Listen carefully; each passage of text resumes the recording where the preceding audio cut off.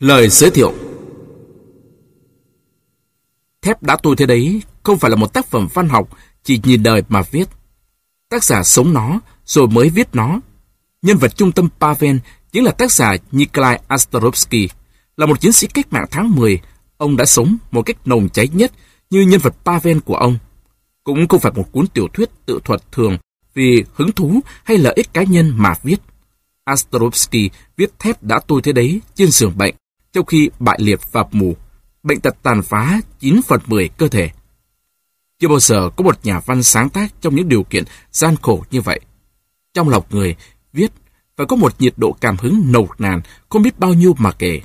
Nguồn cảm hứng ấy là sức mạnh tinh thần của người chiến sĩ cách mạng bị tàn phế, đau đớn đến cùng cực, không chịu nằm đợi chết, không thể chịu được xa rời chiến đấu, do đó phấn đấu trở thành một nhà văn và viết nên cuốn sách này. Càng yêu cuốn sách, càng kính trọng nhà văn, càng tôn quý phẩm chất của con người cách mạng. Thép đã tôi thế đấy, có một địa vị đặc biệt trong lịch sử văn học Liên Xô và nền văn học tiên tiến thế giới. Cách mạng tháng 10 thắng lợi, cuộc chiến đấu vĩ đại chưa từng có bao giờ của nhân dân lao động trên một xã đất liên bang Xô Viết rộng lớn, hàng ngày đề ra và đòi hỏi không biết bao nhiêu là anh hùng. Nhân dân Liên Xô, nhân loại tiến bộ, chờ đợi văn học phản ánh và đào sâu cho mình hình ảnh con người anh hùng mới ấy. Lần đầu tiên trong văn học, Astrovsky thu gọn được hình ảnh con người mới trong nhân vật Pavel Karuksakin. Pavel không những khác hẳn với những anh hùng của các thời đại trước, khác hẳn với những tác phẩm văn nghệ của những năm đầu cách mạng, thường ca ngợi lòng dũng cảm vô tổ chức, tả sức mạnh tràn trề, lớn khỏe của quần chúng như một sức mạnh bộc phát tự nhiên. Thép đã tôi thế đấy, cho ta thấy từ con người trong một quần chúng rộng lớn nảy nở như thế nào dưới sự lãnh đạo của Đảng Cộng sản.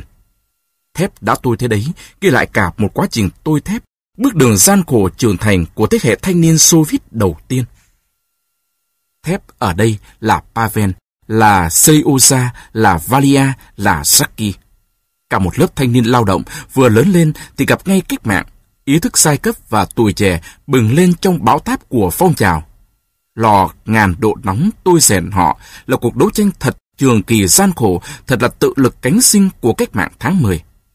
Người thợ vĩ đại tôi rèn thép ấy là Đảng Cộng sản, ngọn cờ và bộ tham mưu của cách mạng.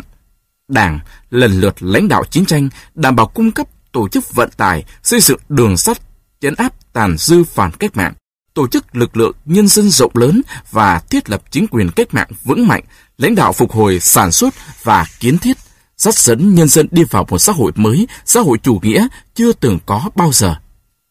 Trong đấu tranh vũ trang cũng như công tác xây dựng, Đảng tập dần thói quen cho Pavel chiến thắng.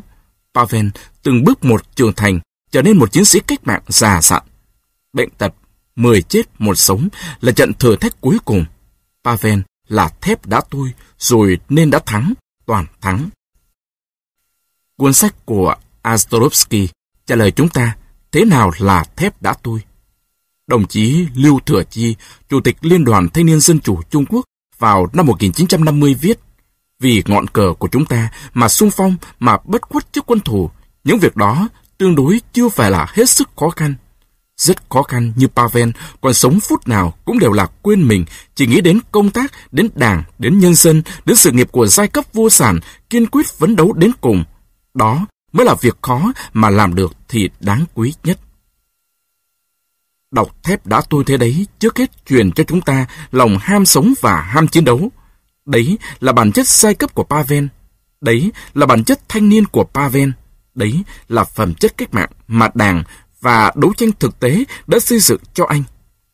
Không phải ngọn lửa rơm sốc nổi hay cái ngang tàng sờm của chủ nghĩa anh hùng cá nhân. Một tinh thần ham súng và ham chiến đấu có nghĩa lý nhất, có cơ sở nhất. Không gì mạnh bằng lòng tin tưởng của Pavel ở những mục đích chiến đấu của mình. Pavel say mê đem toàn tâm, toàn ý phục vụ nhân dân, hy sinh cá nhân của mình một cách nồng nhiệt, lãng mạn không bao giờ do dự, không hề tính toán, tất cả vì sự nghiệp sai cấp, vì hạnh phúc nhân loại. Không hiểu mục đích đấu tranh của Pavel, đảng tính đấu tranh của Pavel thì chỉ cảm thấy đời Pavel đau khổ. Không, Pavel không cảm thấy đau khổ, Pavel chỉ nghĩ đến khắc phục thống khổ.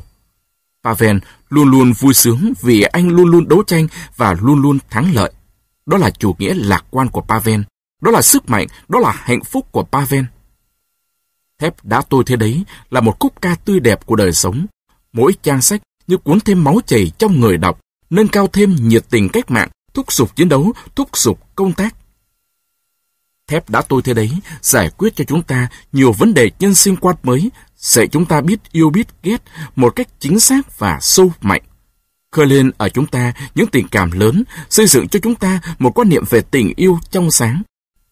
Thép đã tôi thế đấy còn là một kho báu kinh nghiệm công tác cách mạng rất thực tế để nhìn cho sáng hơn nhiều vấn đề mới mà cuộc sống đề ra cho mỗi tập thể và mỗi con người. Để thực hiện nhiệm vụ nào cũng hoàn thành, khó khăn nào cũng vượt qua, kẻ thù nào cũng đánh thắng. Nhà văn Xô Viết Ilya Ehrenburg gọi thép đá tôi thế đấy là thánh kinh mới của thanh niên Xô Viết. Bà mẹ của nữ anh hùng Zoya đã từng cổ vũ cả một thế hệ thanh niên thế giới chống phát xít trong đại chiến thế giới lần thứ hai, cho biết thép đã tôi thế đấy là sách cuối đầu của con tôi. Cuốn sách được nhiều người đọc nhất ở Liên Xô trong thời kỳ kháng chiến chống Đức. Rất nhiều chứng cứ cụ thể tỏ ra là nó đã nêu gương sáng cho muôn vạn pa ven mới. Giữa Đại hội Anh hùng Chiến đấu Trung Quốc năm 1950, đồng chí Trương Minh, một chiến sĩ giải phóng quân có nhiều thành tích, kiêm một nhà văn bộ đội trẻ, phát biểu. Đọc thép đã tôi thế đấy, đã để lại một ảnh hưởng sâu sắc cho đời cách mạng và văn nghệ của tôi. Những sách như Thép đã tôi thế đấy nâng cao tinh thần chiến đấu và phẩm chất con người. Ở chủ nước dân chủ nhân dân, Thép đã tôi thế đấy được coi là một tài liệu học tập của đoàn thanh niên. Trên báo tiền phong của thanh niên Pháp đã đăng đi đăng lại nhiều lần cuốn tiểu thuyết Pavel ấy. Thanh niên thế giới yêu mến Pavel, người anh đi trước của tất cả chúng ta, người anh thủ thế hệ cách mạng tháng 10, thế hệ mở đường gian khổ nhất, anh dũng nhất và vẻ vang nhất. Ở nước ta, trong cuộc đấu tranh yêu nước lâu dài, phần lớn thanh niên Việt Nam đã được trải qua nhiều cảnh ngộ mà Pavel đã sống. 5 năm chống phát xít Nhật, Pháp, 9 năm chống xâm lược Pháp, Mỹ, một thế hệ thanh niên đông đảo nhất đã chọn con đường của Pavel. Nhiều anh chị em của chúng ta đã nếm tra tấn khủng bố của nhà tù đế quốc. Trong những vùng sau lưng địch, nhiều đồng chí và bạn thân của chúng ta hy sinh bất khuất trước quân thù như Valia, trên các chiến trường Việt Nam, biết bao Seriosa đã bỏ mình và hàng vạn Jackie sinh sôi nảy nở. Dưới sự lãnh đạo của Hồ Chủ tịch và Đảng Lao động Việt Nam, chúng ta sống những chiến đấu của Pavel, những gian khổ của Pavel. Cùng sau một tình cảm cách mạng như Pavel mà phấn đấu, cả một thế hệ thanh niên cách mạng tháng 8, lớn lên trong kháng chiến, lớn lên cùng với chế độ dân chủ Cộng Hòa. Chúng ta cảm thấy Pavel rất gần với mình thép đã tu thế đấy, gợi ý cho chúng ta đòi hỏi nền văn nghệ trẻ mới của nước nhà, phản ánh và đào sâu nhiều hơn nữa hình ảnh con người anh hùng mới Việt Nam. Và trong khi chờ đợi hình ảnh Pavel lúc này giúp chúng ta nhìn rõ chúng ta hơn, sống lại những kinh nghiệm đã qua, củng cố và bồi bổ bài học của thực tế cách mạng, sống mạnh hơn nữa của đấu tranh vẻ vang và còn nhiều gian khổ ngày nay càng hăng hái, càng dũng cảm, tiếp tục những chiến đấu của Pavel, phát huy những thắng lợi của Pavel, làm sáng tinh thần của Pavel hơn nữa. Bản dịch tác phẩm lớn này về căn bản không đầy đủ, trong phương pháp còn nhiều thiếu sót. Đầy lòng yêu mến và trân trọng với Astrovsky, chúng tôi tự lấy làm chưa thỏa mãn về công việc mình làm. Chỉ dám mong góp phần nhỏ mọn phục vụ nhu cầu đọc sách nghề một lớn của bạn đọc trẻ tuổi nước nhà. Bạn đọc trẻ tuổi đang dở trang sách này xin giới thiệu với bạn anh Pavel, người bạn thân, người đồng chí đi trước của chúng ta. Thép mới Mới Phần thứ nhất Chương 1 Những đứa nào đến nhà tao đọc bài trước hôm nghi lễ, đứng dậy. Người mặc áo dài cố đạo, lừa mắt quát học trò. Mặt hắn vị mỡ, cổ đeo kê thập tự to xù. Cặp mắt ti khí mà giữ nhìn chòng chọc vào sáu đứa trò con, bốn trai và hai gái, vừa đứng nhổm dậy. Mấy đứa trẻ kiếp sợ, ngước mắt lấm lét nhìn hắn. Hắn chỉ tay về phía các trò gái, ra lệnh. Những con bé kia, cho ngồi xuống. Mấy trò gái chút hơi thở dài ngồi xuống, cặp mắt lươn của lão cố Vasily vẫn nhìn chằm chằm vào mấy đứa trò trai còn đứng dậy. Lại gần cha nào, các con ngoan của cha. Hắn xô ghế, đứng lên, sấn đến chỗ mấy đứa nhỏ đang nếp vào nhau. Bọn mày đứa nào hút thuốc? Hờ, đồ nhãi. Cả bốn lý nhí trả lời, thưa cha, chúng con không ai hút thuốc ạ. Lão cố đỏ mặt tía tai. Không hút thuốc à? Đồ khốn nạn. Vậy thì đứa nào ném thuốc lá vào bột làm bánh thánh? Không đứa nào hút à? Được, để tao xem. Lật túi ra. Mau lên, tao bảo lật túi ra. Ba đứa bắt đầu móc hết đồ lề trong túi bày ra mặt bàn. Lão cố khám từng ly từng tí, vài lót túi, cố tìm một vết tích thuốc lá còn sót lại. Không thấy gì, lão quay ra hỏi đứa thứ tư, một thằng bé mắt đen, mặc áo khoác xám và quần xanh có vá ở đầu gối. Còn thằng này, tại sao mày cứ đứng như phóng thế hả? Thằng bé, mắt nhìn đầy vẻ căm tức, cầu nhau trả lời, thưa cha, quần con không có túi. Và tay nó sờ vào đường chỉ ở nẹp quần. À à, mày bảo mày không có túi hả? Mày ngỡ tao không biết đứa nào tinh nghịch làm hỏng bột của tao phải không? Lần này nữa, mày tưởng tao vẫn cứ để cho mày học ở đây đấy chắc. Không, ôn con ơi, việc này tao không để cho mày yên đâu. Hôm nọ, mẹ mày lại van mãi, tao mới làm phúc, không đuổi mày. Nhưng lần này thì hết cách rồi. Cút khỏi lớp. Và lão tạt nhẫn, xách tay đứa bé, tống ra ngoài hiên. Cả lớp kiếp đàm, ngồi im tiên thít, không ai hiểu tại sao thằng Pavel con nhạc Karasagin lại bị đuổi ra khỏi trường như thế. Chỉ có một mình Seki, con nhà Barusak, bạn thân của Pavel là đã trông thấy Pavel ném súng thuốc mộc vào bột làm bánh thánh của lão cố trong bếp nhà lão ta. Hôm bọn sáu trò chưa thuộc bài và đến nhà lão đọc bài đứng đợi lão ta ở đấy. Pavel bị đuổi, ngồi ở bậc cuối thềm lớp học, về mặt suy nghĩ. Về nhà biết nói làm sao bây giờ. Nói thế nào với mẹ được? Mẹ chăm lo cho từng ly từng tí, mẹ vất vả đổ tắt mặt túi, nấu bếp hầu hạ nhà lão thanh tra sở thuế. Pavel nghẹn ngào trong cuộc họng. Làm thế nào bây giờ? Chỉ tại lão cố trời đánh kia cả. Mình không thể nào không tương thuốc lá vào bột của lão ta. Chính Seki xui bình, cứ nhét vào đi, cho đáng đời đồ xúc vật như bẩn đó. Thế là mình nhét vào, Seki thì nó chẳng làm sao đâu, còn mình chắc chắn là bị đuổi. Từ lâu, Pavel ghét cây ghét đắng lão cố, mà lão ta thì chủ Pavel ra mặt. Một hôm, vì đánh nhau với thằng Misa Lepsuk, Pavel đã bị lão phạt giam ở lớp và không được ăn cơm chiều.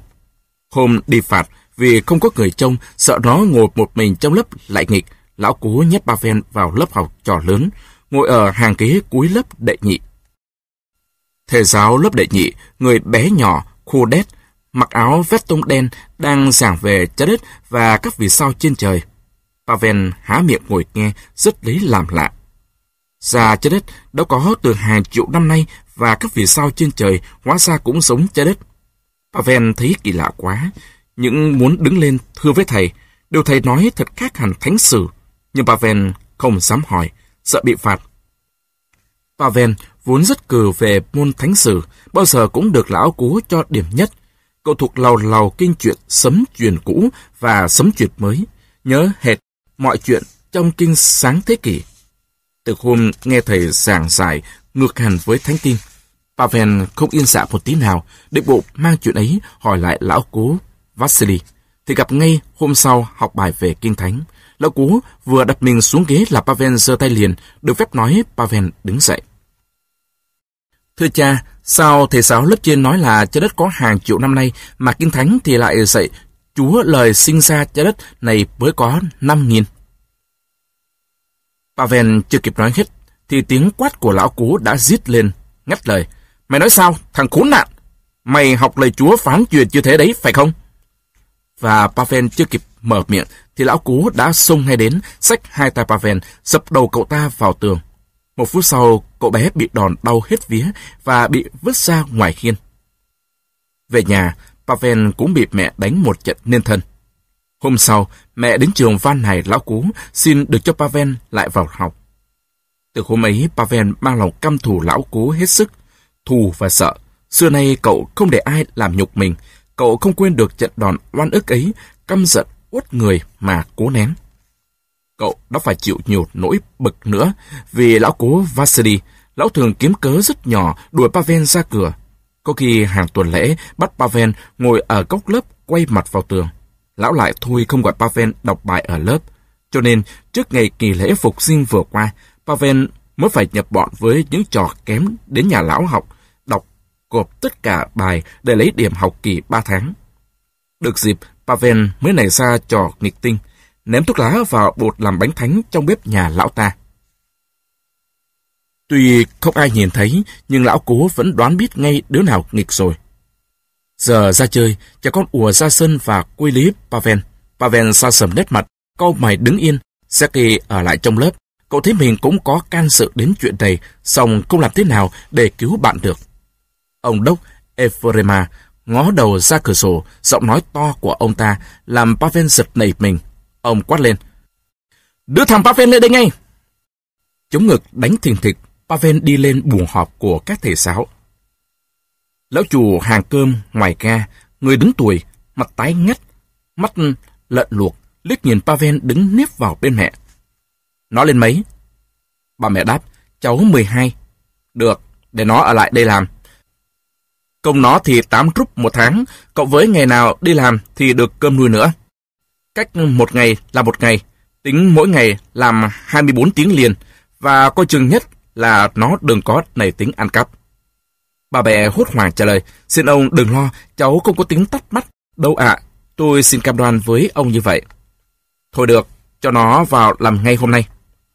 Nói rồi, quay sang phía mụ hầu bàn đứng cạnh, đằng sau quầy rượu, lão ta bảo. Mụ Siena đâu, dẫn nó vào chỗ sửa bát, nói với con Frusia sao cho nó làm thay phần việc của con Grisa. Mụ bán hàng bỏ con dao đang thái giò xấy xuống, gật đầu ra hiệu cho Pavel, rồi bước qua phòng, đi đến cửa ngách vào chỗ rửa bát.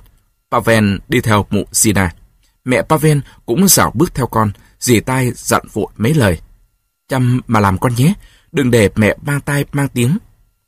Bà mẹ buồn sầu nhìn theo con, rồi bước ra cửa. Trong buồng rửa bát, công việc tất tả, trên bàn, đĩa chất đống, dao đĩa ngột ngang, những người đàn bà khăn lau vắt qua vai, lau lau chùi chùi đĩa và sao đĩa. Một đứa nhỏ, tóc rối bờm sờm, không lớn hơn Pavel mấy, đang loay hoay đun hai ấm tướng nước. Ra nhà ngột ngột hơi nước từ chậu nước nóng rửa bát, đĩa tỏa lên. Thoạt vào, Pavel đã không thể nào nhìn rõ được mặt từ người đàn bà đang làm. Cậu ngơ ngác, không biết đứng vào đâu, làm ăn ra sao. Mụ Sina lại cần một chị sửa bát, kéo vai nói. Frosia, đây, một chú bồi phụ mới vào, thay chân sửa bát của con Grisa, mày chỉ bảo cho nó làm. Rồi quay lại phía Pavel và chỉ vào người tên gọi là Frosia ấy, mụ Sira nói thêm. Con này trông về sửa bát, nó bảo gì mày phải nghe theo. Dứt lời, mụ Sina quay gót trở ra ngoài quầy hàng. Vâng. Pavel kẽ đáp lại và đưa mắt hỏi Frosia. Frosia lấy khăn lau mồ hôi chán, nhìn Pavel từ đầu đến chân như để tính xem cậu bé làm được gì, rồi vừa sắn lại một bên tay áo đã tuột xuống dưới khuỷu tay, vừa nói với Pavel giọng thanh thanh, dễ nghe. Việc của em chẳng có gì khó cả. Em nom thùng nước này, em đun nhỏ lửa, trông sao cho lúc nào thùng nước cũng đầy nước sôi. Em chè củi nữa, rồi đến nom thêm cả hai ấm nước chè cũng là việc của em. Sau này, khi nào cần thì lau thêm sao đĩa và đi đổ rác. Cũng khối việc, đủ làm bờ hơi tay đấy em ạ. Frosia nói giọng vùng Custorum hay kéo dài vần A, giọng nói, sắc mặt đỏ khi khi và cái mũi cao nhọn của cô làm Pavel cũng thấy vui vui. Cô này ngó bộ cũng không giữ đâu. Pavel nghĩ bụng thế, rồi mạnh dạn mở miệng hỏi. Cô bảo cháu bây giờ phải làm gì trước? Cả bếp phì cười, tiếng cười phá lên làm át cả những lời cuối câu của Pavel. Ha ha ha! Mới vớ được cháu gọi bằng cô. Ha ha! Chính Frusia cười to hơn mọi người, thì ra khơi nước bốc mù lên làm Pavel không trông rõ mặt cô ta. Frusia mới sắp xỉ 18 tuổi thôi. Ngượng quá, Pavel quay hỏi thằng bé cục làm. Bây giờ mình phải làm gì trước, hả cậu? Nó đã không trả lời, lại chiêu Pavel thêm. Hỏi cô mẹ ấy, tao biết đâu đấy. Tao có ở đây đâu. Nói rồi, nó chạy ra cửa, vào trong bếp mất. Một bà rửa bát đã có tuổi lên tiếng. Mày lại đây giúp tao một tay lau đĩa. Các người lạ thật. Thằng bé nó nói, có gì mà cười. Đây này, giữ lấy. Bà vừa nói vừa đưa cho Pavel chiếc khăn lau. Lấy răng cắn một đầu khăn, lấy tay kéo đầu kia ra cho thằng. Tay này cầm đĩa, cọ đi cọ lại. Cốt nhất, đừng để rót bẩn ở kẽ đĩa. Để rót bẩn thì cuốn đấy. Không phải chuyện chơi đâu. Các ông khách ăn họ nhìn kỹ lắm, họ mà thấy dĩa bẩn thì vạ vào thân đấy. Còn ạ, bà chủ sẽ cho mày ra khỏi cửa ngay lập tức. Pavel ngạc nhiên. Sao lại có bà chủ nữa à? Ở đây chỉ thấy ông chủ nhận cháu vào làm thôi cơ mà. Bà già rửa bát vì cười. Ông chủ ở đây chỉ là một thứ bù nhìn thôi. Còn hạ, bà ta mới là chủ đứng đầu trông coi ở đây. Hôm nay bà ta không đến, mày cứ làm rồi sẽ thấy. Cửa mở, ba người bồi bàn đi vào, mỗi người bê một chồng đĩa bẩn. Một lão, mặt bệnh vuông, mắt lé, vai rộng, nói bồ bồ. Chồng bếp nhanh tay lên chứ, chuyến tàu chưa sắp đến rồi, mà sao trong này làm dù giờ thế? Nhìn thấy chú bé Pavel, hắn hỏi, đứa nào thế này? Em nó mới vào làm, frusia trả lời. À, mới vào này, lão bùi bạn đập bàn tay nặng trịch của hắn lên vai Pavel, ẩy cậu về phía mấy lò đun nước lên giọng. Nước lúc nào cũng phải có sẵn. Thế mà mày thử trông xem, một lò tắt ngấm, lò kia thì lửa cũng sắp lụi. Hôm nay ông hãy tha cho mày, mai còn như thế, ông tống vào miệng. Hiểu chưa? Không nói nửa lời, Pavel quay lại lò đun nước, thế là bắt đầu cuộc đời đi làm.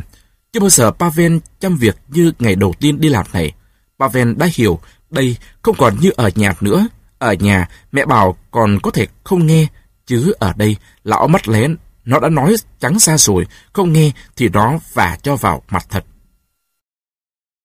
Nồi nấu nước chè to phình như cái vại, đổ bốn thục nước mới gọi là đầy. Không có quạt lò, Pavel tháo chiếc sợi ống quạt vào ống thông hơi, thổi lửa. Tia lửa từ các lọ bay ra tung tóe, cả ngày cứ quanh quẩn với những sách nước đổ vào nồi, đổ nước rửa bát trong lò, rồi lại tải mấy khăn ướt lau bát ra, hơ trên ấm nước nóng bỏng, làm mọi việc người ta sai. Đêm đã khuya lắm, Pavel mới lần xuống bếp, người mỏi như. Bà Zbat, Anicia nhìn ra cửa, vừa quất bóng Pavel, chép miệng nói.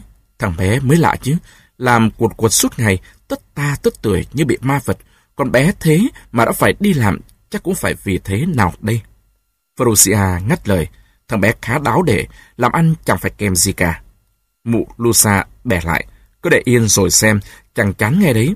Đứa nào cũng thế, mới làm bao giờ chẳng chăm. Đến 7 giờ sáng, Pavel mới hết tội khổ sai. Người dã rời sau một đêm mất ngủ và chạy đi chạy lại, luôn chân. Thằng bé đến đồi ca, dáng người rong sòng, má bánh đúc, hai con mắt sức, nhìn thao láo. Ngó xem đâu vào đấy cả rồi và thấy hai nồi nước vẫn đang nóng sôi. Nó thọc tay vào túi quần, chét một bãi nước bọt tướng, nhổ tuẹp một cái, rồi trợn lòng trắng, mắt lên nhìn Pavel, nói giọng trịch thượng. Ê, thằng nhóc, sáng mai, 6 giờ đến thay tao. Pavel ngạc nhiên hỏi lại. Sao lại 6? 7 giờ người ta mới đổi ca cơ mà. Người ta khác, mày khác. Tao bảo mày đến 6 giờ thì mày cứ đến 6 giờ. Nếu mày cãi lại tao thì tao đập vỡ mặt mày ra. Liệu hồn, nhóc bọ, mới vào mà đã đòi lên mặt. Những chị sửa bát đã tan tầm, chăm chú nhìn hai đứa bé cãi nhau, giọng sức sược. Thái độ ngang ngược của thằng bé kia làm Pavel tức đến tận cổ. Cậu tiến lại gần nó, trực xã ngay, xong lại kiềm được. Sợ ngày đầu đi làm đã lôi thôi thì có khi bị đuổi. Pavel xa sầm nét mặt, nén giận nói. Này, từ từ chứ, đừng chọc vào tao mà bỏng tay đấy con ạ. Mai đúng bây giờ tao mới đến, còn muốn chơi nhau, tao chẳng lép vế đâu. Muốn thử thì tao chẳng kiêng đâu nhé. Thằng kia không ngờ Pavel cũng thế, nên chịu lép. Nó sừng sốt nhìn Pavel lúc ấy đã nổi cơn mặt, rồi lùi lại viết cái chậu, lẩm bẩm Được, rồi xem ai biết tay ai. Ngày đầu tiên đi làm, thế là không xảy ra chuyện gì. Pavel yên chí ra về, lòng khoan khoái như một người đã làm đầy đủ bổn phận, có quyền được nghỉ. Bây giờ đi làm rồi, không ai còn dám bảo mình là ăn không ngồi rồi nữa. Mặt trời ban mai uể oải ló ra khỏi tòa nhà máy cưa. Căn nhà Pavel lụp sụp hiện dần ra trong sương sớm. Nhà đây rồi, ngay sau biệt thự nhà của Lesinski. Miệng huyết sáo, chân bước rào, Pavel nghĩ thầm. Mẹ chắc đã dậy rồi, và mình thì đi làm về, thôi thì bị đuổi học thế cũng chẳng khổ lắm. Có được nó cho vào học lại, thì cũng đến bị lão cú chờ đánh, làm mình điêu đứng không sống yên được. Giờ thì ông cóc cần. Đang nghĩ lan man, thì đến nhà, Pavel mở cửa, rồi sực nhớ. Con thằng bé tóc hoe kia, mày sẽ biết tay ông, ông nhất định sẽ cho mày vỡ qua hàm. Mẹ đang loay hoay đun nước ở sân, thấy bóng con, bà hỏi một cách lo âu. Sao? Công việc thế nào con? Có khá không? Khá lắm mẹ ạ. Thế mẹ như có chuyện gì muốn báo cho mình biết, Pavel hiểu ngay. Ngó vào cửa sổ mở rộng, cậu đã nhìn thấy cái lưng rộng của Archon. buổi tối Pavel hỏi mẹ, anh Archon đã về đấy hả mẹ? Ừ, về tối qua và ở hẳn nhà. Anh con sẽ về làm ở sở đồ máy xe lửa. Pavel mở cửa, không còn đủ tự tin nữa. Thân hình to lớn ngồi bên bàn, lưng quay về phía Pavel, bỗng ngoảnh lại, cặp mắt nghiêm khắc của anh dưới đôi lông mày đen sợ, nhìn Pavel chằm chằm. À, tay nghịch thuốc lá đã về đấy à? Chào cậu. Nói chuyện với anh xem, chừng chẳng êm ái chút nào đâu. Pavel nghĩ thầm. Anh biết tất cả rồi, ông ấy bực lên, thế nào cũng tế cho một mẻ, có khi còn nện cho nữa. Pavel vẫn hơi sợ anh. Nhưng Arachom không có vẻ gì muốn đánh em cả. Ngồi trên ghế đầu, tay tì lên bàn, anh chỉ nhìn em không rời mắt. Cái nhìn không ra vẻ nhạo mà cũng không ra vẻ kết. Pavel không biết đằng nào mà đoán. Tiếng Anh phá không khí yên lặng, nặng nề. Hình như mày đã học xong cả rồi thì phải. Mọi thứ khoa học đều tinh thông nên bây giờ mày bắt đầu chuyển về khoa sửa bát. Pavel nhìn chằm chằm vào kẽ sàn gỗ, mắt như dán vào mũ một chiếc đinh đâm trồi lên. Nhưng Arachom đã đứng lên đi vào bếp. Lần này thì thoát nạn rồi, Pavel thở dài nhẹ nhõm. Đến tối, ba mẹ con ngồi uống nước, anh Arachom mới từ tốn hỏi lại câu chuyện xảy ra ở lớp học. Pavel kể lại tất cả. Giọng mẹ buồn sầu. Mày còn ít tuổi, đã ngỗ ngược thế thì lớn lên làm gì được hả con? Rồi mẹ than phiền, biết làm sao với nó được, cả nhà nó chẳng giống tiếng ai. Trời ơi, con tội, con nợ, nó làm khổ tôi bao nhiêu lần rồi. Anh Arachon đẩy cái chén không ra, nói với Pavel. Nghe anh nói đây, cơ sự đã như thế, ta không nhắc đến nữa, nhưng từ nay em phải thận trọng, nghĩ đến làm ăn, đừng có tơ tưởng đến trò kịch ngợm, chịu khó mà làm. Nếu còn lung tung bị đuổi nữa, thì tao sẽ sửa cho một trận, hết đường chui. Hãy nhớ lấy, mày làm tội mẹ thế đã đủ rồi, quỷ quái. Đến đâu là gây sự đến đấy, ở chỗ nào cũng làm mang tay mang tiếng. Bây giờ thì phải thôi hẳn, nếu làm ăn được, sang năm sẽ xin cho vào học nghề trong sở đồ máy, không có cứ ở trong bếp hàng cơm mãi với đống bát đĩa nhất thì chẳng đời nào ra hồn con người được. Phải học lấy một nghề, bây giờ thì còn bé quá, chưa đủ tuổi, một năm nữa sẽ xin cho mày vào, chắc người ta sẽ nhận. Còn tao đã được đổi về đây làm rồi, mẹ sẽ thôi không đi làm nữa. Không để cho mẹ cứ phải cúi lưng trước những quân khốn nạn ấy mãi. Còn mày phải mở mắt ra, mày phải thành người mới được. Anh nói xong, đứng dậy, với chiếc áo vắt ở lưng ghế, khoác lên người và nói với mẹ. Con đi có việc động một tiếng sẽ về. Thân hình cao lớn, anh đi qua cửa, phải cúi đầu xuống. Ra đến sân, anh nói vọng vào. Tao có mang về cho mày con sao và đôi giày, nói mẹ đưa cho. Hàng cơm nhà ga dọn hàng suốt ngày đêm, không lúc nào nghỉ. Ga này có đường xe lửa đi sáu ngả. Nhà ga lúc nào cũng chật đích người, chỉ yên tĩnh độ 2-3 tiếng ban đêm giữa hai chuyến tàu.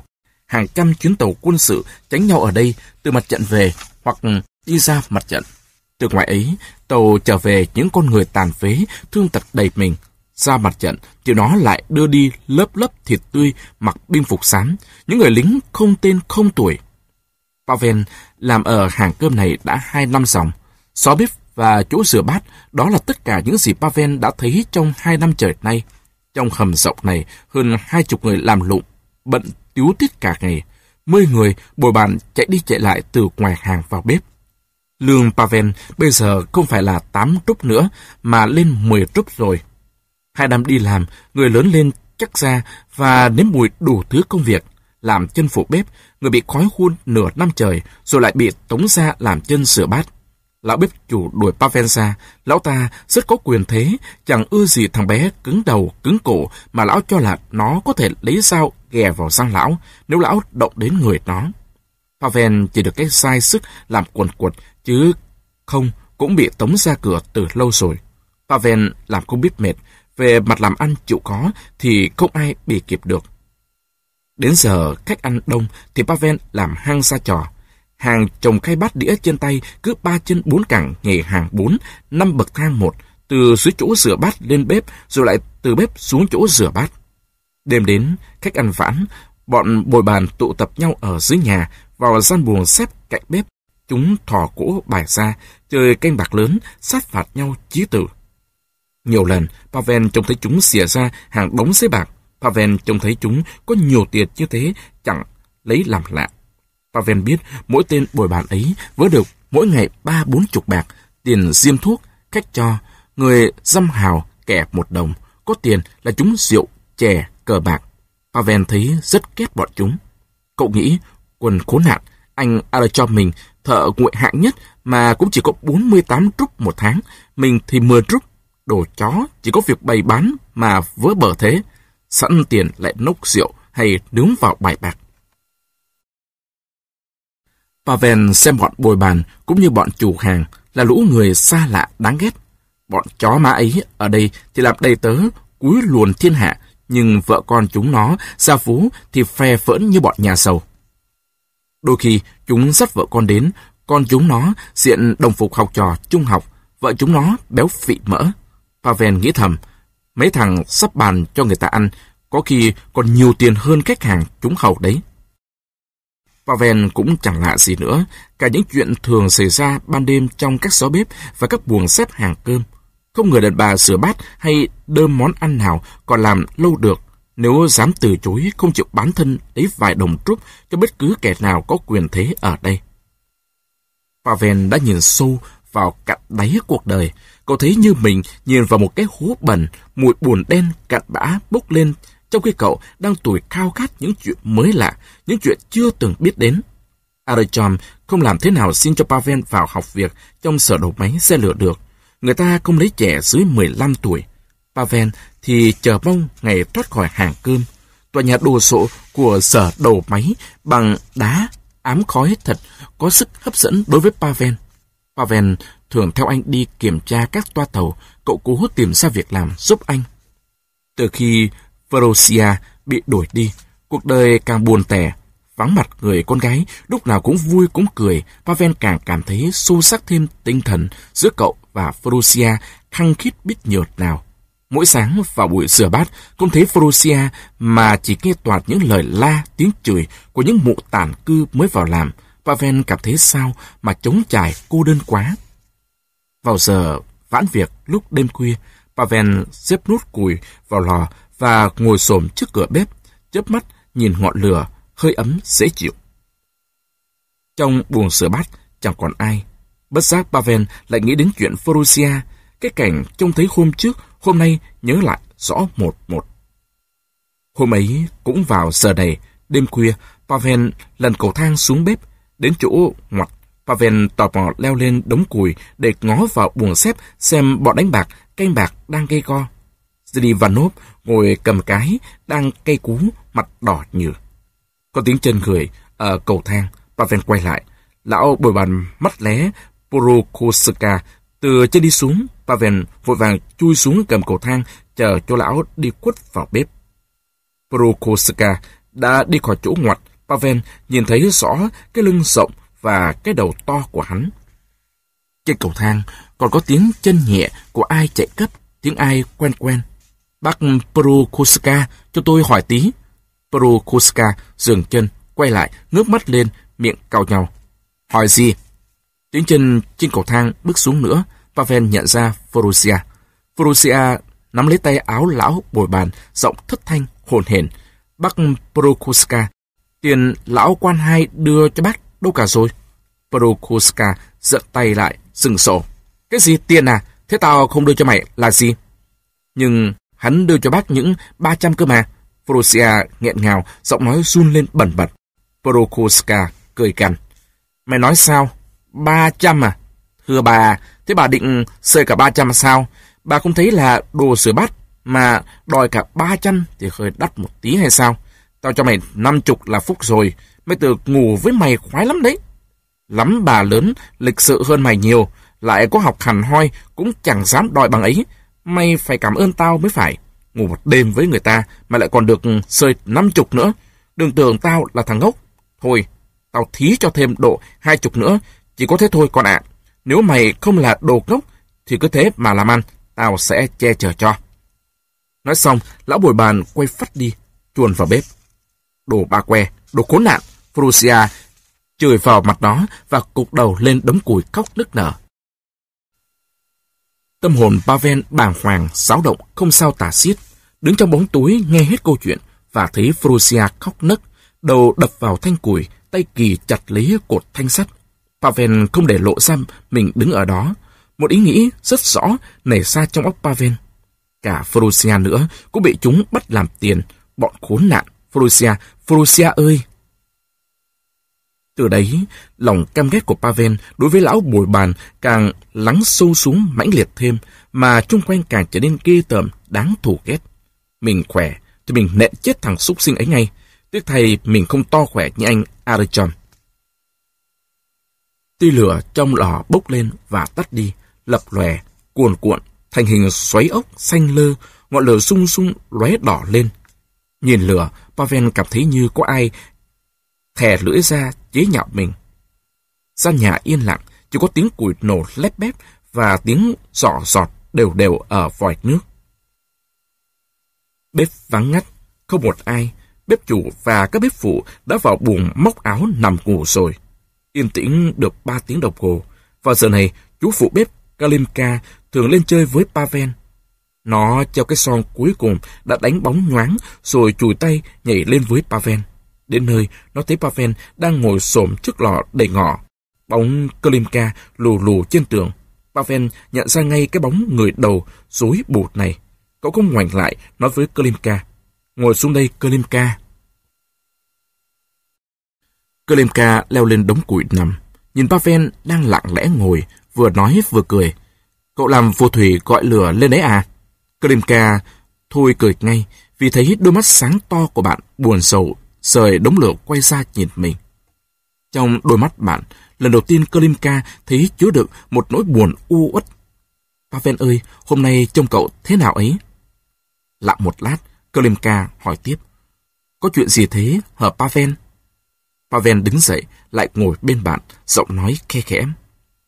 Chẳng có chuyện gì cả. Mình chỉ thấy chán ngấm cuộc đời này lắm, Kolimka ạ. Đôi bàn tay Pavel vẫn để thõng trên đầu gối, bỗng nắm chặt lại. Kolimka chống kiểu tay, nhổm lên, hỏi tiếp. Hôm nay cậu gặp chuyện gì mà sinh ra chán vậy? Nào phải mãi đến nay mới sinh ra chán đâu. Ngay từ hôm mới vào làm là mình đã chán rồi. Cậu thử nghĩ xem, mình còng lưng làm như lạc đà, mà đứa nào thích miệng, thích tay cũng mắng với vả vào sang mình được. Bị đánh, bị mắng, chẳng ai bên mình. Bọn chủ thuê tớ và cậu đến đây làm, thế mà bất cứ đứa nào có thế lực ở đây cũng có quyền đánh chúng mình. Mình chạy ba chân bốn cẳng, làm bờ hơi tay rồi mà không thể nào vừa ý tất cả mọi đứa được. Mình đã cố làm để không ai kêu được, vậy mà vẫn có lúc chậm chân chưa kịp hầu đứa nào, thì bị nó nện cho ngay. Kalimka sợ quá, can bạn. Nói khẽ chứ mày, khẽ chứ, không lỡ có đứa nào vào nghe thấy. Pavel trồm lên, nghe thấy thì đã sao? Đứa nào có nghe thấy tao cũng cóc sợ, đằng nào tao cũng đi khỏi đích cơ mà. Thà đi quét tuyết ngoài đường sắt, còn hơn chúi đầu trong xó nhà bột này ăn ở với quân đều xả. Thằng nào túi cũng đẩy bạc. Chúng nó coi chúng mình như trâu, như chó. Con gái ở đây thì chúng muốn làm gì cũng được. Nếu gặp người nào tử tế cưỡng lại thì chúng nó tống ngay ra cửa. Mà họ ra cửa thì mày bảo họ biết đi đâu được. Bọn chúng nó tính thâm thật. Khi cho đàn bà vào làm, chúng chọn toàn người tàn cư, không cửa, không nhà, chết đói đến nơi cả. Họ vào làm cốt kiếm lấy mổ bánh qua ngày. Ở đây, ít ra cũng còn có ăn. Cho nên, chúng nó bắt họ làm gì, họ cũng phải làm. Pavel nói, giọng đầy phẫn nộ đến nỗi làm Klimka sợ có người nghe hết chuyện phải nhảy xuống đóng cửa lại. Pavel vẫn nói như chút hết nỗi uất ức trong lòng. Còn đằng ấy, Kalimka ạ, chúng nó nện cậu, mà cậu cứ im thiên thiết. Tớ không hiểu sao cậu lại im được chứ. Pavel mệt quá, ngồi phịch xuống ghế đầu bên bàn, hai tay ôm lấy đầu, dáng điệu mệt lạ. Kalinka đùn cùi vào lò và cũng ngồi lại gần bàn. Cậu hỏi Pavel. Đêm nay ta không đọc gì à? Pavel trả lời. Không có sách, hàng sách đóng cửa rồi. Kalinka ngạc nhiên. Sao? Hôm nay là ngày lễ à? Pavel đáp, cảnh sát đã tóm người bán sách đi rồi, nghe đầu bọn chúng tìm thấy có cái gì ở nhà ông ta. Chúng bắt ông ta rồi à? Vì sao vậy? Tớ nghe người ta nói ông ta bị bắt vì chuyện chính trị. Càng sửng sốt, Klimka nhìn Pavel. Chính trị nghĩa là gì hả cậu? Pavel nhún vai nói. Trời biết được, nghe người ta nói hình như ai chống Nga Hoàng thì gọi là chính trị thì phải. Klimka giật nảy mình sợ hãi. Thế có người dám chống Nga Hoàng cơ à? Pavel đáp, mình chẳng biết nữa. Hai người đang nói chuyện thì cợp mở, mụ Golasa, mặt còn ngáy ngủ, bước vào buồng sửa bát. Lũ nhóc chúng mày sao chưa đi ngủ? Tàu chưa đến, có thể nhắm mắt được một tiếng đấy. Pavel đi ngủ thôi, để tao trông lửa cho. Chuyện bất ngờ xảy ra, kết thúc quãng đời đi làm ở hàng cơm của Pavel sớm hơn cậu ta đã tưởng. Vào một ngày tháng riêng giá rét, Pavel vừa tan tầm đã định về, nhưng thằng bé làm thay vẫn chưa chịu đến cho. Pavel đến trình mụ chủ xin về, nhưng mụ ta không cho về. Mặc dù mệt lử, Pavel vẫn phải làm liền hôm nữa thay cho thằng bé kia. Tối đến thì đã kiệt sức, trong lúc nghỉ đêm, Pavel còn phải xách nước đổ đầy mấy nồi và đun sôi cho kịp chuyến tàu 3 giờ sáng. Pavel mở vòi, nước tắt không chảy, rồi quên không khóa máy lại, Pavel ngả lưng trên đống củi và ngủ thiếp đi lúc nào không biết. Mấy phút sau, nước lên ủng ục trong vòi, nước chảy đầy cả một mặt thùng chứa nước, tràn ra sàn bùn sửa bát vào lúc này thường rất vắng vẻ không có ai. Nước cứ chảy mãi, linh láng, ngập sàn, rồi theo cái cửa dì ra ngoài các phòng khác. Nước như suối, chạy ngầm dưới những bọc hàng và vali của hành khách lúc ấy đang ngủ. Không ai biết, mãi đến lúc nước làm ướt sũng, một người cách ngủ dưới đất. Người này choàng tỉnh dậy la lên, mọi người thức dậy, người nào người ấy nháo nhào chạy bổ đến chỗ hành lý của mình, nhốn nháo cả lên. Nước vẫn cứ chạy ập vào. Prokoska đang dọn bàn ăn bên phòng thứ hai, thấy khách kêu náo động, vội nhảy qua những vũng nước, ba chân bốn cẳng chạy ra, đùng đùng mở toan cửa. Nước từ lâu bị cửa chắn, ứ lại được dịp chạy ồ vào phòng như thác lũ. Tiếng kêu la nổi lên càng dữ dội, các bồi bàn trực nhật chạy ùa vào buồng rửa bát. Prokoska nhảy bổ tới Pavel còn đang ngủ say. Hắn đấm đá như mưa lên đầu thằng bé. Pavel tối mày tối mặt, người đau như. Bia đòn giữa lúc còn đang ngáy ngủ, Pavel không hiểu đầu đuôi ra sao, mắt nảy đom đóm, người như đòn, đau nhức nhối, cậu thất thểu lê gót về nhà. Sáng hôm sau, Arachom đi làm về thấy em đau, anh xa sập nét mặt và cau mày, hỏi Pavel về câu chuyện đêm qua. Pavel kể lại tất cả. Arachom hỏi, đứa nào đánh mày? Lão Perukuska. Thôi được, nằm yên đấy. Arachom lấy áo ra khoác lên người, chẳng nói chẳng rằng, đi ra khỏi nhà. Một người thợ lạ mặt đến hàng cướp nhà ga hỏi mụ Gerasa. Tôi muốn gặp bác bồi bàn Perukuska. Mụ trả lời, ông đợi bác ấy một tí, bác ấy sắp về đấy. Người lạ mặt to lớn đứng dựa lưng, ngáng lý cung cửa. Được, tôi đứng đợi đây. Prokuska bê một chồng bát đĩa cao ngất, lấy chân ẩy cửa bước vào buồng sửa bát. Kia, bắt ta về kia. Arachon tiến đến, bàn tay nặng như chì của anh. Túm lấy vai lão bùi bàn, nhìn thẳng vào mắt hắn hỏi, tại sao mày lại đánh thằng Pavel em tao? Lão bùi bàn cố gỡ tay Arachon ra, nhưng một quả đấm trời sáng đánh hắn ngã lăn xuống sàn nhà. Hắn lóp ngóp định bò dậy, thì một quả đấm nữa. Ghê khươn, làm hắn nằm chết xí như đóng đinh xuống sàn. Cấp mụ sửa bát hốt hoảng, vội lánh xa. Adachom quay gót, thạt nhiên bước ra cửa. Prokuska mặt đầm đìa máu, đau quá, nằm dẫy trên sàn. Tối hôm ấy, ở nhà chờ mãi không thấy Adachom đi làm về, mẹ đi hỏi thăm thì ra Adachom bị bắt giam ở Bóp rồi. Sáu ngày sau, Adachom được tha về nhà, lúc ấy mẹ đã ngủ rồi. Arochom đến bên giường Pavel nằm và chịu mến hỏi, em có đỡ không? Nói rồi, anh ngồi xuống cạnh Pavel. Em đừng buồn, ở đời còn nhiều nỗi cay cực hơn thế nữa cơ. Em ạ, im lặng một lát, Arochom nói thêm, không sao cả, em sẽ đi làm ở nhà máy điện. Anh đã xin cho em, em vào đấy làm học lý một nghề. Hai bàn tay Pavel siết chặt lấy bàn tay to tướng của anh. To tướng của anh. To tướng của anh. To... Chương 2 Như cơn gió lốc, tin ghi gớm ập vào thành phố nhỏ này, Nga Hoàng đã bị đánh đổ rồi. Hàng phố không ai dám tin là thật. Nhưng rồi một hôm, có một chuyến tàu sẽ bão tuyết từ từ vào ga này. Hai sinh viên súng khoác vai áo caput vội vã từ trên tàu bước xuống cùng với một đơn vị quân cách mạng tay áo đeo băng đỏ. Họ bắt lũ sen đầm, lão quan năm già và tên trưởng đồn. Khi ấy, hàng phố mới tin là chuyện có thật. Sân đổ ra đường, đen ngòm, trên tuyết trắng, hàng nghìn người kéo về phía quảng trường thành phố. Người ta háo hức lắng nghe những tiếng mới, tự do, bình đẳng, bác ái. Rồi những ngày náo nhiệt, sôi nổi, đầy xúc động và hân hoan qua đi, lại bắt đầu im lặng, chỉ có khác là ở tòa thị sảnh nơi bọn Menshevik và bọn đảng Bun đóng trụ sở có treo lá cờ đỏ. Chú thích Đảng Xã hội Do Thái. Người dịch hết chú thích. Thay đổi chỉ có thế thôi, còn đâu lại vào đấy như cũ. Vào cuối đông, một trung đoàn vệ binh kỵ mã đến đóng đồn trong thành phố. Sáng sáng, họ kéo từng trung đội lên ca, chộp lính từ mặt trận Tây Nam đào ngũ trốn về. Bọn vệ binh kỵ mã Đứa nào vóc người cũng béo tốt, mặt mày nở nang. Lũ quan thì phần nhiều là bọn hoàng thân bá tước và đeo ngủ kim tuyến, quần có đường, viền chỉ bạc.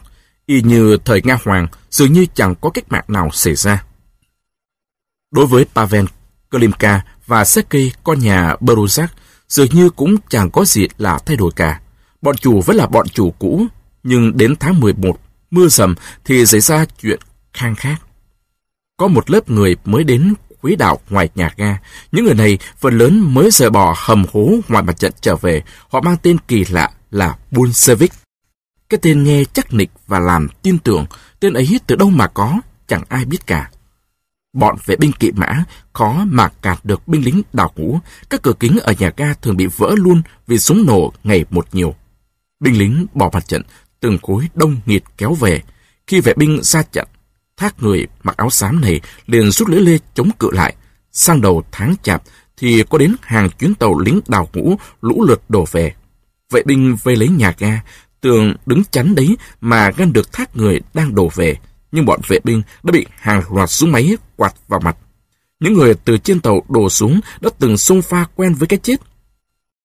Những chiến sĩ mặc áo xám dồn bọn vệ binh vào trong phố rồi lại chở ra ga lên xe đi. Từ dạo ấy, những đoàn xe từ mặt trận cứ nối tiếp nhau đổ về. Mùa xuân năm 1918, ngày hôm ấy, ba người bạn trẻ vừa đánh bại liên hồi kỳ trận ở nhà Sergei Chán, rồi tạt vào nhà Pavel ngả lưng trên bãi cỏ. Buồn quá, mọi trò chơi lâu nay đều thấy chán ngấy cả rồi. Đang nghĩ xem làm cách gì hơn cho qua ngày, thì nghe có tiếng vó ngựa lộp cộp gõ trên đường phố. Một người đi ngựa hiện ra, con ngựa nhảy phát một cái qua rãnh cạnh đường, sát bờ rào thấp quanh vườn. Người đi ngựa vẫy roi ra hiệu cho Pavel và Kolimka. Này, các cậu bé ơi, lại đây cho tôi nhờ tí. Pavel và Klimka nhảy bổ xa bờ rào. Người đi ngựa mình đầy bụi, bụi đường trường đóng dày trên mũi cát két, đội hất về đằng sau, bụi chen vào kẽ những nếp quân phục. Một khẩu súng ngắn nặng và hai quả liệu đạn đức đeo ở dây lưng to bản. Các cậu làm ơn cho xin hộp nước. Trong khi Pavel chạy về nhà lấy nước, người lạ mặt hỏi Seki. Tình nhà giờ trong tay ai, hở cậu em? Seki đang trố mắt, trong chọc nhìn người ấy. Nghe hỏi thì vội vàng trả lời ngay, háo hức kể hết tin tức. Đã hai tuần nay, chẳng có chính quyền nào ở đây cả. Chính quyền của chúng tôi là dân phố tổ chức tự vệ lấy. Đêm, dân hàng phố thay phiên nhau đi gác, hết đội này đến đội khác. Còn anh là ai thế hở anh? Đến lượt Sergei hỏi lại. Người đi ngựa tùm tìm trả lời. Cậu hỏi làm gì? Còn bé mà đã muốn biết nhiều thế thì chóng già đi đấy cậu em ạ. À. Vừa lúc ấy, Pavel hai tay cầm ca nước từ trong nhà chạy ra. Người đi ngựa tu ẩn ực một hơi hết ca nước, trả ca lại cho Pavel rồi giật cương tế ngựa phi về phía rừng thông. Pavel lấy làm lạ, quay hỏi Klimska. Người ấy là ai thế? Klimka nhún vai đáp. Tao biết đâu đấy. Ngay lúc ấy, Saki giọng quyết đoán nói với hai bạn ý kiến của mình về vấn đề chính trị này. Chắc lại sẽ có đảo chính nữa. Thảo nào tối qua, nhà lão Lysinki kéo nhau đi sạch, mà hễ bọn sầu đã cuốn gói tích, tức là quân du kích sắp đến rồi. Sergei kết luận, chí lý quá khiến cho cả Pavel lẫn Klimka đều cho là phải ngay. Ba thiếu niên còn bàn luận chưa xong thì có tiếng vó ngựa giòn giã lại vang lên dọc đường phố. Cả ba chạy bổ ra hàng rào. Từ cánh rực nhỏ vòng sau nhà, người tránh kịp lâm, người và xe súng đổ ra đường cái, gần sát lại phía đằng này có chừng 15 tay kỵ mã, súng đặt ngang yên ngựa. Hai người đi đầu thì một người đã có tuổi mặc áo varơ màu kaki, có thắt dây lưng, ngực đeo ống nhòm. Bên cạnh là người đi ngựa mà lũ trẻ gặp ban nãy. Trên áo varơ của người đứng tuổi có đính băng đỏ. Sergei lấy cổ tay Hikpaven đắc chí. Mày bảo tao nói có đúng không? Trông xem cái băng đỏ kia có phải là su kích không nào? Nói sai thì bắt tao nổ con ngươi.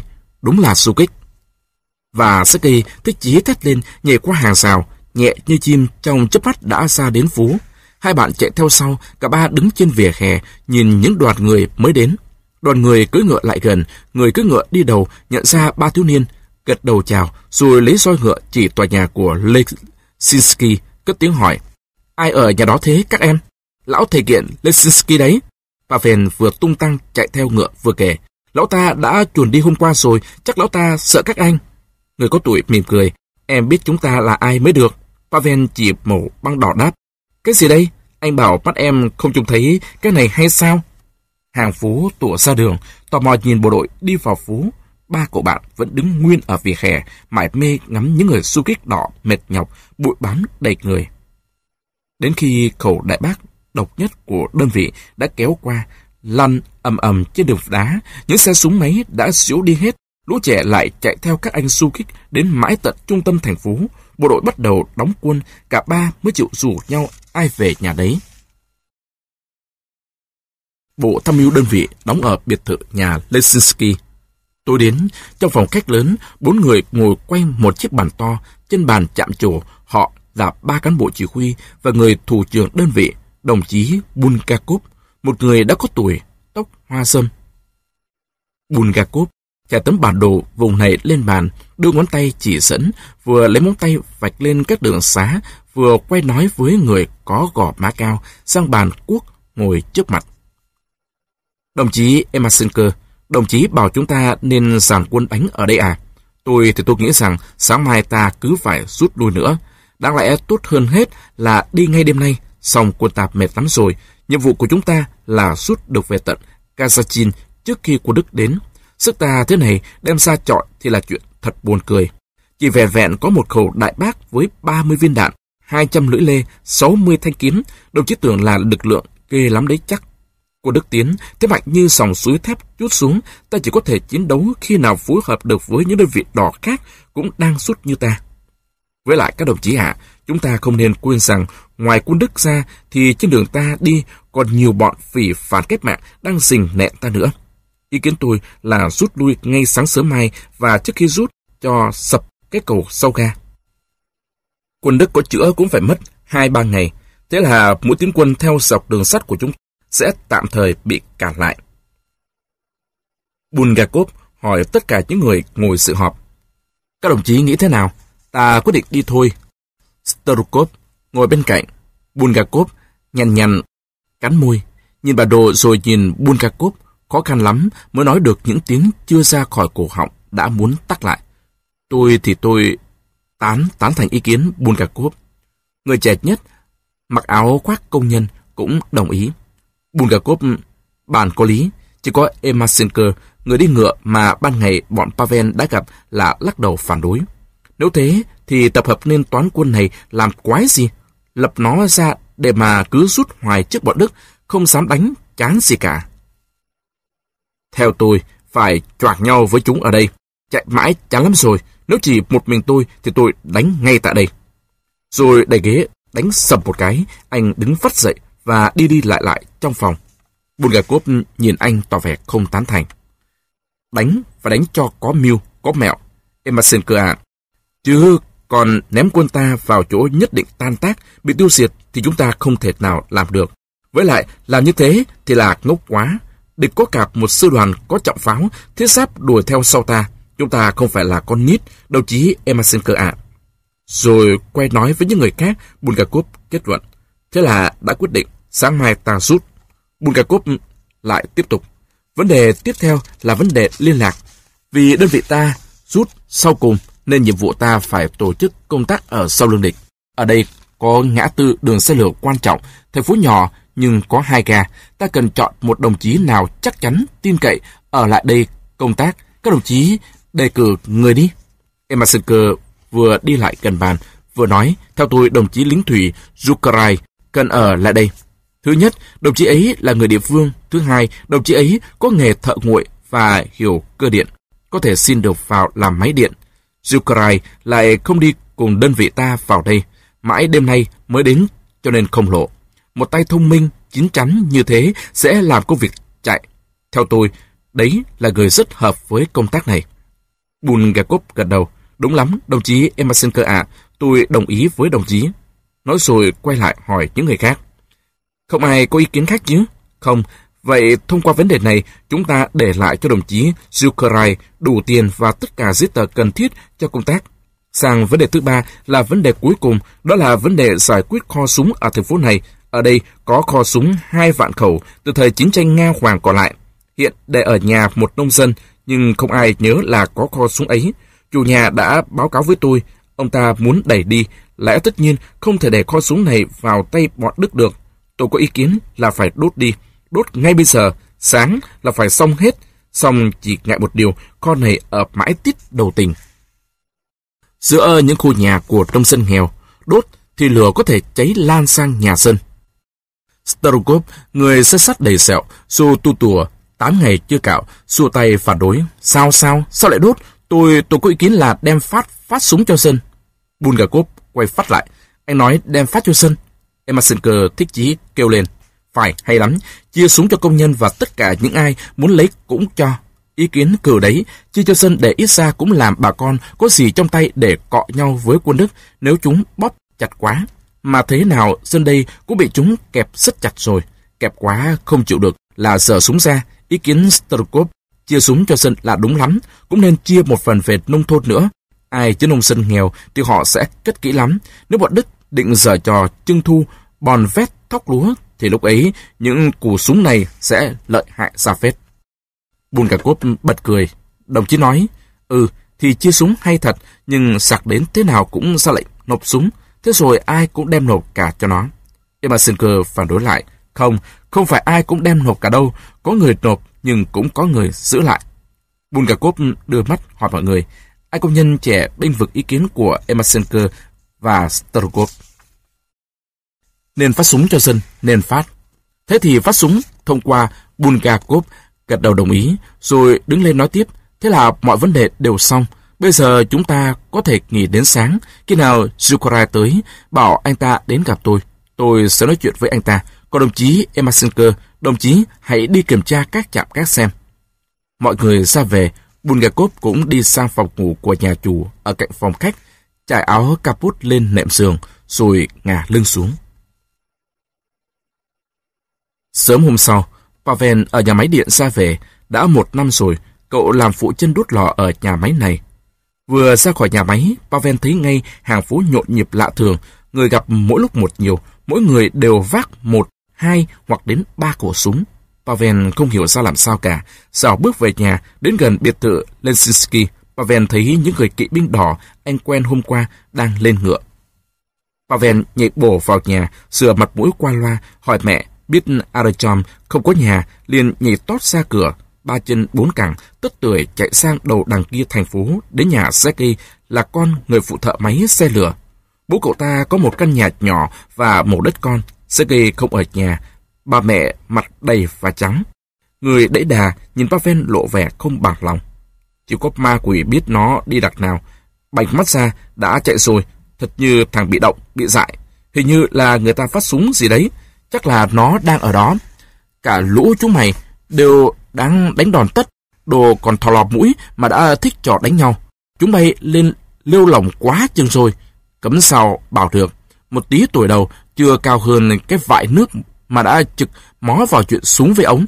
Mày gặp thằng hại cơm ấy thì bảo nó cho tao. Nó mà mang một viên đạn về cái nhà này thì tao chém đầu đi. Nó nhặt đủ thứ về để tội vạ chúng tao chịu.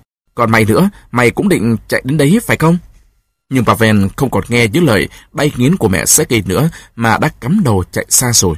Dọc đường, gặp một người đàn ông mang hai vai, hai cổ súng, Pavel sán đến hỏi ngay, bác lấy súng ở đâu đấy? Bảo cho với. Ở trên phố Vekovina kia, họ đang phát. Pavel ba chân bốn cẳng, cắm cổ chạy như bay. Vừa chạy qua hai phố thì đụng ngay vào một thằng bé con đang e cổ phát một khẩu súng trượt nặng trịch, có lắp lưỡi lê. Pavel hỏi nó, mày vừa được ở đâu đấy?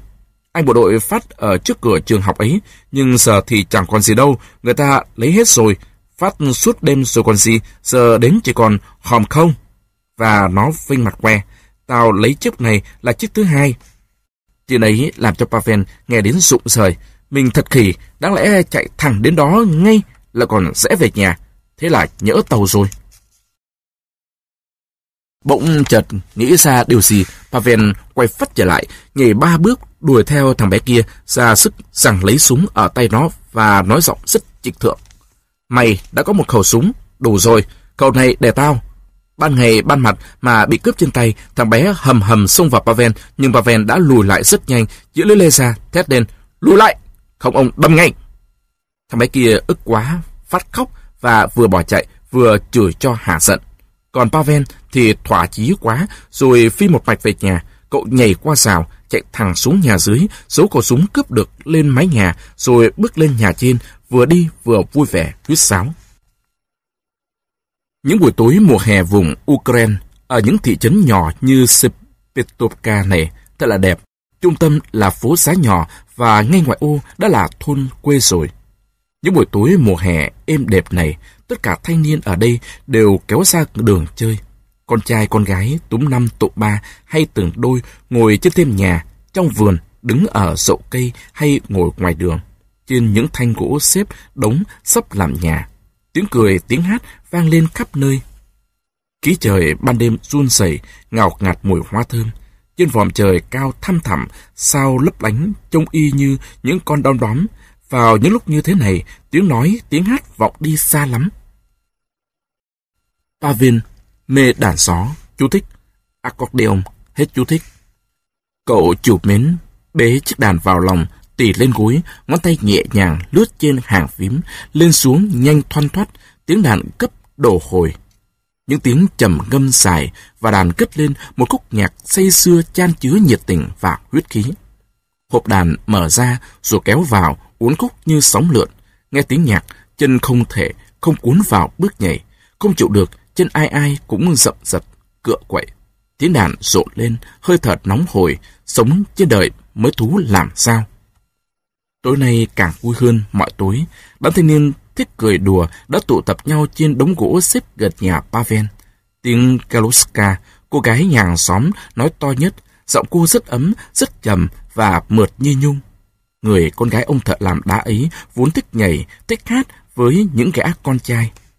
Pavel thì hơi kiềng cô ta, vì cô bạo mồm bạo miệng lắm. Cô đang ngồi ngay cạnh Pavel, cùng trên một tấm gỗ, tay ôm lấy ngang lưng Pavel, kít chặt vào lòng và cười sảng sặc. Hãy nghe tôi nói, tay đàn cừ khôi của tôi ơi, thật đen đủi cho tôi là cậu còn mang sữa quá. Không thì cậu đã thành người chồng xinh xinh của tôi rồi. Tôi rất cảm những tay chơi nhạc, gặp con nhà nhạc là lòng tôi say bê, mềm nhũn ra. Pavel thẹn đỏ chín mặt, May mà trời tối, không ai thấy mình xấu hổ. Pavel muốn lùi xa cô gái. Tinh nghịch, xong Kaluska ghi khỏe, giữ chặt lại. Cô ta cười nhí nhảnh. Mình đừng chạy, mình yêu mình quý của em.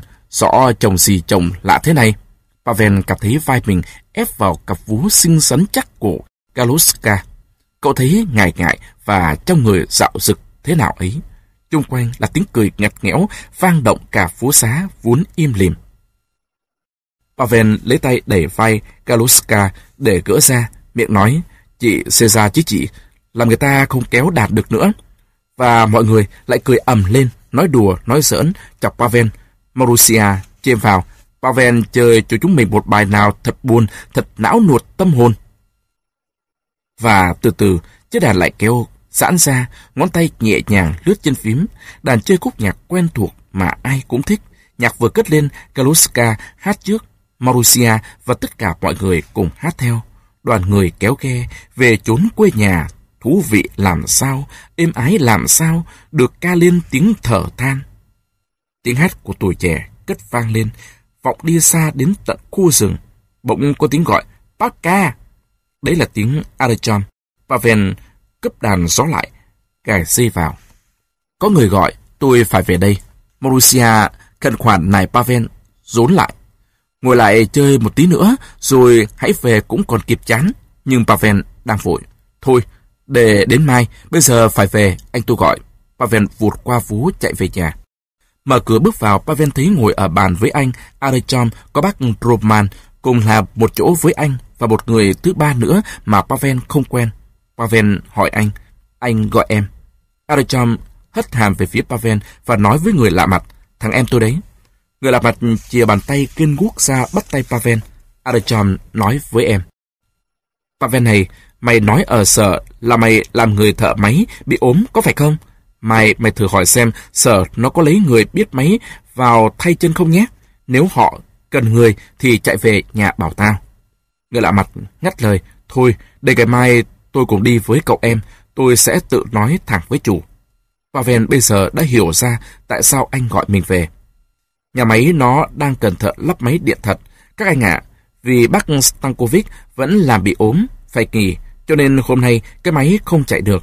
Bác ta bị thương hàn, chính chủ phải xuống đứng máy hai lần. Họ đang tìm người thay mà chưa có.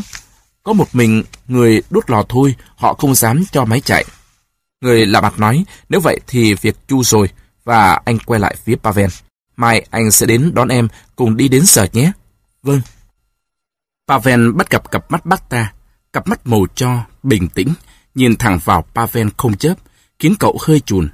Chiếc áo bác ta màu xám, cúc cài sút, kéo căng, bó lấy cái lưng rộng, chắc nịch, chiếc áo trông chật cứng. Bác ta vai và đầu kết nhau, cổ như cổ châu thân hình phạm vỡ, sức khỏe có dư như một cây gỗ xến cổ thụ, rắn giỏi và bám chắc dễ. Khi tiễn chân bác ta, Archon nói, anh Zukarai, việc thế là tạm ổn, anh nhỉ? Mai mời anh lại đi với em, nó đến sở và lo việc ấy cho xong. Bộ đội đỏ đi được ba hôm, thì quân Đức kéo vào thành phố. Lúc chúng đến, một hồi còi xe lửa rú lên ở nhà ga mấy hôm nay vốn bỏ trống. Tin lan khắp tỉnh, quân Đức đến. Phố xá rú lên như một tổ kiến bị động.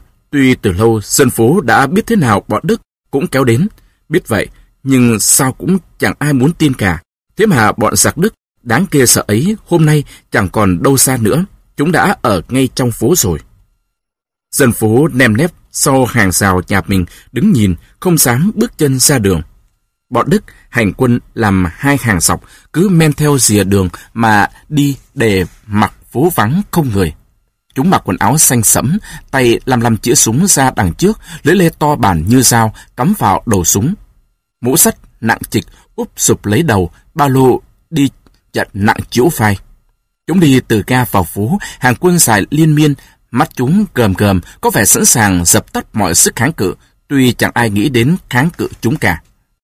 Hai tên sĩ quan đi đầu, súng ngắn kiểu mua xe, trong tay. Giữa đường phố là tên trùm hội tề đội mũ lông, mặc quần áo Ukraine màu xanh, đi theo chúng làm phiên dịch. Lính Đức xếp hàng thành đội hình vuông vắn trong quảng trường trung tâm thành phố, tiếng trống nổi lên, một đám nhỏ dân phố đã hơi hoàn hồn, tụ tập nhau lại, Đứng trên bậc cửa một hiệu bào chế, tên trùm hội tề đọc to bản mệnh lệnh của tên quan tư Coffer, tư lệnh quân quản thành phố. Bố cáo dân chúng. Điều thứ nhất, bản chức ra lệnh cho toàn thể dân phố trong vòng 24 tiếng đồng hồ phải đem nộp hết vũ khí, cả súng lẫn kiếm và dao găm. Ai trái lệnh sẽ bị xử bắn. Điều thứ hai, nay hạ lệnh giữ nghiêm thành phố, từ 8 giờ tối trở đi, cấm ngặt không được đi lại ngoài đường tư lệnh quân quản thành phố, ký tên thiếu tá Koffer. Bộ Tư lệnh giặc Đức chiếm tòa thị sảnh vốn trước là trụ sở của Xô Viết công nhân lúc mới khởi nghĩa. Ngoài cửa có tên lính gác không đội mũ sắt mà đội mũ lưỡi chai có phù hiệu con diều hâu to tướng. Sân gật nhà thì lấy làm nơi chứa vũ khí, dân đem nộp. Suốt ngày có những người vì sợ tội tử hình nên đem súng nộp. Người lớn không ló mà ra, thiếu niên và con trẻ mang súng đến nộp, bọn Đức không bắt giữ ai lại. Ai không muốn đến kho nộp súng thì thừa lúc đêm tối vứt phứa ra đường cái. Sáng hôm sau, lính Đức đi tuần nhặt đưa lên xe trở về bộ tư lệnh. Đến một giờ chưa hết hạn nộp súng, bọn lính Đức kiểm kê số súng đã thu được là một vạn bốn nghìn khẩu. Thế là thiếu đâu sáu nghìn khẩu không nộp cho bọn Đức. Chúng liền tức tốc đi khám xét hàng loạt nhà dân nhưng kết quả chẳng có mấy. Tang tảng sáng hôm sau, có hai người thợ xe lửa bị chúng bắn chết kệt nghĩa địa do Thái ở ngoài thành phố. Chúng đã khám thấy súng trong nhà các anh. Nghe đọc bản bố cáo xong, Arachon kết thúc trở về nhà. Gặp Pavel ngoài sân, anh liền nắm lấy vai em, khẽ hỏi cạn. Mày có sức khẩu nào ở kho súng về nhà không? Pavel chực không nói ra, xong không bụng nào nói dối anh được, bèn thú thật hết cả. Hai anh em đi xuống nhà dưới, Arachom với lấy khẩu súng xấu trên sạch nhà, tháo quy lát và lưỡi lê ra, rồi nắm chắc nòng súng, giáng mạnh vào cột rào, bắn súng gãy tan. Arachom ném ra ngoài bãi hoang, còn quy lát và lưỡi lê thì quẳng vào chuồng xí. Làm xong đâu đấy, Arachom quay lại bảo em, mày không còn bé bỏng gì nữa Pavel ạ, mày phải hiểu là không đùa với súng được đâu. Tao nói thật cho mày biết, chớ có mang gì về nhà, mang về thì có thể mất mạng đấy. Đừng làm gì che mắt tao, không rồi cứ mang về, nhỡ nó khám thấy ở nhà này thì nó bắn tao trước tiên. Chứ mày là loài con, nó chẳng thèm đụng đến đâu. Thời buổi này là thời buổi chó má, mày hiểu chưa? Pavel hứa không dám mang gì về nhà nữa. Lúc hai anh em vừa đi qua sân vào nhà thì thấy có xe ngựa đỗ trước cổng nhà Lesinski. Lão thể kiện, vợ nó và hai đứa con, Nelly và Victor bước xuống xe. Lũ quạ đã dẫn xác về rồi kìa, lại sắp sửa sờ sói. Lên mặt, quỷ tha mà bắt chúng mày đi. Arachom nói lầm bẩm một cách hành học và bước vào nhà. Suốt ngày, Pavel ngẩn ngơ tiếc khẩu súng. Giữa lúc ấy thì bạn nối cố của Pavel là Sergei đang ra sức hì hục lấy mai đào đất ở chân tường một cái nhà cũ bỏ hoang. Cuối cùng đào được một cái hố, Sergei đặt vào hố ba khẩu súng mới nguyên quấn rẻ bao kín. Đấy là ba khẩu súng cậu lĩnh được lúc người ta phát. Cậu cũng muốn đem nộp cho bọn Đức, thao thức suốt một đêm trường, không phải là để chốc lát bỏ mất món của vừa được ấy. Lấp hố xong, Sergei giận giận đất, rồi kéo một đống xác cũ phủ lên, xem xét lại kỹ càng công việc mình vừa làm đâu đấy, thấy đã vừa ý rồi, cậu lập mũ lưỡi chai ra và lau mồ hôi chán. Bây giờ ông cho tha hồ chúng mày tìm, mà có thấy nữa thì đây là nhà vô chủ, mình xấu không ai biết, không ai trông thấy. Pavel dần dần quen thân với người thợ lắp máy, dáng sấp bề ngoài có vẻ nghiêm khắc ấy. Đến một tháng rồi, hai người cùng làm với nhau ở sở máy điện. Zukarai chỉ bảo cho cậu bé phụ đốt lò, hiểu máy phát điện chạy như thế nào và rèn nghề cho cậu. Người thủy thủ xem chừng rất ưa chú bé linh lợi. Những ngày nghỉ, Zukarai thường năng lại chơi nhà Aracham. Người lính thủy chín chắn trầm ngâm này, chăm chú kiên nhẫn nghe hết chuyện kể về tình cảnh gia đình này, nhất là khi bà mẹ than phiền về tính nghịch ngợm của Pavel. Anh biết từ từ khuyên giải làm bà cụ quên mọi nỗi bực bội và lại phấn chấn trong lòng. Một hôm, gặp Pavel ở sân sở máy điện, giữa những đống củi gỗ, Zukarai nắm lại và mỉm cười nói. Bố em kể chuyện là em thích đánh nhau lắm, thằng cháu nhà tôi tính nó hung hăng như con gà sống. Zukarai cười một cách độ lượng. Kẻ thích đánh nhau cũng chẳng có hại gì, song phải biết là mình cần đánh ai và tại sao phải đánh. Không hiểu anh ấy nói đùa hay nói thật, Pavel cãi lại. Em chẳng có đánh nhau lung tung đâu, anh ạ. Bao giờ cũng có lẽ phải em mới đánh. Bỗng người lính thủy hỏi đột ngột, em có muốn anh sẽ em đánh nhau đúng võ không? Pavel sừng sốt hỏi lại, thế nào gọi là đánh đúng võ? Rồi em sẽ biết. Và Pavel lần đầu tiên trong đời chăm chú theo một bài học ngắn về quyền Anh. Học môn này cũng hát lắm, song Pavel mau thông lạ lùng. Bao nhiêu lần cậu bị quả đấm của Sukarai sáng cho ngã bổ ngửa ra đất, song Pavel không vì thế mà nản, học rất chăm và rất chịu khó. Một ngày rất oi bức, Pavel vừa ở nhà Klimka về, Đang đi đi lại lại trong nhà, không biết làm gì, Pavel định trèo lên nóc tròi ở góc vườn, khuất sau nhà ngồi chơi. Chỗ này Pavel vẫn thường thích đến. Tại tạt qua sân, vụt vào vườn, đến một cái chuồng xây bằng phán xếp, cậu theo bậc lỗ gỗ leo lên mái nhà, luồn qua những cành cây anh đào phủ um tùm trên nóc. Pavel trườn ra giữa mái, nằm bò ra phơi nắng.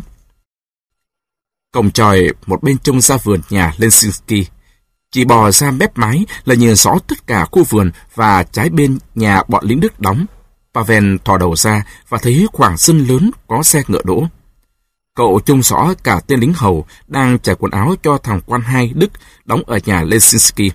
Pavel đã nhiều lần thấy mặt tên trung úy này ở cầu nhà lão Lesinski. Lão quan béo ụt ịt, má đỏ, mép có tí râu vành xén ngắn. Lão mang kính kẹp ở mũi, đội mũ cắt kết có vành sơn bóng. Pavel biết lão ta ở buồng bên, có cửa sổ trông ra vườn, nằm trên mái nhà, nhìn vào buồng lão rõ một một. Lão quan ngồi vào bàn viết lách, viết xong rồi thì cầm lá thư đi ra. Lão đưa phong thư cho tên lính hầu, rồi bước vào lối vườn đi đến gần hàng sậu sắt. Đến chỗ sàn cây, lão ta dừng lại nói chuyện với ai. Té ra là con Nelly, nhà lão Lesinski, ở bụi cây đi ra. Lão khoát tay nó bước lại cổng, rồi cả hai đứa cùng đi ra phố. Pavel đã theo dõi từng ly, từng tí cả cái cảnh đó. Sắp thiêu thiêu ngủ thì chợt thấy thằng lính hầu bước vào buồng tên quan. Nó cho bộ quần áo của tên quan lên mắt, mở cửa sổ trước vườn, dọn buồng xong, rồi trở ra, khép cửa lớn lại. Ngay sau đó Pavel thấy nó đến trước chuột ngựa. Qua cửa sổ bò ngỏ, Pavel nhìn rõ cả gian buồng. Trên bàn có chiếc thắt lưng xe và một vật gì sang sáng nữa. Vật gì thế? Pavel tò mò, háo hức, muốn biết quá, bèn từ mái nhà chuyển sang cây anh đào và tụt xuống vườn nhà lão Lesinski. Cậu cúi dạp người xuống, chạy lom khom mấy bước, thì tới khung cửa sổ bọt ngỏ. Nhìn vào, thì té ra trên bàn là cái xây da có quai đeo, kiếm và cái bao đẹp mở trong có khẩu súng ngắn 12 phát rất choáng kiểu Manlinke. Pavel nghẹn thở, chù trừ một lát, đấu tranh trong đầu đến mấy giây, nhưng rồi cậu đâm bạo gan một cách lạ lùng, nhòi người lên thành cửa sổ, vớ lấy bao da, móc khẩu súng mới tinh, bóng lộn, màu nước thép ngạt nâu, rồi nhảy tót ra vượt ngay. Ngó nhìn chung quanh, bốn bề không có ai, cậu cẩn thận nhét súng vào túi quần và chạy vụt qua vườn đến cây anh đào. Bà ven trèo lên mái nhà thoăn thoát, nhanh như khỉ, quay lại nhìn, tên lính hầu vẫn bình thản nói chuyện với tên bồi ngựa. Trong vườn vẫn yên tĩnh. Pavel từ trên mái nhà tụt xuống và chạy biến vào nhà. Mẹ đang bận làm cơm dưới bếp, không để ý gì đến con. Vớ ở sau chiếc hòm một mảnh xẻ lớn nhét vào túi Pavel lèn ra cửa băng qua vườn rồi leo qua hàng rào ra đường cái đưa thẳng đến rừng. Khi chạy, khẩu súng nằm trong túi quần thích vào đùi đau điếng người. Pavel cứ một tay giữ khẩu súng cắm cổ phóng như bay tới chỗ lò gạch cũ bỏ hoang. Cậu chạy nhanh quá, chân chỉ hơi bén đất, gió vù vù bên tai. Chỗ lò gạch cũ này vắng tanh vắng ngắt, mái nhà bằng gỗ nhiều chỗ siêu vẹo, những đống gạch vỡ và những lò hoang tàn đượm vẻ buồn tênh. Cỏ dại mọc lút khắp nơi, chỉ có tay ba bọn Pavel là thỉnh thoảng đến đây chơi thôi. Pavel biết nhiều ngóc ngách, có thể số của quý vừa mới vỡ được. Đi vào chỗ lỗ sạt ở ngang lò, Pavel ngoái nhìn lại cẩn thận xem có ai theo mình không, nhưng đường vắng tanh, chỉ có tiếng thông xeo nhẹ nhẹ, gió vần cuốn từng cơn bụi ngoài đường cái. Mùi nhựa thông bốc lên thơm phức. Pavel đặt khẩu súng bọc rẻ vào một góc tận đáy lò, rồi lấy gạch cũ trồng lên thành tháp cao ngọn.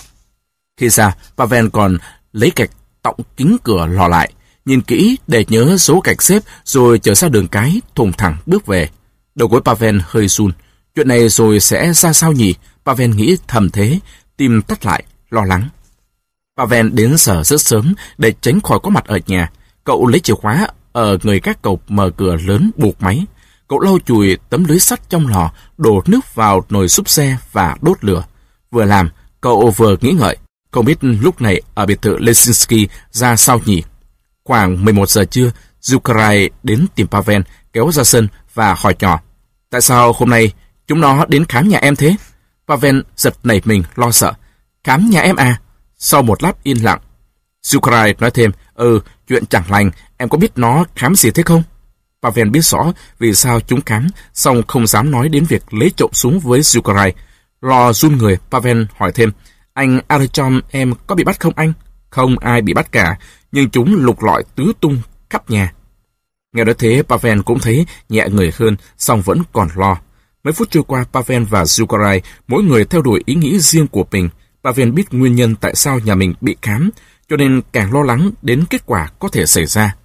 Còn Zukarai không biết chuyện đó nên càng ra sức đề phòng. Zukarai nghĩ bụng, quái thật, có lẽ chúng nó đã đánh hơi được gì về mình chắc.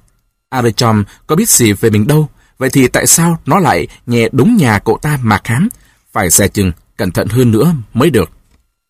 Hai người lặng lẽ rời nhau về chỗ làm của mình. Trước đấy một lúc, bên biệt thự nhà Lesinski âm ý cả lên. Lão quan hai không thấy súng, gọi tên lính hầu vào hỏi. Khi đã biết là súng bị mất rồi, thì thằng quan vốn là người xử sự lịch thiệp, kiềm chế được mình, hôm nay cũng không nén được nữa, đánh túi bụi vào, mang tay tên lính. Y ngã rúi xuống, lóc ngóc bỏ dậy, đứng nem nép, tay sờ mép quần, mắt chấp chấp, cúi đầu chờ trận đòn khác. Lão thầy kiện Lesinski bị gọi đến hỏi cũng cáu lắm và xin lỗi tên quan hai xúi xít. Nó rất khổ tâm vì chuyện bực mình này đã xảy ra trong nhà nó. Thằng Victor, con trai lão, có mặt ở đấy liền đoán phòng ngay là có thể bọn hàng xóm lấy cắp súng. Nhất là thằng bé Zukun Pavel, con nhà Karasakin, lại càng đáng nghi lắm. Lão bố vội hót với tên quan hại ý kiến của con, cho nên lão quan lập tức ra lệnh gọi một đội tuần tra đi khám. Cuộc khám xét chẳng kết quả gì, câu chuyện lấy súng làm cho Pavel tin rằng ngay cả những việc làm rất liều đôi khi cũng vẫn trôi chảy, cũng vẫn trôi chảy, cũng vẫn trôi chảy, cũng vẫn... Chương 3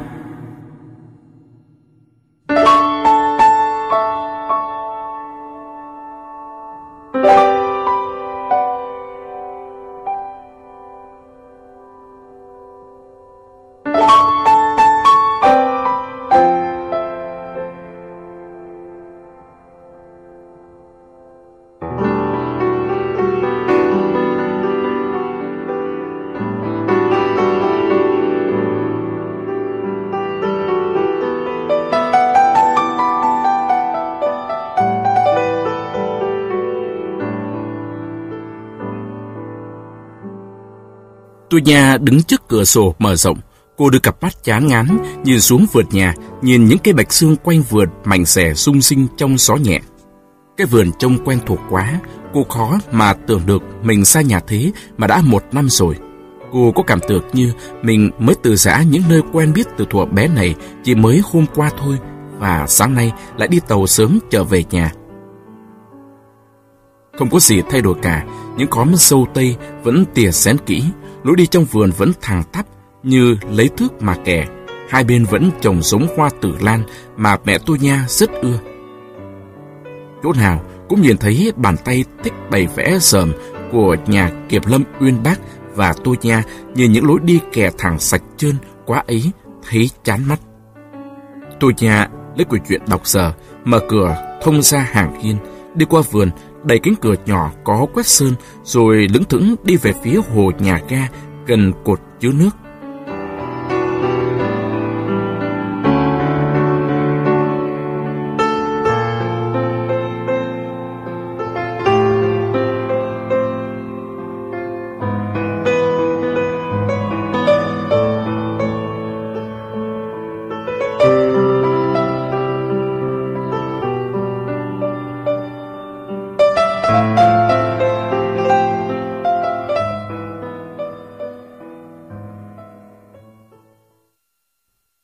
Cái cột nhỏ, cô đi ra đường cái đẹp như một lối đi trong vườn. Bên phải là hồ, quanh bờ trồng dương liễu và một vườn thủy liễu rậm rạp. Bên trái bắt đầu khu rừng. Tôi nhà định đến chỗ mò đá cũ, nhưng chợt nhìn thấy một chiếc cần câu đang rung rung mé dưới một lùm cây ven hồ. Cô liền dừng bước. Leo lên đứng níu một cây lũ cong, cô lấy tay vạch cành liễu ra thì thấy một cậu da bạch xám nắng, chân đi đất, quần sắn quá đầu gối. Bên cạnh có một hộp đựng mồi bằng sắt tây xỉ. Cậu ta mải câu cá, không để ý đến tôi nha đang nhìn chằm chằm vào mình. Ở đây cũng có cá cơ à? Pavel bực mình quay lại. Một cô gái không quen biết, đứng níu lấy thân cây liễu, đang cúi sát xuống mặt nước. Cô ta mặc áo trắng kiểu lính thủy, cổ viền xanh, có vạch trắng, váy ngắn màu xám sáng, tất kẻ sọc khít vào đôi gót chân thon nhỏ dám nắng, giày xinh xinh màu khung. Làn tóc màu hạt xẻ tết thành búi trong chiếc mũ cói to phành. Tại bà phèn cầm cần câu hơi run lên, cái phao bằng lông ngỗng chúi đầu một cái làm nổi những làn sóng quanh tròn chạy tỏa ra trên mặt nước gần gợn. Tiếng ai ở phía sau kêu lên hồi hộp. Cắn câu rồi, anh trông, cá cắn câu. Pavel lúng cuống, giật mạnh cần câu, nước bắn tung tóe mà chỉ thấy lưới câu quay quay với cái mồi không. Chà, bữa nay đi câu suối quẩy, quỳ xuôi con bé đến ám hình. Pavel phát cáu nghĩ vậy, và để số nỗi lúng túng, cậu lại ném câu ra xa, giữa hai đám bèo tai châu, chính chỗ ấy lại không nên ném câu vào, vì lưỡi câu dễ mắc vào rễ cây. Pavel không buồn quay lại, môi bím chặt, nói cầu nhau về phía cô gái đang ngồi ở trên kia. Cô đứng trên nói léo nhéo cái gì thế, làm chạy hết cá của người ta. Cô trả lời đốt ngay xuống có vẻ chế giễu. Nhưng cá nó chạy từ lâu rồi, cái bộ anh, cô thế cũng đủ làm nó chạy hết. Với ai lại đi câu cá giữa trưa như thế này, không biết câu cũng đòi câu. Từ nãy đến giờ Pavel cũng định giữ mồm giữ miệng cho lịch sự, xong bây giờ không nhịn được nữa, cậu đứng vùng dậy, kéo sụp mũ xuống chán, tính cậu hễ cáu là làm như thế, rồi cố chọn những tiếng nhã nhặn nhất. Cô làm ơn ra chỗ khác đứng cho ạ. Mắt tôi nhà hơi nhèo lại, thoáng nụ cười tinh nghịch. Tôi làm dày anh lắm, có phải không? Giọng nói nghe không có vẻ chế nhạo nữa mà thân mật muốn làm lành. Pavel đang sắp sửa nói cục cằn với cô ả, không biết từ đâu đến này, nghe cô ta nói thế cũng không cáu được nữa. Thôi, cô muốn xem thì cứ xem, chỗ rộng, ai muốn đứng đâu thì đứng. Pavel ngồi xuống và lại nhìn Phao. Bây giờ Phao cứ quanh quần trong đám bèo, chắc là mồi móc vào rễ bèo rồi. Cậu do dự không dám kéo lên. Nếu mắc thì không còn cách nào rút về nữa. Chắc con bé kia thế nào cũng sẽ lại cười mình, mình chỉ mong nó xéo đi cho sảnh. Pavel nghĩ bụng thế. Nhưng tôi nhà đã ngồi gọn trên thân liễu cong, đang lắc lư, đặt sách lên gối, rồi bắt đầu chăm chú nhìn cậu bé mắt đen da xám nắng kia. Cậu ta đã tiếp đón cô chẳng niềm nở mấy, và bây giờ lại làm ra bộ không chú ý gì đến cô cả. Pavel nhìn xuống mặt nước, thấy yên xó bóng người con gái đang ngồi. Cô ta cứ đọc sách còn Pavel từ từ gỡ dây câu bướng bình về. Chiếc phao chìm dưới nước, dây mắc dễ kéo không xa, lưỡi câu khốn kiếp lại mắc mất rồi. Pavel liếc nhìn thấy dưới mặt nước hơi gợn sóng có bóng người mỉm cười chế nhạo. Hai cả thanh niên học trò lớp 7 đi qua cầu cạnh cột nước. Một đứa là con lão kỹ sư quản đốc sở đầu máy xe lửa tên là Sukaku. Hắn năm nay 17 tuổi, to xác nhưng ngu nghi và nổi tiếng vì tính đều xả. Tóc hắn hơi vàng hoe, mặt đầy tàn nhang. Ở trường, bạn bè thường gọi chế hắn là thằng Suka rỗ mặt. Đi bên cạnh hắn là thằng Victor, con lão Lesinski, ống ẹo, y cho con gái. Thằng Sukaku tay cầm một chiếc cần câu rất sang, miệng phìa phèo thuốc lá. Hắn ghé vào tai thằng Victor, vừa nói, vừa nháy. Tao vẫn bảo mày là con bé nó ngon như một thứ nho hộp ấy, ở đây cấm con nào bì với nó được. Rất lãng mạn nhé. Nó học lớp 6 ở Kiev, hiện về nghỉ hè ở nhà ông cụ làm tránh kiểm lâm. Bạn chơi với con Lida, em gái tao. Tao đã gửi cho nó một mẫu thư, văn rất kêu, đại khái, yêu em say lắm, anh tha thiết chờ đợi thư em trả lời. Tao lại nhét vào đấy mấy câu thơ thuồng được ở uh, một bài thơ của thi sĩ Nasson rất ăn giọng mày ạ. Victor tò mò hỏi, thế rồi kết quả ra sao? Sukako hơi lúng túng đáp, ừ, nó cũng làm cao, màu, mè, bảo tao. Đừng viết thư làm gì cho phí giấy. Sợ con gái đứa nào mới đầu chẳng thế. Mày không lo, các khoản yêu này thì tao cáo già. Xong tao cũng chẳng thiết mấy thì giờ tán tình nhũng nhẵng mãi làm quái gì. Tối đi vào xóm sườn sửa chữa tàu chơi gái thú hơn.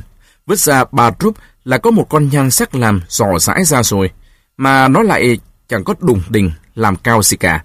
Tao vẫn đi chơi với lão Vanka Chikonov đấy. Lão ta làm đốc công xe lửa ấy mà. Mày có biết không? Victor biểu môi có vẻ khinh bỉ. Mày cũng đi chơi trò như bẩn ấy. Hờ Suka.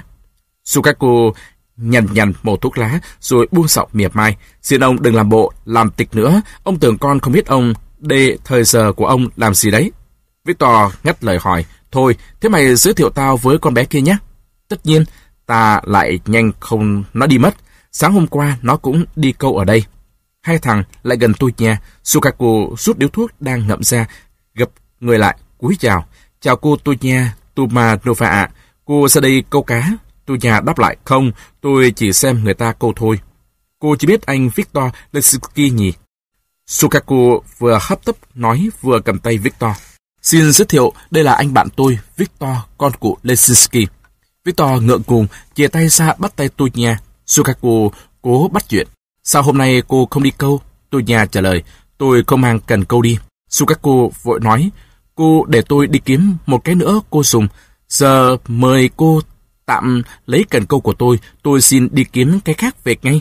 Sukaku đã giữ được lời hứa giới thiệu Victor với tôi nhà và bây giờ định bày mẹo để Victor ở lại một mình với tôi nhà. Nhưng tôi nhà trả lời, Thôi anh ạ, ta sẽ làm phiền người khác. Ở đây đã có người câu rồi. Sukaku hỏi ngay, phiền ai cơ?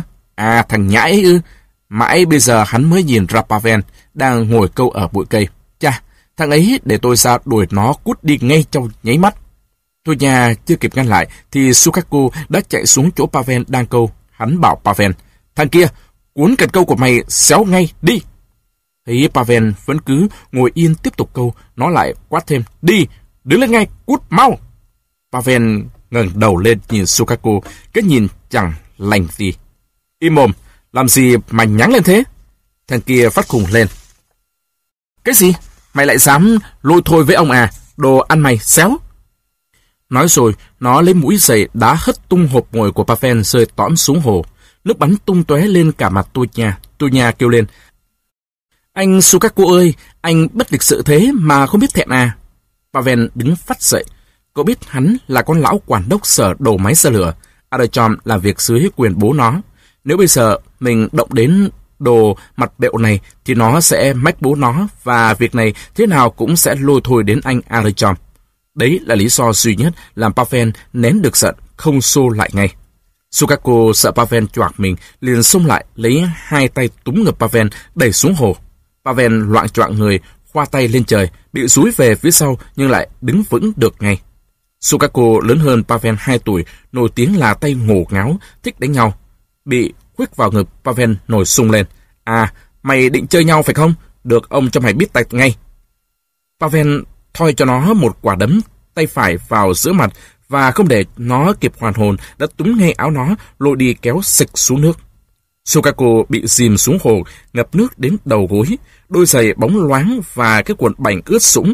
Hắn cố hết sức gỡ khỏi hai tay Paven siết chặt, nhưng Paven đã đẩy nó ngã xuống nước rồi nhảy tót lên bờ. Sukaku tức điên người, hầm hầm xông lên, chực xé Paven ra từng mảnh. Pavel quay lại nhanh như cắt đối phó với kẻ thù.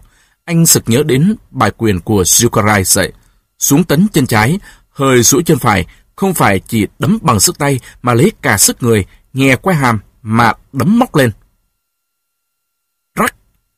Tiếng răng sập vào nhau, Sukaku bị tống vào quay hàm và cắn phải lưỡi đau điếng người, kêu ôi ối, tay chới với và lăn phịch xuống nước. Trên bờ tôi nhà, cười nghẹt nghẽo, vỗ tay xeo lên, hoan hô, hoan hô, đánh cư thật. Pavel nắm lấy cần câu, dập mạnh, sang chiếc lưỡi câu cọt mắt rồi nhảy tót lên đường cái. Đi khỏi, Pavel còn nghe tiếng thằng Victor nói với tôi nhà, nó là thằng Pavel con nhạc, Karasagin, đồ Sukun có tiếng. Mối lo ngại bao trùm lấy khu nhà ga, tin đồn truyền đi rằng thợ xe lửa trên đường sắt này đã bắt đầu bãi công. Bãi công bắt đầu từ công nhân đoạn đầu máy thuộc ga lớn bên cạnh. Bọn Đức bắt hai người thợ máy bị tịch kỳ mang chủ đơn kêu gọi đấu tranh. Những anh em công nhân có gia đình ở nông thôn thì căm phẫn sôi sục vì bọn Đức tịch thu lương thực và bọn đại địa chủ đã theo sặc trở về chiếm lại ấp trại cũ của chúng. Ở nông thôn, bọn cảnh binh thuộc giống cô sắc quý phái của bọn đầu lĩnh Nga trắng quất soi ngựa lên lưng nông dân trong vùng này đã có đến chục đội du kích nông dân do những đảng viên Bolshevik tổ chức. Zukarai đã không để phí thời giờ. Từ ngày đến ở thành phố này, anh đã làm được một khối công tác lớn. Anh đã quen được với nhiều công nhân xe lửa, thường đến sự các tối vui của những thợ trẻ và đã tổ chức được một nhóm chung kiên gồm những thợ nguội, sở đầu máy xe lửa và thợ xẻ máy cưa. Anh đã thử sò cả Arachom hỏi đến thái độ anh ta đối với đảng Bolshevik và hoạt động của đảng. Người thợ nguội lực lượng ấy đã trả lời anh ấy rằng Anh Sukarai ạ, về tất cả mớ đảng phái đó tôi không hiểu gì lắm, nhưng nếu cần giúp đỡ một tay, tôi luôn luôn sẵn sàng. Anh có thể tin ở tôi. Zukarai cho Arachom trả lời thế cũng được rồi. Anh biết Arachom là người có cảm tình đối với đảng và nếu đã nói thì làm. Nhưng cũng thấy rõ là anh ta giác ngộ chưa chín đến mức độ có thể kết nạp vào đảng được. Zukarai nghĩ thầm, không hề gì, trong lúc phong trào như thế này, cậu ấy rồi sẽ đến với đảng. Zukarai thôi việc ở sở máy điện sang làm ở sở đầu máy xe lửa, làm ở đây thuận tiện cho hoạt động hơn. Vì ở sở điện thì xa phong trào đường sắt quá. Xe đi lại trên đường sắt dạo này rất dồn dập. Bọn Đức trở về Đức hàng nghìn toa đủ các thứ chúng cướp bóc được ở Ukraine, lúa mì, lúa mạch, gia súc. Thật không ai ngờ bọn vệ binh ngụy ập đến bắt Puno Marenko, người làm điệp báo ngoài ca. Chúng đánh đập xã man bác ta ở Bộ Chỉ huy Đức, chắc vì thế mà bác đã khai ra công tác tuyên truyền ở sở đầu máy xe lửa do Roman Sidorenko, một người bạn của Archon phụ trách. Hai tên Đức và một thằng ngụy phó tư lệnh quân quạt nhà Nga, người Ukraine ập đến bắt Roman giữa lúc anh đang làm việc. Một tên lính ngụy sấn đến bàn nguội của Roman, chẳng nói chẳng rằng quất soi vào mặt anh. Nó quát, thằng khốn kia, đi theo chúng ông ngay, cứ đến đấy rồi sẽ nói chuyện. Nó nhích miệng, nhăn răng một cách thảm hại, rồi nắm lấy tay áo Roman. Cứ đến chỗ chúng ông rồi tha hồ mà tuyên truyền. Arichon đang làm việc ở bàn bên cạnh, thế vậy liền bỏ sũa xuống bàn. Thân hình cao lớn của anh sấn đến chỗ tên ngụy, cố nén nỗi tức giận, giọng anh bật ra như gầm lên. Sao mày dám đánh người ta? Hờ đồ chó! Tên ngụy lùi lại, mở bao ra, rút súng ngắn. Tên lính Đức thấp, lũn cũn, chật súng khỏi vai, nhằm anh. Lên quy lát, lách cách và sủa lên. Đứng lại! Nó làm làm chĩa súng, đợi anh nhúc nhích là bắn liền. Người thợ cao lớn đứng ngây ra bất lực trước tên lính Đức lót chót, không thể làm gì được nó. Chúng bắt cả hai đi. Một giờ sau, Alechon được tha, còn Roman thì bị nhốt vào hầm sang. Chỉ 10 phút sau, cả sở đồ máy bỏ việc, công nhân tập trung ở vườn hoa nhà ga, thợ bè ghi và các thợ khác làm việc ở các kho vật liệu cũng hưởng ứng theo. Phẫn nộ đến cục cực, người ta đưa ra yêu sách do một người nào đó thảo ra đòi thả ngay Roman và Bruno Marinker.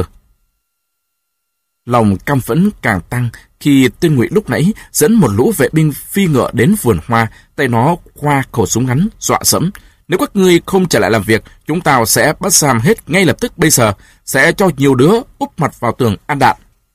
Nhưng tiếng la hò giận dữ của công nhân làm nó phải đánh bài chuồn ra phía nhà ga. Tên tư lệnh quân quản nhà ga gọi điện báo về. Từ trong thành phố đã có cam nhông chở đầy lính Đức chạy như bay lao tới. Công nhân bắt đầu giải tán, ai về nhà nấy. Tất cả mọi người đều bỏ việc, ngay cả các bạn ký ga cũng bãi công. Công việc của Zukarai đã mang lại kết quả. Đây là cuộc đấu tranh đầu tiên có tính chất quần chúng ở nhà ga xe lửa. Bọn Đức đặt trọng liên trên thẹp nhà ga, khẩu súng kích nòng trồm trũng như một con chó săn. Một tên cai Đức quỳ bên cạnh, một tay để sẵn lên quy lát. Nhà ga vắng tanh. Đêm ấy bắt đầu bắt bớ, Arachon cũng bị bắt. Zukarai không ngủ ở nhà nên chúng không tìm thấy anh.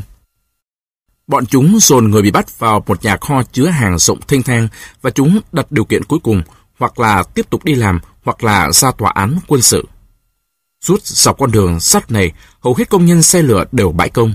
Suốt 24 tiếng đồng hồ, không có chuyến tàu nào chạy. Cách nhà ga 120 cây số có xảy ra đánh nhau với một đội du kích mạnh. Đội này đã cắt mất đường và phá các cầu rồi. Đêm có một đoàn tàu chở lính Đức kéo đến ga, nhưng tàu vừa đến nơi thì thợ máy S và người đốt lò đều bỏ trốn khỏi đầu máy rồi. Thế mà ngoài chuyến tàu này lại còn hai chuyến tàu nữa cũng chờ đến lượt khởi hành. Cánh cửa sổ đầu máy xe lửa nặng trịch mở ra, tên quan hai Đức, tư lệnh quân quạt nhà ga, tên tư lệnh phó và một toán Đức bước vào. Tên tư lệnh phó gọi, những tên sau đây, Alechon, Karasagin, Polentovsky, Brusak có nhiệm vụ lái chuyến xe lửa này đi. Nếu từ chối, bắn ngay tại chỗ. Có đi không? Ba người thợ buồn sầu cúi đầu, một toán lính Đức chĩa lưới lê kèm họ đến đầu máy. Tên tư lệnh phó đã quay sang chỉ định người lái, ép và đốt lò cho chuyến tàu đi sau. Đầu tàu xe lửa giận dữ phì phì truyệt mình, bắn tung tóe như mưa những tia lửa sáng, vừa thở hồng hộc, vừa lướt trên đường dây, lao nhanh như xoáy vào khoảng đêm dày đặc. Adachom đổ đầy than vào lò, lấy chân đá cửa lò sập lại với cái ấm ngắn vòi ở căn tù tu một ngụm nước, rồi quay lại ra hỏi người thợ máy già Polentovsky. Ta đành chờ chúng nó đi sao, bố già? Người thợ già tức tối, chớp chớp đôi mắt dưới nếp lông mày rũ xuống. Bị xí lưỡi lê vào lưng, không chờ chúng nó đi cũng không được. Barusak vừa liếc mắt nhìn về phía tên lính Đức ngồi gác ở toa than, vừa đề nghị bỏ cả đấy rồi chuồn khỏi xe là hơn cả. Adachom lẩm bẩm.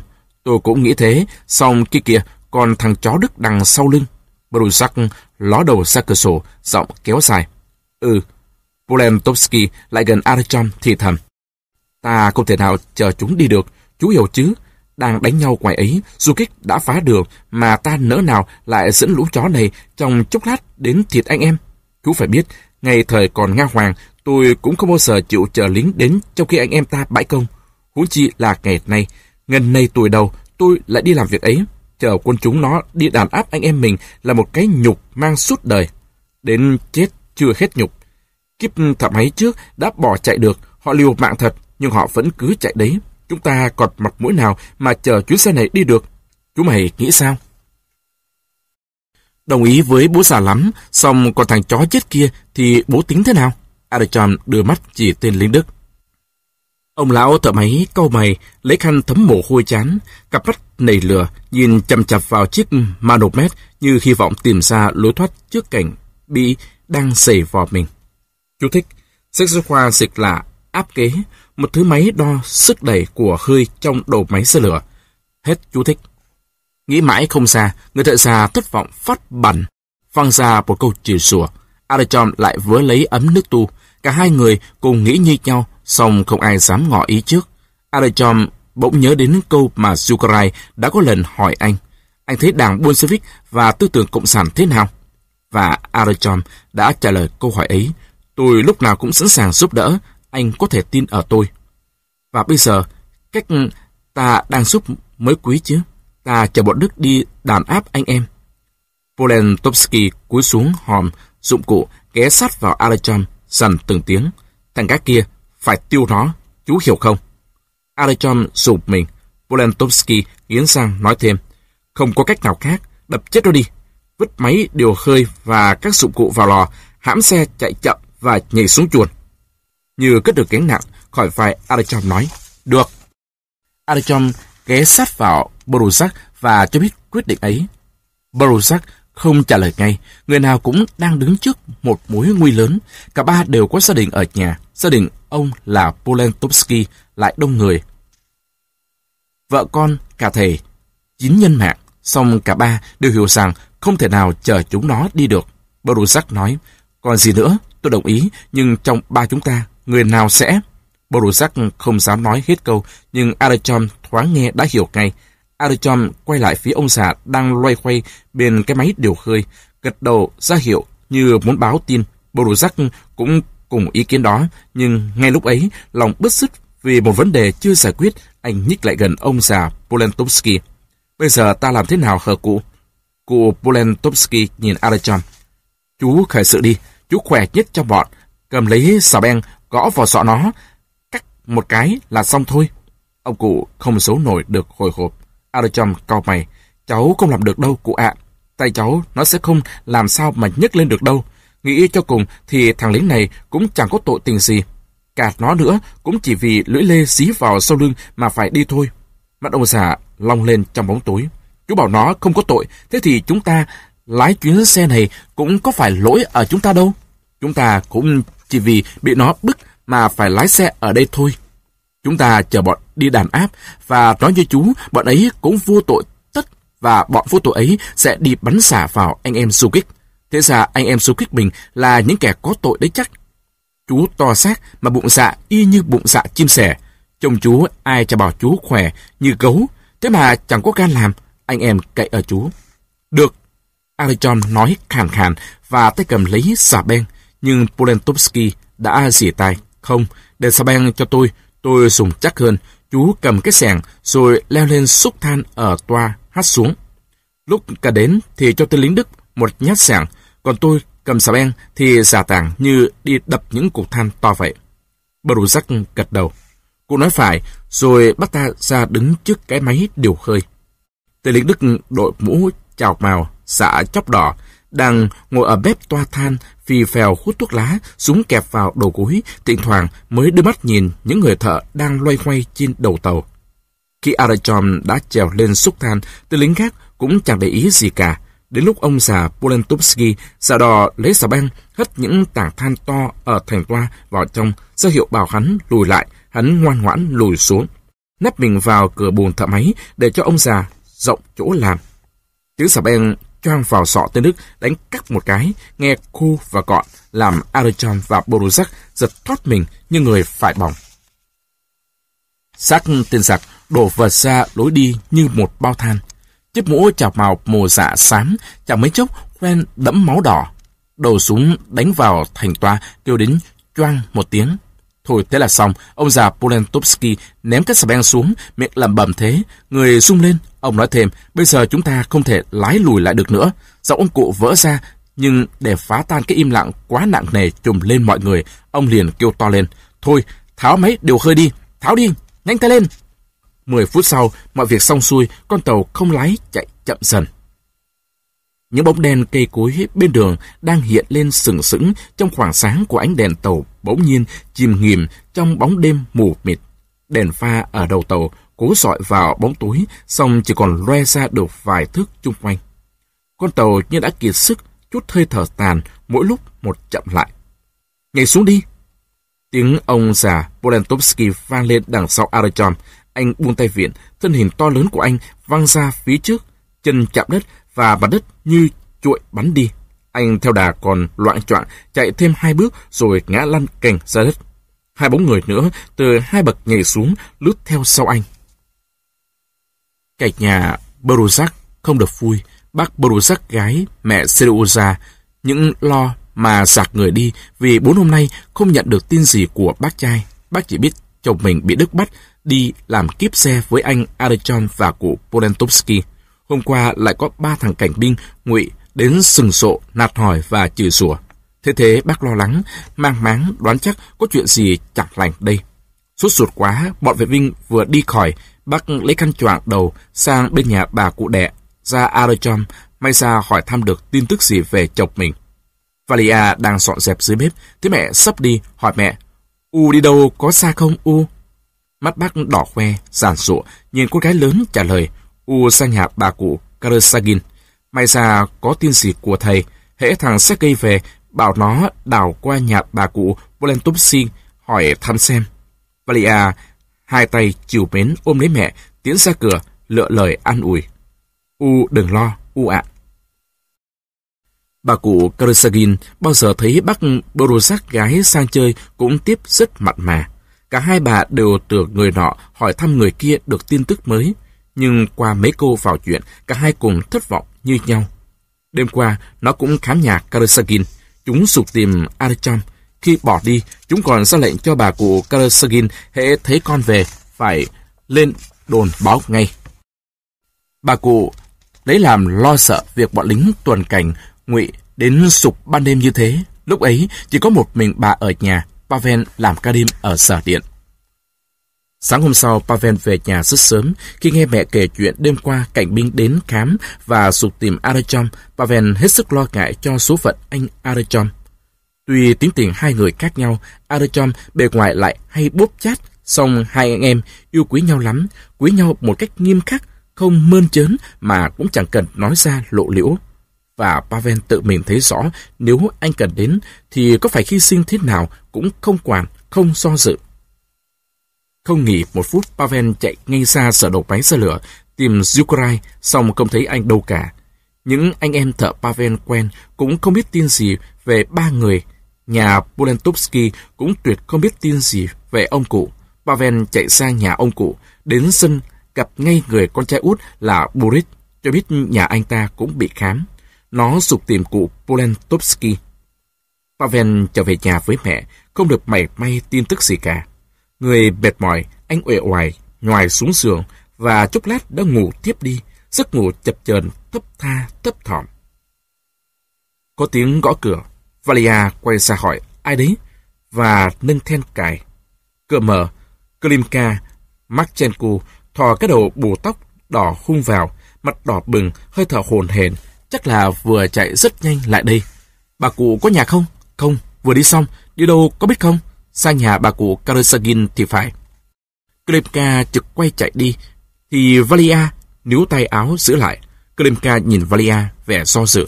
À, tôi tìm bà cụ có tí việc. Việc gì thế anh? Valia lắc tay Klimka hỏi cạn. Nói đi mau lên, con gấu con lông đỏ hung nói đi.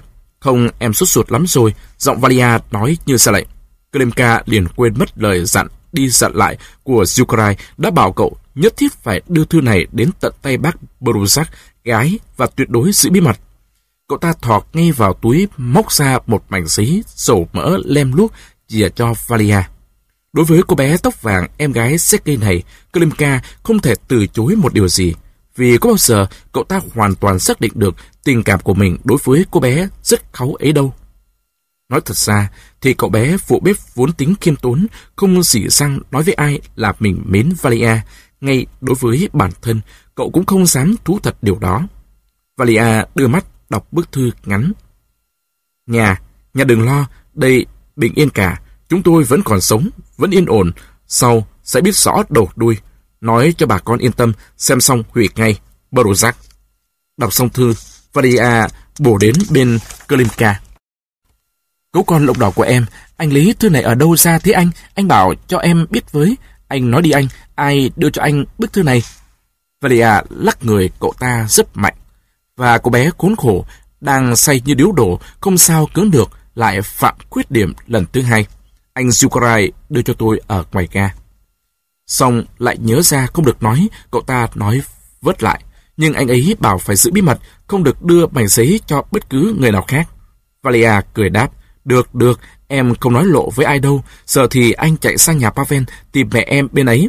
Rồi cô lấy tay khẽ đẩy vào lưng Kalimka. Nhá mắt đã thấy cái đầu tóc hung của Klimka thoáng biến sau cổng hàng xào. Ba người thợ vẫn chưa ai về cả. Buổi tối Sukarai đến chơi nhạc Karasagin kể cho bà cụ nghe tất cả câu chuyện xảy ra trên chuyến xe lửa. Bà cụ hoảng sợ, Sukarai hết lời khuyên giải, nói rằng Ba người giờ tạm lánh ở một vùng quê xa, ở nhờ nhà chú ruột Borusak, yên ổn lắm. Bây giờ về ngay không lợi, xong không lâu lắm đâu, vì quân Đức đang bị nguy cuốn to rồi, tình hình sẽ biến chuyển. Việc xảy ra làm cho ba gia đình đã thân càng thêm thân. Họa hoàn có thư gửi về, cả ba nhà cùng vui mừng đọc, xong nhà nào nhà ấy vì vắng người lớn ngày càng thấy tẻ lạnh và im lìm. Một hôm, ra vẻ như bất chợt sẽ vào thăm nhà bà cụ Polentovsky, Zukarai đưa tiền cho bà cụ. Bà mẹ ạ, ông cụ gửi về đây, nhưng bà mẹ đừng nói hờ với ai nhé. Bà lão cảm kích nắm lấy tay Sukarai. Cảm ơn bác lắm, ông nhà tôi bị nạn, nhà cửa túng quá, không có đồng nào đong gạo cho các cháu ăn nữa. Sự thật tiền ấy lấy ở số tiền quỹ hoạt động do Bunkakov để lại. Trên đường từ nhà bà cụ Polentovsky về sở đầu máy xe lửa, Sukarai vừa bước vừa suy nghĩ lòng những cảm phục. Được, được, ta thử xem rồi sẽ ra sao. Bãi công tuy đã thất bại, anh em công nhân bị chúng dọa bắn. Tuy đành phải chịu vào làm, song ngọn lửa đấu tranh đã nhóm lên, chúng không thể nào dập tắt được nữa. Còn như cánh ba người kia thì thật là can đảm, thật cử, đúng con nhà vô sản. Ba người thợ lánh nạn ở một khu cách biệt bên ngoài làng Vorobiova, trong một lò rèn cũ nhỏ bé, vách ám khói quay lưng ra đường cái. Cụ Polentovsky đang đứng trước cửa lò lửa bốc phần phật. Ánh lửa chói lòa làm mắt cụ nheo lại, tay cụ cầm cái kìm dài, lật đi lật lại cục sắt đã nung đỏ. Archon đang thụt cái bề thổi lửa treo vào xà ngang. Polentovsky cười hiền lành, sung sung bộ râu người thợ máy giạt nói. Thời buổi này, tay thợ về vùng quê chẳng chết đói đâu, lúc nào cũng có việc làm, muốn việc là có ngay. Đấy, cứ làm ở đây, lấy một hai tuần nữa xem. Có gạo thịt gửi về cho trẻ mỏ ở nhà chứ chẳng chơi. Chú thế đấy, ở đông thôn họ quý thợ rèn lắm. Cánh ta ở đây ăn thật chẳng khác gì tư sản, chẳng mấy chốc sườn nung núc mỡ cho mà xem. Cụ cười hì hì rồi tiếp. Còn bác Borusak thì xem chừng lại càng cắn chặt với bà con nông dân lắm. Tay ấy đã cắm chặt vào đất nhà ông chú rồi rồi. Mà thế cũng phải, chỉ có lão đây và chú mày là không có lấy tức đất cắm rùi. Chúng mình chỉ độc có lưng trần với hai bàn tay trắng, thật đúng như người ta nói là vô sản mặt đời. Hi hi. Chứ bác ừ, Borosak thì người bác chia làm đôi, một chân đứng trên đầu máy xe lửa, còn chân kia thì lại đứng ở nông thôn. Lấy kìm đụng vào cục sắt cháy đỏ, giọng trở nên nghiêm nghị, ông cụ trầm ngâm nói thêm. Nói thật chứ, cảnh chúng ta nguy lắm đấy chú ạ, bọn Đức không cuốn gói đi sớm thì cánh mình phải lo chuồn trước sang vùng Ekaterinoslav hay sang Rostov đi thôi. Kẻo chúng nó tóm được thì sẽ bị treo cổ, đầu không tới trời, chân không tới đất mất. Chắc chắn là như thế. Alechon lầm bầm. Cháu cũng nghĩ thế, bố già ạ. Không biết nhà chúng mình ra sao, chắc là người nhà bị bọn ngụy đến làm dày xà lắm đấy. Chứ sao nữa bố a xà, ta đã mó tay vào việc thì đành bỏ mặt nhà cửa thôi. Cụ Polentovsky rút trong lò ra cục sắt nung đã xanh biếc và nhanh tay đặt lên đè. Chú mày đập đi. Adechom vừa lấy chiếc búa tạ dựng bên đè, vung mạnh quá đầu rồi quay xuống.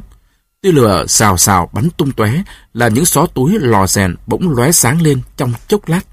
Cụ già lật đi lật lại cục sắt cháy đỏ chỉ cho Arachom nện búa. Miếng sắt ngoan ngoãn dẹt mỏng ra như cục sáp ong mềm. Đêm tối, đưa hơi gió ấm vào cột mở toan cửa lò rèn.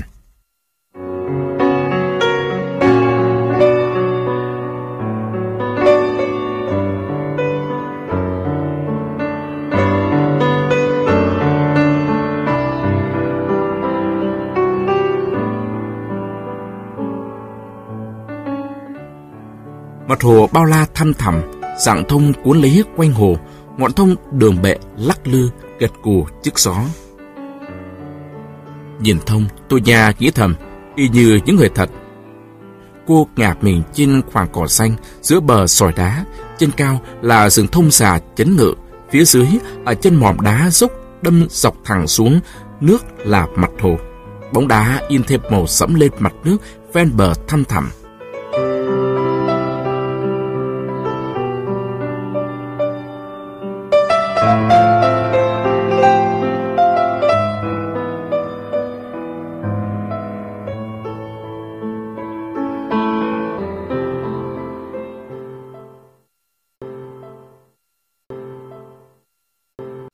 Đây là nơi tôi nha ưa đến ngồi chơi. Cách đấy một dặm đường, trong những thung sâu bỏ hoang, giữa những mỏ đá cũ, trước kia có những dòng suối tuôn ra và ngày nay đã thành ba cái hồ thông nước. Ở phía dưới, gần bờ có tiếng vỗ nước bì bõm đâu đấy. Tôi nha ngờ nhìn, lấy tay vạch cành lá thì thấy một thân hình mềm mại, nâu bóng đang bơi rất khỏe từ bờ ra giữa hồ. Cái lưng dám nắng và bớt tóc nâu hì hụp như con sái cá đang rẽ nước bơi lên. Lúc ngụp vào nước, lúc nhào lên vùng vẫy, mệt rồi thì nằm ngửa phơi nắng, đôi mắt nhắm nghiền cho khỏi chói. Hai tay vòng lại, người hơi khom khom, không động đậy. Tôi nhà buông cành lá, mỉm cười, tự nhạo mình, mình kỳ thật, sau lại nhìn người ta tắm. Và tôi nha cầm sách đọc. Mải xem cuốn sách của Victor Lesinski cho mượn, Tôi nhà không để ý có bóng người vừa leo qua bờ sỏi giữa gò đất và sạng thông. Bỗng đầu, một hòn sỏi theo chân người vừa leo rơi vào cuốn sách. Tôi nhà giật mình ngẩng đầu lên. Pavel đứng ngay trước mặt cô, ngạc nhiên và ngượng ngùng vì cuộc gặp gỡ bất ngờ này. Nhìn thấy tóc Pavel ướt, tôi nhà đoán ra người tắm ấy là anh ta. Pavel lúc ấy cũng nhận ra người con gái hôm xưa. Cô đấy à, tôi có làm cô hãi không? Tôi không biết cô ngồi đây. Nói rồi, Pavel viện tay vào bờ sỏi, định bỏ đi. Không sao đâu anh ạ, nếu anh không bận, mời anh ngồi chơi, ta nói chuyện. Pavel ngạc nhiên nhìn tôi nha. ta nói chuyện, chuyện gì mới được? Tôi nhà mỉm cười. Sao anh cứ đứng thế? Ghế đây, mời anh ngồi. Tôi nhà chỉ cho Pavel một tảng đá và hỏi Pavel, tên anh là gì nhỉ? Papka Karasagin. Chú thích, cũng là Pavel, nhưng gọi tục và thân. Hết chú thích.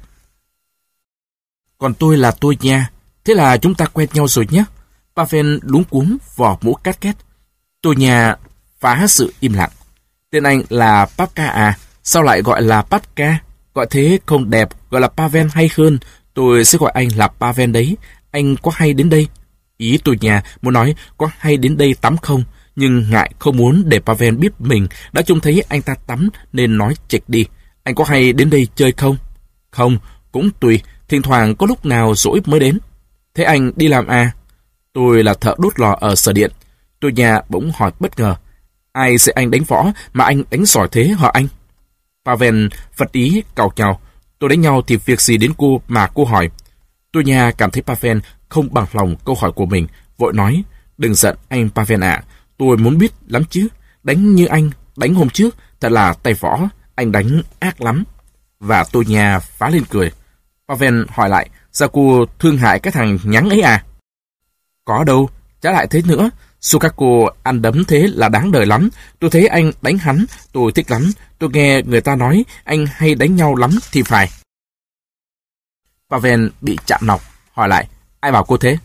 Victor con nhà Lesinski bảo là anh chuyên môn đi đánh nhau. Pavel xa sập nét mặt. Victor là một thằng đều, một tên công tử bột chỉ được cái ống ẹo. Tôi thà không tát cho nó vỡ mặt là phúc. Hôm nọ tôi nghe rõ nó đặt điều về tôi với cô xong tôi không thèm đánh nó cho bẩn tay. Tôi nhà can. Sao anh Pavel ăn nói cục thế? Thế không tốt đâu. Pavel phát cáu. Mình rõ vớ vẩn. Tự nhiên lại đi bắt chuyện với con nhóc con này làm gì? Con bé cớn thật, lại đi bắt bẻ lời ăn tiếng nói của mình. Nó toàn lên mặt dạy mình. Lúc thì nó không thích tên là Papka, lúc thì bảo là đừng ăn nói cục. Tôi già hỏi, sao anh lại ghét Victor đến thế?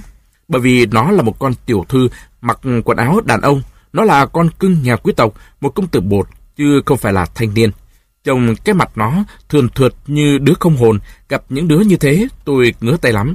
Nó con nhà sầu, nó chỉ trực trèo lên đầu, lên cổ người ta. Nó tưởng nó muốn làm gì người khác cũng được. Tôi đây thì tôi nhục toẹt vào cái sầu của nó. Nó cứ đụng đến tôi thì nó biết tay tôi. Những quả đấy phải dạy chúng bằng quả đấm này mới được. Giọng Pavel đầy giận dữ. Tôi nhà tiếc là đã nhắc đến tên Victor trong câu chuyện. Cậu này chắc có chuyện gì lôi thôi từ cũ với anh chàng Victor ốc ẹo đây. Tôi nhà xoay ra cố lái vào câu chuyện từ tốn hơn, hỏi thăm gia đình, công ăn việc làm của Pavel. Pavel không những bớt giận mà còn quên cả muốn đi ngay và cứ thế vui chuyện trả lời tôi nha rất tỉ mỉ. Tôi Nha nói, sao anh không tiếp tục đi học nữa? Tôi bị đuổi học, sao lại bị đuổi thế anh? Pavel đỏ tai, tại tôi nghịch ném thuốc lá vào bột làm bánh của lão cố dạy tôi học, nên lão ấy đuổi không cho học nữa. Lão cố ấy là một tên hiểm ác, nó làm cho đời tôi khốn khổ. Và Pavel kể tất cả đầu đuôi câu chuyện tô nhà tò mò chăm chú nghe, Pavel quên cả nỗi ngượng ngùng ban đầu, kể cho tôi Nha nghe như kể cho một cô bạn quen đã từ lâu. Pavel kể đến việc anh Arachom đi lái chuyến xe không về, câu chuyện thân mật sôi nổi, Đôi trẻ không nghĩ gì đến thời gian trôi đi. Đã mấy tiếng đồng hồ rồi, bỗng Pavel giật nảy mình, đứng phát dậy. Chết thật, đến giờ tôi phải đi làm rồi, tôi mải chuyện quá. Đáng lẽ bây giờ là lúc tôi phải đốt lò. Ông cụ thờ cả, chắc giờ đang chửi om sòm. Rồi lo lắng, Pavel nói vội. Thôi, chào cô, giờ tôi phải chạy như phi thân đến sượt ngay lập tức mới được. Tôi nhà cũng đứng dậy ngay, quắc áo vào người. Tôi cũng đến giờ phải đi đây, vậy ta cùng đi. Không, tôi vội, phải chạy, cô không theo kịp được. Anh tưởng thế, chúng ta cùng chạy, thì xem ai nhanh. Pavel đưa mắt nhìn tôi nhà có vẻ khinh thường. Thi à, cô thì thế nào được với tôi? Rồi xem, giờ ta hãy ra khỏi đây đã. Pavel nhảy qua hòn đá, chia tay cho Tunya và cả hai cùng chạy ra con đường cái rộng phẳng tới nhà ga. Tunya dừng lại giữa đường. Nào, giờ chúng ta chạy nhé. Một, hai, ba. Đố anh bắt được đấy và Tunya chạy tít lên như gió lốc. Đôi đế giày xinh nhỏ bay nhanh trông như cánh bướm, gió thổi tung tà áo xanh, Pavel vụt đuổi theo. Mình sẽ đuổi kịp trong nháy mắt, Pavel nghĩ thế và cắm cổ đuổi theo tà áo dài tiếp hà chạy đến tận đầu đường, gần tới nhà ga mới đuổi kịp. Đang đà chạy, Pavel chạm vào người tôi nha và nắm lấy vai cô, vừa thở gấp Pavel vừa kêu lên mừng rỡ. Thế là bắt được con chim nhỏ rồi nhé. Bỏ ra, đau anh. Hai người cùng thở gấp, tim cùng đập mạnh. Cuộc chạy say sưa, tôi nha mệt quá, như vô tình trong giây phút nép mình vào bạn. Một giây phút thôi, nhưng cũng đủ làm cho Pavel cảm thấy tôi nha trở nên gần gũi. Chỉ chốc lát thoáng qua, nhưng Pavel sẽ nhớ mãi. Tôi nha gỡ tay Pavel. Giờ này tôi nha chạy không ai đuổi kịp cơ anh ạ. Hai người chia tay nhau. Pavel tay vẫn vẫy mũ cát két, xảo bước chạy đến nhà máy. Người thợ cả Damilo đang loay khoay bên lò lửa, thấy Pavel mở cửa vào, liền quay lại đùng đùng cắt. Mày không để chậm nữa, hãy đến. Định để tao phải đi đút hầu thay mày đấy hẳn. Nhưng Pavel vui vẻ, vỗ vai cười thợ cả và nói làm lành. Thưa bố, chỉ một thoáng là con làm lò cháy đâu vào đấy thôi. Rồi Pavel cặm cụi, khuân củi cho vào lò. Nửa đêm hôm ấy, vào lúc người thợ cả đốt lò, Danilo đã yên giấc trên chồng củi. Tiếng ngáy khò khò như kéo gỗ sau khi đã cho dầu mỡ vào máy xong. Rửa tay đâu đấy, Pavel mở ô kéo, lấy tập thứ 62 chuyện Giuseppe Garibaldi ra đọc. Chú thích, một lãnh tụ cách mạng dân chủ nổi tiếng của nhân dân Ý hồi thế kỷ thứ 19. Hết chú thích. Pavel mê mải đọc cuốn chuyện kể những bước mạo hiểm liên miên của Garibaldi, người thủ lĩnh thần kỳ đảng áo đỏ xứ Naples. Tập truyện có câu Nàng ngước đôi mắt nhung xanh biếc nhìn chàng công tước. Pavel chợt nhớ tôi nghe cũng có đôi mắt xanh biếc, cô bé ngộ thật, không sống bọn con gái nhà giàu khác tí nào mà lại chạy nhanh như quỷ sứ nữa. Mơ màng nhớ lại buổi gặp gỡ ban trưa, Pavel chẳng để ý gì đến tiếng máy lúc ấy rung lên ầm ý mỗi lúc một mạnh. Hơi nhiều quá là bánh xe quay tít điên loạn, rung chuyển cả sàn bê tông bộ máy. Pavel vội nhìn vào manomet, kim đã chỉ quá vạch đỏ bao nhiêu là độ rồi. Kỳ thật, Pavel sợi ô kéo chạy bổ đến chỗ cái tay vặn hơi, quay hai vòng, tiếng xìn xịt vụt ra từ trong ống khói sau thành lò. Pavel kéo tay vặn xuống, Maxikura vào bánh xe đẩy ống bơm. Pavel ngước nhìn Danilo, may quá ông cụ già ngủ say như chết, mồm há hốc, mũi ngáy sống lên như sấm. Nửa phút sau, kia đồng hồ manomet lại trở lại chỗ bình thường của nó. Sau khi chia tay Pavel, tôi nhà đi về nhà, cô nghĩ mãi đến cuộc gặp gỡ vừa qua với người thiếu niên có đôi mắt đen kia. Tự cô cũng không hiểu sao cuộc gặp gỡ đã làm cô thích thú. Ở con người anh ta có biết bao lửa sống và chí gan góc. Ừ, mà anh ấy chẳng thô bạo như mình đã tưởng. Dù sao thì anh ấy hoàn toàn chẳng giống chút nào với bọn học sinh thỏ lò mũi xanh. Anh ta xuất thân từ một loại người khác, từ tầng lớp mà xưa nay tôi nha chưa có dịp sống gần. Tôi nha nghĩ thầm, mình có thể bảo anh ta được và sẽ là một tình bạn hay hay. Đến gần nhà, tôi nha đã trông thấy Lida, con nhà Sukaku, Nelly và Victor, con nhà Lesinski. Cả ba đang ngồi trong vườn. Victor đang đọc sách.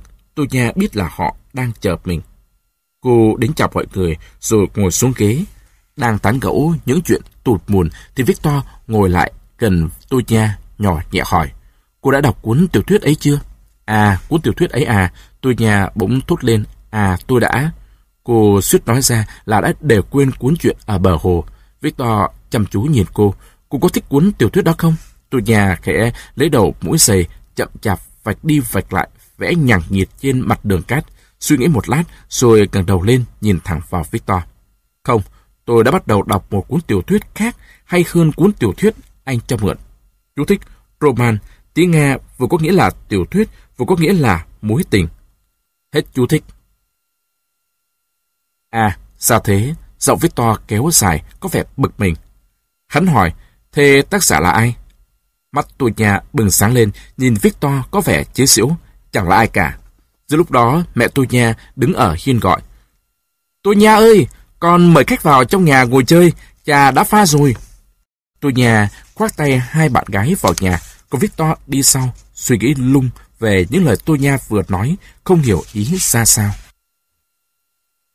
Tình cảm đầu tiên, chưa kịp nhận ra rõ, nhưng đã từ từ len vào đời người thiếu niên làm nghề đốt lò lúc nào không biết. Tình cảm ấy sao mà mới mẻ, sao mà bồi hồi khó hiểu. Tình cảm ấy đến làm xáo động hẳn tâm hồn cậu thiếu niên vốn tính tinh nghịch và bướng bỉnh. Tôi nhà là con cái người tránh sở kiểm lâm, mà chính sở kiểm lâm đối với Pavel cũng cùng một ruột với lão luật sư Lesinski. Lớn lên trong nghèo khổ và đói rách, Pavel có một thái độ thù địch với những kẻ mà mình cho là bọn giàu có. Cho nên anh thận trọng và dè chừng ngẫm về tình cảm mới chớm trong lòng. Anh không xem tôi nhà như Galina, con gái người thợ đá. Galina là một người bạn con nhà bình dân, giản dị và dễ thông cảm. Còn tôi nha thì Pavel ngại lắm. Anh sẵn sàng đối phó quyết liệt với bất cứ sự chế giễu và kinh bịt nào của người con gái đẹp và có học thức ấy. Đến một tuần nay, Pavel không gặp lại cô gái con người tránh kiểm lâm. Cho nên hôm nay anh mới định ra bờ hồ hôm nọ. Trên đường đi, anh chủ tâm lượn qua trước nhà cô ta, hy vọng may ra gặp. Đang thùng thẳng bước men hàng rào khu nhà cô, Pavel thấy ngay cổ chiếc áo lính thủy quen thuộc thấp thoáng ở tận cuối khu vườn. Pavel nhặt một quả thông bên hàng rào nhằm ném vào chiếc áo trắng. Tô nhà quay phát lại. Trông thấy Pavel, cô chạy ra hàng rào, cô tươi cười vui sướng chìa tay ra bắt và reo lên mừng rỡ. Anh đến đây rồi, anh đi đâu từ bấy đến nay? Em có trở lại chỗ hồ tìm cuốn sách để quên, cứ tưởng là anh sẽ lại đến đấy. Anh vào trong này chơi. Pavel lắc đầu từ chối. Pavel không vào đâu. Tôi nha ngạc nhiên cau mày. Tại sao vậy? Có thể cậu, cô sẽ không bằng lòng đâu. Vì tôi, cô sẽ lại bị mắng mất. Thế nào cậu cô cũng mắng cô sao lại đưa thằng sách dưới chân đi đất này vào nhà. Tôi nha nổi giận. Anh rõ vớ vẩn. Anh Pavel ạ, anh vào cây đi, đi xem nào. Cậu em không kia nào nói gì đâu. Anh cứ vào mà xem. Vào đi anh.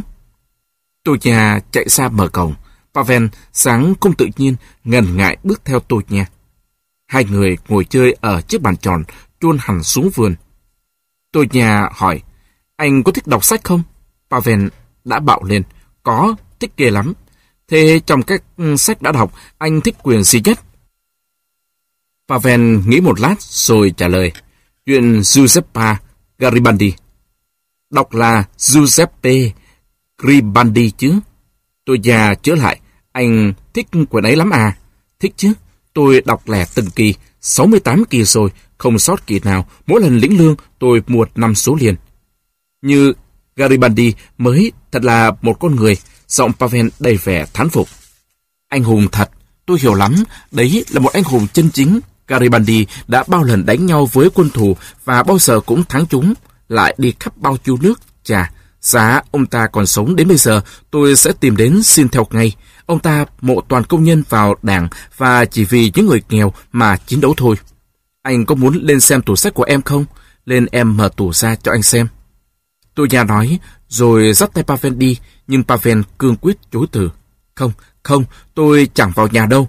Sao anh khó bảo thế? Hay anh sợ, phải không?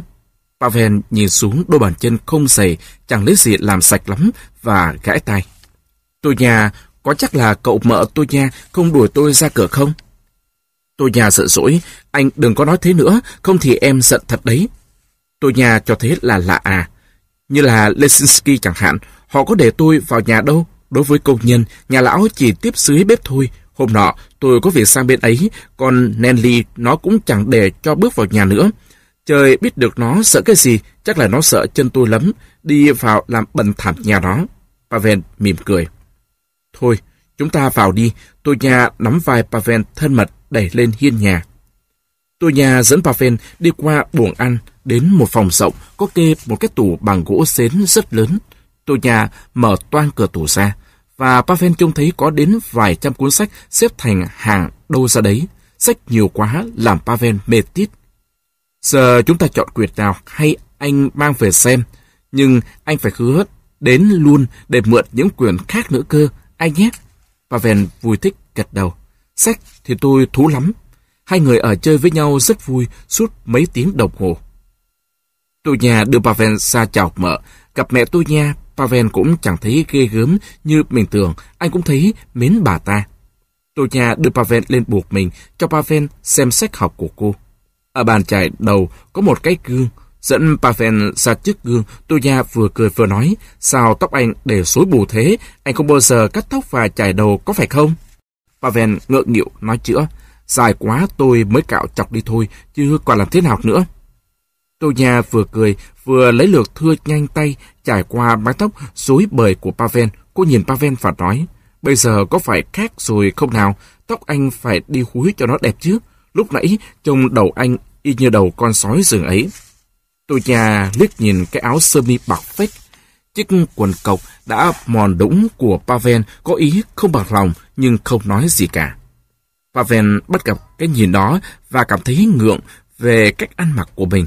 Khi chia tay nhau, tôi nhà còn mời Pavel lại chơi luôn và cô đã làm cho Pavel phải hứa là hai ngày nữa sẽ đến rủ tôi nhà đi câu. Pavel nhảy tót qua cửa sổ ra vườn. Anh không muốn đi qua nhà ngoài một lần nữa, sợ lại gặp phải mẹ tôi nhà. Vắng Arachom, nhà Krasagin túng tận. Lương Pavel không đủ chi dùng. Bà mẹ đành bàn với con, có lẽ bà lại nên đi làm chăng. Cũng được dịp là nhà Lesinski đang cần người nấu bếp, nhưng Pavel gạt đi ngay. Không mẹ, con sẽ xoay xa việc làm thêm. Ở giờ máy cưa đang mượn người xếp gỗ phiến, con sẽ xin làm nửa buổi, kiếm thêm thì hai mẹ con tiêu dùng vừa.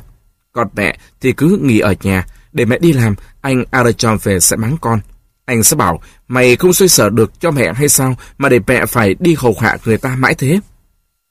Bà mẹ thì bảo là bà cần phải đi làm, nhưng Pavel khăng khăng không nghe nên bà đành chịu thôi. Ngay ngày hôm sau, Pavel đã đến làm ở sở máy cưa, đem các phiến gỗ mới cưa còn ướt xếp ra phơi cho cô.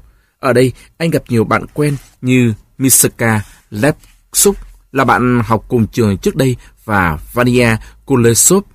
Pavel cùng với Misa đồng ý với nhau hai người làm chung một phần việc. Tiền lương cũng kha khá. Ban ngày, Pavel làm ở sở máy cưa, chiều đến lại chạy tới nhà máy điện. Làm được 10 hôm, Pavel mang về cho mẹ một món tiền. Khi đưa tiền cho mẹ, Pavel ngượng ngùng, di chân trên đất, chù chừ mãi mới dám nói. Mẹ ơi, mẹ có thể may cho con một chiếc áo sa tanh xanh không mẹ? Như chiếc áo năm ngoái của con ấy mà. May thì tốn mất độ nửa số tiền này, nhưng con còn kiếm được nữa, mẹ đừng lo. Rồi Pavel nói thêm như để xin lỗi vì đã đòi hỏi mẹ nhiều quá. Mẹ xem đây, cái áo con đang mặc tàng quá rồi. Được, được con ạ, mẹ sẽ mua ngay vải hôm nay, rồi mai mẹ sẽ cắt áo cho con. Ừ, phải đấy, con chẳng có chiếc áo mới nào. Mẹ già nhìn con chiều mến.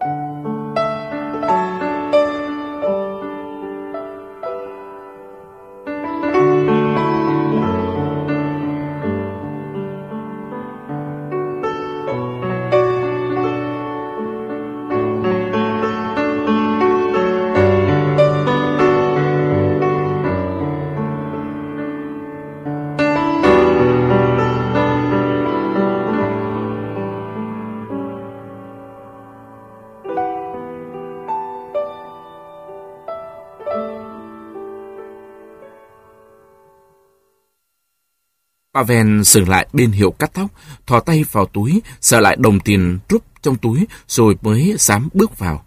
Thợ cắt tóc là một chàng khóm hình, chỉ ghế bành cho khách. Mời cậu ngồi. Ngồi lọt thỏm vào chiếc ghế bành, Pavel ngắm vào gương, thấy vẻ mặt mình lúng túng ngơ ngơ ngác ngác. Úi chọc, phải không cậu? Người thợ cắt tóc hỏi. Vâng, à không phải, bác hớt tóc cho tôi.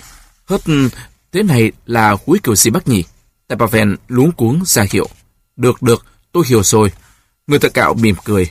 15 phút sau, Pavel đi ra, mồ hôi nhễ nhại, nhưng đầu tóc mới húi, trải lược trông chỉnh lắm. Người thợ cắt tóc phải khó nhọc, mất nhiều thời giờ với mớ tóc bờm khó bảo đó, nhưng nước lã và răng lược cuối cùng đã thắng. Ra đường, Pavel chút hơi thở dài, đội chụp mũ cắt két xuống tận bắt nghĩ bụng.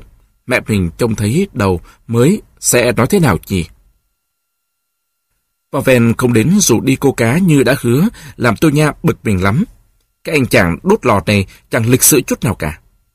Tô Nha lấy làm bực dọc, xong mãi không gặp lại Pavel, Tô Nha cảm thấy buồn.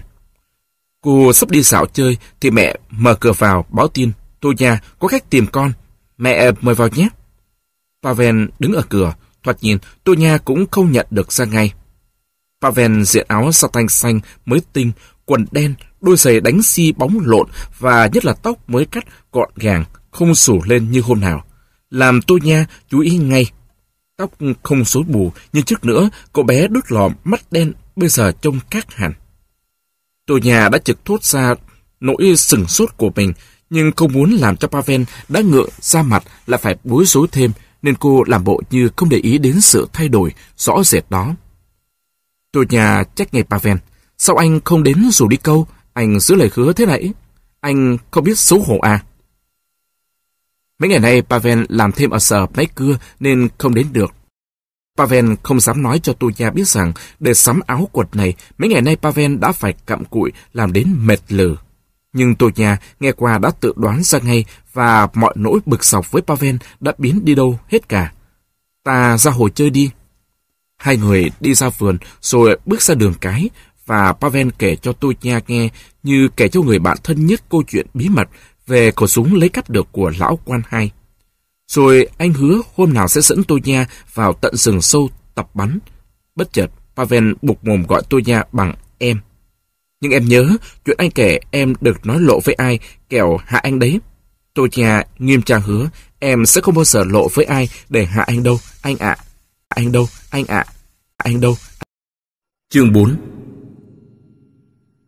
Lửa đấu tranh giai cấp cây gắt ác liệt bốc cháy cả vùng Ukraine này. Số người cầm súng đánh nhau mỗi ngày một đông và mỗi lần xung đột lại đẻ ra thêm những người chiến đấu mới. Đối với người dân, cuộc đời êm đềm năm xưa đã chìm xa vào dĩ vãng. Giờ đang đùng đùng bão táp, inh oang tiếng đại bác làm xung chuyển những căn nhà nhỏ ọp ẹp và người dân ép mình vào tường hầm ẩm ướt hay rút xuống những hào trú ẩn đào vội. Bọn thổ phỉ dưới chướng Petlura đủ màu sắc đủ xu hướng như nước lũ tràn về vùng này, quan lớn, quan nhỏ, đủ các thứ đầu lĩnh kiểu Golub, akhangen Angen, Gordi và hàng hà xa số môn phái thổ phỉ khác. Bọn quan cũ của Nga Hoàng, bọn xã hội cách mạng tà phái, hữu phái xứ Ukraine, bất cứ tên anh chị nào có gan rủ được một tuổi lưu manh giết người nữa theo là tự xưng ngay làm đầu lĩnh.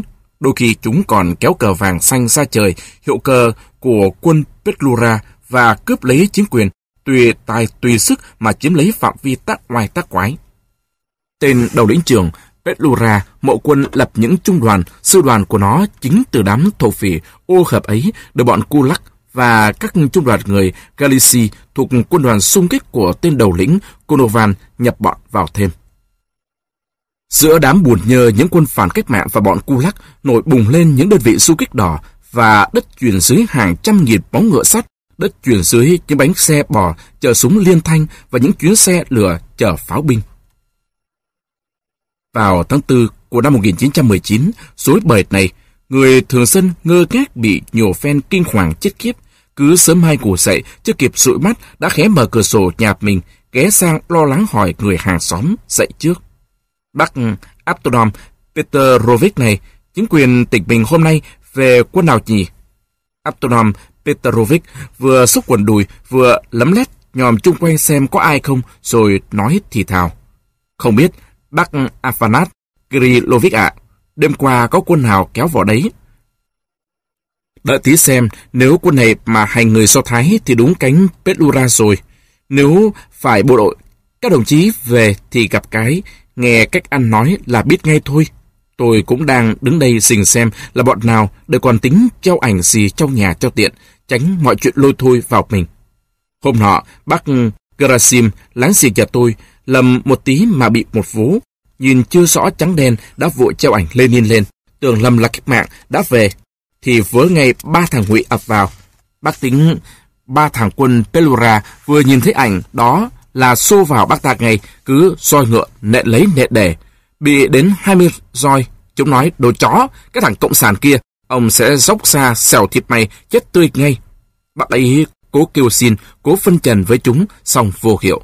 Trông thấy từng toán lính có súng đi ngoài đường, hàng phố đóng sập cửa sổ, tránh mặt trốn trong nhà. Tai họa đã đến quá nhanh.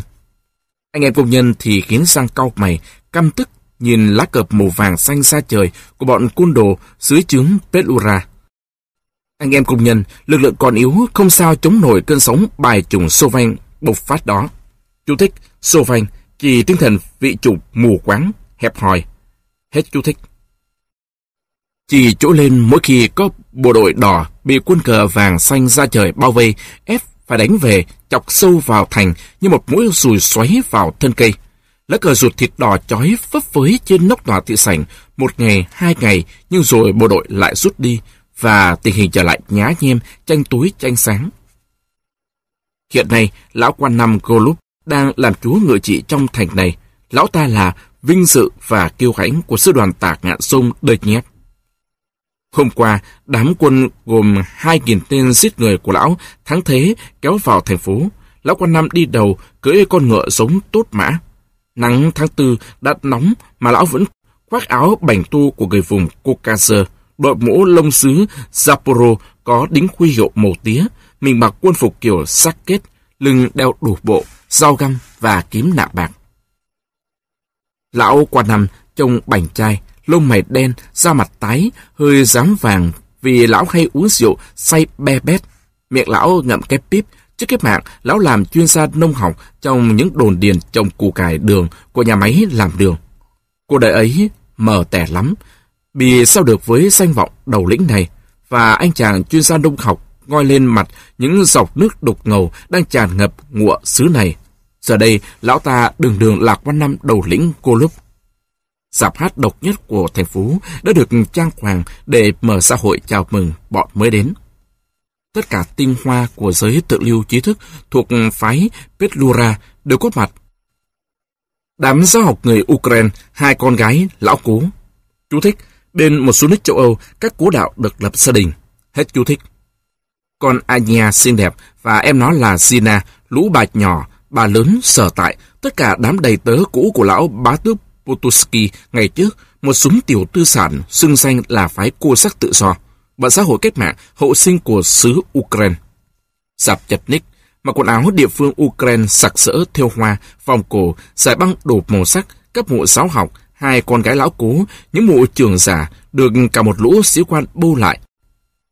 Bọn này đeo cựa gà lèng xèng, trông hệt như những bức tranh cột, tả những người cua sắc Zaporo.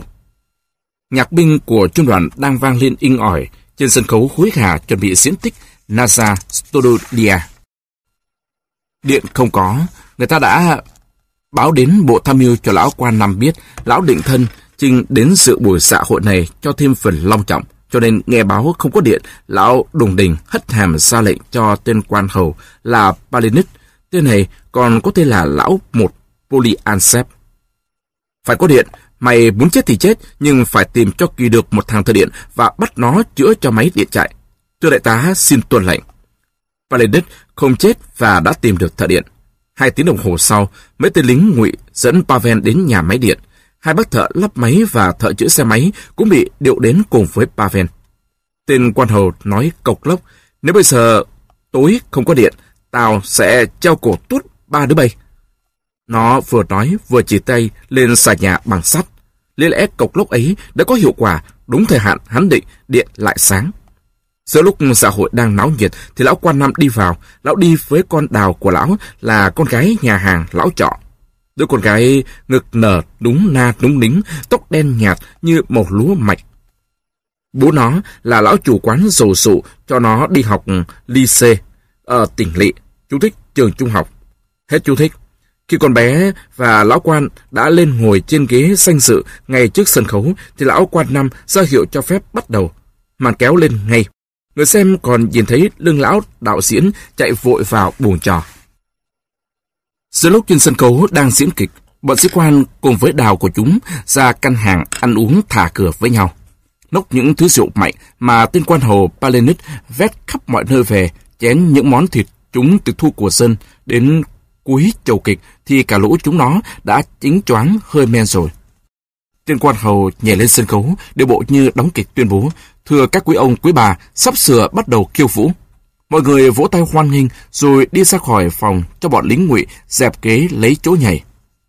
Nửa giờ sau là trong dạp đã nhảy loạn lên rồi. Khoái chí, bọn sĩ quan của Petlura mặt bừng bừng như lửa, say sưa nhảy những mục khó nhất của vũ cô sắc với lũ sư tử cái địa phương má nóng đỏ ửng. Tiếng chân dập inh ịch làm xung chuyển cả tường dạp hát cũ đã mọt. Cùng lúc ấy, ở mé cuối say lúa, một đội kỵ binh tiến vào thành phố, vọng các của quân Golub đóng ở đầu tỉnh trông thấy hốt hoảng, vớ vội lấy súng máy. Tiếng cùi lách lách cách, tiếng thét lên trong đêm tối. Ai? Đứng lại! Hai bóng đèn nổi lên trong đêm tối, một tên lại gần lũ lính gác, giọng ôm ôm trả lời. Đây là đầu lĩnh Pavlov và quân của người. Các người có phải quân của Golub không? Tên đội trưởng quỵ tiến xa trả lời. Vâng. Pavlov hỏi. Quân của ta đóng ở đâu được?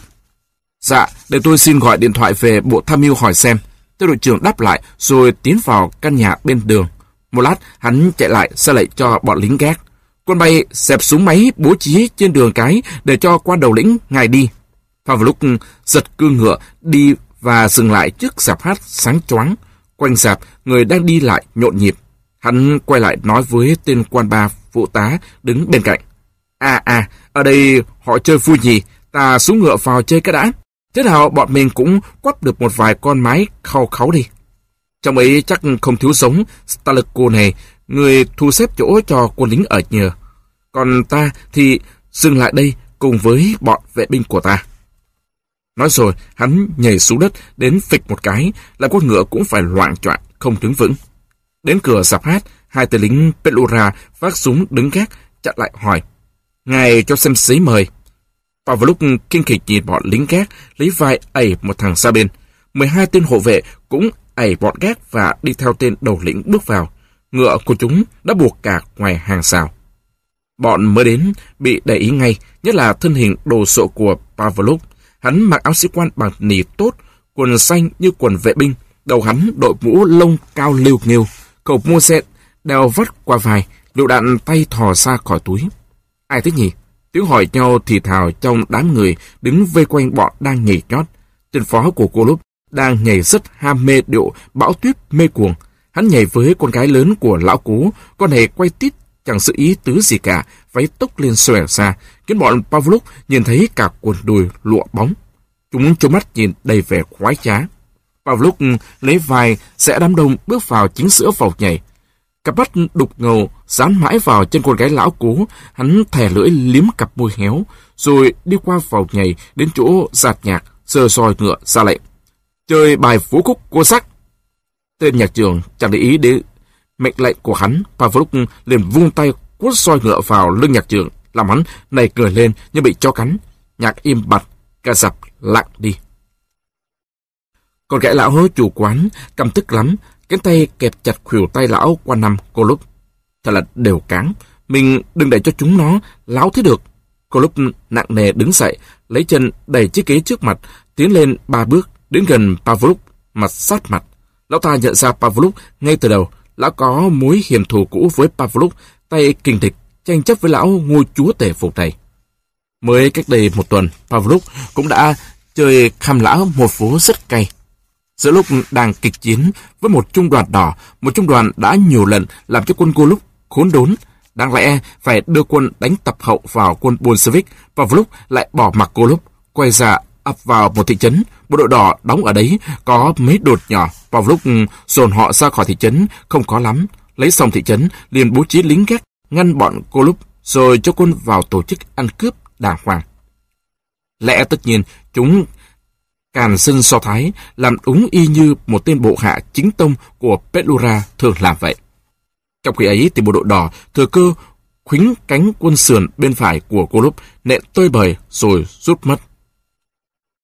Vậy mà quân kiêu kỳ vị kỳ ấy hôm nay lại ngang nhiên kéo bừa vào sập hát này và trước mặt lão, đường đường là một vị quan nam đầu lĩnh dám sơ soi đánh người nhạc trường của lão. Không, không thể để cho hắn làm như thế được. Cô lúc biết nếu không chỉ ngay lập tức tên đầu lĩnh ngạo mạn này thì còn xịt là uy tín của lão đối với quân lính trong trung đoạt nữa. Trong mấy giây đồng hồ, hai đứa lặng lẽ cượp mắt nhìn nhau không nói một tay nắm chắc đốc kiếm, một tay sờ vào khẩu súng trong túi của lúc quát lên. Ai cho phép người dám đánh người của tao? Đồ khốn ạ! À. Tay Pavlov cũng lần đến bao xa khổ Mose. Xin ngài hãy từ từ, tướng quân Golub ạ. Nếu không thì ngài có thể lộn bật đế giày đấy thôi. Xin ngài đừng trêu vào tôi, kẻo tôi không nên nén giận được đâu. Những lời ấy càng làm cho cô lúc tức trào lên cổ. Hắn sẽ lệnh. Quất đâu? Tống cổ chúng nó khỏi đây cho ta. Quất vào mặt chúng nó, cho mỗi đứa 25 roi, đòn cho dư tử chúng nó ra. Lũ sĩ quan của sắc như một đàn chó chạy xô lại, ập vào vây kín lấy bọn Pavlov. Một tiếng súng nổ sòn tan như tiếng bóng đèn sáng mạnh xuống đất. Quân hai bên cuột nhau như bầy chó sữa cắn lộn, hai bên cùng điên tiết lên cả. Lấy kiếm đâm nhau, nắm lấy tóc nhau, bóp cổ nhau. Đám phụ nữ sợ say mắt, rú lên thất thanh như tiếng lợn bột. Lùi ra xa bọn đàn ông đang cố xé nhau. Mấy phút sau bọn Pavlov bị tước hết vũ khí, ăn đòn như tử, bị đẩy ra sân rồi bị vứt ra đường. Pavlov trong lúc loạn đả bị tuột mất cả mũ lông, mặt mày bê bết máu tím, vũ khí bị tước sạch. Hắn tức lộn ruột, nhảy lên ngựa, cùng bộ hạ phi đi thẳng. Thế là học mất cả buổi xã hội rồi. Sau chuyện vừa xảy ra, chẳng ai còn bụng dạ nào mà đú đợt nữa. Phụ nữ nhất định không chịu ở lại nhảy, nặng nặc đòi dẫn về nhà. Thế thế cô lúc phát khủng lên, hắn ra lệnh. Gác lấy cửa, cấm không cho ai ra ngoài. Tên quan hầu hối hả vâng lệnh. Mọi người kêu ca phản đối, cô lúc cứ một mực bắt ở lại. Thưa quý bà, quý ông, ta sẽ nhảy đến sáng, tôi xin nhảy trước bài van đầu đây. Nhạc lại nổi lên, xong nhạc chơi chẳng được mấy chốc. Lão quan năm ôm con gái lão cố chưa kịp đi hết một vòng, thì lính gác đã đâm bổ vào sạp hát kêu lên. Quân Pavlov đã vây sạp hát. Cửa sổ nhìn xuống đường ở gần sân khấu bị bắn vỡ toang kính rơi tung tóe. Ngay chỗ vỡ há khúc ấy, một khẩu liên thanh thỏ mõm vào, miệng súng dõi theo những bóng người khiếp đảm đang chạy tán loạn. Để tránh nòng súng ghê sợ, mọi người chạy dồn vào giữa sạp hát. Tên quan hầu của cô lúc rút súng bắn vào bóng đèn điện, nghìn nến. Tiếng nổ như bom, mảnh vỡ tóe ra như mưa rơi rắc lên đầu mọi người. Túi om om, bên ngoài có tiếng thét lên. Đi ra ngoài sân tất cả! Và tiếng la mắng, tiếng chửi rủa nhau, nhau nhau. Tiếng rú thất kinh, mê dại của phụ nữ, tiếng ra lệnh giận dữ của lão Golub đang tất tả trong phòng. Lồng lộn, quát tháo ra lệnh, định tập hợp lũ sĩ quan đã bất vía, tiếng súng, tiếng kêu inh ỏi ngoài sân hòa thành một thứ ồn ào náo động ở ngoài như chợ vỡ. Không ai để ý là Paletnit đã chuồn ra cửa sau, trông ra một phố vắng, chạy như gió về ban tham mưu trung đoàn. Nửa giờ sau, hai bên đánh nhau xa trò, chiến trận giàn ra giữa phố, có tiếng súng nổ giòn liên tiếp, phá tan yên tĩnh ban đêm, tiếng liên thanh vang rền, không ngớt. Dân phố rất đỗi kinh ngạc, vội vàng tụt khỏi giường ngủ, yên ấm, chạy ra, dán mắt vào cửa sổ nhìn. Dần dần tiếng súng im đi, chỉ còn ngoài mé ngoại ô xa, có tiếng liên thanh vang lên như chó sủa, đánh nhau ngớt dần, sáng rồi. Tin dữ vang đi khắp thành phố, người ta đồn sắp sửa có cuộc càn so Thái. Tin đồn ấy chui vào tận những túp lều do Thái thấp lè tè, cửa sổ ti khí bám treo leo trên bờ dốc bẩn của rãnh nước đổ ra sông. Trong những chiếc hộp gọi là nhà ấy, dân nghèo do Thái sống trên chút khổ sở. Ở nhà in mà Saki làm đã được hai năm, phần lớn anh em thợ sắp chữ và thợ máy đều là người do Thái. Saki thân với anh em như bà con trong nhà, mà tất cả thợ in là một nhà thật. Họ đoàn kết nhau lại chống lão chủ bơ lung tanh sầu sụ vinh váo. Giữa chủ và thợ là một cuộc đấu tranh không ngừng. Lão ba lụt tanh chỉ tìm cách bòn rút cho nhiều sức lao động của thợ mà tiền lương thì trả ít nhất. Cho nên nhà in thường có khi đóng cửa hàng tuần lễ. Thợ in bãi công, anh em thợ tất cả 14 người, sức gây ít tuổi nhất cũng phải làm 12 tiếng một ngày, quay máy in quần quật. Hôm ấy Sergei để ý, thấy anh em có vẻ lo lắng, xôn xao. Đã mấy tháng nay, tình hình nguy ngập, nhà in không có việc làm đều, làm xong món hàng này lại phải đợi món hàng khác. Hiện đang in bản hiệu triệu của đầu lĩnh trưởng. Bác thợ sắp chữ Menden kéo Sergei ra một góc, cặp mắt buồn sầu của bác nhìn Sergei hỏi. Chú có biết sắp có càn dân Do Thái ở đây không? Chú bé nhìn bác ta, ngơ ngác. Không, em không biết gì cả. Bàn tay cô đét vàng khè của Menden để lên vai Saki và nói đầy tin cẩn như cha nói với con.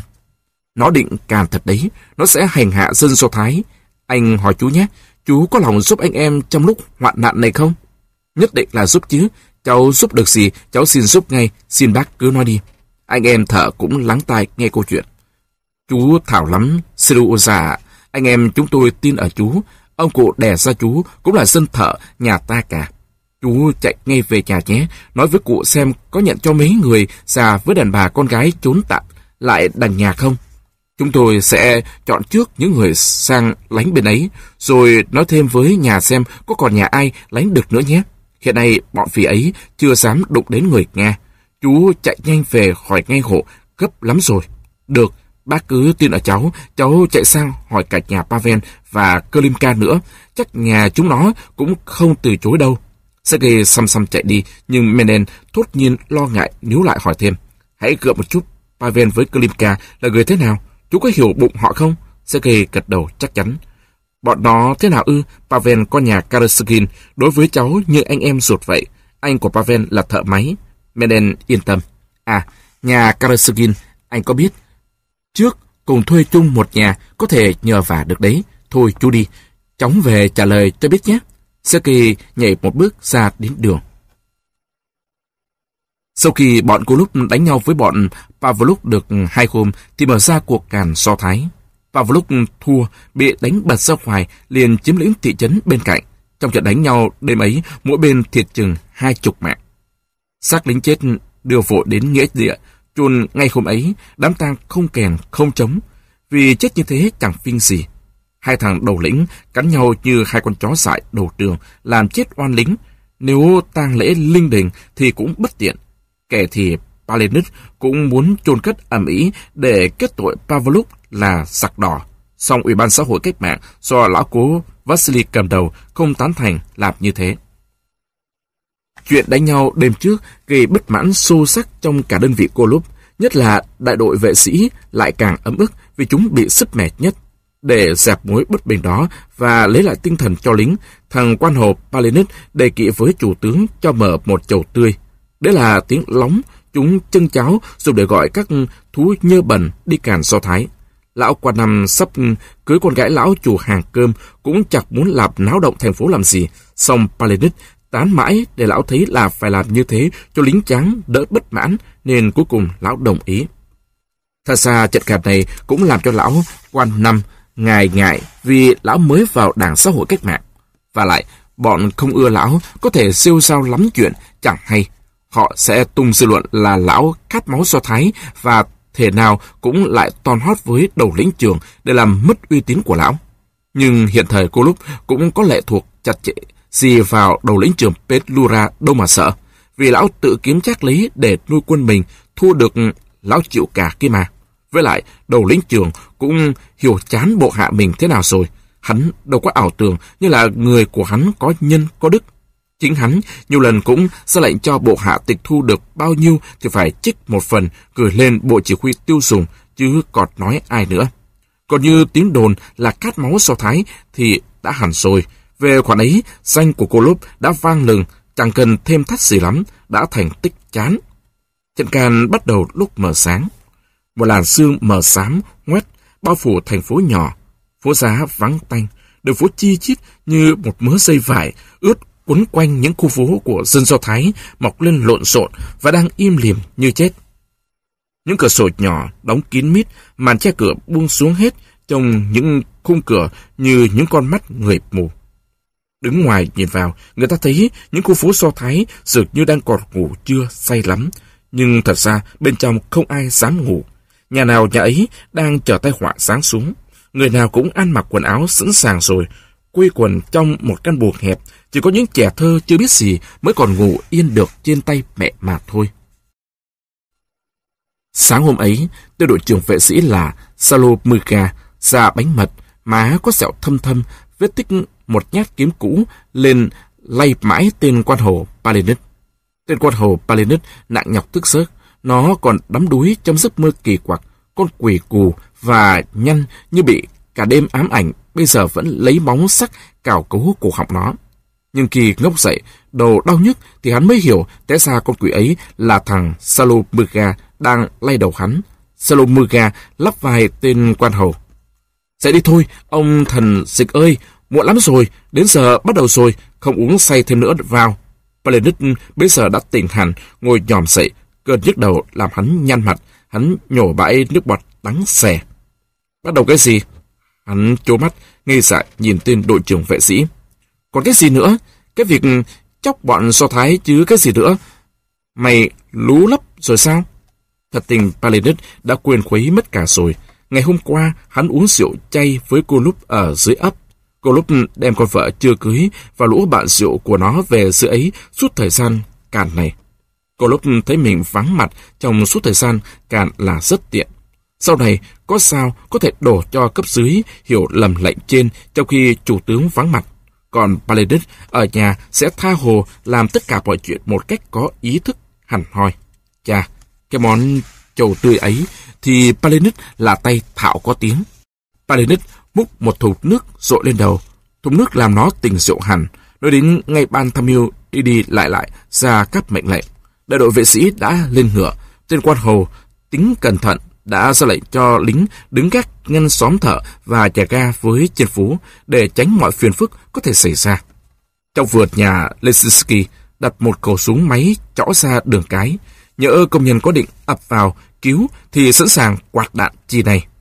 Chuẩn bị xong đâu đấy, tên quan hầu và Salu Muga lên ngựa. Khi quân sắp sửa tiến thì Palenit mới chợt nhớ ra. Dừng lại, tí nữa thì quên. Đánh hai xe ngựa đi theo, ta phải chuẩn bị đồ mừng đại tá lấy vợ. Hô, hô, hô! Chính lợi phẩm hạng nhất thì biếu chủ tướng như thường lệ, còn tù binh sống cái hạng nhất thì về ta, phó quan của người. Ha ha ha! Mày hiểu rồi chứ? Thằng đầu gỗ kia. Tiếng đầu gỗ chỉ Salumuga. Mắt vàng ạch của tên này sáng lên. Rồi ai cũng có phần cả. Bọn chúng tiến ra đường. Đi đầu là Palenit và Salumuga. Tiếp theo sau là lũ vệ sĩ đi lộn xộn, không hạt ngũ. Sương sớm tan hẳn rồi. Đến trước nhà hai tầng có tấm biển khoen gì để phúc, cửa hàng tạp hóa và quần áo. Chú thích tên một người Do Thái. Hết chú thích. Palenik kìm cương ngựa lại. Con ngựa cái, lông xám của nó, chân rất thon, cuồng cẳng gõ móng lên vỉa hè. Palenik nhảy xuống đất, ra lệnh. Nào, nhờ trời phù hộ, ta bắt đầu từ đây đi thôi. Nó lại nói thêm với bọn cưỡi ngựa đang đứng bao lấy xung quanh nó. Xuống cả đi thôi, bắt đầu biểu diễn rồi. Nghe ta nói, quân bay, giờ có gặp so thái cũng đừng bập vào sọ vội. Thông thả, rồi hãng hay. Còn như đối với đàn bà con gái, nếu không thật muốn quá, ta cố kìm lại nhớ, để đến tối. Một tên vệ sĩ nghe bộ sang bản quốc ra hỏi lại. Cấp trên nói, kìm lại thế nào cơ? Nhỡ bên kia nó bằng lọc mê đi thì sao? Nghe tên quân kia nói thế, cả lỗ chúng hoắc cười như phá. Paladin nhìn tên quân ấy có vẻ khen ngợi. Chuyện nếu bên kia nó bằng lòng thì cứ việc, còn ai mà có quyền cấm chú được nữa. Nói rồi, nó đến trước hiệu buồn, lấy chân đá mạnh vào cửa đóng kín. Cái cửa gỗ xiến, cả tấm không xung chuyển một tí nào. Không vào lối này được, tên quan hầu quay xa cốc nhà, đi lại cửa bên vào nhà ở của lão chủ. Tay khắn nắm đốc kiếm, theo sau là Salumuga. Trong nhà có ba người, họ đã nghe rõ tiếng móng ngựa lột cộp trên vỉa hè. Xong đến khi nghe tiếng ngựa đứng dậm chân mãi ngoài cửa, tiếng bọn lính qua tường vọng vào trong thì cả ba đều hay bay hết hồn vía, đứng ngây ra như chết. Lão Phúc, dầu sụ đã cùng vợ con bỏ thành phố này đi, chuồn khỏi đây từ hôm qua. Hắn sau nhà cửa lại cho người ở là Riva Chục Non. Riva là một cô gái 19 tuổi, tiếng hiền, ít nói và nhẫn nhục. Muốn cho Riva ở nhà vắng một mình, đỡ sợ, lão bảo cô đưa cả bố mẹ già đến ở. Cả ba người phải trông nhà cho đến khi lão về. Riva chợt không nhận, xong lão nhà buôn quỳ quyệt đó lại số ngon, số ngọt cô con ở dễ bảo. Chắc đâu đã có can, với lại có gì mà sợ mới được, nghèo thì ai người ta lấy gì của mình. Rồi lão còn làm ra bộ nhân đức hứa với Riva hôm nào lão về sẽ thừa cho chiếc áo mới. Cả ba đều lo lắng, nghe ngóng, cố bám lấy hy vọng. Nào bọn lính có lẽ sắp sửa bỏ chỗ này đi xa, nào có thể chính là chúng lầm, có thể chúng không dừng lại ở trước cửa nhà này đâu. Chẳng qua là tại mình nghe lẫn đấy thôi. Nhưng như để đập vỡ tan tành những hy vọng đó, tiếng đập thình thình nện vào cửa. Nghe thấy tiếng giày đá vào cửa, ông cụ bê sắc, bố đẻ Riva, tóc bạc phơ, mắt xanh hốt hoảng như một đứa trẻ thơ kiếp sợ, đứng bên cửa nhà ngoài, cất tiếng lâm xâm cầu nguyện.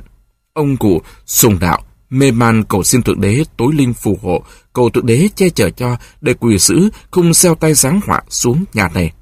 Bà cụ đứng nép bên cạnh, tiếng lâm xâm cầu kinh của ông cụ là bà không nhận ra ngay được những tiếng chân người đang bước tới gần. Reva thì trốn vào buồng trong cùng, nấp sau một cái tủ gỗ xến lớn. Một tiếng đập mạnh, dữ dội, sáng vào cửa, làm hai ông bà già run bắn người. Mở cửa! Tiếng đập cửa nữa âm ầm, dữ hơn, rồi có tiếng chửi rủa điên giận. Nhưng tại ông bà già không còn đủ sức nâng then cải nữa. Thế là bắn súng từ bên ngoài nện chan chát vào ván cửa. Cánh cửa rung lên bần bật rồi vỡ toang ra. Lính cầm súng ập vào nhà, sục sạo các xó, chúng lại lấy bắn súng phá cửa ra nhào ngoài rồi đi ra nâng then cài mở cửa chính. Bắt đầu cướp phá vơ vét, Slomega đánh về nhà cô lúc hai xe ngựa đầy vải vóc, giày dép và nhiều thứ hàng khác. Khi nó trở lại nhà hàng Phúc thì nghe một tiếng sú ghê sợ. Để cho cô lính lục lọi ngoài hàng, Palinus đi vào buồng trong, mắt nó xanh lè và sắc nhìn chòng chọc vào ba người do thái cố nạn, rồi nói với vợ chồng ông già, cút. Cả hai ông bà già không nhúc nhích, Palinus bước lên một bước, từ từ rút kiếm ra khỏi vỏ. Mẹ, mẹ ơi! Tiếng Riva rú lên như xé. Tiếng rú ghê sợ mà Salomega nghe thấy chính là tiếng rú đó. Bọn lính nghe thấy tiếng rú chạy vào thì Palinus quay lại, chỉ vào hai ông bà già ra lệnh cộc lốc cho bọn lính. Tống cổ hai vợ chồng thằng già này đi. Khi cô lính đã đẩy được hai vợ chồng ông cụ đi rồi, hắn bảo Salomega, mày hãy đợi ngoài ấy đã, ta có tí chuyện cần nói với con bé này. Nghe tiếng kêu của con gái, ông lão bê sắc xô lại phía cửa thì bị ngay một quả tống vào ngực đến ụt một cái, khuỵu người vào tường. Ông lão bị đau nghẹn sằng sặc. Bà cụ thường lành như bụt, lúc ấy trồm lên như con sói sữa vồ lấy thằng Salomega. Buông cho tao vào, chúng mày làm gì thế? Bà cụ cố sức xông vào cửa. Salomega không tài nào gỡ được ngón tay bà cụ, cứ nắm siết lấy áo hắn. Ông cụ bê sắc hồi lại chạy đến cứu vợ. Để chúng tao vào, để chúng tao vào, ôi trời đất ơi, con tôi! Hai vợ chồng ông lão súng vào đẩy được Salomega ra ngoài cửa. Tên giặc nổi sung, rút bắn súng ngắn, nện vào đầu bạc của ông già, làm cụ bê sắc ngã lăn ra đất, không kêu được một tiếng. Trong buồng, tiếng Riva kêu thét lên. Bị chúng kéo tuột ra ngoài đường, bà cụ căm uất như điên như dại, tiếng bà la chợt, thảm thiết và kêu cứu tuyệt vọng vang in cả phố xá. Trong nhà, tiếng kêu đã tắt. Paledus ở buộc nhốt Riva bước ra, Salomega lúc đó đã sờ tay vào quả đấm mở cửa, đến lượt hắn chực vào, nhưng Paledus nắm tay hắn lại, quay mặt đi nói, thôi đừng vào nữa, nó đi đời nhà ma rồi, tao đã lấy gối phủ lên mặt nó. Paledus bước qua xác ông cụ bề sắc, chân hắn nhúng vào một vũng máu đặc sệt và đen ngòm. Mẹ kiếp, tiền đầu bất lợi. Miệng làm bầm thế, hắn bước ra, quân của hắn lặng lẽ kéo đi xa sau và sạt nhà, bật cửa bê bết những vết sầy dính máu đỏ lòm. Khắp cả thành phố đâu cũng có cướp phá, bọn hung hãn tranh cướp nhau mồi ăn, thộp lấy cổ họng nhau như một lũ chó sói. Đây đó, lưỡi kiếm tuốt ra khỏi vỏ, lóe sáng qua lên trời. Những thùng rượu bằng gỗ xến to tướng từ trong nhà hàng rượu lăn ra mặt đường cái. Rồi bọn cướp xông vào phá các nhà. Không ai chống cự lại, chúng ập vào các buồng, vội lục lọi mọi xó. Lúc đi xa thì nặng chịu tay những của cải cướp bóc được, để lại hàng đống bừa bãi, những rẻ sách, những gối và những đệm sách tứ tung, lông rơi là tà. Ngày đầu mới chỉ có hai người chết, cha con Triva, nhưng đêm đến, tai họa chết chóc mới ghê cười hơn nữa. Đến chập tối, tất cả toán quân đủ loài thú dữ này, đứa nào cũng say máu và say rượu. Bọn lính của Pelura, đầu óc chuyến choáng, hơi men, đã mất cả lương chi rồi, chỉ chờ đêm tối đến. Bóng tối xuống, chúng càng được thả tay hơn. Trong đêm tối càng dễ bóp chết mạng con người. Bọn sói lang cũng ưa bóng tối để dễ cắn xé những người đang hấp hối.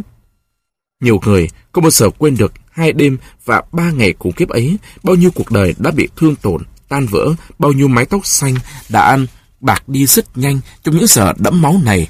bao nhiêu nước mắt đã tuôn rơi và có ai thấu cho chăng?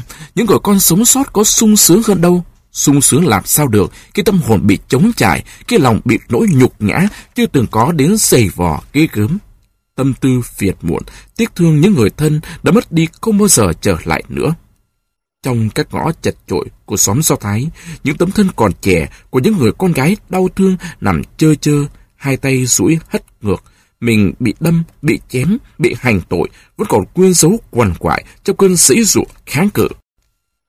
Mãi, ở tận ngoài bờ sông, trong căn nhà nhỏ của người thợ rèn Naum, bọn hùm beo, háu mồi, trực hiếp chị vợ anh Naum mới gặp phải sức kháng cự dữ nhất. Anh thợ rèn Naum đang sức trai 24 tuổi, to như lực sĩ, bắp thịt rắn như thép, quen quay búa sắt, đâu có chịu để vợ mình bị nhục. Trong cuộc xô sát ngắn ngủi và cùng kiếp, hai chiếc sọ ngụy binh băng đi, vỡ ra từng mảnh như một quả dưa hấu thối. Naum bừng bừng ký uất của kẻ đằng nào cũng chết, đánh rất dữ để cứu mạng mình và cả mạng vợ nữa. Anh giằng lấy súng, bắn lại hồi lâu, tiếng súng sòn sã nhằm vào phía bờ sông có quân lính cô lúc thấy Quy đang chạy đến cứu. Naum bắn hết đạn, viên cuối cùng cười vào ngực vợ, còn mình thì lắp lấy lê vào súng, xông thẳng lên trước cái chết. Đạn giặc bắn như mưa, Naum vừa bước ra thềm đã ngã, tấm thân cao lớn rơi phịch xuống đất. Người ta thấy mặt bọn phú nông béo núc ở vùng quê gần đấy dắt xe đến. Ngựa của chúng béo tốt, chúng chất lên xe tất cả những thứ gì chúng thích mắt, chở đi vội vội vàng vàng. Con cái hoặc bà con chúng là ngụy binh cho đầu lĩnh Golup giúp chúng chất hàng lên xe. Chúng trở về rồi lại hối khả đánh xe ra làm hai ba chuyến nữa. Xe cây cùng với cha vừa đi một nửa số anh em thợ Indian nhờ cho họ hầm nhà và các xếp. Đi qua vườn để trở về nhà, Seki trông thấy một người đang chạy trên đường. Đấy là một ông cụ do Thái vừa chạy vừa thở hồn hển, tay vung vẩy, đầu cô mũ, người lóng nga lóng ngóng trong chiếc áo dài lồng thòng và phá chẳng phá đục, mặt tái mét vì kiếp sợ. Đằng sau là một tên lính Pedura cưỡi con ngựa xám phóng theo, nó đã đuổi tới gần, người nó chực cúi xuống chém. Nghe tiếng vó ngựa lóc cóc sau lưng, cụ sơ tay lên như để tự vệ. Saki liền nhảy bổ ra đường phố, xông ra chiếc con ngựa, lấy người mình che đỡ cho ông cụ già. Không được đụng vào cụ già, đồ ăn cướp, đồ chó. Tên lính ngụy đang đà tay không muốn kịp lại, liền chờ sống kiếm đập vào mái đầu trẻ vàng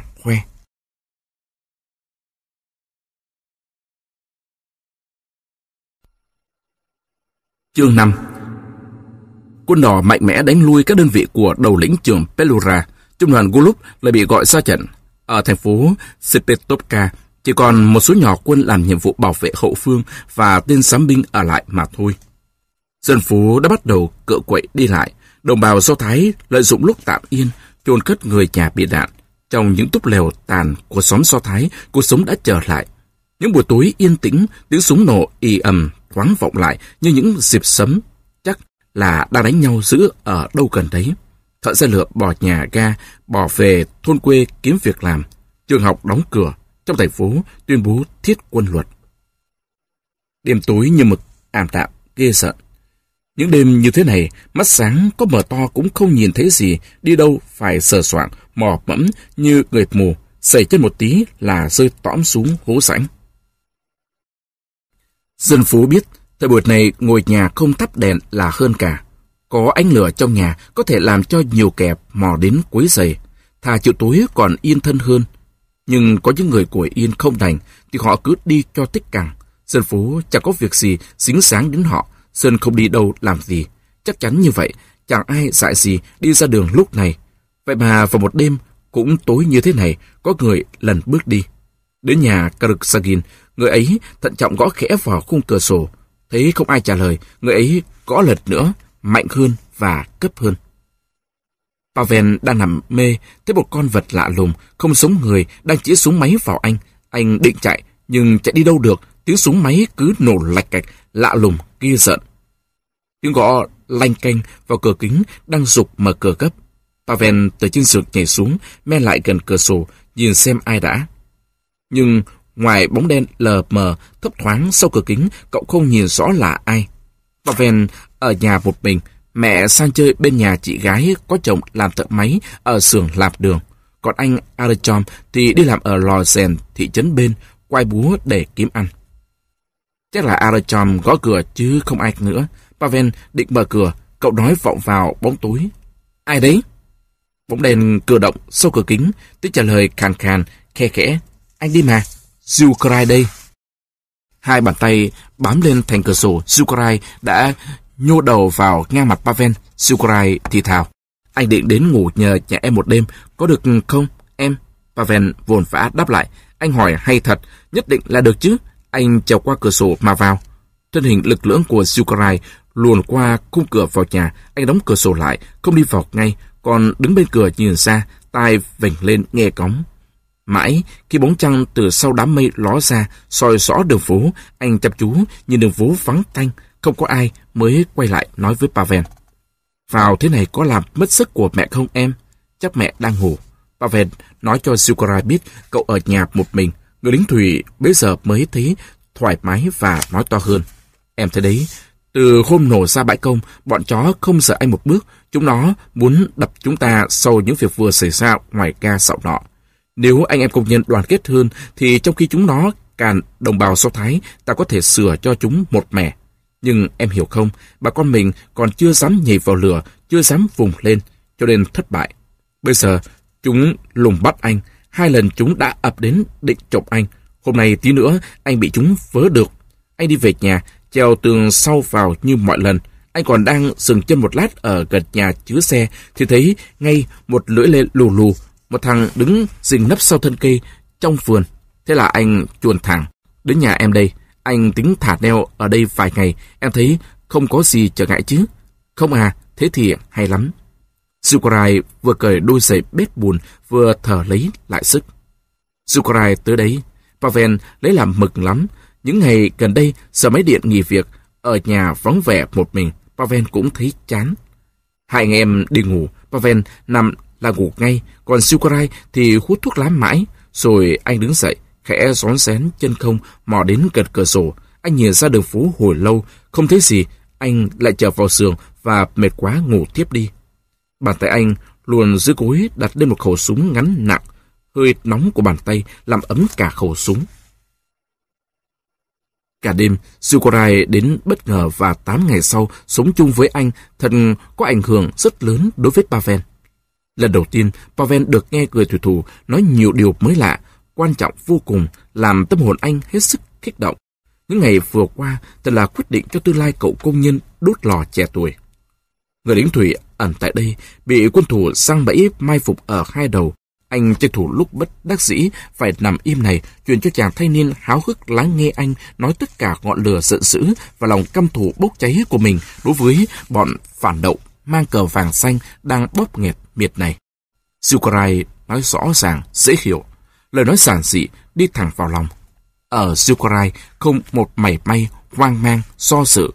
Anh biết rõ và tin chắc có đường mình theo và Pavel bây giờ mới hiểu tất cả một mớ đảng phái mang tên rất kêu ấy từ xã hội cách mạng đến xã hội dân chủ, xã hội Ba Lan gồm toàn những kẻ thù hiểm độc của giai cấp công nhân.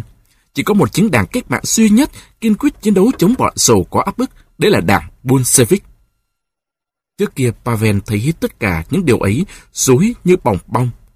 Và bây giờ, có người vạch ra cho cậu bé đốt lò trẻ tuổi ấy, thấy rõ sự thật tàn nhẫn của cuộc đời. Người đó là một người cương nghị, một đảng viên Bolshevik trung kiên, một thủy thủ trên biển Baltic, nước da xám màu gió biển.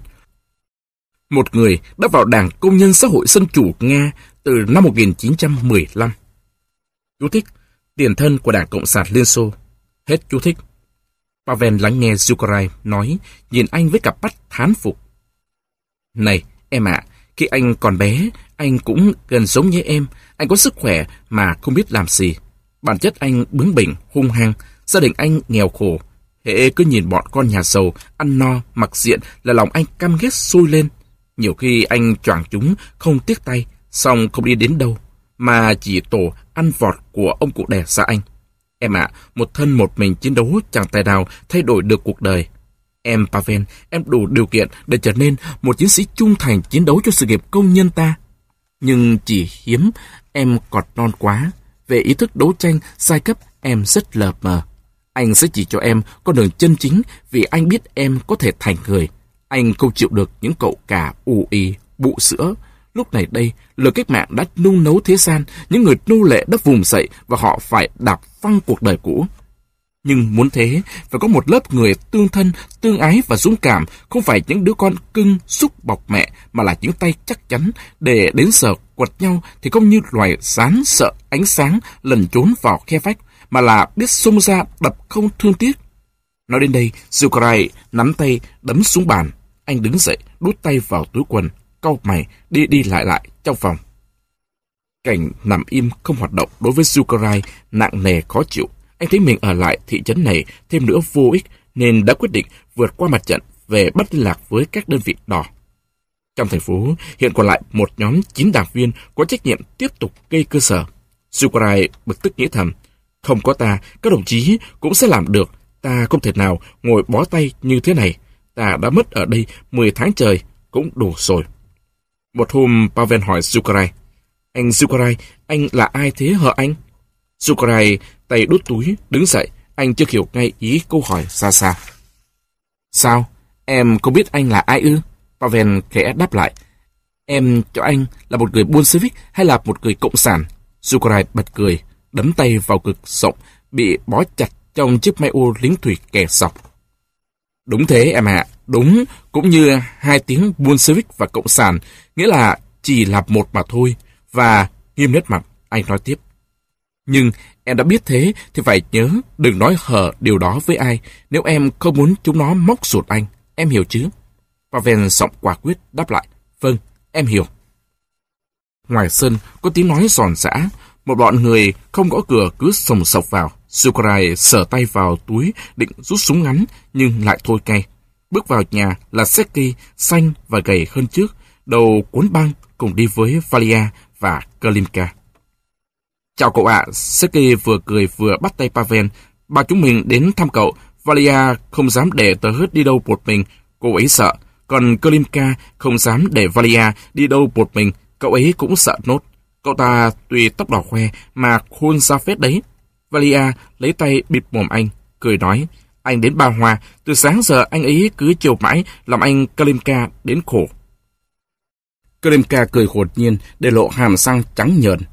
Em chắc làm gì cười ốm, sợ cậu ấy bị nó nện vỡ rồi, nên cậu ấy nói lung tung đấy mà. Cả bọn cười ầm lên. Sergei bị thương vì kiếm phang vào đầu, chưa khỏi hẳn. Cậu ngồi lên giường Pavel, câu chuyện giữa mấy người bạn liền nở như ngô sang. Sergei xưa nay vốn tính vui nhộn, bây giờ trở nên trầm lặng. Anh kể lại cho Sukarai nghe chuyện tên lính ngụy đánh mình. Sukarai quen biết tất cả bọn trẻ đó, anh cũng đã từng nhiều lần đến nhà Barusak anh mến đám thanh niên công nhân ấy, họ chưa tìm được đường đi trong cơn sông tố của đấu tranh, nhưng họ đã tỏ rõ những khát vọng của giai cấp mình. Và anh chăm chú nghe ba thiếu niên kể chuyện, mỗi người trong bọn họ đã xấu các gia đình Do Thái trong nhà mình để cứu giúp đồng bào Do Thái qua khỏi trận càn. Và đêm ấy, Zukarai nói rất nhiều về Lenin, về những người Bolshevik, giúp cho đám thanh niên hiểu rõ hơn những sự việc đang xảy ra. Đến tận khuya, Pavel mới tiễn ba bạn ra về. Cứ tối tối, Zukarai thường đi vắng, tận đêm khuya mới về. Trước khi rời bỏ nơi này, anh đến gặp các đồng chí ở lại hoạt động để bàn về công tác phải làm sau khi anh rút đi nơi khác. Đêm ấy, Zukarai đi không thấy trở về. Sáng ngủ dậy, Pavel thấy giường Zukarai chăn đệm vẫn nguyên, không có ai nằm. Pavel linh tính thấy lo lo, sợ xảy ra chuyện không hay, bèn khoác vội áo đi ra. Pavel đóng cửa và giấu chìa khóa vào một chỗ mà Zukarai đã biết rồi đi thẳng đến nhà Kalimka, hỏi thăm xem có biết gì về Zukarai không. Mẹ Kalimka, người đẫy đà, khuôn mặt to, khơi rỗ, đang giật quần áo, nghe Pavel hỏi Sukrai thì chu chéo lên. Mày tưởng tao không có việc gì làm, suốt ngày chỉ canh nhà bác Sukrai cho mày đấy chắc. Chỉ tại cái bác khập kiện ấy mà nhà bà cụ Zozulika bị khám xét tung cả lên. Không hiểu mày cần gì bác ta mà mày cứ cuốn lấy bác ấy.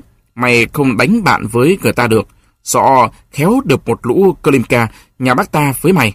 Vừa nói, bà vừa vò mạnh thêm đống quần áo đang giặt. Bà mẹ Klimka vốn là người đàn bà lắm điều, ăn nói chua ngoa. Từ nhà Klimka Pavel lại tạt sang nhà Seki. nói cho bạn biết mối lo lắng của mình. Nghe Pavel kể, Valia nói xen vào. Gì mà anh cứ cú lên thế, có thể anh ấy nấn ná ở lại chơi nhà ai quen. Nhưng giọng Valia tỏ ra cũng không tin điều mình nói lắm. Nhà Seki cố nài anh ở lại ăn cơm, nhưng Pavel chẳng còn bụng nào ở lại được. Anh cảm ơn rồi ra về. Về gần đến nhà, Pavel ước thầm sẽ thấy Zukarai.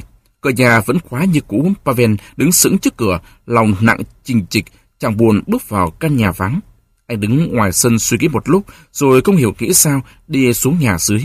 Anh trèo lên xà nhà, vút mạng nhện dính ở mặt. Từ một góc kín, rút ra khẩu súng ngắn, Manlike bọc xẻ nặng chịu. Khẩu súng lùng lẳng trong túi, Pavel bước ra cửa đi lên nhà ga. Chạy khắp mọi nơi, không được tin gì về Sukurai cả. Trên đường về, qua biệt thự quen thuộc, nhà người tránh kiểm lâm, Pavel chậm bước lại. Một mối hy vọng mơ hồ làm anh ngước nhìn lên cửa sổ. Nhưng vườn và nhà đều vắng không một bóng người. Khi đi qua rồi, Pavel còn ngoái lại, nhìn một lần nữa các lối đi trong vườn phủ đầy lá khô màu xì sắt. Cái vườn thật hoang vắng, hiu quạnh, chắc cả nhà đi vắng xa, không ai trông coi. Cảnh tượng im lìm, vắng ngắt của tòa nhà cổ càng gợi mối buồn của Pavel. Pavel và Tonya vừa giận nhau một trận găng nhất từ trước đến nay. Câu chuyện xảy ra bất ngờ đã gần tháng nay rồi. Thùng thẳng đi xuống phố, tay đút túi quần. Anh vừa đi, vừa nhớ lại chuyện giận nhau với Tonya hôm trước. Một hôm, đang đi ngoài phố, tình cờ gặp nhau, Tonya mời Pavel đến chơi nhà. Chiều mai cậu mời em đến nhà bác Bunsansky ăn cỗ, em ở nhà một mình. Đến chơi với em anh Pavlusan nhé. Chú thích, cũng là tên Pavel, nhưng gọi rất thân mật, hết chú thích. Chúng mình sẽ cùng nhau đọc cuốn truyện hay lắm, chuyện Sasuka Kikulev của Andreev. Em đã xem chuyện ấy rồi, nhưng em thích đọc lại với anh. Anh ở chơi cả tối thì vui lắm, anh đến chứ. Dưới vài mũ nhỏ màu trắng phủ lấy mái tóc nâu dày màu hạt rẻ, cả bắt to của tôi nha nhìn Pavel chờ đợi trả lời. Đồng ý anh sẽ đến, và họ chia tay nhau. Pavel dạo bước đến nhà máy. Suốt ngày hôm ấy, anh cứ nghĩ mãi đến cả một buổi tối sẽ được ở chơi với tôi nha. Hai người sẽ ở bên nhau. Nghĩ thế, anh cảm thấy hình như ngọn lửa cháy càng sáng hơn và cùi nổ lách tách vui hơn. Tôi đến khi Pavel có cửa chính, tôi nhà mở cửa, nói hơi lúng túng, em có khách. Họ tự nhiên đến, chứ em không mời, nhưng anh cứ vào, anh Pavel Lusa Pavel quay ra cửa, trực bước đi, tôi nhà nắm lấy tay áo anh. Anh cứ vào anh ạ, Họ được quen anh cũng tốt cho họ. Rồi tôi nhà khoác tay dẫn Pavel qua nhà ăn đến phòng mình. Và đến nơi, tôi nhà mỉm cười giới thiệu với bọn thanh niên nam nữ đang ngồi đó. Chưa quen nhau phải không? Đây là anh Pavel Karasagin, bạn tôi. Bọn ấy có ba người đang ngồi ở quanh chiếc bàn tròn kê giữa phòng.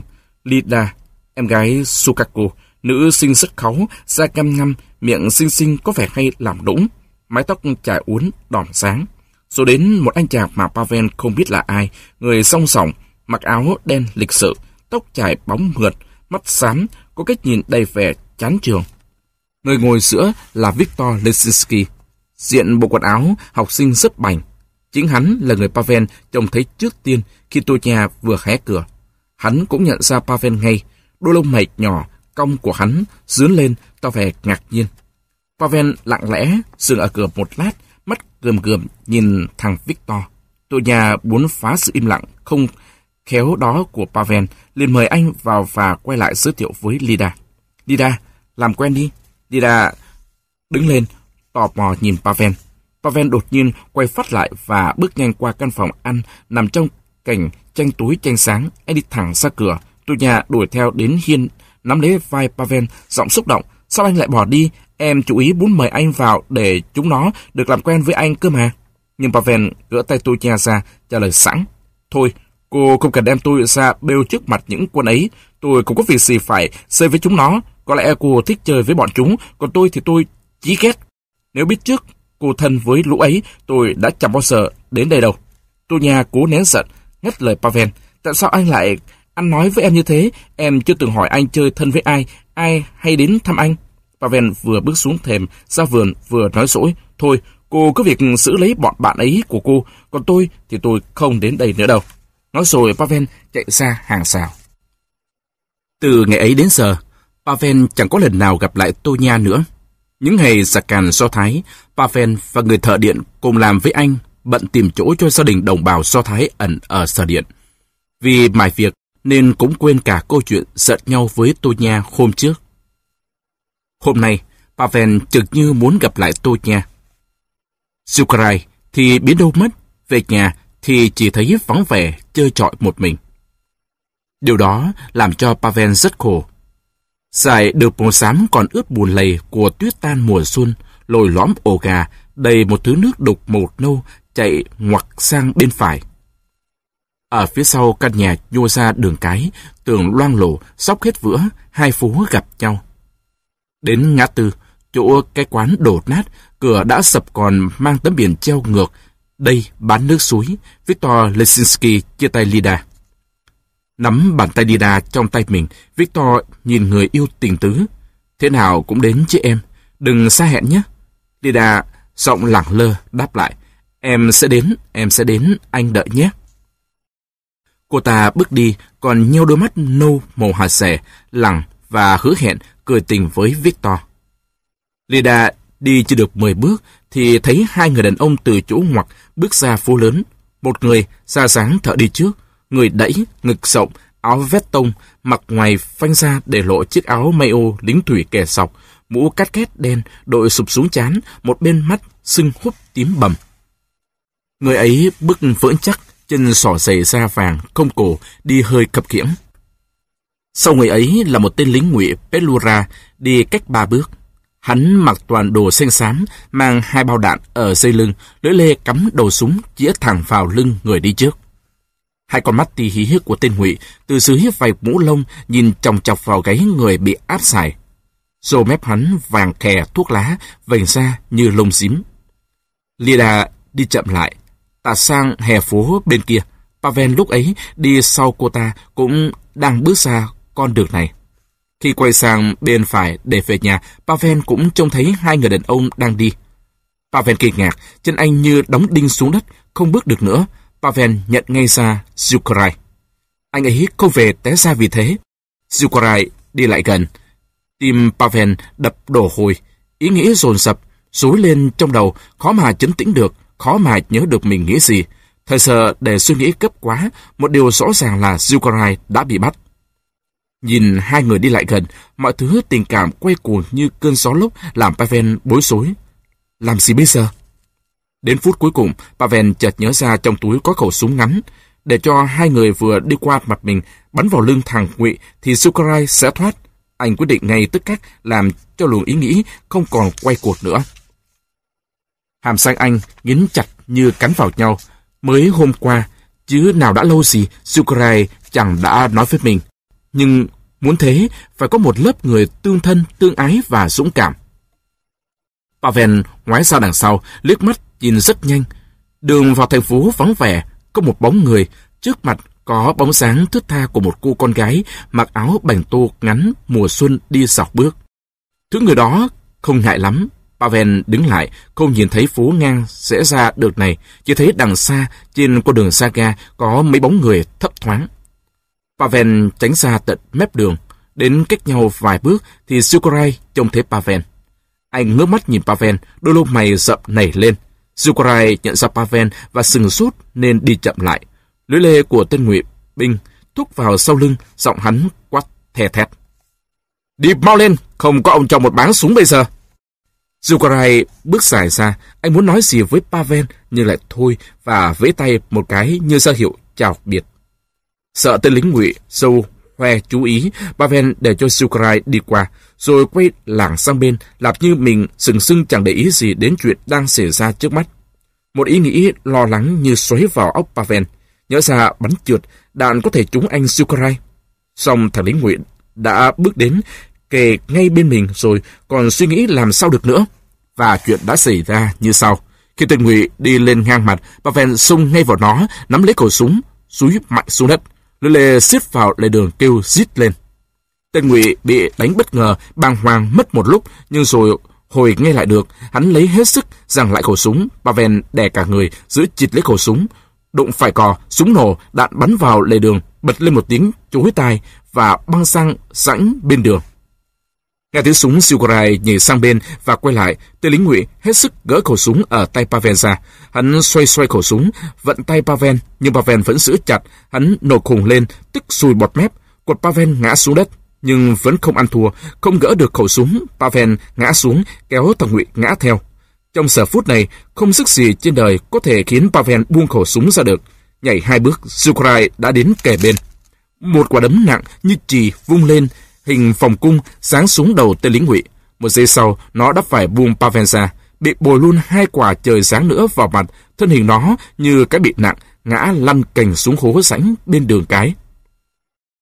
Cũng đôi cánh tay rắn chắc của Silgrai đã nâng Pavel từ dưới đất đứng dậy. Victor rời gã tư một quãng, vừa đi vừa khuyết sáo bài, như lông chim trước gió lòng cười đẹp thường dễ đổi thay. Victor hãy còn xúc động vì buổi gặp gỡ Lida và lời cô ta hẹn hôm sau sẽ tìm nhau ở gần chỗ nhà máy bỏ khâu. Trong đám những tay chim gái thành thần ở trường có nhiều tiếng đồn đại về Lida. Người ta nói cô ấy về món yêu đương thì bạo lắm. Cái thằng Somka chơ cháo và tự phụ cũng đã có hôm khoe với Victor là lên được con bé rồi. Tuy Victor cũng chẳng tin mồm thằng Somka lắm, nhưng vẫn định bụng mai thử xem những điều hắn nói có đúng không. Bởi vì dù sao Lida cũng là một miếng mồi xinh đầy sức quyến rũ. Nếu con bé đến thật thì mình phải tỏ ra bạo dạn mới được. Nghe nói con bé cũng dễ để cho hôn. Và nếu con nhà Somka không bịp mình thì...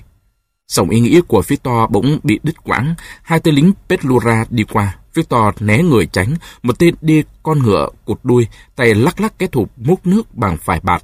Chắc hắn cho ngựa đi uống nước. Còn thằng kia mặc áo ngắn, quần xanh lụng thụng, tay đặt lên đầu gối thằng đi ngựa, miệng đang kể cho nó nghe một câu chuyện bông phèn. Victor sắp bước đi, một tiếng nổ bất thình lình vang lên ngoài đường, làm hắn đứng dừng lại. Ngoảnh lại, Victor thấy tên lính thứ nhất quất ngựa lồng lên, phi tới chỗ có tiếng nổ, thằng kia thì lấy tay đỡ kiếm chạy theo sau nó. Victor cũng chạy theo chúng, ra đến gần đầu phố thì lại nghe thấy một tiếng nổ nữa. Từ chỗ ngoặt, thằng đi ngựa lúc nãy bất thình lình chạy trở ra phía Victor. Hắn lấy gót chân và lấy cả cái thùng thúc vào mình ngựa. Đến trại, vừa nhảy vào khỏi cổng, hắn đã la báo ngay cho bọn lính đang đứng ở sân. Các cậu ơi, súng đâu ra ngay, chúng nó thiệt bọn anh em mình ngoài kia. Chốc lát, đã có nhiều đứa từ trong sân chạy sổ ra, vừa chạy vừa lên quy lát, lách cách. Chúng tóm lấy Victor. Trên đường, người đứng súng đông, trong đó có cả Victor và Lida. Lida bị giữ lại để làm chứng. Dida sợ quá, đã đứng sững ngay tại chỗ khi Sukarai và Pavel chạy ngang qua mặt cô. Cô ngạc nhiên nhận ra người đánh tên lính Pelura lại chính là thiếu niên mà hôm nào Tuya có ý muốn giới thiệu với mình. Người nọ theo sau người kia, nhảy qua hàng rào một biệt thự và liền ngay lúc đó có một tên lính đi ngựa phi ra đường phố. Thấy Sukarai vác súng chạy, còn tên lính đi áp giải thì đang cố sức bò dậy. Tên đi ngựa liền thúc ngựa về phía hàng rào biệt thự đó. Sukurai quay lại, kề súng vào vai, bắn tên lính đi ngựa, làm tên này phải quay ngựa lùi lại. Khẽ e nhúc nhích cặp môi sưng phèo, tên ngụy đi áp giải kể lại đầu đuôi câu chuyện. Thằng lính đi ngựa nghe xong, mắng. Là thế nào mà mày để thằng tù nó chuột ngay dưới mũi, hở đồ ngu như lợn. Mày sẽ biết tội mày, 25 soi vào mông đít. Bực mình, tên lính áp giải cũng cãi lại. Mày thì ma lanh lắm đấy, để cho nó chuồn dưới mũi. Ai mà biết được có quân khốn nạn, nó từ đằng sau xung ra, vào tao như ma hiện, ma vật ấy. Lida cũng bị hỏi cung. Cô khai y như tên lính, song giấu không nói rằng mình biết người hành hung là ai. Tất cả mọi người có mặt đều bị dẫn về đồn giám binh và đến tối tên giám binh ra lệnh thả họ ra. Tên giám binh ngỏ ý muốn tự mình đưa Lida về tận nhà, nhưng cô ta từ chối. Miệng tên này sặc mùi rượu vodka và ý của hắn ta chẳng có tư thế gì. Victor đưa Lida về. Đường về nhà ga còn xa, Victor khoác tay Lida, vừa đi vừa mừng thầm, có chuyện xảy ra mới có dịp may thế này. Khi gần đến nhà Lida hỏi, anh có biết ai cứu người tù không? Lida bảo tôi làm sao mà biết được. Anh có nhớ tối hôm nào tôi nha giới thiệu với chúng mình một thiếu niên? Victor đứng dừng lại, sừng sốt. Pavel Karaskin chứ gì? Đúng, tôi mang máng nhớ khi chưa tên anh ta là Karaskin thì phải. Anh nhớ chứ, hôm ấy anh chàng trông thấy chúng mình là liền đi ngay, đến lạ, chính anh ta đấy. Victor kinh ngạc, Lida không trông nhầm chứ? Không, Lida nhớ kỹ nét mặt anh ta lắm. Thế sao Lida không khai với ông giám binh? Lida nổi giận, anh cho tôi lại có thể đi làm cái việc khốn nạn ấy ư? Cô cho thế là khốn nạn à? Chỉ tên kẻ hành hung người lính áp giải theo cô là khốn nạn sao? Thế theo anh là chính trực hay sao? Anh quên mất những việc chúng làm. Anh có biết ở trường ta có biết bao bạn học sinh so thái vì chúng mà mồ côi cha mẹ. Vậy mà anh lại còn muốn tôi đi tố cáo Pavel Karasaki nữa ư? Thôi, cảm ơn anh. Không ngờ anh là người như thế. Victor có tưởng đâu Lida trả lời như vậy. Hắn không muốn gây chuyện với Lida nên tìm cách nói lảng sang chuyện khác. Lida, đừng giận. Tôi nói đùa đấy thôi. Tôi không biết tính Lida nguyên tắc như thế đấy. Lida đáp gọn lòn. Lối đùa của anh khó người lắm. Đến trước nhà Lida Sukaku, khi chia tay bạn, Victor hỏi, mai Lida đến chứ?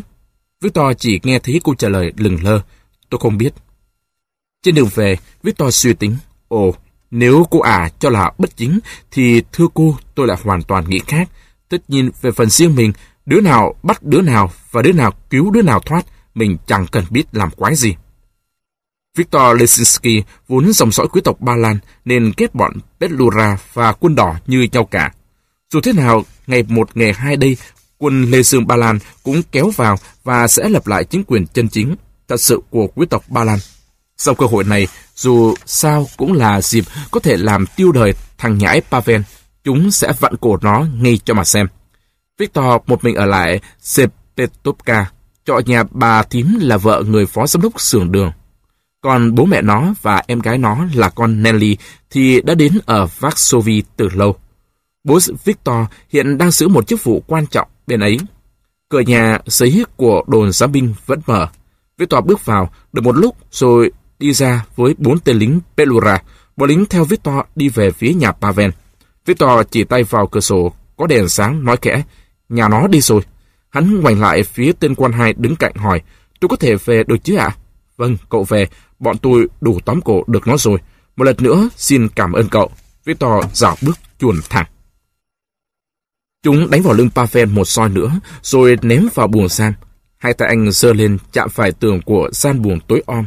Anh sờ soạng thấy một chỗ giống như chiếc bục gỗ, liền ngồi xuống, người kiệt sức, đau như dần. Pavel bị bắt giữa lúc không ngờ nhất. Sao bọn Petlura lại biết được là anh nhỉ? Không ai trông thấy anh cơ mà. Chúng sẽ làm gì anh không biết. Không hiểu anh Zukarai đâu. Hai người chia tay nhau ở nhà Klimka. Pavel đến nhà Seki, còn Zukarai thì chờ đến tối là trốn khỏi thành phố. Pavel nghĩ thầm, may mà mình số cổ súng lên tổ quạ rồi, chứ không chúng khám thấy thì tiêu đời. Nhưng mà sao chúng lại biết là mình được nhỉ? Điều không thể nào đoán ra được ấy cứ giày vò Pavel mãi.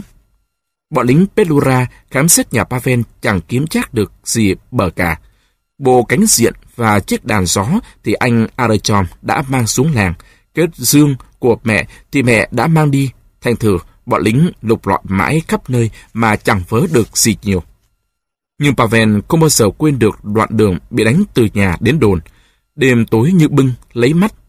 Trời nặng chiếu mây, đòn đánh không tiếc tay, bị đá vào sườn, bị đạp vào lưng túi bụi, Mạng sườn bị thụi cái nào xa cái ấy, Pavel tối tăm mặt mũi đi như người mất hồn mất trí.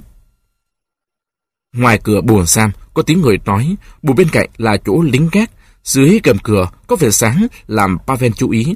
Pavel đứng dậy, lấy tay sờ soạn men theo tường, lần đi cắp buồng giam, đối diện với cái bục, Pavel sờ thấy cửa sổ, chấn song có răng cưa chắc chắn. Pavel thử lấy tay lay, nhưng chấn song bằng sắt chắc lắm, Buồng giam này có vẻ như trước đây là kho chứa hàng. Pavel mò lại cửa, đứng nghe ngóng động tĩnh một phút, rồi khẽ ấn quả đấm, cánh cửa kêu lên ken két đến ác. Pavel phát cáu, mẹ kiếp, chúng chẳng chịu cho dầu. Pavel nhìn qua khe cửa hở, thấy trên mép bục có đôi bàn chân bẩn, ngón chân khoằm khoằm chìa ra. Pavel lại vặn quả đấm, nhưng cửa lại kêu to hơn. Trên bục có một bóng người đầu rối bù, mặt ngái ngủ, ngồi nhòm dậy, gãi đầu rối rít, miệng phun ra một thôi một hồi những lời tục tiếu. Khi đã ề à trừ tục, chán rồi, hắn sờ lên khẩu súng dựng ngay đầu bục, nói lạnh như tiền. Đóng ngay cửa lại, còn dám nhìn ông lần nữa thì ông cho ăn luôn phát đạn. Pavel ấn cửa lại, phòng bên tiếng cười rộ lên. Để bấy, Pavel nghĩ lung lắm. Lần đầu định góp sức vào cuộc chiến đấu đã gặp sự không may rồi. Mới bước đầu đã bị chúng tóm được và nhốt vào đây như chuột mắc bẫy. Anh vẫn ngồi, thiêu thiêu một giấc, nửa ngủ nửa mê. Hình ảnh mẹ hiện ra, khuôn mặt gầy gầy, răn reo, đôi mắt thân quý yêu xấu. Một ý nghĩ thoáng qua. May mà mẹ không có nhà, mẹ có nhà thì thật phiền lòng mẹ. Ánh sáng lờ mờ chiếu qua cửa sổ y lên nền nhà một khung vu màu xám. Bóng tối lùi dần, sắp sáng rồi, sắp sáng rồi, sắp sáng rồi. Chương 6 Ngôi nhà to cổ kính, chỉ có một cửa sổ che màn the là thắp đèn sáng mà thôi. Ngoài sân, con chó Tresor bị xích sủa lên khàn khàn. Đang thiêu thiêu ngủ, tôi nhà nghe ba máng có tiếng mợ nói nhỏ. Chưa, em nó chưa ngủ đâu, Lida cứ vào đây. Bạn đến, chân bước nhẹ nhàng, chiều mến ôm tròn lấy tôi nha, xua tan hết vẻ ngáy ngủ ở cô. Tôi nha cười mệt mỏi. Lida đến chơi hay quá, nhà mình hôm nay có vui lớn. Cậu mình bị mệt hôm qua lên cơn sốt nặng, hôm nay đã dứt cơn, suốt ngày ngủ yên. Còn mình và mợ mình thì cũng nghỉ, vì suốt mấy đêm nay không chập mắt. Lida có tin gì kể đi. Tôi nhà kéo bạn lại ngồi cạnh trên divan. Ồ, tin thì rất nhiều, nhưng có một tin mà mình chỉ có thể kể riêng với tôi nha thôi. Lida vừa nói vừa cười, mắt tinh nghịch liếc nhìn về phía mẹ tôi nha. Mẹ tôi nha cũng mỉm cười. Bà là một người đàn bà đoan trang, đi đứng nhanh nhẹn như còn con gái. Tuy năm nay đã 36 tuổi, bà có cặp mắt màu cho thông minh, khuôn mặt đầy nghị lực, không đẹp sắc sảo nhưng có duyên. Nghe Lida nói, bà kéo ghế lại gần đi văng, nói đùa. Được, bác bằng lòng để hai cô ngồi nói chuyện riêng với nhau. Xong trước hết, cháu hãy kể cho bác nghe chữ tin tức ai cũng nghe được đã nào. Tin thứ nhất, tôi nhà là chúng mình sẽ không đi học nữa. Hội đồng nhà trường đã quyết định cấp bằng tốt nghiệp cho học sinh lớp 7. Giọng Lida kể càng phấn khởi. Mình mừng lắm. Mình đã nghĩ cái món đại số và hình học lắm rồi. Mà học những cái ấy làm gì kia chứ? Bọn con trai thì đã đành, chúng nó có thể sẽ học lên nữa, tuy chúng nó cũng chẳng biết sẽ học ở đâu và bao giờ. Chỗ nào cũng là mặt trận đánh nhau. Sợ thật, nhưng còn chúng mình, chúng mình rồi sẽ đi lấy chồng cả. Mà đời làm vợ thì có cần gì đến đại số đâu. Nói đến đây, Lida cười phá lên. Mẹ tôi nha ngồi với hai cô một lát rồi trở về phòng mình. Lida nhích lại gần tôi nha, lấy tay quàng cổ bạn dì tai kể lại cuộc xô sát mà Lida đã được mục kích ở ngã tư ngoài phố. Tôi nhà thử tưởng tượng mình đã ngạc nhiên chực nào khi nhận ra người đánh tháo cho tù là Tôi nhà thử đoán xem ai. Tôi nhà nghe chuyện rất ham, thế hỏi thì nhún vai tỏ vẻ không biết. Lida buộc miệng, người đó là Karasagin. Tôi nhà nghe giật nảy mình, cúi xuống, đau đớn như hỏi lại chính mình. Karasagin à, Lida muốn thử xem tu nhà nghe tin có lao đao không, bây giờ đã biết rõ kết quả rồi. Thích chí liền kể sang chuyện bất hòa giữa cô và Victor. Lida mà kể, chẳng để ý gì đến vẻ mặt tôi nha, lúc đó đã tái đi, ngón tay thon thon, sứt sứt, nếp áo cộc tay màu xanh. Lida đâu có biết lúc này trái tim tôi nha xe lại bao nhiêu lo lắng. Lida không thể nào hiểu được vì sao hàng lông mi sứt sẩy trên đôi mắt đẹp kia lại run rẩy những lo âu. Tôi nhà chặt nghe gì câu chuyện về thằng quan hai say rượu muốn tiễn Lida về nhà để dở trọt nữa. Một ý nghĩ duy nhất dày vò tôi nha. Victor biết tên người đánh tháo là Pavel. Tại sao Lida lại nói cho hắn biết? Và bất giác tôi nha buộc mồm nói to câu đó làm cho Lida không hiểu ra sao. Mình nói cái gì? Sao Lida lại đem nói với Victor về chuyện anh Pavel Lusa, nghĩa là về chuyện anh Pavel Karasagin làm gì? Victor có thể sẽ tố cáo. Không đâu, mình tin là không, vì nghĩ cho cùng thì Victor tố cáo làm gì mới được. Tô già ngồi phịch xuống, tay ôm giết lấy đầu gối. Lida ạ, Lida không hiểu gì cả, Victor và Pavel thù ghét nhau, ngoài ra lại còn chuyện khác nữa. Lida đã làm một việc rất sai là đã kể cho Victor biết tên người đánh lính là Pavelusa. Đến bây giờ Lida mới nhận thấy nỗi hồi hộp, lo âu của tôi nha và tiếng gọi Pavlusa ô yếm mà Toya buộc miệng thốt ra, khiến Leda bỗng nhiên hiểu hết tất cả những chuyện mà lâu nay Lida còn mang máng ngờ ngợ. Lida cảm thấy mình có lỗi nên im bặt, thái độ bối rối. Lida nghĩ thầm, thế là mình nghĩ không sai, ngộ thật, hóa ra tụi nhà đã phải lòng rồi, phải lòng ai biết được chứ, phải lòng một anh thợ tầm thường. Lida rất muốn hỏi chuyện này, xong vì nể bạn lại thôi. Muốn tìm cách làm nhẹ lỗi mình đối với bạn, cô nắm lấy tay tôi nhà. Tôi nhà ơi, tôi nhà lo lắm phải không? Tôi nhà đang mải nghĩ đi đâu đáp lại, không, có thể Victor tử tế hơn mình tưởng. Mỗi bên theo đuổi một ý nghĩ riêng, câu chuyện không ăn khớp với nhau. Giữa lúc đó thì Demian nốt đến. Cậu ta là một thiếu niên nhút nhát, vụ về cùng học một lớp với Tunya và Lida. Tiễn các bạn gái về rồi, Tunya còn đứng một mình hồi lâu ngoài cổng.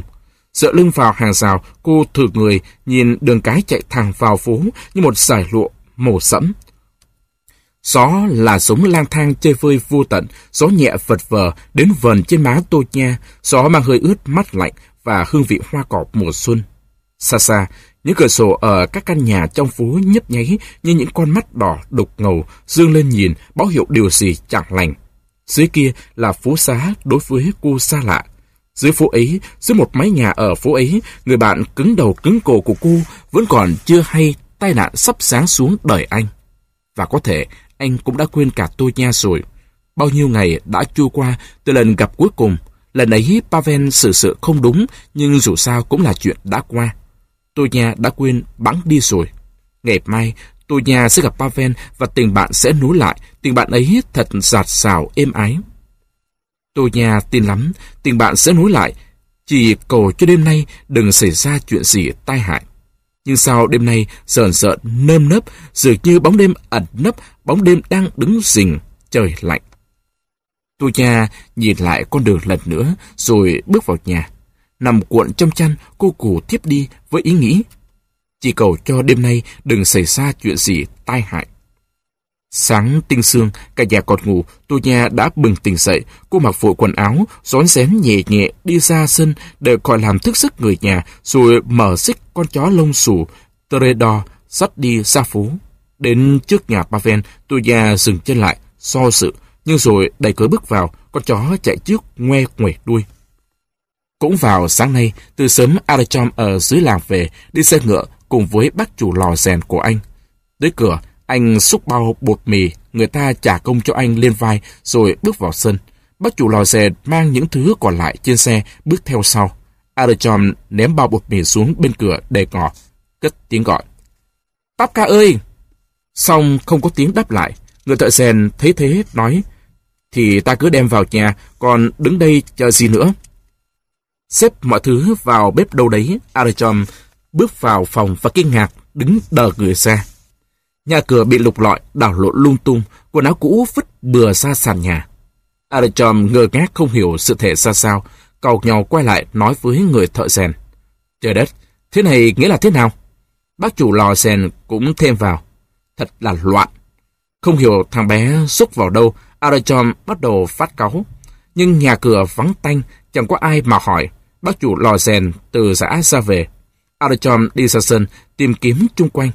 Thật chẳng hiểu câu chuyện ra sao nữa, cửa thì bọt ngò, mà bắp ca thì mất hút. Có tiếng chân đi đằng sau, Arachom quay lại, con chó to, tay vệnh, đứng ngay trước mặt. Một cô con gái mà anh không quen từ hàng rào đi vào nhà. Cô ta nhìn Arachom, giọng hỏi khẽ. Em cần gặp anh Pavel. Tôi cũng đang cần gặp nó đây. Trời biết được nó rút vào đâu. Tôi vừa về, cửa bọt ngỏ mà chẳng thấy nó đâu. Rồi Arachom hỏi cô ta. Còn cô đến tìm Pavel phải không? Cô trả lời lại là một câu hỏi. Anh có phải là Arachom, anh ruột Pavel không ạ? Phải. Cô hỏi làm gì vậy? Nhưng cô gái không đáp lại, vẻ mặt lo âu ngước nhìn cánh cửa mở. Sao mình không đến từ tối hôm qua?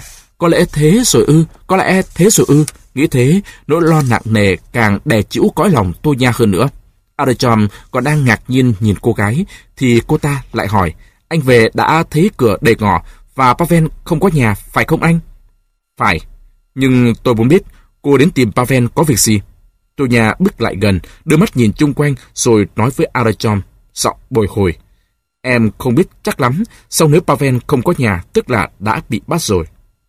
Arachom giật bắn mình hốt hoảng. Bị bắt vì sao cơ? Tôi nhà nói, ta đi vào trong nhà nói chuyện. Arachom im lặng, nghe tôi nhà kể. Khi tôi nhà đã kể tất cả những điều cô biết, Arachom thất vọng. Arachom tức bực, chửi đồng lên. À, thật là lũ khốn nạn, bọn chó chỉ trực có thế. Bây giờ tôi mới hiểu tại sao trong nhà bị lục tung lên như thế, ma quỷ đâu đã dẫn thằng bé vào câu chuyện này. Bây giờ không biết tìm nó ở đâu cho thấy. Còn cô, cô là ai nhỉ? Em là con gái ông Kiểm Lâm Tumanov. Em có quen Pavel. À à, Archon kéo dài mãi tiếng à. Đây, tôi mang bột mì về cho nó ăn thêm một chút. Thế mà bây giờ thì như vậy đấy. Hai người lặng lẽ nhìn nhau. Lúc chào Archon ra về tôi dặn kẽ. Em về đây. Có lẽ anh sẽ tìm thấy Pavel. Chiều nay em sẽ đến. Anh cho em biết tin về anh ấy. Archon im lặng, gật đầu.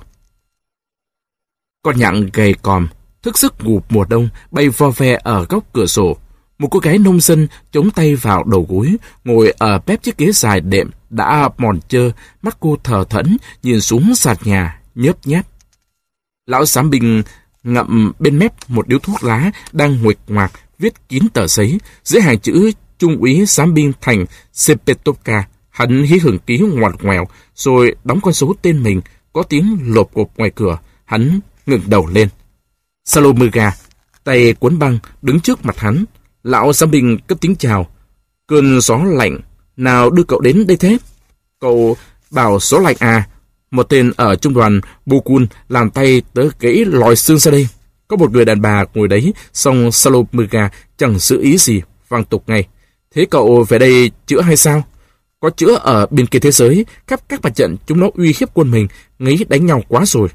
Lão giám Bình ngắt lời hắn, hất đầu ra hiệu chỉ người con gái. Thôi, chốc nữa ta sẽ nói chuyện.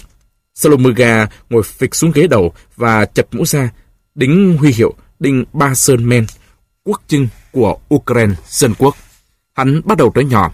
Cô lúc phái mình về đây, sắp có một sư đoàn bộ binh về đây trú quân, có thể sinh ra lắm chuyện, mình phải về trước thu xếp, có thể là đầu lĩnh trưởng sẽ thân hành đến đây và cùng đi với đầu lĩnh trưởng, còn có một tay tai to mặt lớn nước ngoài nữa. Vì thế, đừng có ai hở mồm gì về vụ chất tươi hôm trước mà vạ đấy nhé. Còn cậu thì đang viết gì đấy? Tên gia bình nhếch miệng chuyển một thuốc lá sang mép kia, đáp lại, tớ vớ được một thằng nhãi con chết sấp. Cậu với thằng cha Zukarai chứ? Gã lính thủy suối thợ xe lửa trồm lên với chúng mình ấy mà. Có biết không, chúng mình tóm được nó ở ngoài ca đấy. Thế rồi thế nào? Salo mưa gà nhích lại gần, chăm chú nghe. Thế rồi thằng Omen Sinker, trường đồn nhà ga, là một thằng ngu như bò, đưa thằng cha Zukarai sang đây mà chỉ cho một thằng lính giải đi. Vì thế cho nên cái thằng nhãi con đang bị giam, bây giờ nó mới đánh tháo được cho thằng kia giữa ban ngày ban mặt. Chúng nó tước súng thằng lính của mình, đấm vỡ quai hàm rồi biến. Thằng Sukurai thì mất tích, còn thằng nhãi thì rơi vào tay mình. Hồ sơ đây, đọc mà xem. Tên giám binh ấn cho Salomuga một tập giấy. Thằng này lấy tay trái còn lành, lần sở tập hồ sơ xem phớt qua. Xong rồi, hắn nhìn chằm chặp tên giám binh. Thế cậu chả moi được ở nó cái gì à? Tên giám bình bực mình kéo sụp chiếc mũ cát két tới sát mép. Mình mất 5 ngày trời vất vả với nó rồi đấy. Nó bột mực, tôi không biết gì hết. Tôi không đánh tháo cho ai cả. Thật sống sặc lỏi con. Thằng lính áp giải thì nhận đúng mặt nó rồi. Vừa nhìn thấy đã suýt nữa thì đè thằng nhãi ra, chịt lấy cổ. Phải rằng nó ra vì thằng lính đâu bị Omensenker cho ăn 25 soi về tội để tù sầu. Nên hắn ấm ức cứ muốn nuốt chừng thằng nhãi. Thôi, giữ mãi của nợ ấy cũng chẳng được tích sự gì. Tôi định viết giấy sang bên tham mưu để xin lệnh cho treo cổ. Salomuga nhổ nước bọt kinh bỉ. Mày lành quá, phải tay tao thì nó đã phun ra rồi. Mày thật là đồ con nhà thầy tu. Hạng mày không biết cách lấy cung, dám binh gì mà như là thầy dòng ấy. Mày đã lệ nó ra trò chưa đã? Lão Sơn Bình phát cáu. Mày nói thế mà cũng nói được. Bỏ cái lối nói mỉa ấy của mày đi. Tao làm giám binh ở đây. Yêu cầu mày đừng chõ vào việc của tao. Salomuga thấy tên giám binh sừng sộ thì cười lên ha ha. Ha ha. Thôi, xin ông thầy sọc non đừng bốc lên thế mà nổ con ngươi, lòi con mắt. Việc của mày thôi, mặc xác mày. Bây giờ mày nói cho tao biết đào đâu được hai chai cay đây. Tên gia binh cũng cười làm lành. Cái món ấy thì có thể được. Còn về thằng nhãi này, Salomuga xí ngón tay vào tập thấy. Cái thằng nhãi này, nếu mày muốn cho nó tong đời, thì chớ nói 16 tuổi, mà phải tăng lên 18. Dễ thôi, vòng lại tí xô còn số 6 là được. Không thì trên chẳng duyệt bản án đâu. Trong nhà pha có ba người bị giam, một ông cụ già, xô xia xồm xoàm, mặc áo bông sách, nằm nghiêng trên bục, hai cẳng gầy đét, co quắp lại, thảm hại trong chiếc quần vải thô lụng thụng. Cụ bị giam vì tên lính ngụy đóng ở nhà cụ có con ngựa, biến đâu mất. Dưới đất, một mộ nạ rồng mặt tì hí, rất gian xảo, cầm nhọn hoắt, vốn làm nghề nấu rượu. Mụ bị kết tội ăn cắp đồng hồ và các thứ đồ quý khác. Ở một góc dưới khung cửa sổ, bà Vèn ngả đầu trên mũ cắt két nát, nằm gần như bất tỉnh. Người ta đẩy vào nhà giam một cô gái trùm khăn sặc sỡ, kiểu nông dân, hai mắt to sợ sệt. Cô đứng một lúc, rồi lại ngồi bên mụ đàn bà nấu rượu. Mụ ta đưa mắt xét nét cô từng ly từng tí, rồi hỏi liếng thoáng. Cô bé kia cũng vào khám đấy à? Không có tiếng đáp lại, mụ ta vẫn không chịu thôi. Sao bị tóm thế? Có phải bị bắt vì nấu rượu lậu không? Cô gái nông dân đứng dậy, nhìn mụ già khó chịu ấy, khẽ đáp lại. Không, tôi bị bắt vì anh tôi. Mụ kia cứ hỏi gặng. Thế ông anh làm sao? Ông cụ già phải chen vào. Cái nhà mụ kia, thói đầu cứ làm tội người ta như thế, lòng người ta đang như tan nát mà mụ cứ lắm điều, hỏi ra xả. Mụ kia phát cáu, quay phát lại phía bục. Ai khiến ông lên mặt dậy đời thế hả ông lão kia? Tôi có nói với ông đâu mà ông chen vào. Ông lão bực mình nhột nước bọt. Lão cứ nói đấy, mụ phải để cho người ta yên chứ. Trong nhà giam lại im bặt. Cô gái nông dân cởi khăn quàng, chài xuống đất nằm, lấy tay cúi má. Mụ hàng rượu lấy cơm ra ăn.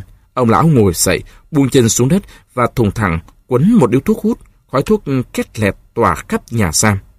Miệng còn nhộp nhòm nhai cơm bòm ba bòm bèm, mụ kia cào nhào, Cái nhà ông lão kia không để cho người ta ăn cơm yên nữa, khét lên lèn lẹt. Hút gì mà hút lắm thế, y như cái ống khói. Ông cụ chẳng vừa, nói lại. Mụ sợ gầy đi à, chẳng mấy chốc rồi cửa kia mụ đi không lọt. Mụ gọi thằng bé kia vào cho nó ăn với, còn hơn là tọng cả vào mồm một mình, mình thế.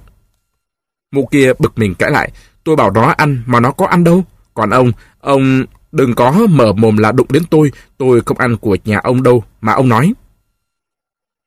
Người con gái ngoảnh lại phía mụ nấu rượu, hất đầu ra hiệu về phía Pavel, hỏi mụ ta. Bà có biết sao anh ấy bị bắt không bà?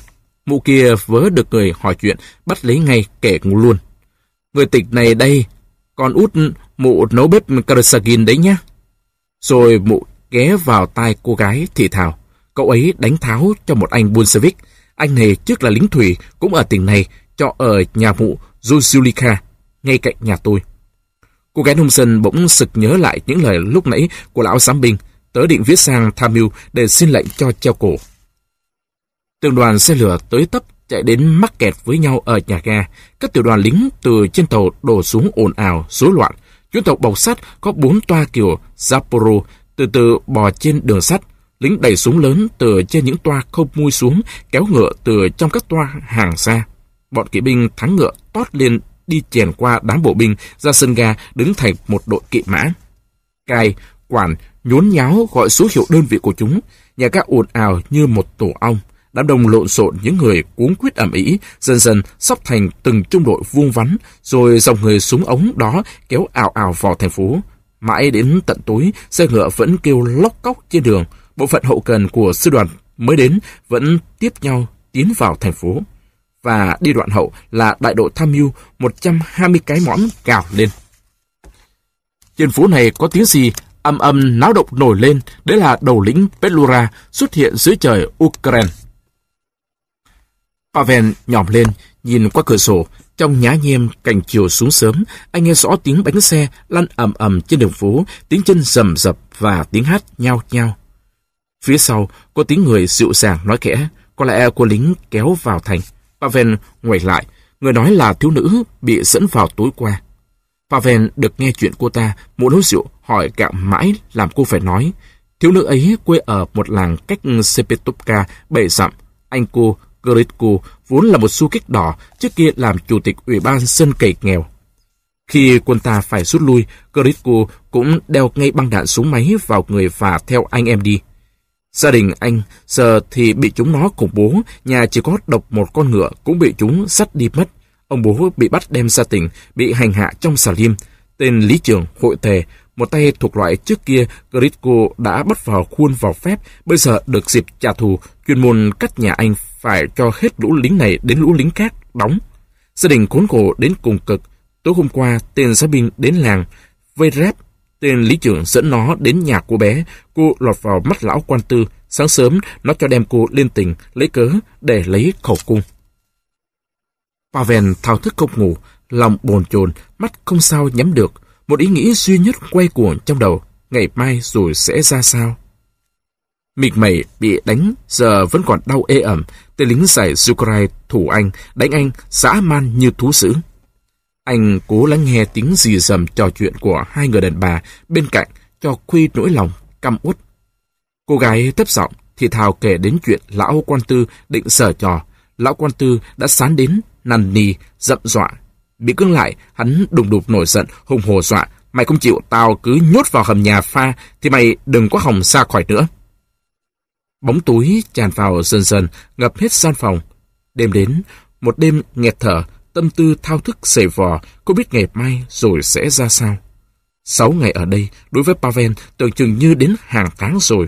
Nằm sàn đất cứng như đá, người lại càng đau nhừ. Trong phòng giam này chỉ còn có ba người. Tên quan hay đã thả mụ hàng rượu ra để về lấy chất cay mang hầu chúng. Ông cụ già nằm trên một cỗ ngủ kỹ, ngáy khỏe như ở nhà vậy. Y như một nhà hiền chiết, cô lúc nào cũng bình thản, đêm nào cũng ngon giấc, Korichina, cô gái nông dân và Pavel nằm dưới đất gần như kề bên nhau. Chiều qua, Pavel nhìn qua cửa sổ thấy Saki đứng ỉu xìu hồi lâu trước nhà pha. Buồn sầu nhìn lên những cửa sổ chạy gian. Saki chắc biết mình bị nhốt ở đây. Ba ngày nay, có người gửi vào cho Pavel mấy mẫu bánh mì đen. Ai gửi đến, chúng cũng chẳng cho hay. Đã hai hôm nay, tên giám binh làm Pavel hoảng hốt vì những cô cha hỏi soi mói. Cha thế nghĩa là thế nào? Pavel chối hết không khai gì cả. Vì sao không khai? Bản thân anh cũng không biết. Anh muốn can đảm, anh muốn mình cũng cứng cỏi như những anh hùng đọc thấy trong sách. Nhưng đến khi chúng bắt anh, dẫn anh đi giữa đêm dày, lúc đi qua cái hình thù lù lù của cối xe chạy bằng hơi nước, có tiếng một thằng lính áp giải nói, bẩm trung úy đưa nó đi làm gì nữa, cứ cho một phát vào lưng là xong chuyện. Lúc ấy Pavel mới cảm thấy sờn sợn. Phải, Mới 16 tuổi đầu mà đã phải chết thì khổ thật. Vì khi đã chết rồi thì dù sao cũng là mãi mãi không sống nữa, không bao giờ sống nữa. Khorichida cũng nghĩ ngợi, cô hiểu số phận Pavel hơn cả Pavel kia. Anh ta chắc còn chưa biết chuyện, chứ cô thì đã nghe chúng nói thế nào rồi. Ban đêm, Pavel không ngủ, cứ dây dứt phật mình. Khorichina cảm thấy thương anh, ôi, thương không biết bao nhiêu mà kể. Xong, Khorichina cũng có nỗi đau đớn của mình, cô không quên được những lời khủng khiếp của lão giám binh. Liệu hồn, mai rồi biết tay tao, không bằng lòng tao thì tao vứt xuống cho bọn vệ sĩ. Lính cô sắc, chúng nó không chê mày đâu. Tùy mày chọn đấy. Lòng Corregina nặng trình trịch, chẳng còn có thể trông ai thương cho phận mình nữa. Có tội tình gì cho Cam?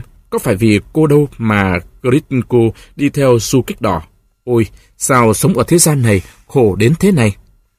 Nỗi đau đớn nhoi nhói, ứ nghẹn lấy cổ, thất vọng, minh mông, hãi hùng khủng khiếp, tất cả như chẹt lấy lòng. Corichina nức nở khóc. Tấm thân non trẻ run lên, lo sợ và buồn vô hạn. Có bóng người động đậy ở góc tường. Em làm sao thế? Corichina ngỏ với người bạn ít nói nỗi khổ cùng đường của mình, tiếng nói khẽ nhưng mang hơi thở nộc nàn. Pavel lặng nghe, bàn tay đặt lên đôi bàn tay Krishna. Bọn quỷ ấy, chúng nó sẽ hành hạ em đến chết mất. Cô gái kỹ mà khiết đảm, nuốt nước mắt, thì thào. Em đến bị với chúng nó mất. Sức em không làm gì chúng nó được. Biết nói gì với người con gái này, biết nói gì được. Nói không ra lời, cuộc đời bạn bị dồn đến chỗ cùng đường, đến chỗ ngạt thở.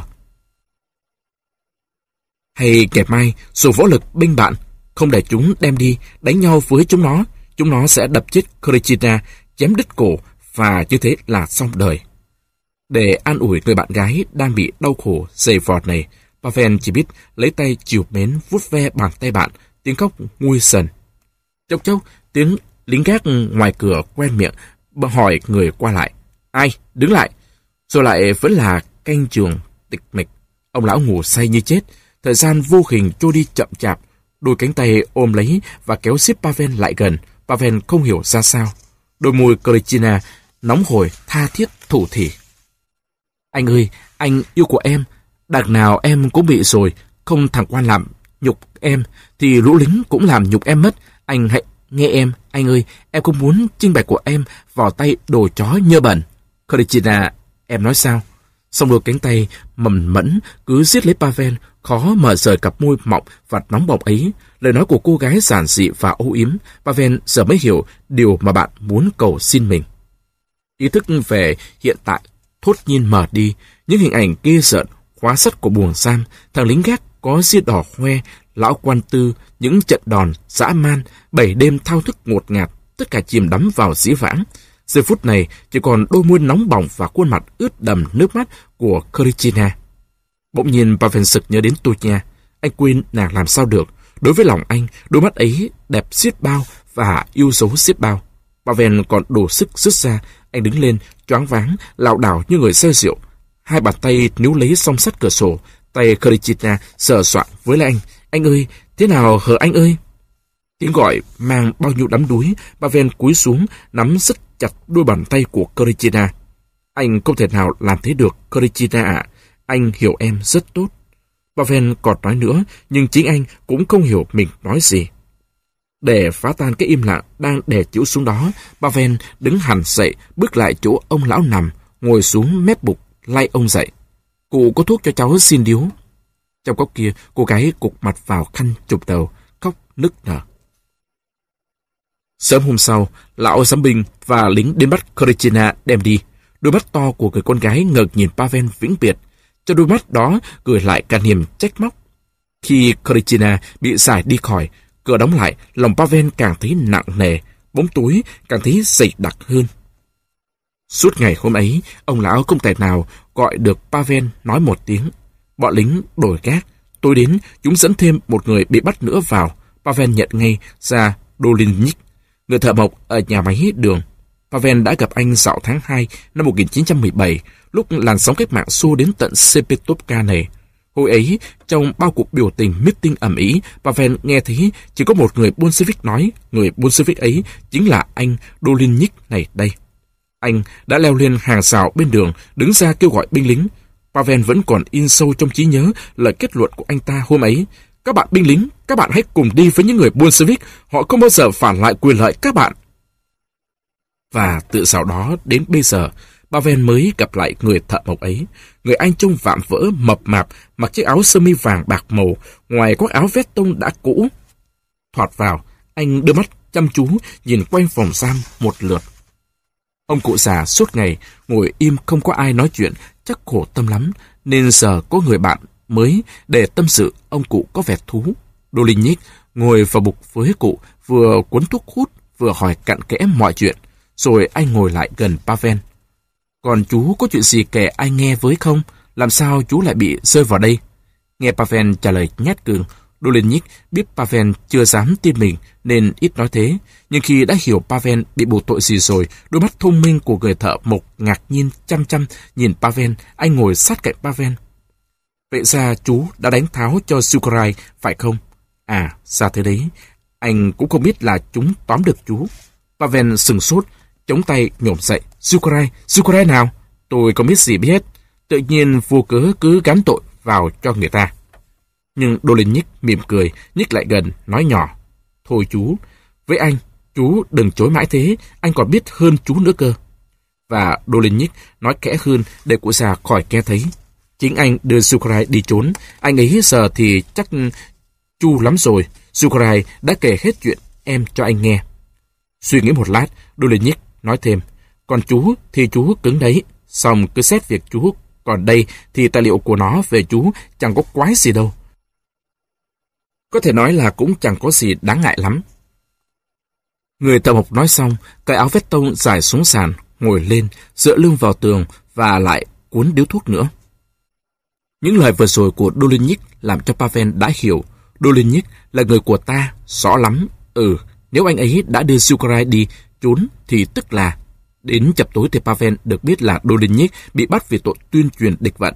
Chúng tóm được quả tang anh đang phát chuyển đơn của Ủy ban Cách mạng toàn tỉnh kêu gọi binh lính ngụy đầu hàng và chạy sang hàng ngũ quân đỏ. Dolinik vốn là người thận trọng nên chỉ kể cho Pavel một số chuyện thôi. Anh nghĩ thầm, ai mà biết trước được nếu cậu bé bị chúng lấy sắt thung nòng súng mà nện cho thì cậu ta hãy còn non lắm. Tối khuya, hai người sửa soạn đi củ, Dolinik mới tỏ nỗi lo lắng của mình trong một câu chuyện ngắn gọn. Pavel ạ, tình cảnh chúng mình có thể nói là bi đát lắm đấy. Mắc càng rồi, đành phải đợi xem thế nào thôi. Ngày hôm sau, lại thêm người bị bắt nữa vào, bác thợ cạo đen xe, có hai tay như tay voi, củ ngẳng, cả tình ai cũng biết mặt, bác ta hoa tay múa chân nóng nảy, kể bô bô với Dolinik. Đây, chuyện thế này đây, lão Phúc, lão Blumstein, lão Trachtenberg định mang lễ vật đến chào mừng đầu lĩnh trưởng. Tôi bảo họ, các ông muốn dâng lễ vật cho người ta thì các ông cứ việc mang, còn như đưa kiến nghị thì ai thay mặt cả đám dân so thái này mà ký vào. Nói các ngài tha lỗi, có đứa đếch nào ký, bọn họ ký vì họ tính chuyện có lợi cho họ. Phúc có cửa hàng, Trachtenberg có máy xay, còn tôi thì có gì? Những người nghèo đói khác có gì? Bọn cố sách áo ôm chúng tôi chẳng có cóc khô gì cả. Nhưng khốn nỗi, tôi chỉ được có cái lưỡi dài mà thôi. Chả là ngày hôm nay có một ông đội vào hàng tôi cạo mặt. Ông ta thuộc đạo quân mới kéo vào đây. Tôi hỏi ông ta, thưa ông, bảo sườn cháu, đầu lĩnh trường liệu có biết dân Do Thái ở đây bị càn không ạ? Ngài có tiếp một đoàn đại biểu Do Thái lên kêu với ngài không? Ông nhì. Từ thuở cha sinh mẹ đẻ, cái lưỡi tôi đã làm hại tôi bao lần rồi.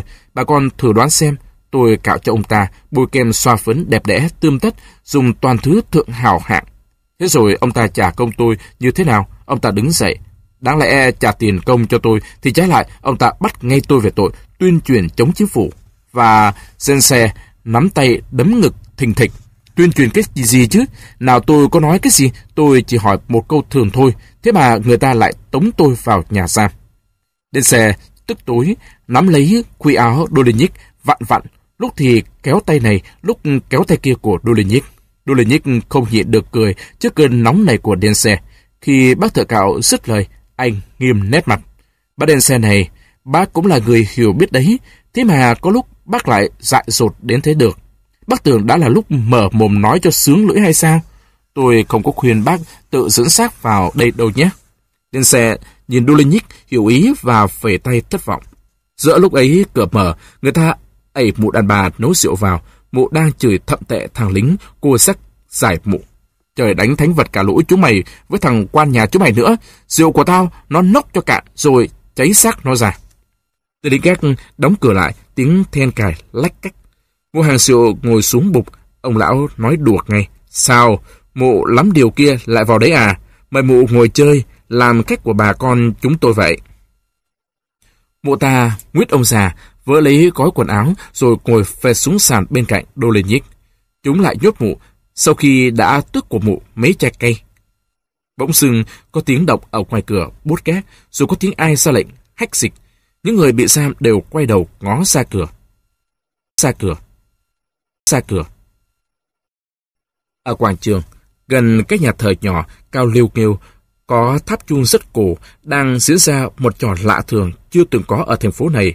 Bọn ngụy diễu binh, những đơn vị của sư đoàn bộ binh, súng ống nai địt từ đầu đến chân đứng thành đội hình chữ nhật đều xăm sắp trên ba mặt quảng trường. Ở đằng trước, ba trung đoàn bộ binh đứng theo đội hình ô vuông kéo dài từ cổng nhà thờ đến suốt dọc hàng dậu trường học. Một đám người họp thành một khối màu xám bẩn, đội mũ sắt trông như quả dưa hấu, bổ đuôi, úp sụp lấy đầu, đứng sắp hàng thẳng, súng cầm tay, dựng bên hông, băng đạn cuốn đầy người. Đây là sư đoàn thiện chiến nhất của nền đốc chính. Chúng ăn mặc chững vì lấy ở những kho quần áo của quân đội Nga Hoàng cũ. Số quân hề hơn một nửa là con nhà Kulak, những quân thù kết chính quyền soviet ra mặt. Quân phản động Nga trắng ném sư đoàn này vào thị trấn Sepetovka để bảo vệ đầu mối đường xe lửa có tính chất chiến lược trọng yếu bậc nhất này. Từ Sepetovka có đường sắt đi 5 ngả. Đối với Belura, mất Sepetovka tức là mất tất cả. Chính thể đốc chính của chúng thế là chỉ còn mảnh đất tí xíu này. Thủ đô của đốc chính bây giờ phải đóng ở thị trấn Vinitsa nhỏ bé. Tên đầu lĩnh trưởng đã định thân hành đến duyệt các đơn vị, quân lính sẵn sàng đón hắn. Ở hàng cuối, xếp cho khuất mắt vào tận xó quảng trường là trung đoàn lính mới động viên. Đám thanh niên ấy, chân không sầy, quần áo tắp nham đủ kiểu, đủ màu. Những chàng dân quê ấy bị bọn ngụy sụp vào tận làng, kéo khỏi ổ, nằm hay tóm ngay giữa đường trong những đêm càn bắt lính. Chẳng có bụng dạ nào đi đánh nhau cả. Họ nói với nhau, ai dạy gì? Bọn sĩ quan của Pelura chỉ đạt được kết quả là áp giải họ vào thành phố, chia ra thành các đại đội và tiểu đoàn, rồi ấn súng vào tay họ. Nhưng ngay ngày hôm sau, một phần ba số đó đã biến mất, số còn lại mỗi ngày một ít đi. Phát ngay giày cho lớp thanh niên đó thì quá ư là dại, và lại giày của bọn ngụy có nhiều lắm đâu, nên chúng liền ra lệnh đi lên tập trung phải mang kèm theo cả giày. Kết quả rất ngộ nghĩnh, vì những người bị bắt làm lính ấy đào đâu ra giày, ngay mảnh xẻ sách buộc lại, buộc dây thép đủ dính được lấy chân cũng chẳng có nữa là. Chúng đành dẫn họ đi chân đất xa tham gia cuộc duyệt binh còn hơn. Sau bộ binh là đến trung đoàn kỵ binh của Golub. Bọn này đứng án ngữ giữa đám đông, dân phố đang tò mò. Ai cũng muốn xem duyệt binh thế nào. Đầu lĩnh trường sắp đến nơi rồi, thành phố này mấy khi có duyệt binh như thế, cho nên dân phố không ai muốn bỏ qua trò vui, không mất tiền này. Trên những bậc thềm nhà thờ, bọn võ quan, bọn chức tước, hai con gái lão giáo trường, một mớ cấp viên giáo học Ukraine, một nhóm cô sắc tự do, viên thị trường, người khơi cù lưng. Tóm lại là đám thượng lưu của xã hội ở đây. Trong số đó có tên Tổng Thanh tra Bộ binh mặc quân phục. Chính hắn ta chỉ huy cuộc duyệt binh hôm nay. Trong nhà thờ, lão cố Vasily mặc áo trầu chuẩn bị làm lễ. Người ta chuẩn bị đón tiếp Petlura long trọng lắm, có mang cả cờ vàng xanh xa trời đến nữa. Lính mới hôm nay phải tuyên thệ trước mặt đầu lĩnh trường. Tên chỉ huy sư đoàn ngồi trên chiếc xe pho tàng.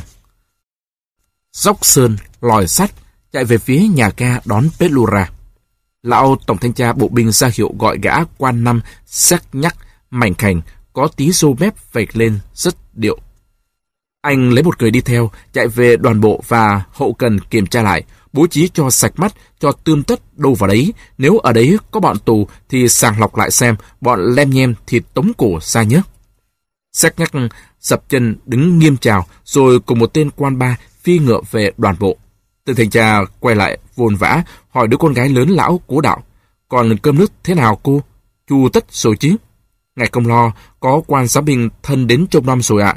Con này đáp lời, hai mắt thèm thuồng, đắm đuối, nhìn tên thanh tra đẹp trai kia. Bỗng tất cả náo động lên, một tên kỵ binh cúi sạp trên bờm ngựa, phi tới, hắn vẫy tay và kêu lên, đến rồi. Tên thanh tra liền hô, đứng vào hàng. Bọn cai đội chạy về chỗ. Khi chiếc xe ô tô Ford thờ hồn hà hồn hển đỗ bên thềm nhà thờ, nhạc cử bài, xứ Ukraine vẫn sống mãi. Đầu lĩnh trường Pelura theo sau tên sư đoàn trưởng nặng nề bước ra khỏi xe. Y cười tầm thước, đầu biếu cắm chắc trên cái cổ đỏ gay, mặc áo cô sắc xanh bằng dạ tốt, lưng thắt dây da vàng, rất khổ, browning nhỏ xíu, bên hông đựng trong túi bằng da hưu lộn. Đầu y đội mũ lưỡi chai kiểu Kerensky, có mang huy hiệu cái đinh ba sơn men. Trong hình dạng Simon Pelura, chẳng có tướng nhà binh tí nào. Vẻ bực tức, y nghe tên thanh tra báo cáo rất ngắn, sau đó tên thị trưởng đọc chút từ. Belura lờ đãng nghe. Qua đầu tên thị trưởng, y nhìn xuống các trung đoàn quân trước mặt sắp thẳng hàng. Y gật đầu ra hiệu cho tên thanh tra, cho bắt đầu duyệt binh. Y leo lên một cái bục nhỏ gần cột cờ hò hét với lính 10 phút. Y nói không hùng lắm, không có hứng vì đi được mệt. Y nói xong thì sắp theo lệnh chỉ huy. của lính reo lên. Vinh quang! Vinh quang! Y bước xuống và lấy khăn lau chán rồi cùng với tên thanh tra và tên sư đoàn trưởng duyệt các đơn vị. Khi đi qua những hàng lính mới động viên, y nheo mắt kinh bỉ, cắn môi tỏ vẻ bực mình. Duyệt binh gần xong thì đoàn lính mới động viên từng trung đội một hàng ngũ loạt choạc đi gần tới cột cờ. Chỗ lão cố Vasily tay cầm sách bồn đứng làm phép. Bọn lính hôn sách bồn rồi hôn vào một gốc lá cờ. Đang lúc làm lễ thì xảy ra một chuyện bất ngờ. Một đoàn đại biểu không biết ở đâu mọc ra, len lỏi vào quảng trường, lù lù tới tận chỗ Pelura. Đi đầu là lão Bert lái gỗ sầu sụ, lễ mễ, bê lễ Phật. Theo sau là lão chủ hiệu tạp hóa Phúc và ba tên lái buôn to khác. Bert Lúc núm cúi sạp, xưng lễ Phật cho Pelura. Toàn dân Do Thái chúng tôi kính cần chào mừng Ngài Quốc Dường, độ ơn cao dày của Ngài và tỏ lòng sùng bái Ngài, kính mong Ngài chấp nhận cho tờ chúc từ của chúng tôi. Tên đội đứng bên nhận lễ vật, Pelura liếc qua tờ chúc từ, rồi làm nhầm. Được. Vừa lúc ấy thì Lão Phúc len lên ngay. Bầm tướng công, chúng con cắn cỏ, lạy ngài thì ân cho chúng con được làm ăn buôn bán và che chở cho chúng con là người Do Thái khỏi bị những cuộc càn Do Thái. Lão Phúc khó khăn mãi mới dám nói đến tiếng càn so Thái này. Belora mặt hầm hầm, cau mày khó chịu. Cô nội ta không có càn so Thái, các người phải biết thế mới được. Lão Phúc buông thõng tay, tiêu kiều. Belora nhún vai bực tức, cáu cái đoàn đại biểu rất chướng này. Y quay phát lại, đứng sau Y, cô lúc đang mím môi, cắn râu mép đen xỉ. Đại tá, dân kêu về lính của ông. Ông phải xét xem vì sao dân kêu và thi hành những biện pháp cần thiết rồi hắn quay lại tên thanh tra ra lệnh, bắt đầu cho diễu binh. Đoàn đại biểu vô phúc có ngờ đâu lại chạm chán cô lúc ở đây, bèn vội vàng tìm cách lùi đi. Lúc bấy giờ, mọi người đi xem đều chú ý vào bọn lính đang sửa soạn diễu binh, tiếng chỉ huy thét lên cộc lóc. Cô lúc vẻ mặt bề ngoài cố chấn tĩnh, đón đầu bờ lúc tanh, nói nhỏ nhưng sầm từng tiếng. Xéo ngay đi chỗ khác, đồ ngoại đạo, xéo ngay, không ôm cho băm thì chúng mày làm ba tê bây giờ nhặt cử một bản hành khúc và những đơn vị đầu tiên và đầu xỉu. Khi đi ngang qua chỗ Petlura đứng, chúng hô lên hai tiếng vinh quang như cái máy, rồi quay sẽ sang các phố bên. Đi đầu các đại đội là bọn cai đội, mặc quần áo kaki mới, bước ung dung như đi dạo phố, tay ve vẩy chiếc cậy chỉ huy. Đây là lần đầu tiên bọn cai đội cầm cậy, cũng như bọn lính bồng súng được học lối xíu binh như thế. Cái đuôi sau sốt là lính mới động viên đi loạt choạc không biết bước theo lối nhà binh, vừa đi vừa xô đẩy nhau. Tiếng chân đất lê trên đường nghe lào xào, cái đội chạy ngược chạy xuôi để giữ hàng lối, nhưng không thể nào giữ được. Khi đại đội 2 đi qua, một gã đi rìa bên phải, mặc áo sơ mi vải thu, mài há hốc mồm nhìn đầu lĩnh trường, vấp phải ổ gà, ngã sóng xoài ra mặt đường. Súng của gã quệt vào đá kêu đến keng một cái, gã lóc ngóp chực bò dậy nhưng bị sọc người đi sau hỗn loạn kéo tràn qua đạp cả ta lại ngã suối ngay xuống nữa. Người đứng xem thấy thế cười bò ra, cả trung đội của gã ta rối tung, đám lính còn lại đi sau tán loạn, các thanh niên rủi ro kia nhặt súng đứng dậy chạy vội theo đội mình. Pedora thấy cảnh tượng chán trường ấy, quay mặt đi, không buồn nhìn nữa. Y không chờ cho hàng quân đi xíu hết, bỏ đi ra xe ô tô. Tên thanh tra chạy theo sau cúm núm hỏi. Đức đầu lĩnh trưởng, ngài không ở lại sơ cơm ạ? À? Pelura thốt ra tiếng gọi lòn. Không. Trong số những người trèo lên hàng sộ sắt cao, nhà thờ đứng xem diễu binh có Sergei, Valia và Klimka. Sergei tay biếu chắc lấy cột sậu, đôi mắt hằn học nhìn bọn đứng ở dưới thềm. Valia ơi, ta đi về thôi, hạ màn đến nơi rồi. Sergei tay buông song sắt tu xuống, giọng khiêu khích, nói rất to. Những người đứng xem nghe cô nói, kinh ngạc ngoái cổ lại nhìn. Sergei thản nhiên, không để ý đến ai, cứ đi thẳng ra cửa. Em gái anh và Kalimka đi theo sau. Quan năm sắc nhắc và một quan ba đi theo phi cửa đến đồn giám binh, nhảy phát xuống. Chúng đưa cửa cho tên lính hầu, rồi học tốc đi vào trại vệ sĩ. Sắc nhắc giọng hách dịch hỏi tên lính gác. Đồn trưởng đâu? Tên lính ép ấp úng. Con không biết. Ông đồn đi đâu rồi ấy ạ? Sắc nhắc đưa bắt nhìn một vòng gian phòng gác lộn xộn, bẩn thỉu nhìn những giường, chăn đệm sộc sạch, trên có mấy tên lính cua sắc, phấp phơ, nằm trọng cộng.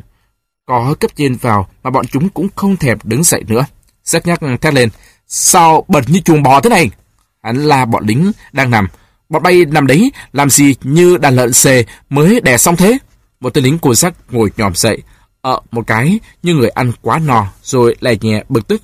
Làm gì mà thét lên thế? Chúng tôi cũng có mồm biết thét được cả. Sắc nhắc trộm lên. À, mày láo, mày có biết mày nói với ai không? đồ ngu như bò, tao là đại tá xét nhắc đi, hiểu chưa? Đồ chó chết, đứng dậy ngay lập tức, không có soi này, ông quất ngay vào lưng bây giờ, xét nhắc nóng tiếc, lồng lộn lên. Ông hẹn cho chúng mày một phút, chúng mày phải tức khắc vứt ngay những thứ bẩn thỉu mày đi. Dọn lại giường, rồi gồ lại cho ra người một tí. Bộ đội gì mà như thế?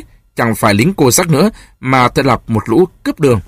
Sắc nhắc tức giận tới cao độ, đụng phải chỗ rác giữa đường, hắn bực quá lấy chân đá ngay.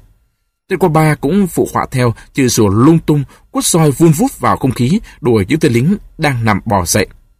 Đức đầu lĩnh trường đang duyệt binh, ngài có thể ghé vào đây. Quân bay hoạt lên xem nào, mau lên. Bọn lính nhận ra câu chuyện trở nên quan trọng, không phải trò đùa, có thể ăn đòn thật, vì uy danh xét nhắc thì ai mà không biết nữa.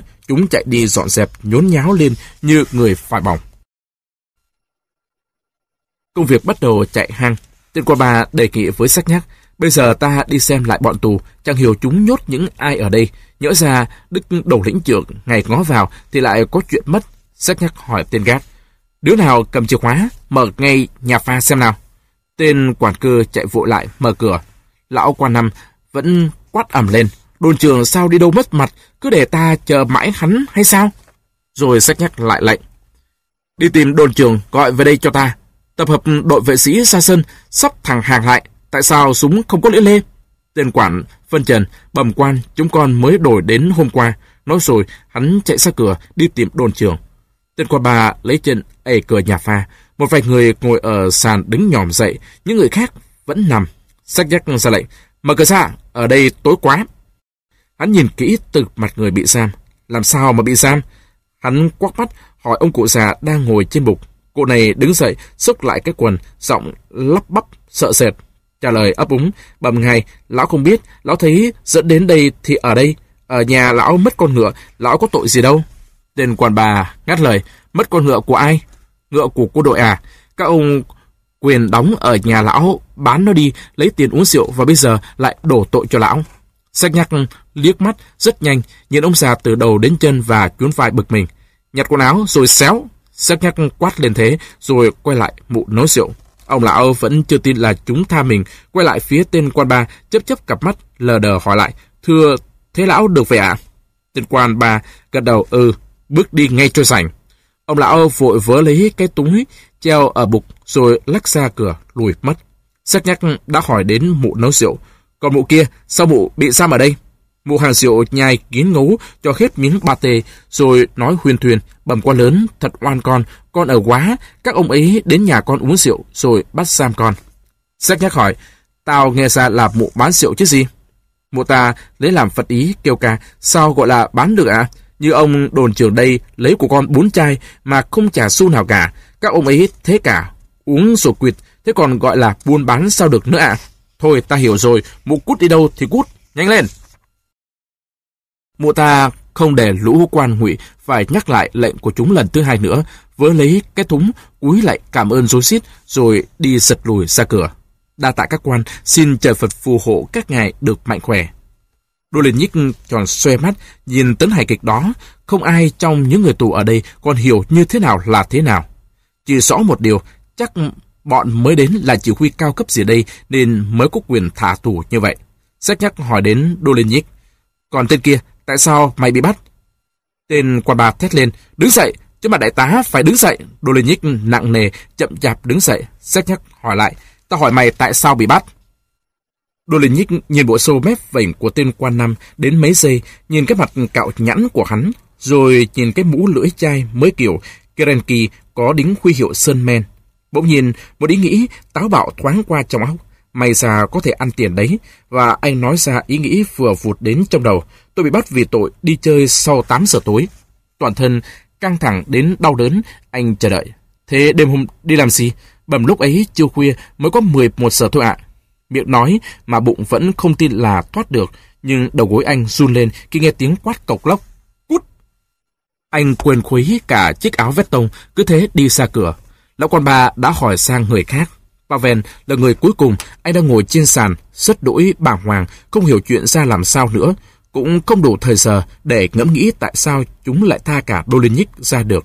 Không thể nào mà hiểu được chúng tha tất cả hay sao, nhưng sao lại thả Dolinic Dolenik bảo với chúng là bị bắt vì đi chơi khuya, Pavel vụt hiểu ra. Tên quan năm hỏi đến lượt bác thợ cạo đen xe, cây nhòm, vẫn một câu hỏi đi hỏi lại đó. Còn mày, sao bị bắt? Điện xe mặt tái mét, hồi hộp, hang máu trả lời, các ông ấy bảo con tuyên truyền, con không hiểu con tuyên truyền cái gì cả. Sách nhắc vểnh tai lên nghe. Cái gì, cái gì? Tuyên truyền à? Mày tuyên truyền cái gì? Điện xe khoa tay không hiểu ý ra sao. Còn có biết đâu, con chỉ nói người ta lấy chữ ký vào bản đơn kêu của dân do Thái đưa lên Đức đầu lĩnh trưởng. Tên qua ba và sách nhắc nhích lại gần đen xe. Đơn kêu gì? Dạ đơn xin cấm cản do Thái. Ngài cũng biết ở đây vừa có một cuộc càn ghê người, dân chúng kiếp đảm. Sách nhắc ngắt lời. Ta hiểu rồi. Được. Muốn có đơn kêu, chúng tao sẽ thảo đơn kêu cho mày. Đồ do Thái, mặt kiếp. Rồi sách nhắc quay lại bảo tên quan bà Giữ quân này cho ta cẩn thận, đem dẫn xa đi, đưa nó về Ban Tham Mưu, ta sẽ nói chuyện thẳng với nó để xem chính đứa nào đầu tiêu cái việc đơn kêu này. Đen xe trực nhoi lên cãi, xong soi cửa của tên quan bà đã quất vào lưng. Cấp mồm, thằng chó chết. Bác tự cạo đau nhân mặt lại, lùi về góc phòng, môi run lên, cố nén tiếng khóc nức ứ lên cổ. Khi cảnh cuối đó diễn ra, thì Pavel đã đứng dậy trong nhà giam chỉ còn mình anh và đen xe. Sắc nhắc đã đứng trước Pavel, dương hai mắt đen hau háu nhìn anh từ đầu đến chân. Thằng này, chuyện gì thế? Điếm Pavel đáp nhanh, còn cắt một miếng yên ngựa để làm đế giày. Tên quan nằm không hiểu, hỏi sao? Yên ngựa nào? Có hai ông lính cô sắc đóng ở nhà con, còn chót dại cắt chiếc yên ngựa cũ để làm đế giày, cho nên các ông lính cô sắc bắt con đem đến đây và hang lên với hy vọng ngây ngất được trả lại tự do. Pavel nói thêm, nếu con biết là không được lấy thì Lão quan nằm nhìn Pavel, biểu môi kinh bỉ. Không hiểu lão đồn trường dám binh làm cái ngỗng gì, thật chơi mà hiểu được ra làm sao, bắt giam được những của quý thật. Rồi hắn quay ra cửa hét Pavel, thôi cho mày về nhà và nói với bố mày cho mấy cái phát vào bông đít, danh con, xéo. Pavel còn ngỡ là tai mình nghe nhầm và con tim như muốn nhảy ra khỏi lồng ngực. Anh nhặt cái áo vét tông của Dolinik bỏ rơi trên sàn, rồi chạy ra cửa, anh qua phòng gác và theo sau sách nhát đang đi ra. Anh vụt qua sân rồi chạy qua cổng sắt và ra đường cái. Trong nhà giam, chỉ còn lại bác thợ cạo đen xe, đen đuổi. Đau buồn tê tái, bác đưa bắt nhìn chung quanh. Theo bản năng, bác đi mấy bước ra cửa, nhưng một tên lính gác đã vào khép cửa, khóa trái lại và ngồi trên chiếc ghế đầu, chắn ngay đó. Đứng trên thềm nhà giam, rất nhắc rất lấy làm hài lòng, nói với tên quan bà. Thật may mà chúng mình ngó đến đây. Mày xem chúng nhét vào đây đủ cốc nháy bỏ đi. Mình phải cho tên đồn trưởng giám binh ngồi tù ít nhất là hai tuần mới được. Thôi, ta đi chứ. Tên quản đã tập hợp sẵn lính của nó sắp hàng ở cả ngoài sân. Thấy tên quan nằm, hắn chạy lại báo cáo. Bẩm quan đại tá, rồi chạy xếp dọn đã xong, đâu vào đấy rồi ạ. xác nhắc cho chân vào bàn đạp, nhịp phát lên yên ngựa, còn tên quân ba thì vẫn loay hoay với con ngựa bất cam của nó, sách nhắc vừa lần dây cương vừa bảo tên đội. Mày bảo với đồn trưởng giám binh là tao đã thả hết cả lũ chó chết mà hắn thu nhặt bấy lâu nay. Mày nói thêm với hắn là tao sẽ cho hắn ngồi tù hai tuần về tội để bẩn thỉu ở đây. Còn thằng đang bị nhốt kia thì điệu ngay lập tức sang tham mưu. Chúng mày thì chuẩn bị cho sẵn sàng. Tôi đội đáp lại, tay đưa lên ngang vạch mũ, xin tuân lệnh quan đại tá. Tên quan năm thúc ngựa cùng với hết tên quan ba phi lại quảng trường, nhưng diễu binh ở đó đã xong từ lâu rồi. Chạy qua được bảy nhà thì Pavel dừng lại, không còn sức mà chạy tiếp nữa. Những ngày đói khát bị giam trong phòng ngột ngạt làm Pavel kiệt sức. Về nhà thì không được. Đến nhà Beruzak thì nhớ ra có ai biết là có thể làm liên, liên lụy tan cửa nát nhà bạn. Vậy thì đi đâu bây giờ? Anh không biết làm thế nào, cứ chạy, những vườn rau và sân sau các nhà đã lùi lại sau anh, mãi đến khi chạm người vào hàng rào nhà ai đó, Pavel mới sực tỉnh. Pavel đứng sững lại sừng sốt. Sau hàng rào cao mà mình đang đứng tựa lưng đây lại chính là vườn nhà ông Tránh Kiệp Lâm. Hóa ra đôi chân mỏi sừ của mình lại đưa mình đến đây. Mình đã định bụng đến đây hay sao ấy nhỉ? Không. Nhưng tại sao mình lại đứng ngay trước biệt thự này mà không dừng chân đứng lại ở chỗ khác? Anh không thể nào trả lời được câu hỏi đó. Phải kiếm chỗ nào kỳ chân cái đã, rồi còn nghĩ cách đi xa nữa.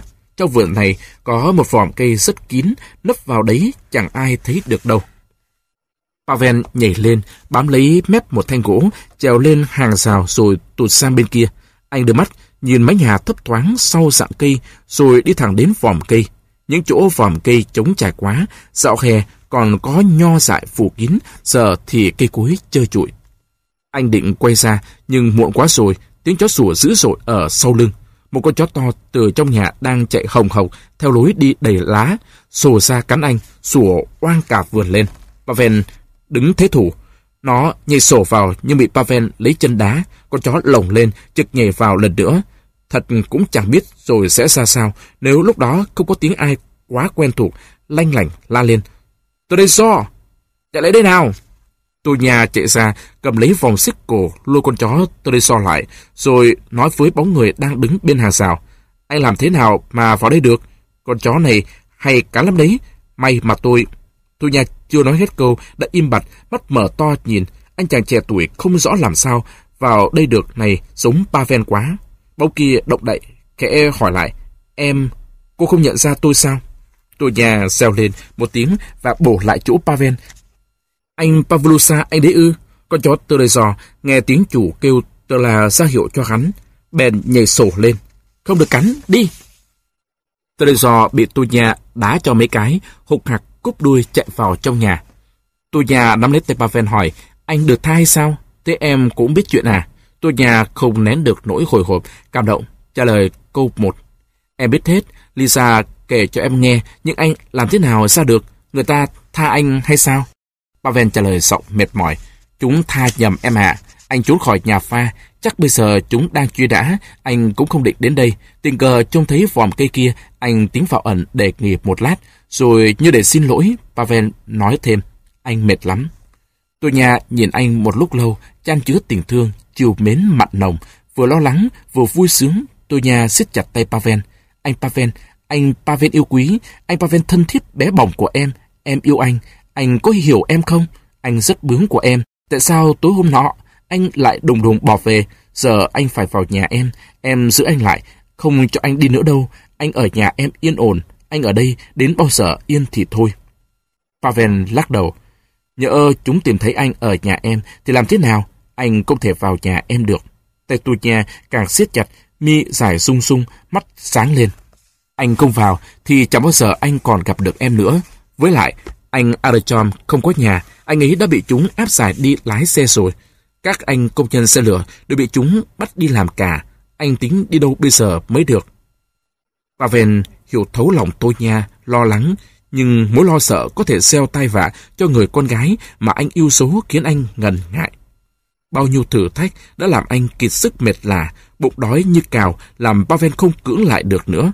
Anh nghe theo. Trong khi Pavel ngả lưng ở ghế dài, buồn tôi nha, thì tôi nha xuống nói chuyện với mẹ ở dưới bếp.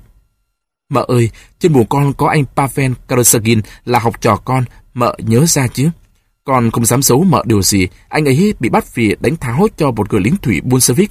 Anh ấy vừa trốn ra được, nhưng không có nơi nào ẩn cả. Giọng tôi nha bắt đầu run. Mợ ơi, con xin phép mợ đồng ý để anh ấy ở nhờ nhà ta, con van mợ. Đôi mắt tôi Nha van lên nhìn mẹ, Bà mẹ thì nhìn mắt con như giỏ xét. Được, mợ cũng chẳng cấm con, xong con cho cậu ta ở vào đâu mới được. Tôi nhà đỏ mặt, bối rối, hồi hộp trả lời, để anh ấy ở trong buồn con.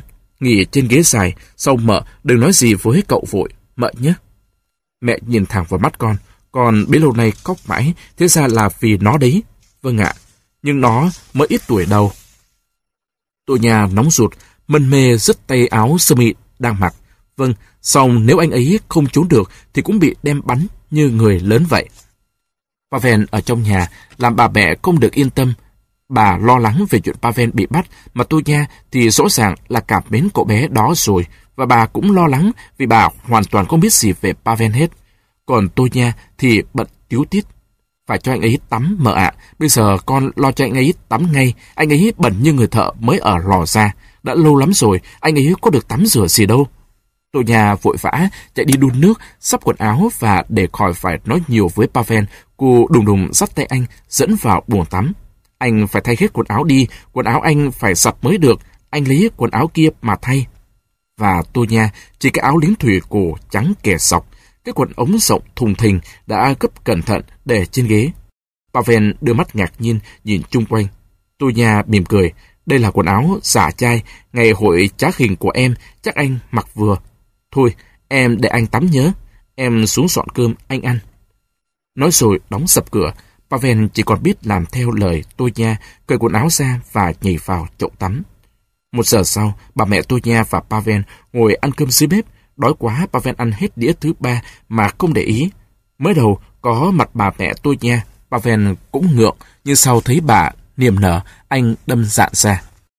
Cơm xong, cả ba người sang buồn tôi nha. Mẹ tôi nha hỏi Han Paven, anh kể cho bà nghe những bước gian chuyên của mình. Nghe xong, mẹ tôi nha hỏi, thế em định thế nào bây giờ? Paven suy nghĩ, con định gặp anh Archon con, rồi đi khỏi đây. Đi đâu? Con định đi Uman hay đi Kiev? Con chưa biết đi đâu, nhưng chắc chắn là phải đi khỏi đây mới được. Pavel không thể nào ngờ được số phận mình có thể thay đổi nhanh như thế. Sáng còn bị nhốt ở nhà Sam, bây giờ đã ở bên tôi nha rồi, mà quần áo mới tinh và cái chính là đã được tự do. Cuộc đời, đôi khi xoay hẳn, chiều lại như thế đấy. Lúc thì bóng tối mù mịt chùm kín cuộc đời, lúc thì ánh sáng mặt trời lại tươi vui cười với bạn. Nếu không có mối lo bị bắt lại, thì lúc này Pavel cảm thấy đúng là sung sướng hoàn toàn rồi. Nhưng chính ngay giữa lúc này, lúc anh đang ở cái nhà rộng rãi và yên tĩnh này, thì chúng có thể bắt lại anh ngay ở đây. Phải liệu đi, đến đâu cũng được, đừng ở lại đây nữa. Nhưng nào bụng có muốn rời nơi này đâu, thật là oái oăm. Lúc đọc chuyện vị anh hùng Caribandi thì mê thật, cứ mơ ước được như Caribandi. Tuy biết đời ông ta gian khổ lắm, bị đuổi khắp thế giới, nhưng vẫn thèm cuộc đời đó. Thế mà, nếm mùi tra tấn ghê khiếp, mới được 7 ngày mà đã thấy dài đằng đẵng như đến cả năm trường rồi. Xem thế thì ra mình chẳng có tướng anh hùng. Tôi nha ngả đầu về phía Pavel hỏi, anh đang nghĩ gì thế anh? Pavel có cảm tưởng như đôi mắt của người yêu xanh thăm thẳm vô cùng tận. Tôi nha ơi, em có muốn anh kể về Krichina cho em nghe không? Tôi nha đon đà, anh kể đi. Và từ hôm ấy, Krichina không trở lại nữa. Đoạn cuối của câu chuyện, Pavel khó khăn mãi mới kể nốt được. Trong phòng tịch mịch, chỉ có tiếng đồng hồ kêu tích tắc đều đều.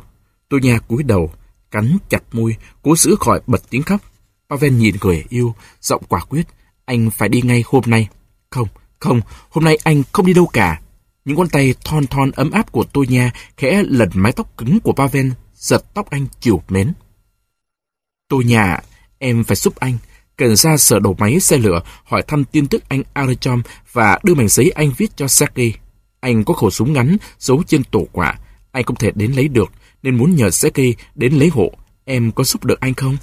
Tôi nhà đứng dậy. Được anh ạ, em sẽ đi tìm Lida, cùng với cô ta vào sở đầu máy. Thế anh viết cho Sergei đi, em sẽ đưa đến, anh ấy ở đâu. Nếu anh ấy muốn đến gặp anh, thì đó là anh ở đâu được. Suy nghĩ một lát, Pavel đáp, cứ bảo anh ấy chiều nay mang khẩu súng đến vượt nhà. Đến khuya, tôi nhà mới về, Pavel đã ngủ say, tay ai vuốt chán làm Pavel thức dậy. Tôi nhà cười vui sướng. Anh Arachom sắp đến ngay bây giờ, anh ấy mới đi về, có ông cụ đẻ Zalida bảo đảm, nên anh ấy được phép ra ngoài một tiếng.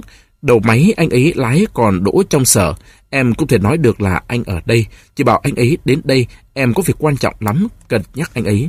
Kia kìa, anh ấy đã đến rồi. Tôi nhà chạy ra cổng, Arachom thấy Pavel còn ngỡ là mắt mình trông nhầm, đứng sững lại ngay trước cửa. Arachom vào rồi, tôi nhà khép cửa lại để cậu mình bị đau thương, hàn, nằm ở bên phòng, giấy khỏi nghe tiếng.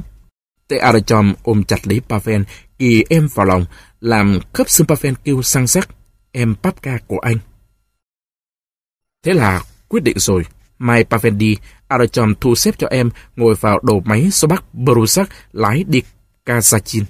Arachom thực ngày tính cô can đã phải nôn nao trong lòng vì lo lắng cho em, không biết số phận em ra sao. Bây giờ thì lòng anh giạt rào vui sướng không sao kể xiết. Vậy, cứ thế em nhé. 5 giờ sáng mai, anh đón em ở nhà kho vật liệu. Lúc chất củi lên tàu thì em trèo lên ngồi luôn. Anh muốn nói chuyện nữa với em, xong đến giờ phải về rồi. Mai anh lại ra tiễn em đi. Bây giờ các anh bị động viên. đang có biên chế thành tiểu đoàn lính thợ xe lửa là vì có lính mang súng đi kèm y như dưới thời giặc Đức vậy. Anh từ xã em ra về. Bóng tối trùm xuống rất nhanh, Sergei sẽ đến đây bằng lối cổng vào vườn. Pavel đi đi lại lại trong phòng tối, đợi Sergei đến, tôi nha và mẹ còn ngồi ở đầu giường, cậu tôi nha. Pavel và Sergei gặp nhau trong túi, hai bạn siết chặt tay nhau, cả Valia cũng đến, ba người nói chuyện nhỏ. Mình không mang khẩu súng đến cho cậu được. Sân nhà cậu sợ đầy lính ngụy đóng, xe ngột ngang, chúng đốt lửa giữa sân. Thật chẳng làm thế nào leo lên cây có tổ quạ được cả. Không may thế đấy. Pavel nói để bạn yên lòng. Thôi, cóc cần súng nữa, có lẽ thế càng hay. Đi đường có súng, nó tóm được thì lại mất đầu. Xong khi nào lấy được thì cậu phải cố lấy đi nhé. Thế nào cũng lấy đi lấy. Valia nhích lại gần. Bao giờ anh đi? Mai. Valia, vào lúc mờ sáng. Nhưng anh làm thế nào trốn ra được? Nói cho em nghe với. Pavel thì thầm kể lại qua loa chuyện vừa xảy ra. Ba người trẻ tuổi chia tay nhau thân thiết quá, Sergei không đùa như mọi khi nữa, lòng bồi hồi cảm động, giọng Valia nghẹn ngào mãi mới thốt ra. Thôi, anh đi khỏe mạnh, anh Pavel nhớ, đừng quên chúng em đấy. Bóng hai người bạn đi ra chìm ngay vào đêm tối. Trong nhà lặng lẽ, chỉ có tiếng đồng hồ buông tiếng tích tắc đều đều không mệt mỏi. Pavel cũng như tôi nha, chẳng ai nghĩ gì đến đi ngủ cả. Chỉ còn 6 tiếng nữa thôi, hai người đã phải xa nhau và có thể sẽ không bao giờ được thấy lại mặt nhau nữa. Thời giờ ngắn ngủi thế này, kể lệ với nhau làm sao hết được trăm nghìn ý nghĩ và lời nói mà mỗi người mang nặng trong lòng. Tuổi thiếu niên, tuổi thiếu niên tươi đẹp biết bao khi bạn còn chưa biết gì đến khát vọng mà bạn chỉ mới cảm thấy mơ hồ trong những tiếng đập cấp cấp của trái tim. Khi bàn tay của bạn run rẩy, sợ sợ, rụt nhanh lại vì vô tình chạm vào ngực người bạn gái. Khi tình bạn của tuổi niên thiếu còn ngăn được lòng bạn không để đi đến bước cuối của tình cảm. Còn gì trên đời có thể ngọt ngào hơn hai cánh tay người yêu đang quàng lên cổ bạn và cái hôn của ai nồng cháy như có luồng điện phát ra. Đây là cái hôn thứ hai từ khi đôi trẻ thân nhau. Ngoài mẹ ra, Pavel có được ai ô yếm bao giờ. Trái lại, anh bị đòn, bị đánh nhiều, và vì thế anh càng cảm thấy hết sức thấm thía sự ô yếm của tôi nha. Suốt cả cuộc đời vất vả cay nghiệt, Pavel có bao giờ biết trên đời có niềm vui sướng ấy, người con gái này đây là hạnh phúc lớn trên đường đời anh đi. Anh ngửi mái tóc thơm và tưởng chừng như nhìn thấy mắt người yêu. Anh yêu em lắm, tôi nha Anh không thể nào nói hết lòng anh với em được, anh không biết nói thế nào. Bao nhiêu ý nghĩ quên hết, tấm thân mềm mại này, chiều anh ngoan ngoãn biết bao nhiêu, song tình bạn của tuổi thiếu niên vẫn là trên hết. Em tôi nha, bao giờ yên hàn rồi, anh sẽ làm thợ điện. Nếu bây giờ em vẫn không chê anh, nếu thật em yêu anh, chứ không phải chỉ thích cho vui, thì anh sẽ là người chồng tốt của em. Anh sẽ không bao giờ đánh em, nếu anh mà làm em khổ, thì anh sẽ không sống làm gì. Và sợ ôm nhau mà ngủ quên đi trong lọc nhau, đôi trẻ rời nhau, để mẹ khỏi nghĩ đến điều gì không tốt. Đôi bạn còn hứa với nhau sẽ không bao giờ quên nhau rồi mới đi ngủ. Lúc ấy đã quá nửa đêm. Sáng sớm, mẹ tôi nha đánh thức Pavel dậy, anh nhảy thoát xuống đất. Giữa lúc Pavel vào phòng tắm lấy áo cũ của mình thay, đi giày và khoác chiếc áo vest tông của Dolinik ra ngoài, thì bà mẹ đánh thức tôi nha dậy. Hai người vội vã ra đi trong sương mai ẩm ướt. Họ đi về phía nhà ga, vòng vào kho củi.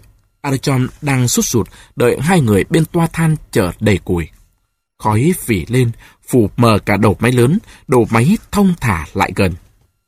Bác Beruzak từ trong cabin nhìn qua cửa sổ.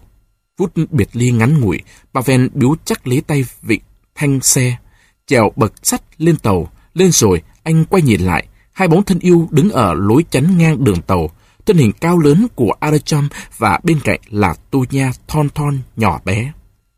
Gió mạnh như giận dữ, thổi phần phật vào cổ áo và làm bay ngược mớ tóc bột màu hạt rẻ của tôi nha.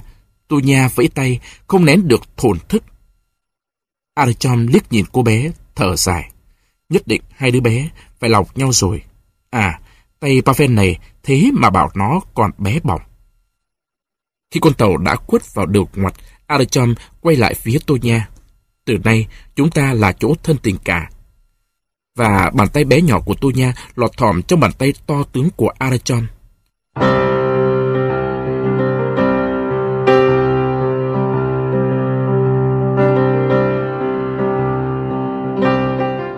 Từ xa vọng lại tiếng ầm ầm của con tàu chạy cất lên.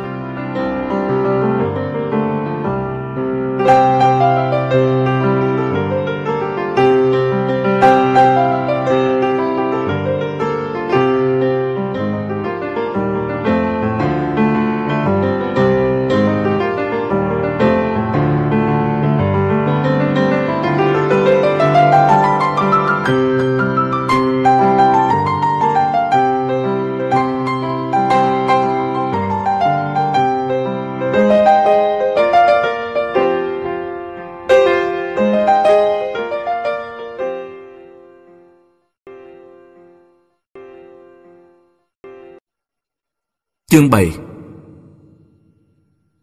Đã một tuần nay, thành phố bị giao thông hào và dây thép gai đánh đai, lấy chung quanh chi chít như mạng nhện, thức cũng như ngủ, đều sống dưới tiếng nổ rền của trọng pháo và tiếng giòn giã của những loạt súng trường. Chỉ đến đêm khuya lắm, tiếng súng mới im. Nhưng chốc chốc lại có vài loạt súng vì hoảng mà bắn xé phá tan yên tĩnh. Đây là các vị trí tiền tiêu bắn dò nhau. Tầm ở sáng, người ta loay quay bên những khẩu đại pháo bố trí ở nhà ga. Khẩu súng há cái mõm đen ra cạc đạn giận dữ và gây sợ. Người ta lại hối hả tọng vào những cái mõm ấy những khẩu phần chỉ mới. Người lính pháo thủ sật xây, mặt đất rung chuyển. Cách xa thành phố ba dặm, mé trên một làng do Hồng quân chiếm lĩnh, đạn trái phá bay vèo rú lên trên không, làm át hết mọi thứ tiếng, rồi rơi xuống bắn tung những mảnh đất vụn lên trời. Pháo binh đỏ đặt trong sân một tu viện Ba Lan lâu đời, xây trên ngọn đồi cao ở giữa làng. Đồng chí ủy viên quân sự của khẩu đội tên là Zapmochin đang ngủ gật, đầu dựa vào càng súng, thức choàng dậy, nịt lại dây ra mang khẩu Mose cho thêm chặt, lắng nghe tiếng đạn bay chờ tiếng nổ. Giọng đồng chí sang sảng vang cả sân. Các đồng chí ơi, dậy đi thôi, mai ta sẽ ngủ nốt. Các chiến sĩ ngủ bên những khẩu pháo cũng vùng dậy lẹ như người chỉ huy của mình, chỉ có sư đô xúc là chậm, miễn cưỡng nhấc cái đầu còn ngái ngủ. Bọn chúng nó đều thật, chưa sáng đã sủa lên rồi, quần xúc sinh. Samuchin cả cười. Nói làm gì chúng nó, sư đô xúc, quần chúng nó là những phần tử chưa giác ngộ, chúng nó có nể gì giấc ngủ của cậu. Sư đô xúc cầu nhầu ngồi dậy. Vài phút sau, pháo ta đã giã khỏe nổ đùng đùng trên sân tu viện và bắn phá ầm ầm vào thành phố Sepetovka. Trên ngọn ống khói nhà máy đường, một tên sĩ quan Pedura và tên lính điện thoại leo lên theo bậc thang sắt, bắt bên trong ống khói nhà máy, ngồi trên sàn gỗ bằng mảnh ván xếp lại. Ngồi trên sàn cao, chúng nhìn rõ chung quanh, cả thành phố như nằm trong lòng bàn tay chúng. Từ trên ngọn ống khói cao ấy, chúng chỉ huy cho pháo bắn. Chúng thấy rõ từng bước tiến lui của quân đỏ đang vây thành. Ngày hôm ấy, bên hàng quân đỏ hết sức rộn dịp. Trong ống nhòm nhãn hiệu Jesser thấy rõ những đơn vị của họ hành binh. Trên đường sắt đến ga Pondon, ngoại đoàn xe lửa bọc sắt từ từ tiến lên, vừa đi vừa nã pháo không ngớt. Sau đoàn tàu là những hàng bộ binh, quân đỏ mở nhiều đợt xung phong. Xong quân ngụy bố trí bám chắc lý ngoại vi thành phố. Các giao thông hào bốc cháy như hỏa ngục. Tiếng nổ điên cuồng vang âm không trung, nghe cứ to mãi và những lúc tấn công thì hóa thành một chuỗi tiếng gầm rền rú lên liên tiếp. Và bên tuyến Bolshevik bị đạn chút xuống như mưa lũ, không thể chấn được sức phản công căng thẳng quá sức chịu đựng của con người ấy, bên ta phải rút lui, để lại trên chiến trường những xác không động đậy.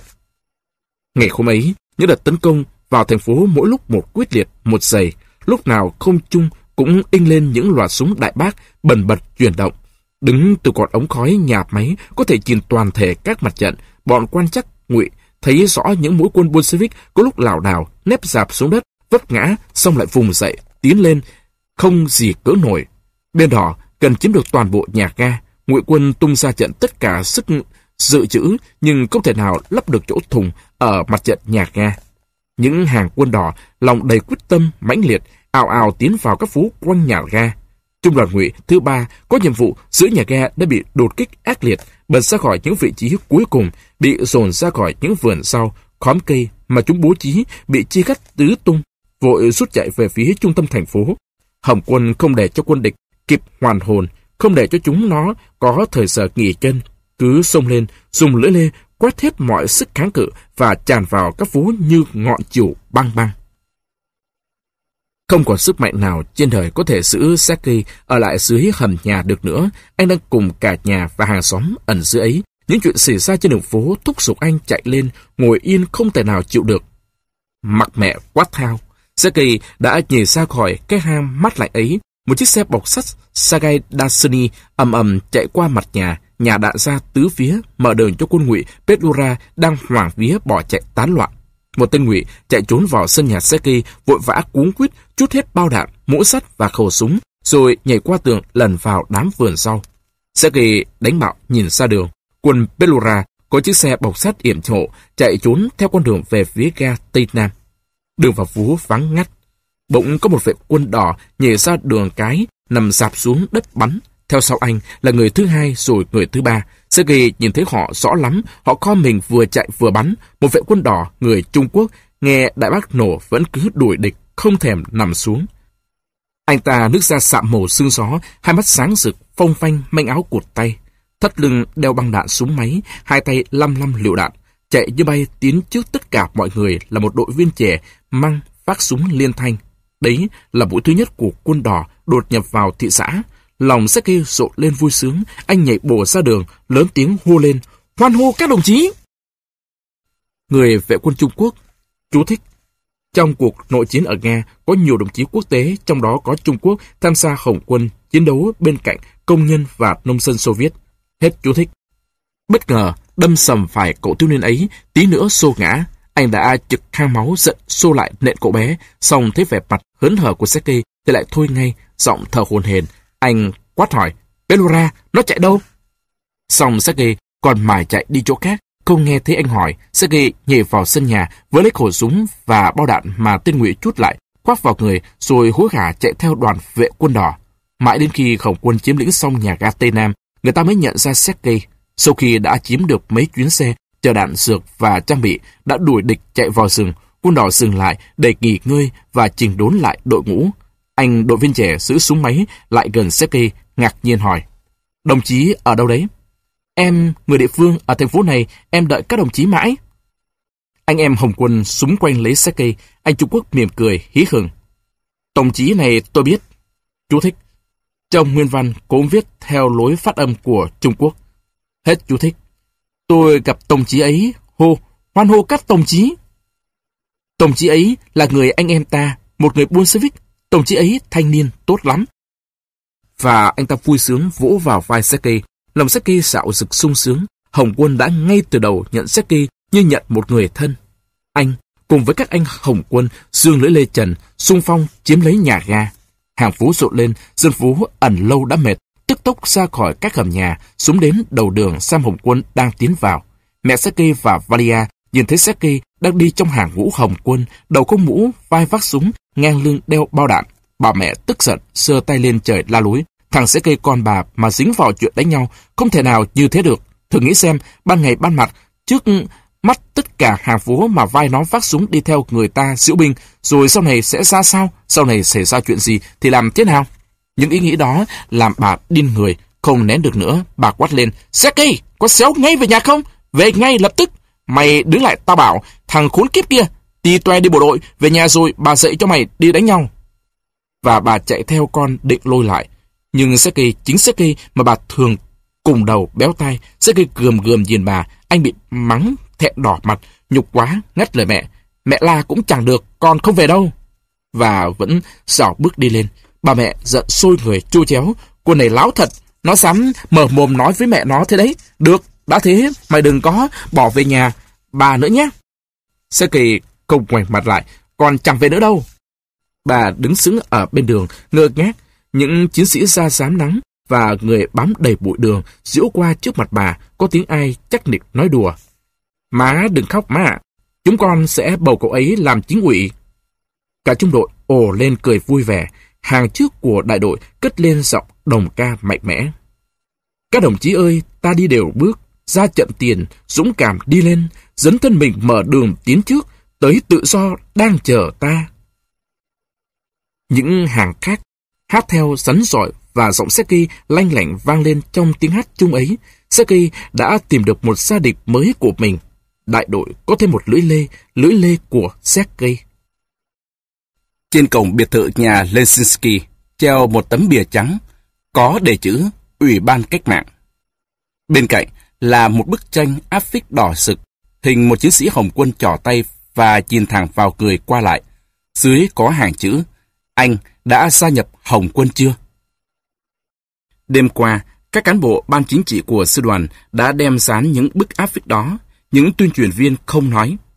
Ngay cạnh là lời kêu gọi đầu tiên của Ủy ban Cách mạng gửi toàn thể nhân dân lao động thành Sepetopka. Các đồng chí, bộ đội vô sản đã giải phóng thành phố. Chính quyền Xô Viết đã được lập lại. Chúng tôi kêu gọi đồng bào chấn tĩnh.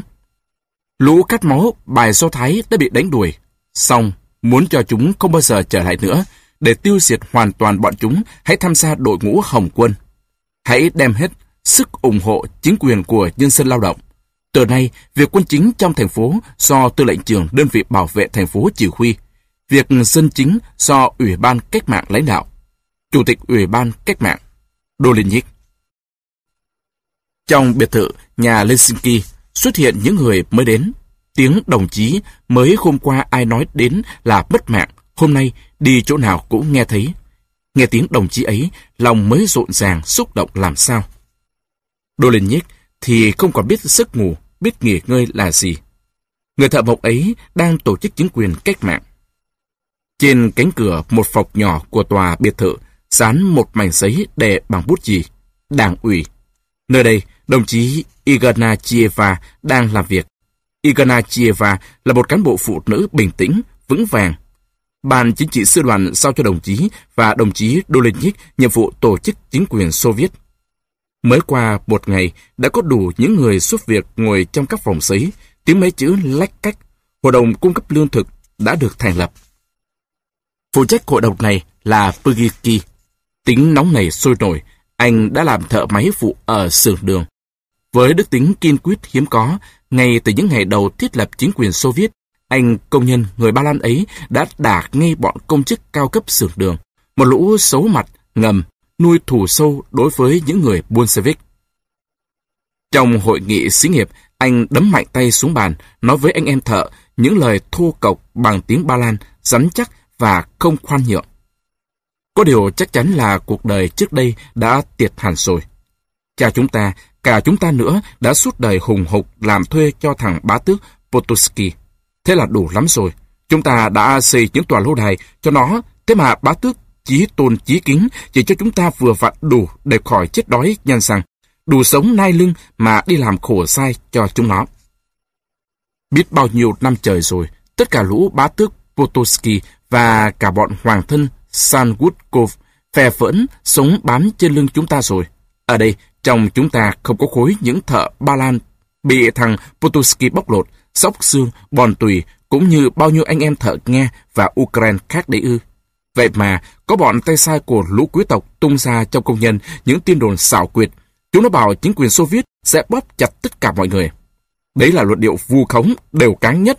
Các đồng chí ạ, chưa bao giờ anh em thợ thuộc mọi thành phần dân tộc được hưởng nhiều quyền tự do như ngày nay. Tất cả vô sản là anh em, nhưng còn đối với bọn chủ, bọn quý tộc, đối với tụi chúng nó thì ta sẽ bóp chặt chúng lại. Các đồng chí có thể tin nhất định là như thế.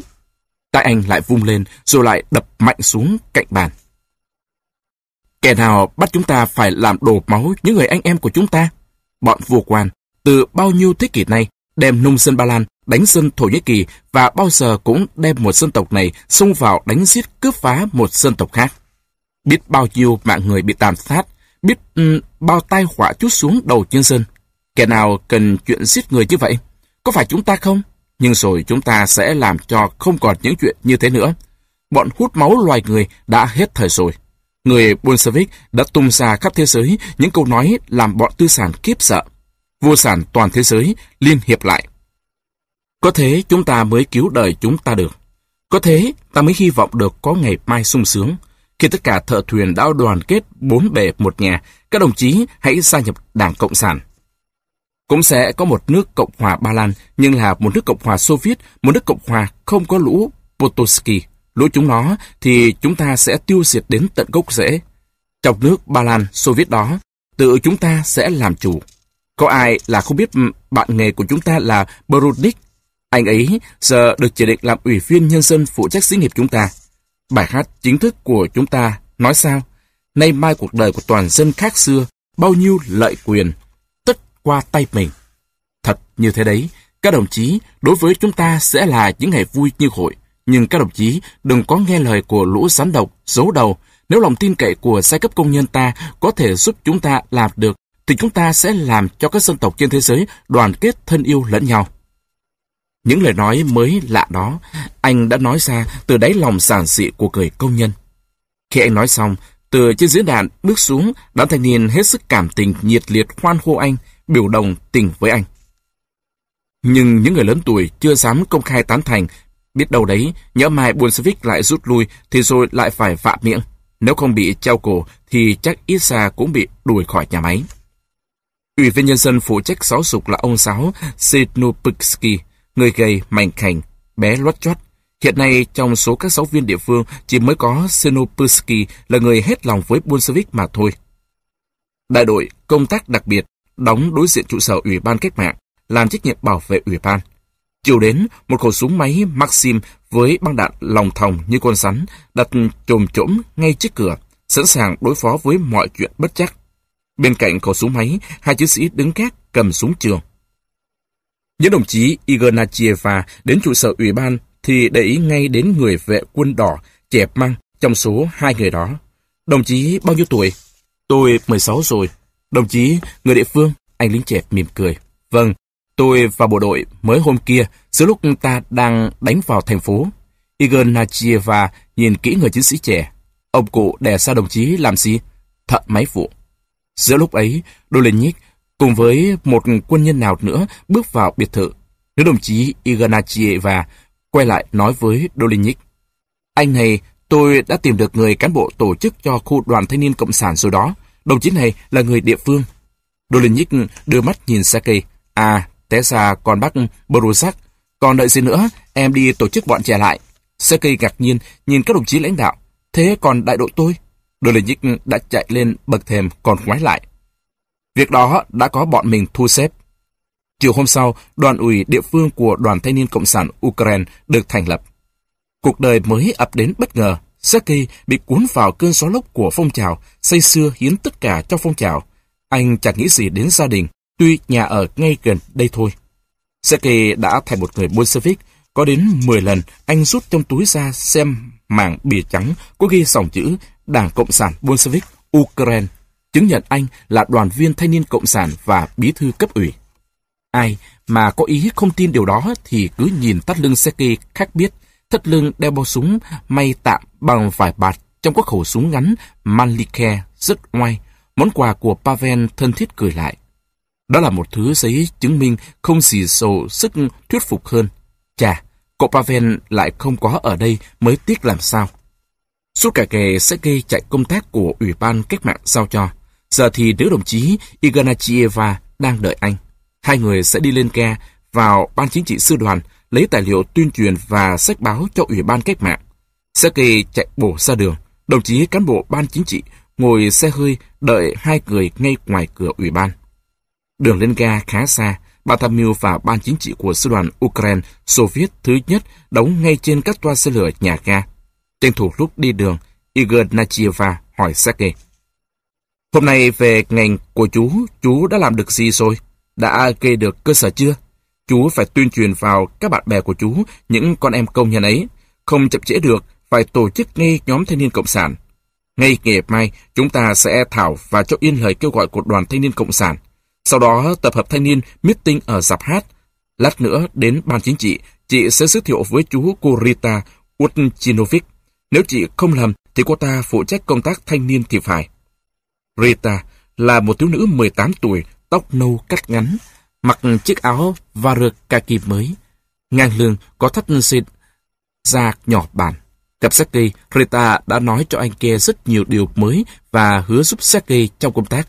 Khi Sergei ra về, Rita đã đưa cho anh một bó tài liệu dày và đặc biệt là có giao tận tay anh một cuốn sách nhỏ, cương lĩnh và điều lệ của đoàn thanh niên Cộng sản. Mãi tới khuya, nữ đồng chí Igarachieva và Seki mới về đến Ủy ban Cách mạng. Về đến nơi thì Valia đang đứng đợi ở vườn. Trông thấy anh là gây gắt, chắc ngay.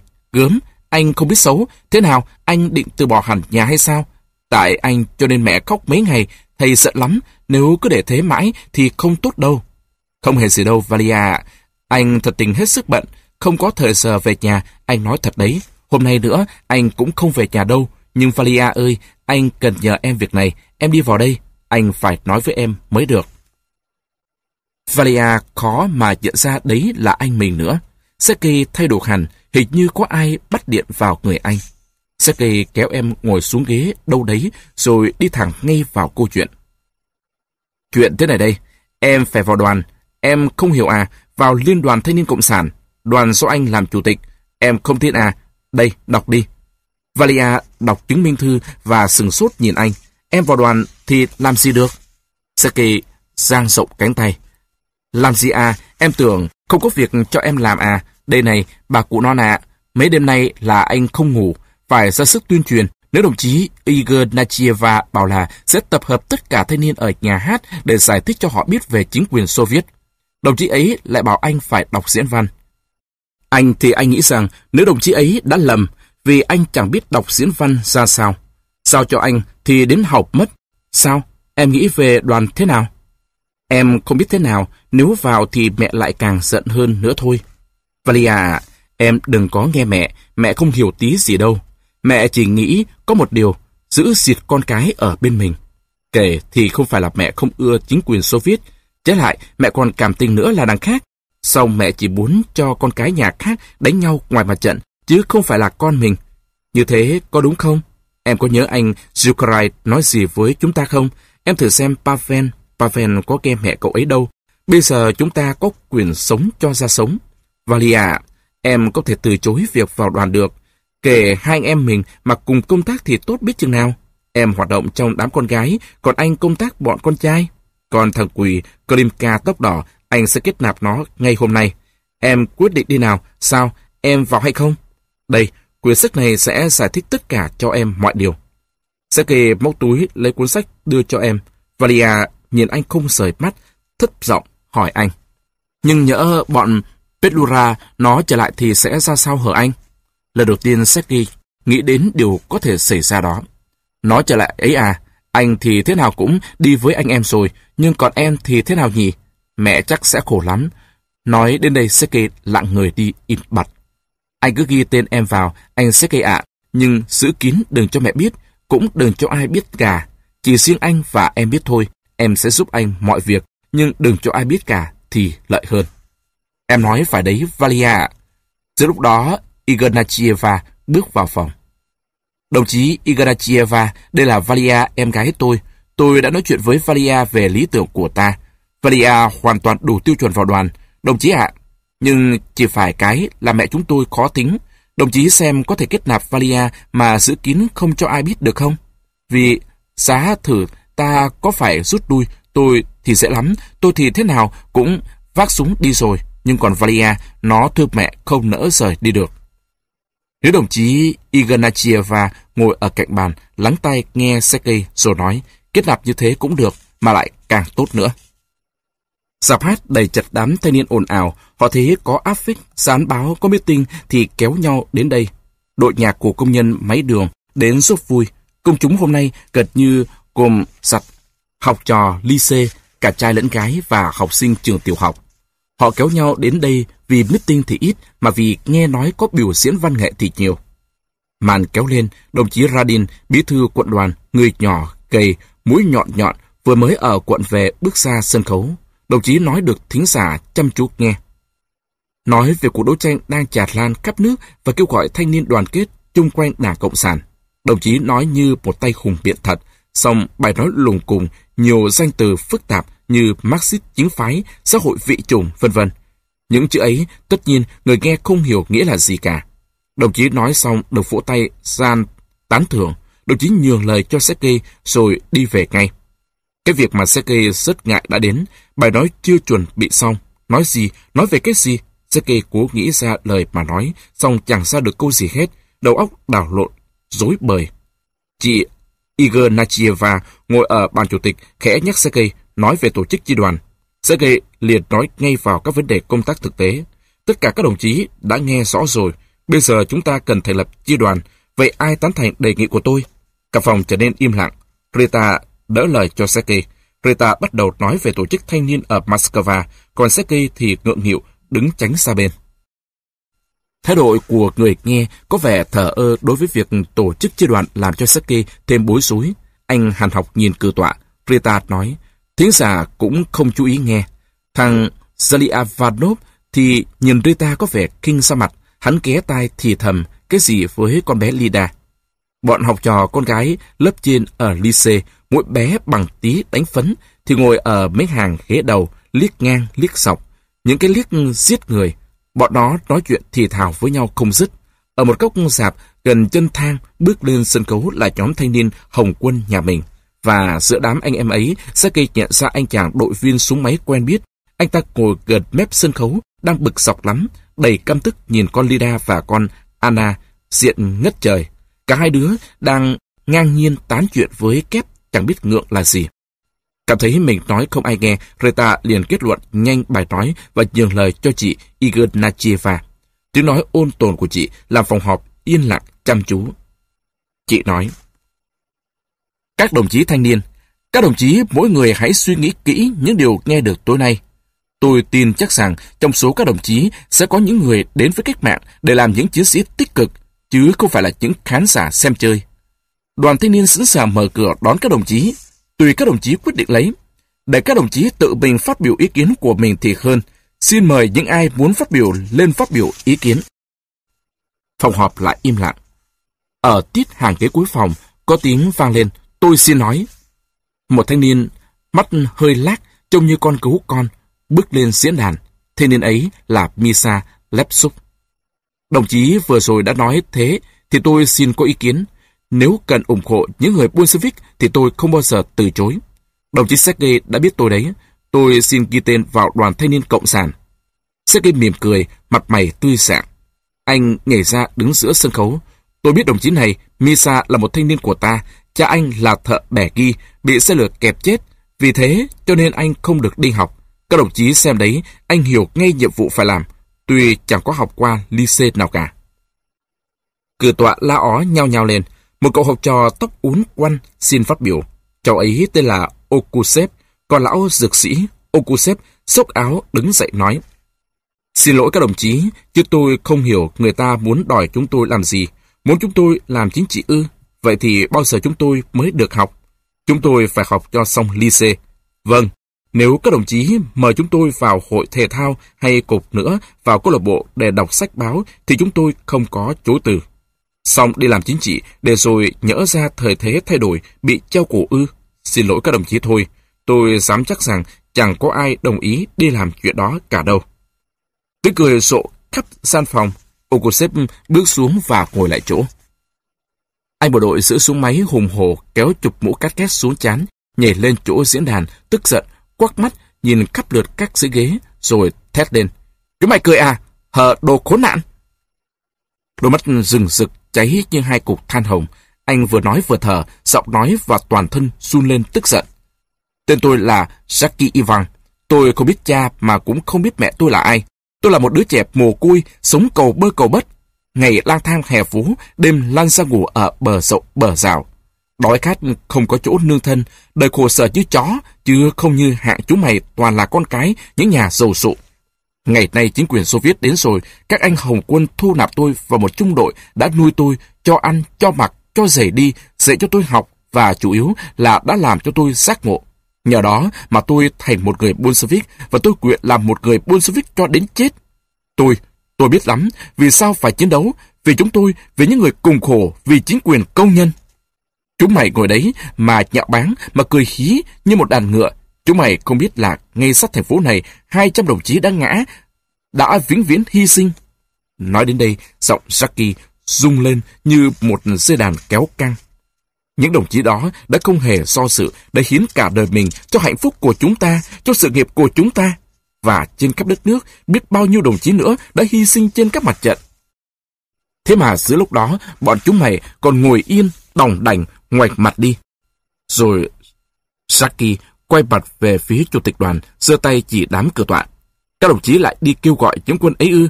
Đồ, chúng nó mà lại hiểu được hay sao? Không, một đứa thừa ăn với một người chết đói, không đi đôi với nhau được. Mấy trăm mặt mà chỉ có một tiếng đáp lại chúng ta thôi, bởi vì đấy chính là tiếng nói của một cậu bé mồ côi cùng khổ. Anh quay lại phía cửa tọa, hét lên giận dữ. Còn hạng chúng mày thì chúng tao không cần đến mặt chúng mày. Chúng tao không phải cầu xin chúng mày ủng hộ. Đồ, chúng mày chỉ làm vướng càng chúng tao thôi. Càng chúng tao thôi. Càng chúng tao thôi. Hơi thở hầm hập, Jackie kết luận. Những quân này chỉ đem lia quách một băng đi cho sành. Anh từ diễn đàn chạy xuống, chẳng thèm nhìn ai, bước thẳng ra ngoài cửa. Chủ tịch đoàn không một ai ở lại sự xã hội. Trên đường về Ủy ban cách mạng, Jackie nói, giọng, chán nản. Thật là nhỡ tàu. Jackie, nó nói thế mà đúng, chẳng được tích sự gì. Cái đám học sinh ấy, lũ chúng nó thật ghét mặt. Ignachieva ngắt lời. Điều đó không lấy gì làm lạ, hầu hết không phải là thanh niên vô sản, phần lớn hoặc là đám thanh niên tiểu tư sản hoặc là lớp trí thức thành thị. Lũ thanh niên nhợt nhơ, phải tiến hành công tác ở trong quần chúng thanh niên công nhân, dựa vào đám thanh niên máy cưa và máy đường. Song cuộc meeting không vô ích đâu, trong anh chị em học sinh có những phần tử tốt đấy. Greta cũng đồng ý với Igor Nachieva. Sergei ạ, nhiệm vụ chúng ta là không ngừng tuyên truyền in sâu vào óc mỗi người những tư tưởng và những khẩu hiệu của chúng ta. Mỗi việc xảy ra, Đảng phải giải thích, bình luận cho quần chúng cần lao hiểu. Chúng ta sẽ tổ chức một loạt những cuộc meeting, những cuộc hội nghị, những cuộc đại hội. Ban chính trị đang mở hội nhà hát mùa hè ở trên ga. Ít lâu nữa sẽ có một chuyến tàu tuyên truyền đến, lúc đó chúng ta có thể phát triển phong trào. Sergei hãy nhớ lời Lenin. Lenin đã nói, chúng ta sẽ không bao giờ thắng được nếu ta không lôi cuốn vào cuộc đấu tranh những khối đông đảo quần chúng cần lao. Seki đưa Rita về nhà ga thì đã khuya. Lúc bắt tay từ xã nhau, anh nắm lấy bàn tay Rita, siết rất chặt và giữ trong tay mình một giây. Rita thoang thoáng, mỉm cười. Trước khi về trụ sở, Seki còn tạt thăm nhà. Mẹ anh la lối om sòm, anh vẫn im không nói. Nhưng đến khi cha cũng nói chen vào thì anh không giữ được nữa. Quay ra nói lại, khiến cha không còn biết nói thế nào. Thầy để cho con nói, còn hỏi thầy cái ngày cô Đức ở đây, thầy bỏ việc bãi công, lại thịt cả thằng lính gác trên xe lửa nữa, thì thầy có nghĩ đến nhà không? Thầy có nghĩ chứ? Xong thầy vẫn làm bởi vì ý thức của người thợ bắt thầy phải làm như thế. Thì ngày nay con cũng nghĩ như thầy, con cũng nghĩ đến nhà, con biết nếu cô ta phải bỏ đất này mà đi thì nhà vì con cũng có thể bị chúng làm dày đấy. Xong, nếu chúng con đánh thắng, Hồng quân đánh thắng, thì thắng lợi là thắng lợi chung của giai cấp công nhân ta. Con không thể cứ khoanh tay ngồi ở nhà được, thầy ạ. Thầy chắc hiểu cho con, thế mà nhà còn cứ mè nheo con làm gì. Thầy biết con đi vào con đường phải, thầy phải nâng đỡ con, giúp con mới phải chứ. Đằng này, thầy lại cũng giết móc con. Con xin thầy ký lại, thầy được nói con nữa. Thầy không nói con thì con tin là mẹ con cũng thôi không kêu nữa. Đôi mắt xanh và trong của Sake nhìn thẳng vào cha, dịu dàng mỉm cười, tin chắc là mình có lý. Bác Berusak ngồi trên ghế dài bối rối, nhếch đuôi ria mép rậm và chòm râu đâm tu tủa cười xòa, lộ ra hai hàm răng vàng khè. Thằng quái, mày lại định dạy khôn tao đấy hả? Mày tưởng mày giờ có súng thì tao sợ không dám đánh đọt mày đấy chắc. Trong giọng nói của bác không có gì là đe dọa cả. Lúng ta lúng túng, bác chìa bàn tay nổi chai ra, bắt chặt tay con. Thôi, con đi, con đang đi lên chà chẽ, thầy lại hãm con lại. Chỉ cốt một điều là đừng có quên chúng tao. Thỉnh thoảng, con xin phép anh em về nhà chơi, Saki nhé. Bấy giờ là đêm, cánh cửa mở hé, hắt ra một vệt ánh sáng, chiếu lên những bậc thềm. Trong gian phòng lớn, kê ghế đi văng, đệm mềm, lót ra thuốc non. Năm người ngồi quanh chiếc bàn giấy rộng nhà lão luật sư Lesinski, Ủy ban cách mạng, đang họp ở đấy. Dolinik, Iganachieva, chủ tịch ủy ban đặc biệt là Chimosenko, đội mũ lông, trông giống như người dân Kitki, và hai ủy viên ủy ban cách mạng là Sudik, công nhân đường sắt, người cao lêu kêu như cây rào và anh công nhân sở đầu máy xe lửa mũi tẹt tên là Ostastasov. Dolinik ngạc người xuống bàn, nhìn chằm chằm thẳng vào mặt nữ đồng chí Igor Nachieva, giọng khàn khàn, rằng từng tiếng. Phải bảo đảm cung cấp cho mặt trận, công nhân cũng cần ăn. Thế mà từ khi ta vào đây, bọn nhà buôn, bọn đầu cơ tăng vọt giá cả. Chúng không chịu bán hàng lấy tiền Xô Viết, mà chỉ nhận lấy giấy bạc Nikolai hoặc giấy bạc Kerensky thôi. Chú thích, giấy bạc Nikolai, giấy bạc của Nga Hoàng, giấy bạc Kerensky, tiền của chính phủ lâm thời là chính phủ tư sản phản động. Hết chú thích.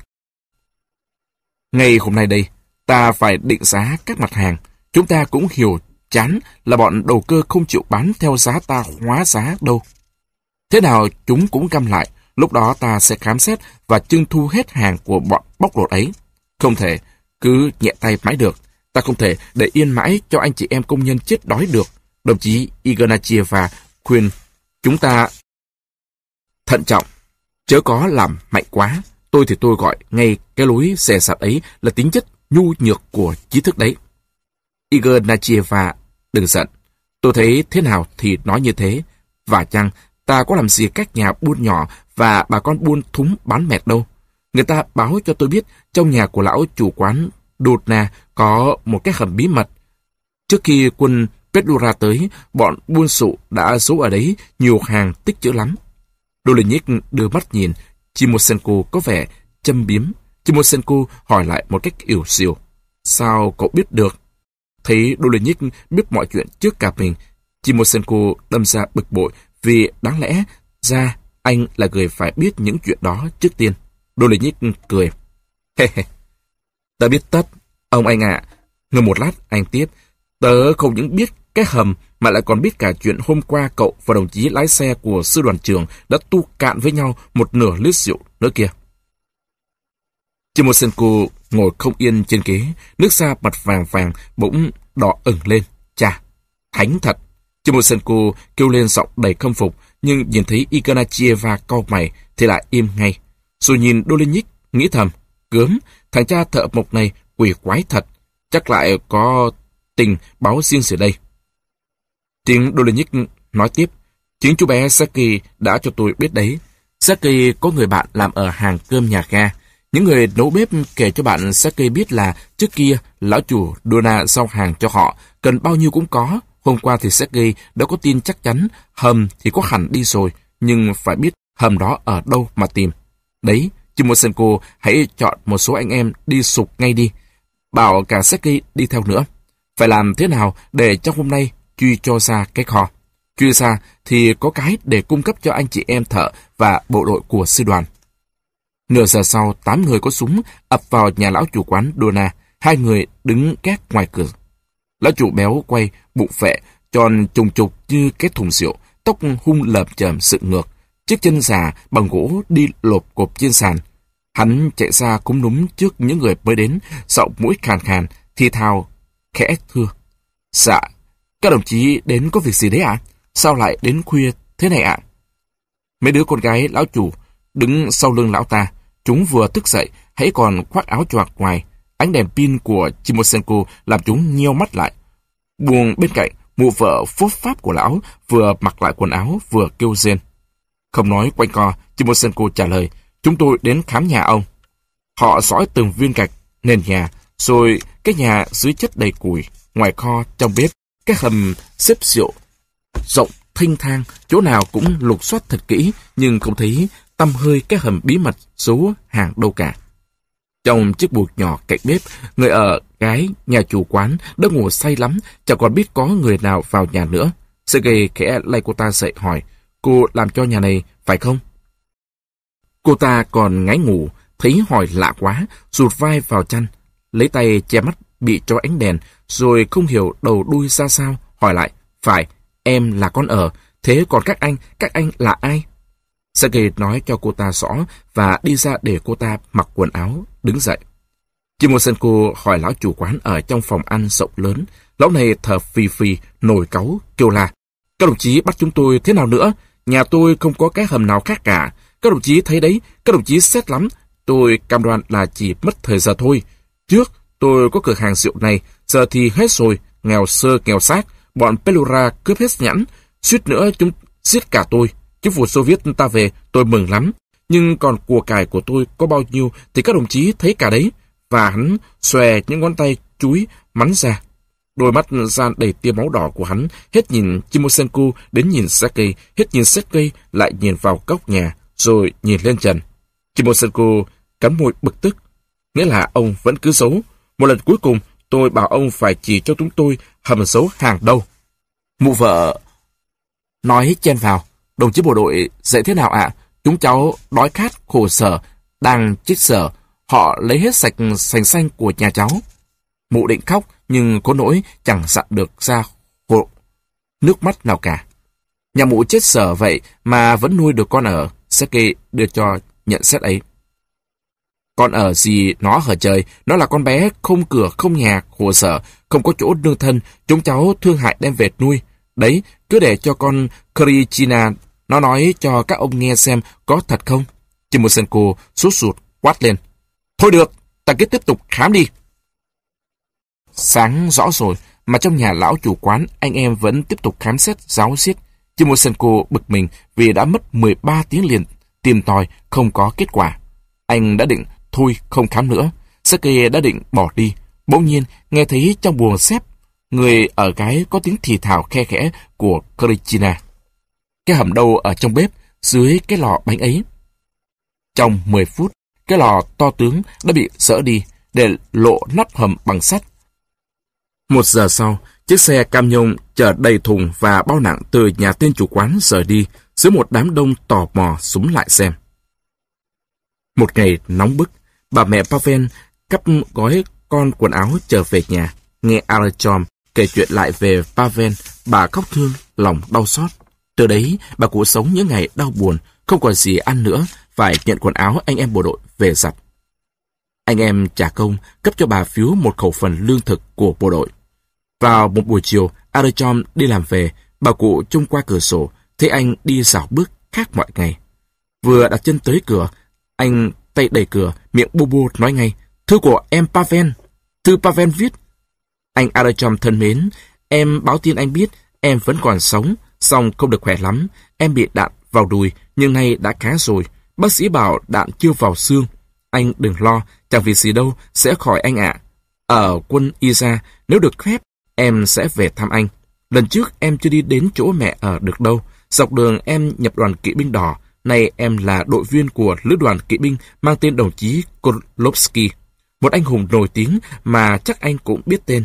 Em chưa từng gặp người nào anh dũng như đồng chí lữ đoàn trưởng. Em rất khâm phục đồng chí ấy. Mẹ đã về chứ anh?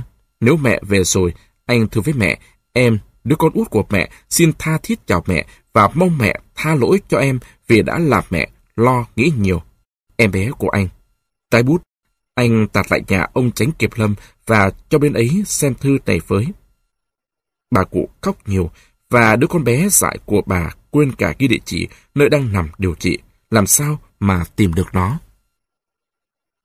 Seki năng ghé vào một toa xe lửa sơn xanh, ngoài có biển đề chữ Tổ tuyên huấn Ban Chính trị Sư đoàn. Ignachieva và Rita làm việc ở đây, trong một ngăn toa nhỏ. Igor Nachieva mồm ngậm mãi một điếu thuốc không bao giờ hút, nhếch mép mỉm cười xí giỏm. Sergei là bí thư khu đoàn thanh niên, thường đến đây lấy tài liệu, báo chí. Anh dần dần thân với Rita, lúc nào không biết, và cứ mỗi lần ở toa tổ ra về, ngoài tài liệu sách báo, anh lại mang theo cả niềm vui xôn xao của những buổi gặp gỡ ngắn ngủi ấy. Nhà hát ngoài trời do Ban Chính trị Sư đoàn tổ chức hôm nào cũng chật ních công nhân và bộ đội. Đoàn xe lửa tuyên truyền của quân đoàn thứ 12 chung quanh sán đầy những áp phích và biểu ngữ màu tươi đậu trên đường sắt. Hoạt động sôi nổi ngày và đêm, bộ phận in đầy ắp công việc. Anh em in xuất bản báo, truyền đơn, hiệu triệu. Ở đây, sát bên tiền tuyến, một buổi tối, sẽ khi tình cờ vào nhà hát. Anh trông thấy Rita ngồi giữa đám chiến sĩ Hồng quân. Khuya về, tiễn chân Rita lên ga, tới chỗ ở của các cán bộ ban chính trị. Seki đột nhiên hỏi. Đồng chí Rita này, không hiểu sao tôi lúc nào cũng mong gặp Rita kia lắm. Và Sergei nói thêm, có Rita ở bên cạnh tôi, tôi thấy trong người thoải mái vô cùng. Mỗi lần gặp Rita về, tôi cảm thấy hăng hái thêm và muốn làm việc mãi không nghỉ. Rita cắt lời. Đồng chí Sergei, chúng ta cần hiểu nhau mới được. Từ nay về sau, đồng chí không nên đi vào cái lối tình cảm lãng mạn ấy nữa. Tôi không thích thế đâu. Sergei thẹn đỏ mặt, như anh học trò bị thầy của. Anh đáp lại. Tôi nói với Rita như một người bạn thân mà Rita tì lại. Tôi hỏi Rita, tôi có nói gì phản cách mạng không? Đã thế nhất định từ nay trở đi tôi chẳng nói gì nữa. Và Sergei vội chia tay bắt tay chào biệt Rita. Anh quay trở lại xuống phố, đi nhanh như chạy. Đến mấy hôm liền, Sergei không ra gạt nữa. Cho đến hôm chị Igor Nachieva cho gọi Sergei đến, anh cũng tìm cớ thoái thác là bận công tác. Mà thật tình, anh cũng bận, vùi đầu vào công việc. Một đêm, Sudik đi về nhà anh, qua phố có nhiều công chức cao cấp của nhà máy được người Ba Lan ở, thì bị bắn trộm. Ta liền khám xét các nhà thì bắt được súng và nhiều tài liệu tổ chức bí mật là người bắn cung của bọn đồng đảng với tên phát xít Ba Lan Pinsuski. Rita đến sự phiên họp Ủy ban cách mạng bàn về vụ này, gặp Seki, Rita kéo xa chút khuất, hỏi bằng giọng ôn tồn. Seki bây giờ lại nổi tự ái tiểu tư sản đấy à? Vì chuyện cá nhân để ảnh hưởng đến công tác hay sao? Thế chẳng lợi gì đâu, đồng chí ạ. Và từ đấy Seki lại năng đến chiếc toa xanh như trước. Anh đi dự hội nghị toàn khu, hai ngày Seki tham gia thảo luận sôi nổi. Đến ngày thứ ba, thì cùng với cả hội nghị, cầm vũ khí suốt một ngày trời đuổi bọn thổ phỉ Zarutni là một tên sĩ quan của Petlura chạy trốn vào khu rừng ven sông. Xong cuộc chiêu thổ phỉ đó, Sergei về chỗ chị Ignachieva thì gặp Rita. Lại đưa Rita về trụ sở ngoài ca. Sắp sửa chia tay, anh nắm thật mạnh bàn tay của Rita. Rita giật tay lại, có vẻ giận. Và từ đấy Sergei rất lâu không hề bén mạng đến chiếc toa sạch nữa. Anh cố ý tránh mặt Rita ngay cả những lúc có công việc cần gặp. Rita đón gặp, chất vấn lại thì Sergei nói buộc ta. Nói gì với Rita nữa, nói rồi để Rita lại ghép cho tính chất tiểu tư sản hay lại buộc cho tội phản bội giai cấp công nhân ấy à? Một hôm các chuyến xe của sư đoàn Caucasus mang tên cờ đỏ đến nhà ga, ba đồng chí chỉ huy ra sám nắng đi đến Ủy ban Cách mạng. Đồng chí ấy, người gầy song sòng cao, lưng thắt chiếc xây ra nạm bạc. Vớ được Dolinik thì quay ngay. Thôi, đồng chí không phải trình bày gì nữa. Chúng tôi cần 100 xe cỏ cho ngựa ăn. Ngựa đang đói nhăn răng ra. Seki và hai đồng chí hồng quân nữa được phái đi lấy cỏ. Đến một làng thì rơi ngay vào một bọn phỉ cô lắc. Bị bọn này tước hết vũ khí và đánh cho một trận thừa sống thiếu chết. Chúng cho là Seki còn trẻ nên đánh ít hơn hai đồng chí kia. May có các đồng chí trong ủy ban dân cày nghèo biết tin đến cứu được và cho xe đưa về tỉnh. Một phân đội Hồng quân được phái đến dẹp bọn Kulak và hôm sau thì lấy được cỏ về. Sergei nằm điều trị ở nhà chị Igor Nachieva, không về gia đình, tránh cho nhà biết để nhà khỏi lo. Rita đến thăm, tối hôm ấy, lần đầu tiên chính Rita lại bắt tay anh, chiều mến và siết chặt. Rồi đến một trưa hè nóng như thiêu, Sergei đến toa xe Rita, đọc cho bạn nghe bức thư mới nhận được của Pavel và nói chuyện với Rita rất lâu về người bạn thân của mình. Lúc đi, anh nói với Rita. "Saki vào rừng đây, đến hồ tắm một cái. Rita cần làm việc, gọi với Saki. Đợi một tí, hai chúng mình cùng đi. Đến bên hồ, mặt nước phẳng lặng như một tấm gương, hai người dừng lại, nước trong mát trông đến muốn tắm. Rita bảo Seki, Seki ra đường cái, đứng chờ một lát nhé, Rita tắm đây. Saki ra ngồi trên một tảng đá gần cầu, mặt ngửa ra nắng. Đằng sau lưng, tiếng nước vũ bỉ bõm. Thấp thoáng qua dặn cây ngoài đường, Sergei nhìn thấy Tunya và ủy viên quân sự của chuyến xe tuyên truyền là Trusanin. Trusanin đẹp trai lắm, diện bộ cánh rất bảnh, mình thắt nịt xa, có buộc nhiều dây tua làm điệu, đôi ủng mới toanh. Chàng ta khoác tay Tunya và đang kể một câu chuyện xịn cho cô ấy nghe. Sergei nhận ra người con gái chính là người mang thư của Pavel lại cho mình hôm Pavel mới trốn khỏi nhà tù. Tunya vẫn nhìn Sergei chòng chọc. Chắc cô ta cũng nhận ra. Khi hai người vừa bước tới ngang mặt Seki, thì Seki rút bức thư trong túi ra gọi tôi nha. Đồng chí, dừng lại cho tôi hỏi một chút. Tôi có một cái thư, trong đó có liên quan tới đồng chí một phần. Seki chia bằng giấy, chữ viết kín đặt. Tôi nhà buông tay Trusanin, cầm thư đọc, lá thư rung rung trong bàn tay. Khi trao lại lá thư ấy, tôi nha hỏi Seki. Anh có biết gì hơn nữa về anh Pavel hả anh? Không. Từ phía sau tiếng chân Rita dẫm lên hòn sỏi kêu ken két. Thấy Rita, Trusanin vội nói nhỏ với tôi nha. Ta đi thôi. Nhưng giọng chí xỉu, kiên bỉ của Rita đã gọi giật lại. Đồng chí Trusanin, ở cơ quan suốt ngày đang tìm đồng chí. Trusanin nguyết Rita bằng cặp mắt hàn học. Tìm làm gì mới được chứ? Không có tôi, việc vẫn chạy. Rita nhìn theo tôi nhà và Trusanin rồi nói không biết bao giờ mới tẩy được hạng như bạn ấy ra khỏi hàng ngũ. Sườn cây dì rào những ngọn xến to khỏe lắc lư, nước hồ trong mát làm cho Seki thèm tắm. Tắm xong, anh trở lại thấy Rita đang ngồi ở thân một cây xến đổ. Hai người vừa trò chuyện vừa đi sâu vào rừng, đôi bạn bảo nhau dừng lại nghỉ chơi một khoảng rừng thưa đầy cỏ tươi. Rừng sâu tịch mịch, chỉ có tiếng xến xeo như thì thầm cục nhau. Rita nằm lên cọp mượt, lấy tay cúi đầu, cặp chân thon, đôi bàn chân sỏ đôi giày đã cũ, luồn vào lớp cỏ cao phủ kín. Seki bỗng đưa mắt thoáng nhìn. Đôi giày Rita đã cũ mà vá mới kéo làm sao. Anh nhìn lại đôi giày ống của mình há mõm, ngón chân lòi ra, bất giác anh phì cười. Seki cười gì thế? Seki chỉ chiếc giày. Rita chồng, giày thế này thì chúng mình đi chợ đánh nhau làm sao được? Rita không nói sao, miệng ngậm một ngọn cỏ. Chị còn mài kỹ đến một chuyện khác. Cuối cùng chị nói, Truzanin là một đảng viên rất kém. Các cán bộ chính trị của ta đều mặc quần áo rách mướp, còn tay ấy thì chỉ nghĩ đến diện vào thân cho đẹp. Thật là một phần tử lạc loài vào đảng. Còn như ở ngoài mặt trận thì tình hình nghiêm trọng thật đấy. Đất nước chúng ta còn phải trải qua nhiều chiến đấu khốc liệt và ngừng một lát, Rita nói thêm. Chúng ta phải đánh giặc bằng cả lời nói lẫn bằng súng. Seki ạ, Seki đã biết nghị quyết của Trung ương Đảng động viên một phần tư đoàn viên thanh niên Cộng sản ra mặt trận chưa? Rita cho rằng chúng mình chẳng nhóm lửa ở Sepetupka được lâu đâu. Seke lắng nghe, hơi sừng sốt và bất chợt trong giọng nói của Rita có cái gì khang khác. Đôi mắt đen, ướt và sáng của Rita nhìn chăm chăm vào anh. Anh chực thốt lên, nói với Rita rằng đôi mắt Rita như mặt gương long lanh, cái gì cũng có thể soi vào đấy được. Xong anh kịp thời giữ miệng không nói. Rita nhổm dậy, chống kiểu tay xuống đất. Súng Seke đâu? Seke buồn thiểu, sở tay lên thắt lưng. Hôm về nông thôn lấy cỏ, xảy ra xô sát, bọn cô lắc đã tước mất rồi. Rita thò tay vào túi áo Varer, móc ra khổ Browning sáng loáng. Seke trong cây xến kia nhé.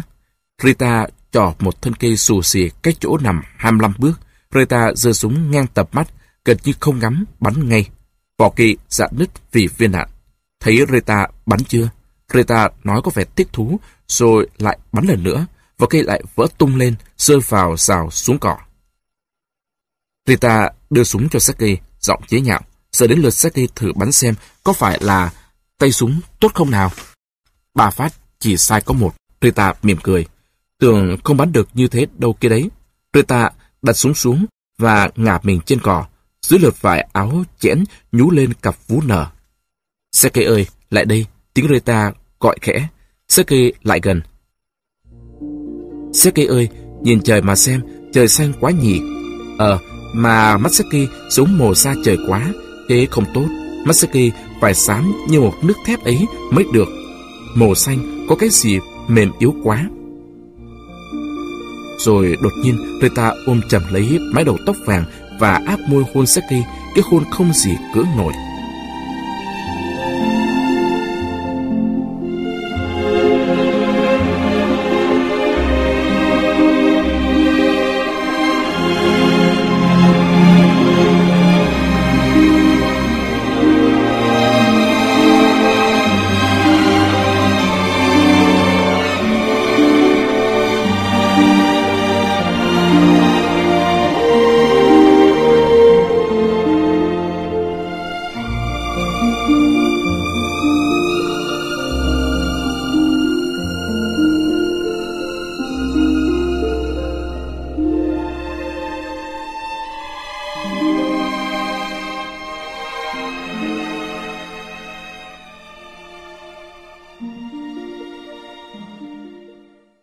Thư viện sách nói dành cho người mù thực hiện. Hai tháng trôi qua, rồi mùa thu tới. Đêm tối ập xuống lúc nào không biết. Bóng đêm chụp một màn đen lên cây cỏ. Người điện báo viên của ban tham mưu sư đoàn đang mài cúi đầu trên chiếc máy đánh móc. Băng chữ như con sắn dài trườn qua những ngón tay từ những dấu chấm và số gạch tạch tè. Anh ta dịch ra bức điện rất nhanh. Cười tham mưu trưởng sư đoàn thứ nhất, đồng sao gửi chủ tịch ủy ban cách mạng thành phố Sepetovka. Tôi ra lệnh tàn cư hết tất cả các cơ quan của thành phố trong vòng 10 tiếng đồng hồ sau khi nhận được điện này. Trong thành để lại một tiểu đoàn Tiểu đoàn này sẽ thuộc quyền chỉ huy của Trung đoàn trưởng Trung đoàn X, chỉ huy trưởng phân bộ, mặt trận, ban tham mưu sư đoàn, ban chính trị và tất cả các ban quân sự và chuyển lùi về ga Baransev. Thi hành xong lệnh, báo cáo lên tư lệnh sư đoàn. Chữ ký. 10 phút sau, chiếc mô tô dư mắt đèn pha sáng thắp bằng đất chạy vùn vụt qua các phố khuya lặng ngắt như tờ, rồi dừng lại trước trụ sở cách mạng, máy rung lên sùng sục. Liên lạc viên cưỡi Poto đến đưa bức điện hỏa tốc cho Chủ tịch Ủy ban Cách mạng Dolinik. Điện vừa tới xong, mỗi người một việc chạy tiếu tiết. Đại đội công tác đặc biệt được tập hợp lại. Chỉ một giờ sau, bánh xe lăn vang trên đường phố. Xe nào xe ấy chở đầy ắp tài liệu và đồ dùng của Ủy ban đưa đến ga Podolsky xếp lên các toa tàu. Seki nghe đọc xong bức thư điện, chạy theo bám lấy đồng chí đi mô tô. Đồng chí ơi, có thể cho tôi đi nhờ lên ga được không? Ngồi đằng sau, nhưng phải bám cho chắc nhé. Toa xanh đã mắc vào đoàn tàu, đứng cách toa 10 bước. Seki ôm chặt lấy vai Rita, lòng cảm thấy đang mất đi một cái gì hết sức thân thiết và quý vô giá, miệng thủ thỉ. Chào Rita nhớ, chào đồng chí thân mến của Seki, chúng ta sẽ còn có ngày gặp nhau, nhưng cốt nhất Rita đừng quên Seki nhé. Seki kinh sợ, thấy rằng mình sắp quả lên khóc mất, đã phải xa nhau rồi, không còn đủ sức để nói gì thêm nữa, anh chỉ nắm lấy tay Rita, bóp chặt trong tay mình. Vừa sáng, thì thành phố Svetovka và nhà ga đã bỏ không vắng ngắt, cô quạnh. Đầu máy chuyến xe lửa cuối cùng xúc gọi ầm ĩ như một lời chào từ biệt. Và phía sau ga, tiểu đoàn chiến đấu còn bố trí trong thành để yểm hộ cho cuộc rút lui đóng dài hai bên đường sắt. Lá vàng rơi, bỏ thân cây trơ trụi, gió cuốn lá bay lả tả trên mặt đường phố. Saki mặc áo khoác hồng quân, mình đeo chi chít băng đạn, cùng hơn chục đồng chí giữ ngã tư sau nhà máy đường. Quân ta đợi quân Ba Lan đến. Lão Aptonom Petrovic chạy sang gõ cửa nhà láng giềng Gerasim Leon Chievich. Lão Gerasim ngủ dậy chưa kịp thay quần áo, thò đầu bù ra ngoài cửa mở hé. Chuyện gì thế bác? Lão Atonom chỉ bộ đội đỏ đang diễu qua, súng chĩa đằng trước, nháy mắt bảo ông bạn hàng xóm. Họ rút. Lão Gerasim nhìn ông bạn, vẻ lo ngại. Bác có biết huy hiệu của quân Ba Lan thế nào không? Nghe đâu là huy hiệu diều hâu một đầu thì phải. Tảo đâu, được một cái bây giờ nhỉ? Lão Aptonom đưa tay lên gãi gáy, có vẻ giận dữ, suy nghĩ, một lát lão tuôn ra. Họ thì cần cóc gì? Họ đứng dậy, rũ áo là kéo nhau đi, còn cánh mình thì ở lại, mặc cánh mình xoay sở nát óc mà nghĩ cách ăn ở cho hợp với chính quyền mới đến. Tiếng súng máy nổ, phá tan cái yên tĩnh của buổi sớm. Bỗng ngoài ga, một chiếc đầu tàu kéo còi thét lên. Ở phía ấy có tiếng đại bác nổ vang. Một quả trái phá hạng nặng rít lên, xoáy vụt lên trời, rồi rơi xuống phố sau nhà máy, tỏa khói xanh bao phủ những bụi rậm bên đường. Bộ đội đỏ từng hàng lặng lẽ tiến qua phố, chốc chốc lại ngoái cổ lại nhìn. Giọt nước mắt lạnh lạnh rơi trên gò má Seki, anh vội vàng lấy tay quệt nước mắt, liếc xem bạn đồng đội có nhìn thấy mình khóc hay không. Không, không ai nhìn thấy cả. Cạnh anh là bác thợ máy cưa Antic vừa gầy, vừa cao liêu nghiêu, ngón tay Antic miết vào cò súng. Nét mặt buồn bã, đăm chiêu, mắt bác gặp đôi mắt Seki đang nhìn mình, bác liền ngỏ với người đồng chí trẻ những ý nghĩ thầm kín trong lòng. Chúng nó rồi sẽ khủng bố họ hàng bà con thân thích chúng mình. Nhất là nhà tôi, thế nào cũng bị. Tôi là người Ba Lan. Chúng nó sẽ bảo, thằng này người Ba Lan mà dám đánh quân đội Ba Lan. Ông cụ tôi thế nào cũng bị đuổi khỏi nhà máy cưa và chắc rồi sẽ bị chúng đánh đập mất. Tôi đã bảo ông cụ đi theo chúng mình, xong ông ấy bảo không nỡ lọc nào bỏ mặc gia đình. Chà, Lũ giặc ừ, xã man chỉ mong được choạc ngay với chúng nó cho đỡ ức. Bác lấy tay, hất mạnh lên chiếc mũ hồng quân hơi rộng, vừa chụp xuống mắt. Thôi, tạm biệt quê hương yêu dấu, tạm biệt thành phố bé xíu, bẩn thỉu, nhà cửa tồi tàn, đường đi khúc khuỷu này. Tạm biệt những người thân, tạm biệt Valia, tạm biệt các đồng chí từ đây phải rút vào bí mật. Bọn giặc trắng Ba Lan, bọn Lê Dương ngoại trùng, hung ác, tàn nhẫn, đang tiến về đây rồi. Công nhân sở độc máy xe lửa, áo nhấp, dầu mỡ, đi tiễn bộ đội đỏ. Mặt họ buồn sầu, nhìn theo bóng đoàn quân đi. Seki đứt từng khúc ruột, nói to lên với anh em thợ. Chúng tôi nhất định sẽ có ngày trở lại đây, các đồng chí ạ. Các đồng chí ạ. Các đồng chí ạ. Chương 8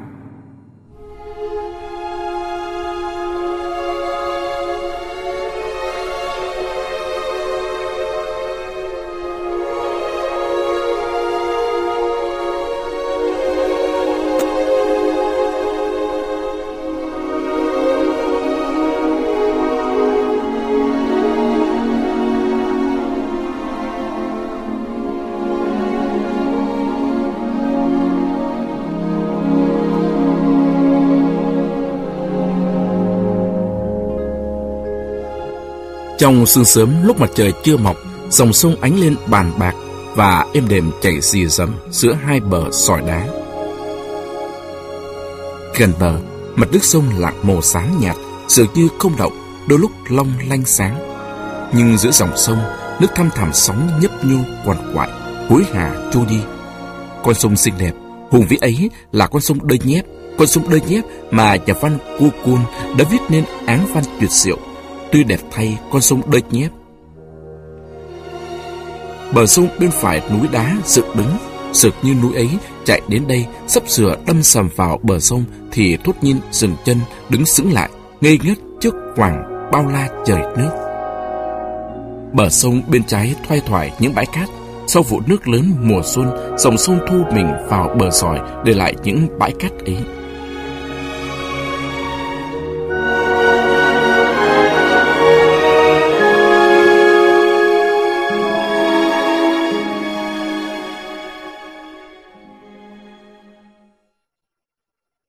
Bên bờ sông có 5 người nấp trong hầm chặt hẹp, giữa khẩu súng Maxim. Đây là đội viễn tiêu của sư đoàn bộ binh thứ 7. Sergei nằm nghiêng bên súng máy, mặt ngoảnh ra sông. Hôm qua, bộ đội ta giao chiến liên miên với giặc, Đại bác Ba Lan như bão tháp làm cho tan tác. Sau cùng kiệt sức, họ đành để thành Kiev lọt vào tay giặc và lui về cố thủ ở tả ngạn sông Đê Nhét. Đã phải rút lui, lại thương vong nặng và cuối cùng mất Kiev đã làm cho các chiến sĩ đau buồn. Sư đoàn thứ bảy này đây đã chiến đấu anh dũng vượt qua vòng vây của địch, mở đường lách qua rừng rậm, tiến đến gần ga Maliner. Họ tấn công rất cắt, đánh tan bọn Ba Lan chiếm đóng nhà ga, dồn chúng vào rừng, giải phóng đường đi Kiev. Bây giờ thì thành phố Kiev, diễm lệ đã mất vào tay giặc rồi. Các chiến sĩ mặt mày ủ rột và buồn bực trong lòng. Quân Ba Lan đã đánh bật các đơn vị Hồng quân khỏi Đắc và chiếm được một căn cứ nhỏ bên tả ngạn sông, cạnh chiếc cầu đường xe lửa. Chúng ra sức đánh rộng ra nữa, nhưng gặp sức phản công mãnh liệt của Hồng quân, chúng chặt nhích thêm được bước nào cả. Saki ngắm dòng sông đang chảy và anh không thể không hồi tưởng lại chuyện xảy ra ngày hôm qua. Hôm qua, vào lúc mặt trời đứng bóng, anh đang cùng anh em hang máu sông lên thì đụng phải quân Ba Lan trắng trong một đợt phản công quyết liệt. Lần đầu tiên, Sergei đứng trước mặt đối mặt một kẻ thù. Một thằng Lê Sương Ba Lan, không dâu, không xia, cầm súng, cắm lưỡi lê pháp, dài như thanh kiếm, chạy lại đâm Sergei. Chú thích, bọn các thiệp Ba Lan lúc bấy giờ do các đế quốc Pháp, Anh, Mỹ trang bị. Hết chú thích. Nó nhảy như choi choi, miệng kêu xì xà xì sồ. Sergei chỉ còn kịp nhận ra hai mắt nó trợn chừng, điên cuồng. Chưa đầy một giây đồng hồ, Sergei đã lấy đầu lưỡi lê của mình đánh bật lưỡi lê tên Ba Lan. Chiếc lưỡi lê Pháp sáng hoáng rơi bắn sang bên. Tên Ba Lan ngã vật xuống. Sergei đâm lưỡi lê không có run tay. Anh biết anh còn phải giết nhiều nữa. Chính anh là người biết yêu tha thiết đối với tình bạn rất mực thủy chung. Anh có phải đâu là một đứa hung tàn độc ác. Xong anh biết rằng những người lính bị lừa dối kia ăn phải thuốc của bọn sâu bọt toàn thế giới đang xung lại đánh nước Cộng hòa của Anh với một thú điên giận thật là của loài súc vật. Và Sergei thẳng tay giết cho chóng đến ngày trên trái đất này không còn có người chém giết người nữa. Paramonov lắc vai Sergei. Này, Sergei xuống hầm đi, kẻo chúng nó trông thấy chúng mình đấy. Đã một năm nay, Pavel hành quân đi dọc ngang khắp miền quê hương xứ sở, khi ngồi trên một chiếc xe kéo súng máy, khi leo lên bệ một khẩu đại bác, khi cưỡi trên con ngựa xám cột tai, khỏe ra, cứng rắn ra, anh đã lớn lên trong gian lao cổ cực. Người anh đeo bao đạn sát vào da đến bật máu, chỗ sát đã thành sẹo và dưới súng lằn trên vai đã chai lên thành một ụ thịt không bao giờ tan được nữa. Trong có một năm trời, mắt anh đã thấy biết bao nhiêu cảnh đời ghê gớm. Cùng hàng nghìn chiến sĩ khác, áo quần tả tơi, chân đất như mình, nhưng lòng hừng hực bốc cháy ngọn lửa không bao tắt của cuộc đấu tranh vì chính quyền sai cấp. Pavel đã bước chân đi khắp các ngả của tổ quốc Ukraine và chỉ bị đứt ra khỏi cơn bão táp ấy có hai lần. Lần thứ nhất bị thương vào đùi, lần thứ hai vào một ngày tháng 2 lạnh buốt của năm 1920, anh sẫy sụa trong cơn sốt nhấp nháp của bệnh cháy giận các bệnh cháy giận truyền nhiễm đã tác hại các trung đoàn và sư đoàn của tập đoàn quân thứ 12 ghê gớm hơn cả những cỗ súng máy ba lan kia. Tập đoàn quân lúc đó đóng ở một khu rộng lớn, dài hầu khắp miền Bắc Ukraine, ngăn đường tiến của quân Ba Lan. Vừa sức bệnh, Pavel đã trở về đơn vị ngay. Bây giờ, trung đoàn của Pavel đóng ở một vị trí cơ động gần ga Frontovka trên con đường ngoặt từ Kazachim đi Upman. Ga ở giữa rừng, những túp nhà bị tàn phá xung quanh khu ga bé nhỏ. Đấy là những căn nhà hoang trống trải, dân bỏ đi vì không thể nào ở được yên. Hai năm qua, chập chờn có lúc yên tĩnh, có lúc lại đánh nhau dữ. Suốt hai năm trời, ga Topka đã từng chứng kiến biết bao nhiêu là chuyện. Lại sắp sửa xảy ra nhiều việc lớn. Trong lúc sư đoàn 12 bị tổn thất nặng, tan rã từng phần, trước sức thọc mạnh của quân đội Ba Lan, phải rút lui về gần Kiev, thì Đức Cộng hòa Vô sản chuẩn bị giáng một đòn chí tử vào quân thủ lúc đó đang xây xưa thừa tháng tiến. Những sư đoàn kỵ binh dạn dày lửa đạn của tập đoàn kỵ binh thứ nhất đã mở cuộc trường chinh chưa từng có trong lịch sử chiến tranh từ vùng Bắc Caucasus xa xôi chuyển đến Ukraine. Các sư đoàn kỵ binh thứ tư, thứ sáu, thứ 11 và thứ 14 lần lượt tiến đến Uman và tập kết ở sau trận tuyến của ta. Trên đường sông tới, những cuộc chiến đấu ác liệt, kỵ binh đã quét sạch bọn phỉ Macedo. Một vạn sáu nghìn năm trăm thanh kiếm, một vạn sáu nghìn năm trăm chiến sĩ xa sám nắng đồng cỏ. Bộ Tổng tư lệnh Hồng quân và Bộ Tổng tư lệnh Mặt trận Tây Nam hết sức giữ bí mật để cho quân Ba Lan của phát xít Piłsudski không thể nào đối phó kịp với cuộc hành quân có tính chất quyết định đang chuẩn bị. Bộ tham mưu của nước Cộng Hòa và các mặt trận trực tiếp phụ trách tập hợp khối kỵ binh này Chiến sự ngừng hẳn ở mặt trận Uban, đường dây liên lạc thẳng từ Moscow đến Bộ Tham mưu mặt trận Kharkov là việc không ngừng. Từ Kharkov, điện lại báo đi các bộ tham mưu các tập đoàn quân thứ 14, thứ 12. Điện báo tạch tè ghi những mệnh lệnh mật mã lên những băng điện hẹp. Không để cho quân Ba Lan chú ý đến quân đoàn kỵ binh của ta tập kết. Chiến sự ngừng trên khu vực Upan, chỉ sau chiến khi nào và nơi nào bọn Ba Lan tiến quân uy hiếp đoàn kỵ binh của Budiani. Tránh cho kỵ binh khỏi bị dồn vào tình thế phải giao chiến quá sớm. Đống lửa chú quân bập bùng ngọn lửa màu hung, khói bốc lên xoắn tít hình chôn ốc. Loài nhạn rừng, không chịu được khơi khói bay tứ tung như ong vỡ tổ. Các chiến sĩ ngồi quanh ngọn lửa theo khỉnh phòng cung, lửa hồng làm mặt họ ánh lên bóng như một đồng. Những chiếc cạp men vùi trong cho biết ánh lửa. Nước sôi sùng sục, một con lửa từ khúc gỗ cháy lóe ra bén xém một chiếc đầu bù. Người bị cháy tóc bực, mình phát bắn. Rõ kỳ. Anh em chung quanh bật cười cúc kích. Một người lính già mặc áo dạ, xô mép xén ngắn, đang chỉ nòng súng ra ánh lửa xem, thế vậy nói khẽ. Thằng bé này mải đọc ừ, khoa học quá, đến nỗi sán vào lửa, cháy mà cũng không biết. Pavel ơi, đọc gì thế? Kể cho chúng tớ nghe với. Pavel Người lính trẻ ấy vừa lấy tay mân mê mớ tóc xém của mình, vừa mỉm cười nói. Đồng chí Andersup ạ, cuốn sách hay tuyệt, đã đọc vào là tôi không thể nào buông ra được nữa. Người ngồi cạnh Pavel là Sereda, một thanh niên có cái mũi ngắn, hách lên, đang chăm chú vá lại dây đeo bao đạn. Hai răng cắn chặt lý sợi chỉ sắn to. Nghe bạn nói vậy thì tò mò hỏi. Thế cuốn sách viết về ai hả cậu? Sereda tay cuộn đoạn chỉ còn lại vào cái kim cắm trên mũ dạ. Nói thêm, nếu nói về tình yêu thì mình thú lắm đấy. Trung quanh cười rộ lên. Mặc về xúc, nhô cái đầu tóc cắt ngắn lên, nhau mắt, láu lỉnh nói chiêu Sereda. Tình yêu là chuyện cũng hay, Sereda ạ cậu đẹp trai, trông rất bảnh. Hệ quân ta đi đến đâu, các cô ả thấy cậu đều mê tít. Chỉ phải một cái tật nhỏ, mũi cậu quá ngắn và khếch lên, làm cho mưa cứ rời tọt vào trong. Nhưng mà có thể chữa được, cậu cứ lấy quả lựu đạn Novitsky treo vào đầu mũi, chỉ một đêm là mũi dài ra và quặp xuống thôi. Chú thích, thứ lựu đạn tay nặng gần 4 cân, dùng để phá hàng rào xây thép gai. Astorovsky. Hết chú thích. Câu nói bông đồ ấy là mọi người phá ra cười sằng sặc. Nghe tiếng cười, mấy con ngựa buộc ở những xe súng máy cũng phải sùng mình vì khơi một cách hoảng hốt. Sereda lừ đừ quay mặt lại. Hơn nhau chẳng phải ở cái đẹp trai mà ở cái sọ này. Sereda đập tay lên chán như ra hiệu chỉ cái đầu to. Đấy nhá, lưỡi cậu cay nhỡ thế mà cậu cứ vẫn là một thằng hết sức khờ. Với lại cậu có đôi tai lạnh như tiệt nữa.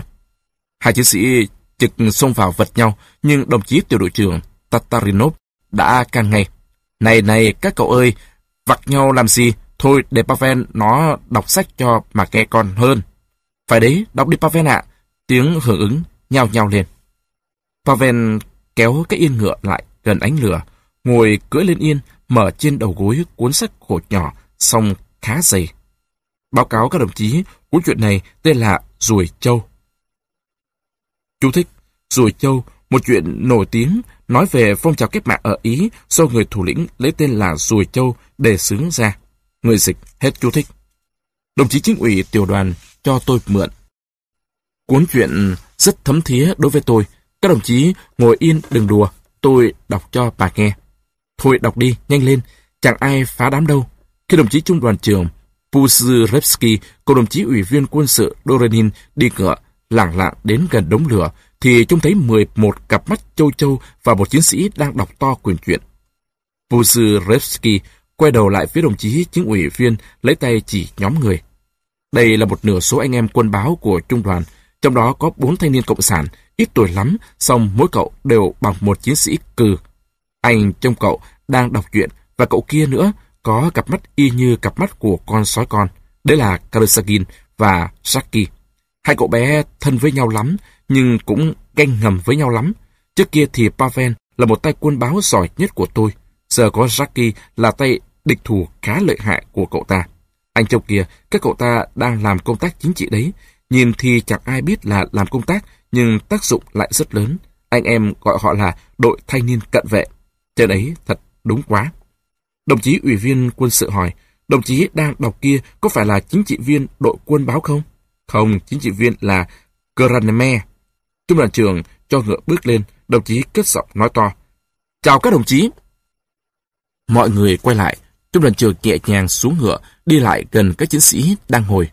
Các đồng chí ngồi sửa đế à? Trung đoàn trưởng hỏi, nụ cười rộng rãi ở trên môi. Trên khuôn mặt cứng cỏi của đồng chí với đôi mắt bé hơi giống mặt người Mông Cổ, vẻ nghiêm khắc đã biến đi. Các đồng chí niềm nở đón đồng chí chỉ huy như một người đồng đội hiền từ, như một người bạn thân. Đồng chí ủy viên quân sự vẫn ngồi trên ngựa định đi tiếp sang đơn vị khác. Puzyrevsky kéo bao súng mua xe ra phía sau, rồi lại ngồi cạnh Pavel và nói Mời các đồng chí, ta hút một điếu thuốc, tôi có thuốc lá, hút cũng tạm được. Châm thuốc xong, trung đoàn trưởng quay ra nói với đồng chí ủy viên quân sự. Đồng chí cứ về trước đi, đồng chí Dorenin ạ. Tôi ở lại chơi với anh em một lát. Nếu ở bộ tham mưu cần đến tôi, đồng chí tin cho tôi biết nhé.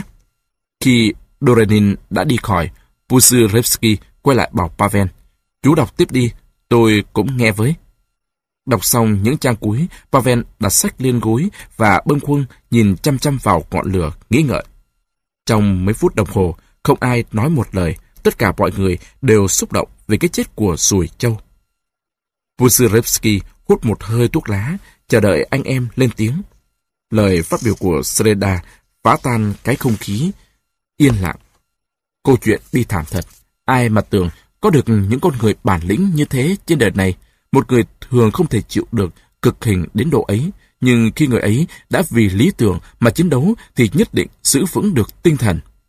Giọng Sereda hết sức xúc động, câu chuyện làm anh cảm xúc sâu xa.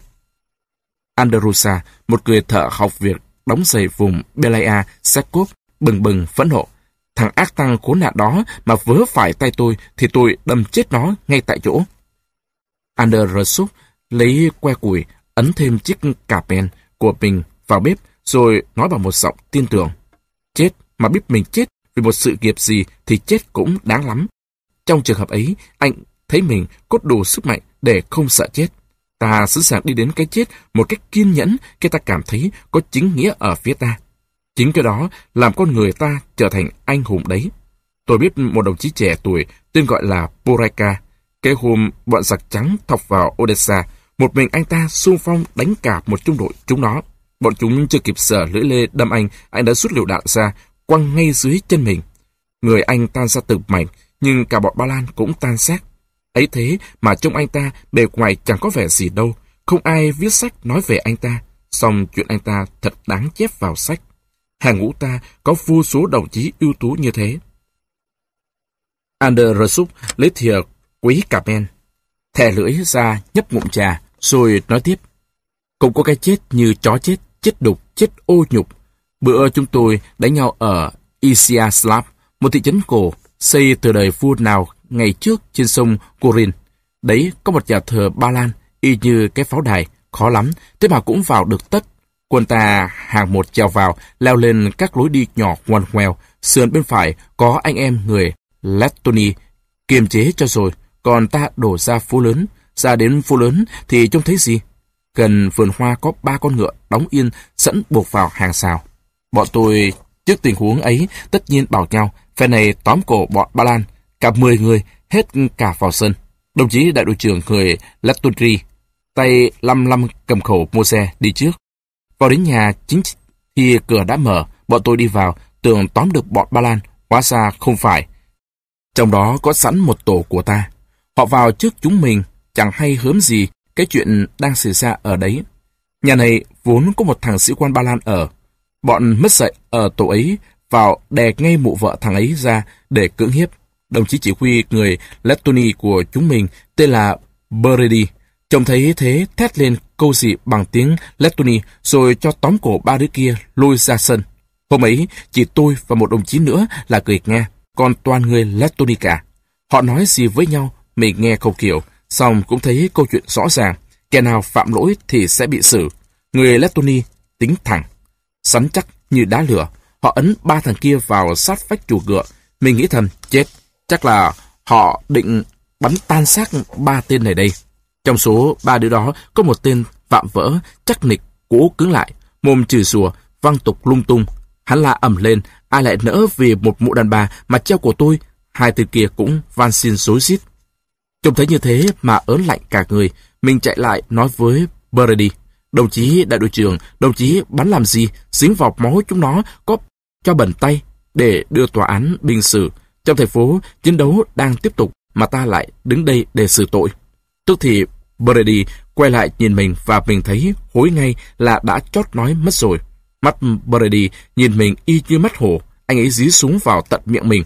Mình chiến đấu đã 7 năm rồi, bây giờ nói ra thật khỉ, xong lúc ấy thật tình là mình hoảng thật. Mình nghĩ bụng, không khéo thì mất mạng phen này, chẳng còn nói năng gì nữa. Anh ta bảo mình bằng tiếng Nga lơ lớ. Mình có lọc mới nghe rõ, nhưng cũng hiểu ý như thế này. Ngọn cờ của ta là máu nhuộm đỏ, vậy mà quân chó này làm ô xanh cả quân đội ta. Quân thổ phỉ phải lấy xác để đền tội. Mình không dám ở ná lại nữa, chạy bột mạch từ sân ra đến phố thì nghe thấy tiếng súng nổ ở phía sau. Mình nghĩ thầm, thế là xong. Khi mình đi theo kịp đơn vị mình thì thành phố đã hoàn toàn về tay ta. Câu chuyện như thế đấy. Những tên ấy chết thật chết như sống chó. Nghe đầu, bọn đó trước là quân phỉ của Makhano mới chạy sang theo ta ở gần Melitopol. Bọn chúng chỉ là một lũ ô hợp, phức tạp. Nói đến đấy, Andersuk đặt cái cặp mèn xuống, chân, tay mở túi xếp lấy bánh mì ra. Có thể nào một đống phân bật như thế lại dính vào hàng ngũ chúng ta? Không sao kiểm tra hết được. Trong chúng, người ta tưởng như chúng cũng chiến đấu vì cách mạng. Thật ra, chính vì chúng mà buồn vấy cả lên mặt chúng ta. Dù sao thấy vậy cũng đau lòng. Chuyện đó cho đến bây giờ mình vẫn không quên được. Ander kết luận câu chuyện rồi bắt đầu nhấp trà. Đội quân báo kỵ binh mãi tận đêm khuya mới ngủ. Sereda ngủ say, hách mũi lên kéo gỗ. Pusyrevsky cũng đang ngủ, đầu gối trên chiếc yên ngựa. Đồng chí chính trị viên Karame thì đang ghi sổ tay. Ngày hôm sau, để chính sát về, Pavel buộc ngựa vào cây, thấy đồng chí chính trị viên Karame vừa uống trà xong, bèn mời lại nói chuyện. Đồng chí chính trị viên ạ, tôi có ý định như thế này, đồng chí nghĩ có được không? Tôi định bỏ đây sang bên quân đoàn kỵ binh thứ nhất, bên ấy sắp nóng sốt đến nơi rồi. Chú thích, ý nói là sắp đánh nhau với địch. Hết chú thích. Vì nhất định là họ tập trung đông người như thế chắc không phải để mà chơi.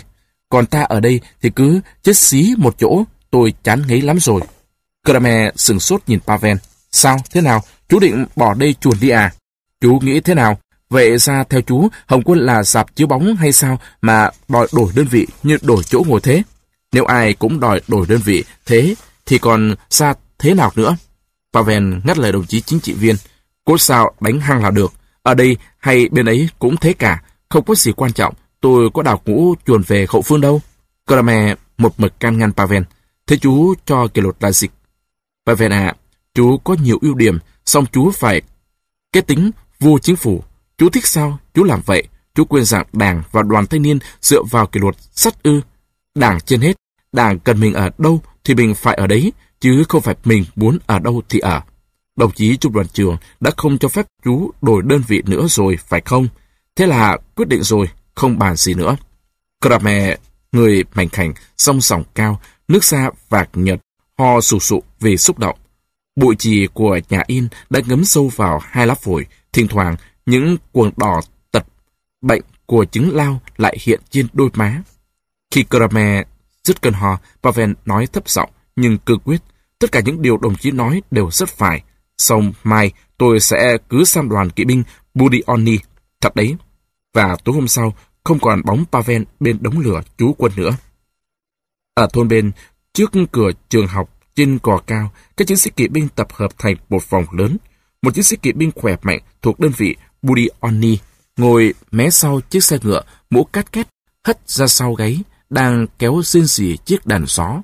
Trong tay đồng chí ấy, chiếc đàn kêu sú lên, nhịp điệu hỗn loạn, làm lạc cả bước chân của chiến sĩ mặc chiếc quần thục màu đỏ đang nhảy một cách điên cuồng điệu nhảy dân gian xứ Ukraine. Trai gái trong làng tò mò kéo ra, leo lên chiếc xe ngựa và những hàng rào bên cạnh để xem những nhà vũ đạo rất liều của lữ đoàn kỵ binh vừa mới đến đóng ở làng này. Tốp tan ơi, kéo hang lên nào là một quán ơn chứ, cho thêm chất nóng vào đi. Nhưng những ngón tay to lớn của anh bộ đội kéo đàn gió chỉ quen gò móng ngựa nên ngó ngoáy một cách khó nhọc trên phím đàn. Anh chiến sĩ già xám nắng đang nhảy bỗng than phiền. Chà, tiếc thằng cô lắp cơ quá, quân thổ phỉ Macano khốn kiếp đã giết chết mất cậu ấy. Cô lắp cơ kéo đàn gió còn phải nói, hạng nhất, chiến đấu luôn luôn đi hàng đầu trung đội mình. Tiếc cậu ấy quá, vừa là một chiến sĩ cừ, vừa là một tay chơi nhạc giỏi. Pavel cũng đứng trong đám sự cuộc vui. Nghe mấy lời vừa rồi, anh liền len đến chiếc xe cửa, lấy tay ấn vào hòm xếp của chiếc đàn. Tiếng đàn im bặt. Chiến sĩ kéo đàn gió, quắc mắt nhìn anh. Cậu muốn gì? Tốp tan ngược lại, không kéo nữa, làm mọi người chung quanh nhao nhao, giọng không bằng lòng, nổi lên. Cái gì thế? Sao dừng lại thế? Pavel chìa tay về phía xe kéo đàn, đưa cho mình chơi một lát. Tốp tan nhìn người đồng đội lạ mặt với cặp mắt hoài nghi so sự, rồi gỡ dây đeo khỏi vai. Bằng một cử chỉ quen thuộc Pavel để đàn lên gối, anh dìu giật kéo nếp đàn lượn khúc mở ra hình cánh quạt, rồi sau từng nấc, từng nấc dồn dập, Pavel dạo bản nhạc với tất cả sức mạnh của chiếc đàn. Quả táo hồng hồng, mày lăn đặt nào, lăn vào Sekha chẳng xa được sớm. Chú thích, cơ quan đặc biệt chống phản cách mạng trong những năm đầu của chính quyền Xô Viết, người dịch, hết chú thích. Tốc tàn cất giọng, bắt ngay lấy điệu hát quen thuộc. Anh giang hai tay lên như hai cánh chim lượn vòng tròn, hai chân đập vào nhau, tay vỗ chan chát vào ống giày, vào gối, vào sau gáy, vào chán, vào đế giày và cuối cùng vào cái mồm đang hát to. Tiếng đàn gió rung lên, kích thích, thúc giục chiến sĩ đang nhảy trong điệu hùng mạnh, hừng hực, tới tấp như những luồng gió cuồng liên tiếp. Tốc tàn bắt đầu quay tiết đi như con củ đinh, vừa quay vừa nhảy một vòng tròn hết chân nó đến chân kia, đá vút vào không khí, miệng hét lên đến hết hơi. Hích hắc, hích hắc, hích hắc, hích hắc. Ngày một năm tháng 6 năm 1920, sau mấy cuộc giao chiến chấp nhoáng nhưng khốc liệt, tập đoàn quân kỵ binh thứ nhất do Budionni chỉ huy đã chọc vỡ phòng tuyến Ba Lan ở điểm đóng giáp nhau của quân đoàn thứ hai và quân đoàn thứ tư của địch, đánh tan được lữ đoàn của tướng địch Savikiski và thừa thế tiến về hướng Trukin. Bộ chỉ huy Ba Lan muốn đối phó với cuộc tiến quân đột phá ấy liền hối hả cho lập một đội xung kích năm xe tăng bọc sắt chở từ xe lửa tới ga Bugre Big cấp tốc đến tiếp viện. Chúng chuẩn bị đối phó với Zarusnik, nhưng kỵ binh học quân đã vòng qua Sarusnik, lọt vào hậu phương của các quân đoàn Ba Lan. Chúng tung sư đoàn kỵ binh Ba Lan do tướng Kognitsky chỉ huy ra đuổi theo vết chân tập đoàn quân kỵ binh thứ nhất của Budioni. Sư đoàn kỵ binh Kognitsky có nhiệm vụ đánh tập hậu bằng được vào cánh quân đỏ mà Bộ Chỉ huy Ba Lan cho là có ý định tấn công vào Kazakhstan, điểm chiến lược trọng yếu nhất của hậu phương Ba Lan. Nhưng kế hoạch đó cũng không cứu vãn nổi tình hình nguy ngập của quân Bạch vệ Ba Lan. Tuy ngày hôm sau, quân Ba Lan có lấp được chỗ trận tuyến bị chọc thủng và khép được phòng tuyến sau đường đánh thọc của kỵ binh đỏ. Nhưng lúc đó trong lòng hậu phương của chúng, cả một đoàn quân đỏ mạnh như vũ bão đã hoành hành rồi. Tập đoàn quân này, sau khi đã tiêu diệt các căn cứ hậu phương của địch, tiến lên đánh vào những lực lượng của Ba Lan đóng ở Kiev. Dọc đường tiến quân, các sư đoàn kỵ binh đỏ đã phá hủy các cầu và đường sắt để chặn đường rút lui của quân Ba Lan. Theo tin tù binh khai, thì tham mưu quân đoàn địch đóng ở Gitomir, nhưng thật ra ở đấy là cả bộ tham mưu mặt trận của địch. Chỉ huy tập đoàn quân kỵ binh của ta quyết định chiếm lấy những đầu mối đường xe lửa quan trọng và những trung tâm hành chính quan trọng là Gitomir và Beklisev. Và ngày 7 tháng 6, khi trời vừa tảng sáng, sư đoàn kỵ binh thứ tư của ta đã ập đến Gitomir. Pavel được bổ sung vào một trung đội kỵ binh đi xung kích thay chân Kulapker đã hy sinh. Cả tập thể chiến sĩ không muốn rời bỏ người kéo đàn gió cử ấy nên đã đề nghị thu nạp anh vào trung đội. Đến gần Kitomir, quân ta chia lập nhiều mũi theo hình cánh quạt đánh tỏa vào. Không ai muốn kìm vó ngựa đang phi hăng. Ánh nắng sọi vào lưỡi kiếm, bật ra muôn tia sáng óng ánh bạc. Đất truyền, ngựa hí, chiến sĩ sướng người trên bàn đạp. Mặt đất chạy lướt nhanh, lùi lại dưới vó ngựa. Thành phố Gitomir to lớn có những công viên xinh như chạy đến đón sư đoàn kỵ mã. Đã vượt qua những vườn hoa ngoại thành, và giờ đây sư đoàn ập vào trung tâm, tiếng thét xung phong ghê rợn như thần chết xung chuyển không trung. Bọn Ba Lan kinh hoàng, hầu như không dám chống cự lại. Quân đóng ở đây bị tiêu diệt tan tành. Pavel cúi dạp xuống bầm ngựa, phi như bay. Bên cạnh là Tốp Tan đang phi trên con ngựa đen nhánh, chân thon. Mắt Pavel trông thấy nhát kiếm ác liệt của chiến sĩ Tốp Tan quả cảm bổ xuống một thằng Lê Dương Ba Lan. Tên này không kịp đưa lưỡi lên lên đỡ.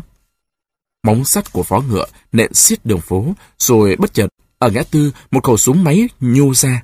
Ba tên mặc binh phục xanh, đầu đội calo cúi dạp trên khẩu súng. Một tên nữa, cổ áo có giải vàng như con rắn, chĩa súng lục nhằm bắn những người đi ngựa. Không kìm được dũng mã, cả tốp tan lẫn Pavel cứ lao tới khẩu súng đi thẳng vào nanh vuốt của thần chết.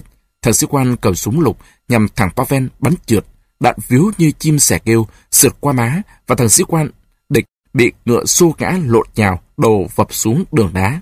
Cùng lúc ấy, những súng máy hối hả nhả đạn như bật ra những dịp cười điên cuồng ghê giận. Như bị đàn ông bằng sắt châm đốt, tốp tan và ngựa bị chúng chừng chục viên đạn ngã nhào xuống cả người lẫn ngựa. Con ngựa của Pavel hoảng sợ, sống lên, cất vó nhảy trồm qua xác người và ngựa của Tốp Tan, rơi vào giữa bọn giặc rũ súng máy. Mũi kiếm Pavel qua lên một vòng sáng sực, xả vào một chiếc calo xanh. Lưỡi kiếm lại vung lên không nhằm bổ vào một chiếc đầu khác, nhưng con súng mã đang phi hăng đã nhảy tót sang bên. Như thác lũ tràn về, cả trung đội ập đến ngã tư này, hàng chục mũi kiếm hoa lên ngang dọc trên không. Những hành lang hẹp và dài của nhà pha Gitomir vang ầm những tiếng kêu thét. Trong các xà lim đầy ắp những người bị giam, mặt hốc khác đau khổ. Ngoài phố, đang đánh nhau to, có thể nào tin được là giải phóng đến nơi, có thể nào tin được đấy là quân mình đã bất ngờ từ đâu hiện đến. Trong sân nhà pha đã có tiếng súng nổ rồi. Dọc các hành lang, người chạy vội vã, rồi có tiếng đột ngột nói lên thân thiết, vô cùng thân thiết. Ra đi các đồng chí ơi! Pavel dừng lại trước tấm cửa đóng kín. Hàng chục cặp mắt nhìn qua lỗ nhỏ. hàng máu lên, Pavel dùng bắn súng cố ghè khóa cửa, ghẹt nữa, ghẹt nữa. Để tớ làm cho, lấy mìn mà phá, Micronop, gạt Pavel sang bên, rồi thò tay rút quả lựu đạn trong bao ra. Trung đội trưởng Sigasenker giằng lấy quả lựu đạn. Dừng lại, đồ ngốc, mày điên à, đợi mang chìa khóa mở đến, không bẻ được đâu, để người ta lấy khóa mở cho chúng mình. Bọn canh ngục có súng ta ký sau lưng bị dẫn đến mở khóa giả lim. Hành lang một lát đã đầy những người quần áo tả tơi, lâu ngày không được tắm rửa, lòng họ đang vui như điên. Pavel mở rộng cửa sắt, chạy vào nhà giam. Các đồng chí ơi, các đồng chí đã được giải phóng rồi, chúng tôi là chiến sĩ kỵ binh của Budionni. Sư đoàn chúng tôi đã chiếm được thành phố rồi. Một người đàn bà, nước mắt giàn rụa, ôm chầm lấy Pavel như ôm người nhà thân thiết khóc nức nở. Giải phóng bằng ấy đồng chí Bolshevik của mình, đối với các chiến sĩ của sư đoàn thật quý hơn tất cả mọi thứ chiến lợi phẩm. Quý hơn cả chiến thắng. Trong những hộp bằng đá này, bọn Ba Lan trắng nhốt của ta 5.071 đồng chí Bolshevik đang đợi ngày chúng đem đi bắn hay đi treo cổ và 2.000 chính trị viên Hồng quân. Đối với 7.000 chiến sĩ kết mạng được giải phóng ấy, đêm tối không cùng vừa qua phút chốc đã chuyển ngang thành ánh sáng chan hòa của một ngày tháng 6 tươi nắng. Một đồng chí bị giam mặt vàng như vỏ chanh ủng, sung sướng chạy đến gặp Pavel, đấy là Samien Leke, người thợ sắp chữ ở xưởng in Sepetovka. Nghe Samien kể chuyện, mặt Pavel cứ sám dần. Một tấn thảm kịch đẫm máu đã xảy ra ở thị trấn quê hương, Mỗi tiếng Samien nói ra rơi vào lòng anh như từng giọt sắt nung lòng. Có một thằng khiêu khích của nạn báo, nên chúng tôi bị tóm tất cả, cả bọn chúng tôi rơi vào tay hiến binh. Chúng nó đem xa tra tấn ngay sức dã man. Tôi bị đau ít hơn các đồng chí khác, vì bị chúng nó đánh mấy tu đầu là tôi lan ra bất tỉnh ngay. Còn các cậu khác thì khỏe hơn tôi, cũng chẳng có gì mà giấu chúng nó nữa. Bọn Sandham biết mọi chuyện hơn cả chúng tôi kia. Chúng nắm được chẳng sót một tí gì. Làm sao mà chúng không biết khi có một thằng chó phản bội đã len được vào tổ chức, kể đến chuyện những ngày đó thật đau lòng. Những anh chị em bị bắt, Pavel quen biết gần hết đấy. Valia, Beruzak, Rosa, Grisman. Người ở quận lỵ, anh nhớ ra Rosa chứ, một cô bé con, một nữ thanh niên 17 tuổi, can đảm lắm. Có đôi mắt người ta cứ nhìn vào là tin ngay, rồi đến xa xa, buôn sát. Pavel nhớ chứ, thợ sắp chữ ở chỗ chúng tôi ấy mà. Một thằng bé vui tính lắm, lúc nào cũng vẽ nghịch lão chủ xưởng. Cậu ấy rồi đến hai học sinh nữa, Novosenki và Tukit. Những người ấy Pavel đều biết cả. Còn những người khác là người ở quận và ở thôn ngoại ô. 29 người tất cả, trong đó có 6 phụ nữ, ai cũng bị đánh dã man hết sức. Valia và Rosa bị chúng hiếp ngay hôm đầu. Thôi thì quân khốn kiếp tha hồ làm nhục hai người con gái tội nghiệp, Lúc chúng nó lôi hai người về Salim thì đã chết sợ cả. Sau lần đó Rosa bắt đầu nói chuyện huyên thuyên và vài hôm sau thì phát điên hẳn. Xong quân giết người không muốn tin là chị điên cho là giả vờ mỗi lần hỏi cung lại đánh chị tàn tệ. Hôm chúng đem chị đi bắn, thật nhìn mà ghê sợ, mặt bị đánh thâm tím khép cả, đôi mắt dữ và dại đi, trông y như một bà lão. Valia cho đến lúc chết vẫn hiên ngang, anh chị em đã chết ra cái chết của những chiến sĩ chân chính. Tôi không biết anh chị em đó đã lấy đâu ra sức mạnh mà dũng cảm phi thường như vậy. Pavel ơi, có tài nào thuật lại được hết về cái chết của họ? Không, Pavel ạ, cái chết của họ ghê gớm hơn tất cả những lời kể lại. Valia, nguy nhất trong bọn, chị phụ trách bắt liên lạc với cánh làm vô tuyến điện cho tham mưu Ba Lan. Chị được phái đến quận để bắt liên lạc. Chúng vào khám nhà chị, thấy khẩu Browning và hai quả lựu đạn. Súng lục và lựu đạn đó chính là do tên Kilkick đã đưa cho chị. Chúng nó bày trò ra tất cả để buộc tội chị âm mưu sụp mìn ám sát ban tham mưu. Pavel ạ, tôi thật đau lòng mà kể lại những giờ phút cuối cùng của anh chị em. Nhưng Pavel đã yêu cầu thì tôi xin kể hết. Tòa án binh của chúng đã tuyên án Valia và hai người làm việc với chị thì bị treo cổ, những đồng chí khác thì xử bắn. Những lính Ba Lan mà chúng tôi đã vận động được bị đem ra xử trước chúng tôi hai ngày. Đồng chí vô tuyến điện tên là Snewotko liên lạc với Valia bị buộc tội phản quốc và tuyên truyền cộng sản trong binh lính. Đồng chí người còn trẻ, đóng cai trước chiến tranh làm thợ máy điện ở Lốt. Chúng kết tội xử bắn. Đồng chí từ chối không ký giấy chống án và bị đem đi bắn ngay. 24 giờ sau khi tuyên án. Valia bị gọi đến làm chứng sự vụ Snewotko. Về có kể lại là Snewotko nhận đã tuyên truyền chủ nghĩa cộng sản song cực lực phản đối án kết tội anh là phản quốc. Anh nói, Tổ quốc của tôi là nước Cộng hòa Xô Viết xã hội chủ nghĩa Ba Lan. Phải, tôi là đảng viên Đảng Cộng sản Ba Lan, bị cưỡng ép mà đi lính. Vào lính, tôi phải tìm hết cách để mở mắt cho các bạn đồng ngũ cũng bị ép ra mặt trận như tôi. Các ông viện cớ đó muốn treo cổ tôi thì treo cổ, nhưng không bao giờ tôi phản bội tổ quốc của tôi, không bao giờ cả. Duy có một điều, tổ quốc của các ông là tổ quốc của tôi, không phải là một. Tổ quốc của các ông là tổ quốc của bọn vương bá, tổ quốc của tôi là tổ quốc của thợ thuyền và dân cày. Tổ quốc của tôi, phải, tương lai sẽ có tổ quốc của tôi, tôi tin tưởng sâu xa điều đó. Trong tổ quốc của tôi, không ai nói rằng tôi là phản quốc cả. Bị kết án xong, chúng tôi bị ở giam tập trung vào một chỗ.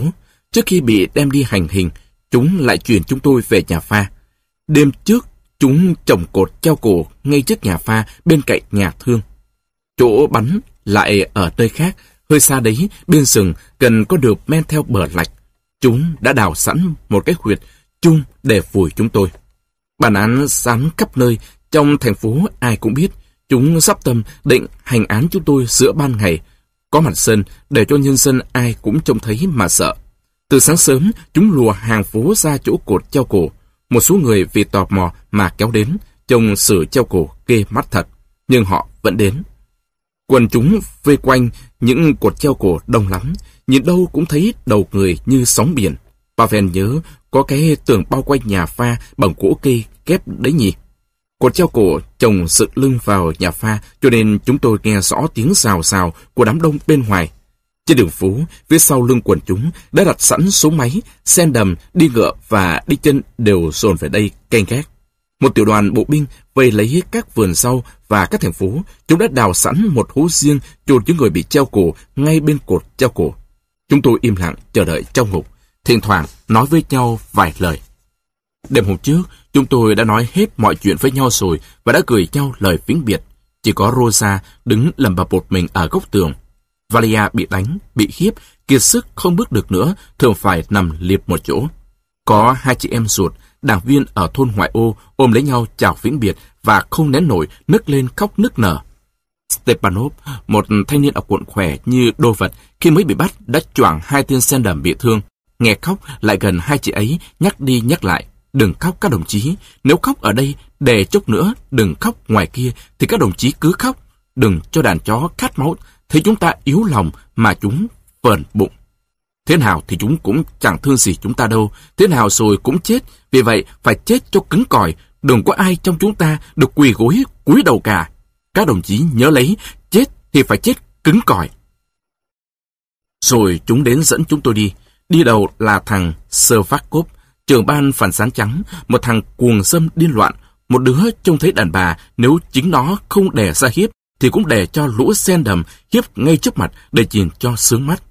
Từ nhà ga ra đến cột treo cổ, xếp song song hai hàng xào sen đầm, bọn vẹn, đeo lon vàng ấy đứng nghiêm, cương tút trần, sáng loáng. Chúng nó lấy bắn súng sồn chúng tôi ra sân nhà pha, rồi bắt chúng tôi xếp hàng tư điệu ra chỗ cột treo cổ. Định tâm bắt chúng tôi phải chứng kiến cái chết của đồng chí mình trong khi chờ đợi đến lượt mình đi chết. Cột treo cổ bằng Những thanh gỗ to xù, cao, dựng đứng, lùng làng ba thòng lọng bằng thường to bện lại. Trung quanh, biệt người náo động, xì xào, dân nhìn chúng tôi, chúng tôi nhìn dân, mỗi người nhận ra người nhà của mình. Xa xa, trên thềm cao, tất cả bọn quý tộc Ba Lan đã ngồi chầu sẵn, tay cầm ống nhòm, nhiều đứa là võ quan, chúng đến xem treo cổ người Bolshevik. Dưới chân chúng tôi, tuyết êm lắm, rừng chung quanh trắng xóa, cây cối như có bông bao phủ, hoa tuyết quay tròn, rơi từ từ và tan trên da mặt nóng bừng của chúng tôi. Bệ sự hết của treo cổ cũng có tuyết. Mặc phong phanh mà chúng tôi cũng chẳng thấy xét. Stepanov cũng không biết là chân mình chỉ đi tất không mang giày. Tên trưởng lý, tòa án binh và các sĩ quan cao cấp đứng trước cột treo cổ. Rồi chúng dẫn Valia và hai người nữa bị xử treo cổ ra khỏi nhà giam. Ba người khoác tay nhau, Valia đi giữa, hai người đỡ cho chị đi, chị không còn sức nữa, cố lê bước chân, mình không áo khoác, trần một chiếc áo sợi. Chị cố đi thẳng người, có lẽ chị đang nhớ tới lời Stepanov phải chết cho cứng cỏi. Thằng Servakov trông thấy ba người từ tù khoác tay nhau mà đi thì lấy làm cáu lắm. Nó cạt hai người đàn ông đỡ chị ra, chị cự lại, nó ngay. Thế là có một thằng sen đầm đi ngựa đến quất soi ra vào mặt chị. Tay này mỏi, hắn lại đưa soi sang tay khác, quất lấy quất để. Trong đám quần chúng, có một người đàn bà rú lên tiếng rú của một người mất trí khôn. Bà ta lăn xả vào, lách qua hàng rào lính, chạy đến hàng người bị xử. Nhưng bà bị giữ lại và bị dẫn đi đâu không rõ. Chắc là bà mẹ chị Valia. Khi ba người đến dưới chân cột treo cổ Valia cất tiếng hát, chưa bao giờ tôi được nghe thấy một giọng hát như thế. Chỉ có một người bị xử tử. Dũng cảm, đi ra trước cái chết mới hát say mê đến nhường ấy được. Valia cất tiếng hát lên bài hát của người dân thành Phát Sophie. Hai người cùng bị tội với chị Đồng Thanh hát theo, thế là bọn sen đầm, quất soi như bão táp vào mặt họ thật cực kỳ hung tợn. Nhưng họ dược như không biết đau nữa. Rồi bọn chúng đánh họ ngã lan ra, lôi lại cột treo cổ như lôi những bì gạo. Chúng hấp ta hấp tấp đọc bản án rồi vứt thòng lọng vào cổ họ. Thế là đến lượt chúng, tôi hát lên, vùng lên hỡi các nô lệ ở thế gian. Chúng nó tứ phía bổ lại nệ chúng tôi túi bụi, Tôi chỉ còn kịp trông thấy một tên lính lấy bắn súng đánh bật cọc giữa chân ra và ba thân người lùng lẳng, sẫy rụa ở à đầu dây thừng treo cổ. Mười người cho bọn tôi, trong số đó có tôi được ân giảm. Khi chúng tôi đã bị đứng lấp quay mặt vào tường để ăn đạn trì, thì chúng đọc cho chúng tôi nghe lệnh của tên tướng cho giảm xuống 10 năm khổ sai thay vào tội xử tử. 17 đồng chí kia bị bắn chết cục bên cạnh chúng tôi. Samin cởi giật cúc áo cổ, dường như bị nghẹt thở, rồi kể tiếp. Trong ba ngày, những người bị treo cổ cứ lùng lặng ở đấy. Ngày đêm có một tiểu đội lính gác bên cột treo cổ. Anh em bị bắt vào sau cho chúng tôi biết như thế. Đến ngày thứ tư thì xác đồng chí Tobun Din nặng nhất rơi xuống. Bây giờ, chúng mới cởi hai cái xác kia chôn ngay tại chỗ, còn cột treo cổ vẫn để đấy, Hôm chúng dẫn bọn tôi vào đây, bọn tôi vẫn còn trông thấy cả cột lẫn dây thòng lọng vẫn còn nguyên để đợi những người khác bị xử tử. Samin ngừng kể, mắt nhìn chằm chằm vào một cái gì mơ hồ ở đằng xa.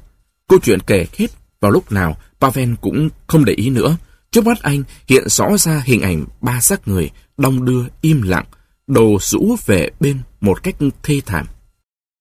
Ngoài kia, kèn gọi tập hợp, Tiếng kèn oai khùng đưa anh về với thực tại. Anh nói khẽ, tiếng bật ra trong hơi thở. Samina, chúng ta ra khỏi đây đi thôi. Ngoài phố, tổ binh Ba Lan lê bước giữa hai hàng kỵ binh của ta áp giải. Ở cửa trại giam, đồng chí chính ủy trung đoàn đứng viết nốt mệnh lệnh vào cuốn sổ tay đi trận. Đồng chí đưa mảnh giấy cho gửi trung đội trưởng thấp luôn. Danh sách tù binh đây, đồng chí Antipov cầm lấy, lấy một tổ đi theo và áp giải họ về Novograd, Volinsky cho băng bó những người bị thương rồi đặt họ nằm trên xe và cũng đưa về đấy cả. Áp xài họ chừng 20 dặm, sau đó để họ tự đi tiếp. Ở đây chúng ta còn bận việc khác, xong cẩn thận nhé, đừng để xảy ra chuyện gì ngược đãi đối với họ. Pavel lên ngựa, quay bảo Samien. Anh nghe rõ chứ, chúng đã treo cổ anh chị em ta, mà chúng ta thì dẫn họ đi không được ngược đãi họ. không sẽ như thế đâu. Đồng chí chính ủy quay lại nhìn vào mặt Pavel và đồng chí nói những tiếng gọn, rắn giỏi như nói với chính mình. Ai ngược đãi tù binh, xài giáp rồi sẽ bị xử bắn, chúng ta không có như bọn bạch vệ. Rời chạy giam, Pavel nhớ lại những lời cuối trong bản mệnh lệnh của Hội đồng quân sự cách mạng đã đem ra đọc trước toàn thể trung đoàn. Đất nước của thợ thuyền và dân cày yêu mến Hồng quân của mình là và lấy làm tự hào về Hồng quân. Đất nước đòi hỏi phải giữ cho lá cờ của Hồng quân trong sạch không một vết nhơ. Pavel nhủ thầm trên môi, không một vết nhơ. Trong khi sư đoàn kỵ binh đỏ thứ tư chiếm lĩnh Kitomir thì lữ đoàn thứ 20 của sư đoàn kinh binh thứ bảy vượt sông Đechnev ở quãng thôn Okunyinovo. Lữ đoàn thứ 20 này nhập vào binh đoàn xung kích của đồng chí Golikov. Đoàn này gồm có sư đoàn kinh binh 25 và lữ đoàn kỵ binh Baserkia nhận lệnh sau khi vượt sông Đechnev thì cắt đường rút quân của địch từ Kiev đến Kuroten, gần ga Lhasa. Do thế vận động đó mà quân Ba Lan mất đường rút lui duy nhất. Chính trong cuộc vượt sông đơi Nhiếp này mà Pisa, người thanh niên cộng sản thành Sepetovka đã hy sinh. Lúc ấy bộ đội như đang chạy, thi vượt nhanh, nhịp cầu nối sung sinh thì có một quả đại bác từ phía đằng kia sau ngọn đồi rú lên ghê rợn bay trên đầu các chiến sĩ rồi rơi tõm xuống nước. Misa bị bắn. Người lộn nhào ngay xuống dưới đáy một chiếc thuyền làm cầu. Dọc nước cuốn nuốt chừng anh đi, không buông tha nữa. Chỉ có Iakimenko, một thanh niên tóc vàng khoe, đội mũ mất lưỡi chai, kêu lên kinh ngạc. Cậu không trông thấy gì à, Misa bị nước cuốn mất rồi. Tội nghiệp thằng bé rơi xuống đã biến mất, như bị con bò thè lưỡi liếm phăng đi. Iakimenko đứng sững lại, hoảng hốt, nhìn dòng nước thăm thẳm.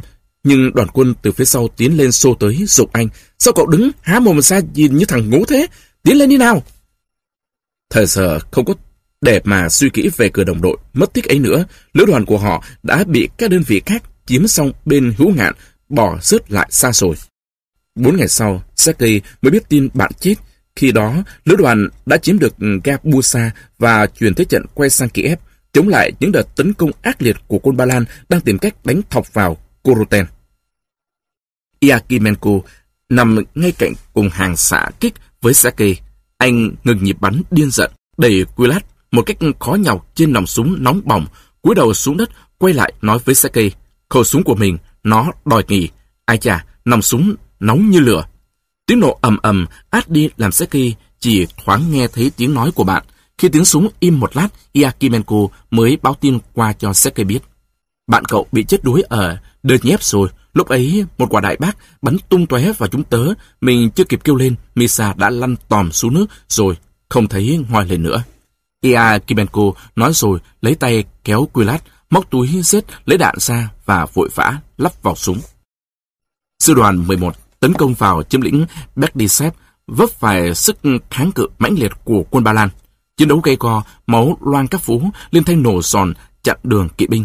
Nhưng rồi thành phố cũng bị ta chiếm, tàn quân địch bỏ chạy. Trên ga, ta thu được nhiều đoàn tàu chở quân trang, quân dụng của chúng. Thiệt hại nặng nhất của địch là kho dự trữ đạn đại bác của toàn mặt trận, chừng một triệu viên bị nổ tung.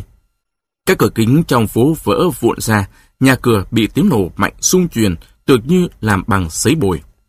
Bị đánh vào Gitomir và Bexisev đối với quân Ba Lan, tức là bị đánh quật từ sau lưng lại, cho nên chúng vội vàng chia ngay làm hai mũi nhưng hai sòng thác người hấp tấp chuồn khỏi Kiev Cố sống cố chết đánh một cách tuyệt vọng để mở đường chạy thoát vòng vây sắt của quân ta. Pavel đã không còn nghĩ gì về cá nhân mình, những ngày đang sống say sưa trong những trận xung sát ác liệt. Anh hòa hẳn mình vào tập thể và cũng như mỗi người trong các chiến sĩ, anh như đã quên hẳn tiếng tôi, chỉ còn nói tiếng ta, trung đoàn ta, trung đội ta, lữ đoàn ta. Mà tình hình thì sồn sập, diễn biến nhanh như gió bão, mỗi ngày đều mang đến một chuyện mới. Đoàn kỵ mã lao đến đâu, cuốn phăng phăng đến đấy, đoàn kỵ binh quang vinh của tướng Bundioni đánh hết trận này đến trận khác đã làm tiêu hao kiệt sức tất cả hậu phương của Ba Lan.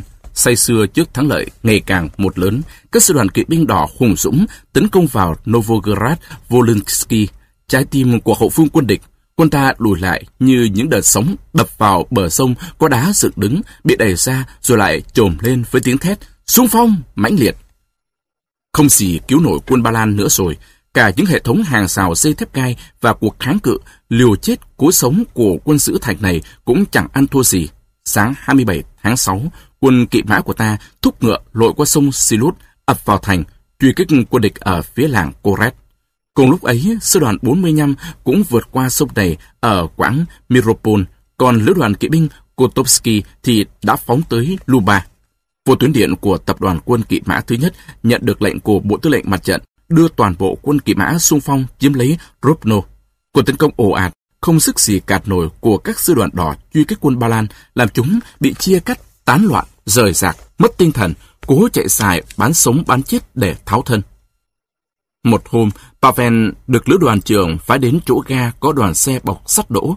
Tới đấy, anh được gặp một người mà anh không ngờ là có thể gặp. Con ngựa của anh nhảy tót qua bờ dốc của đường xe lửa. Pavel kéo cương dừng lại trước toa xe đầu sơn xám.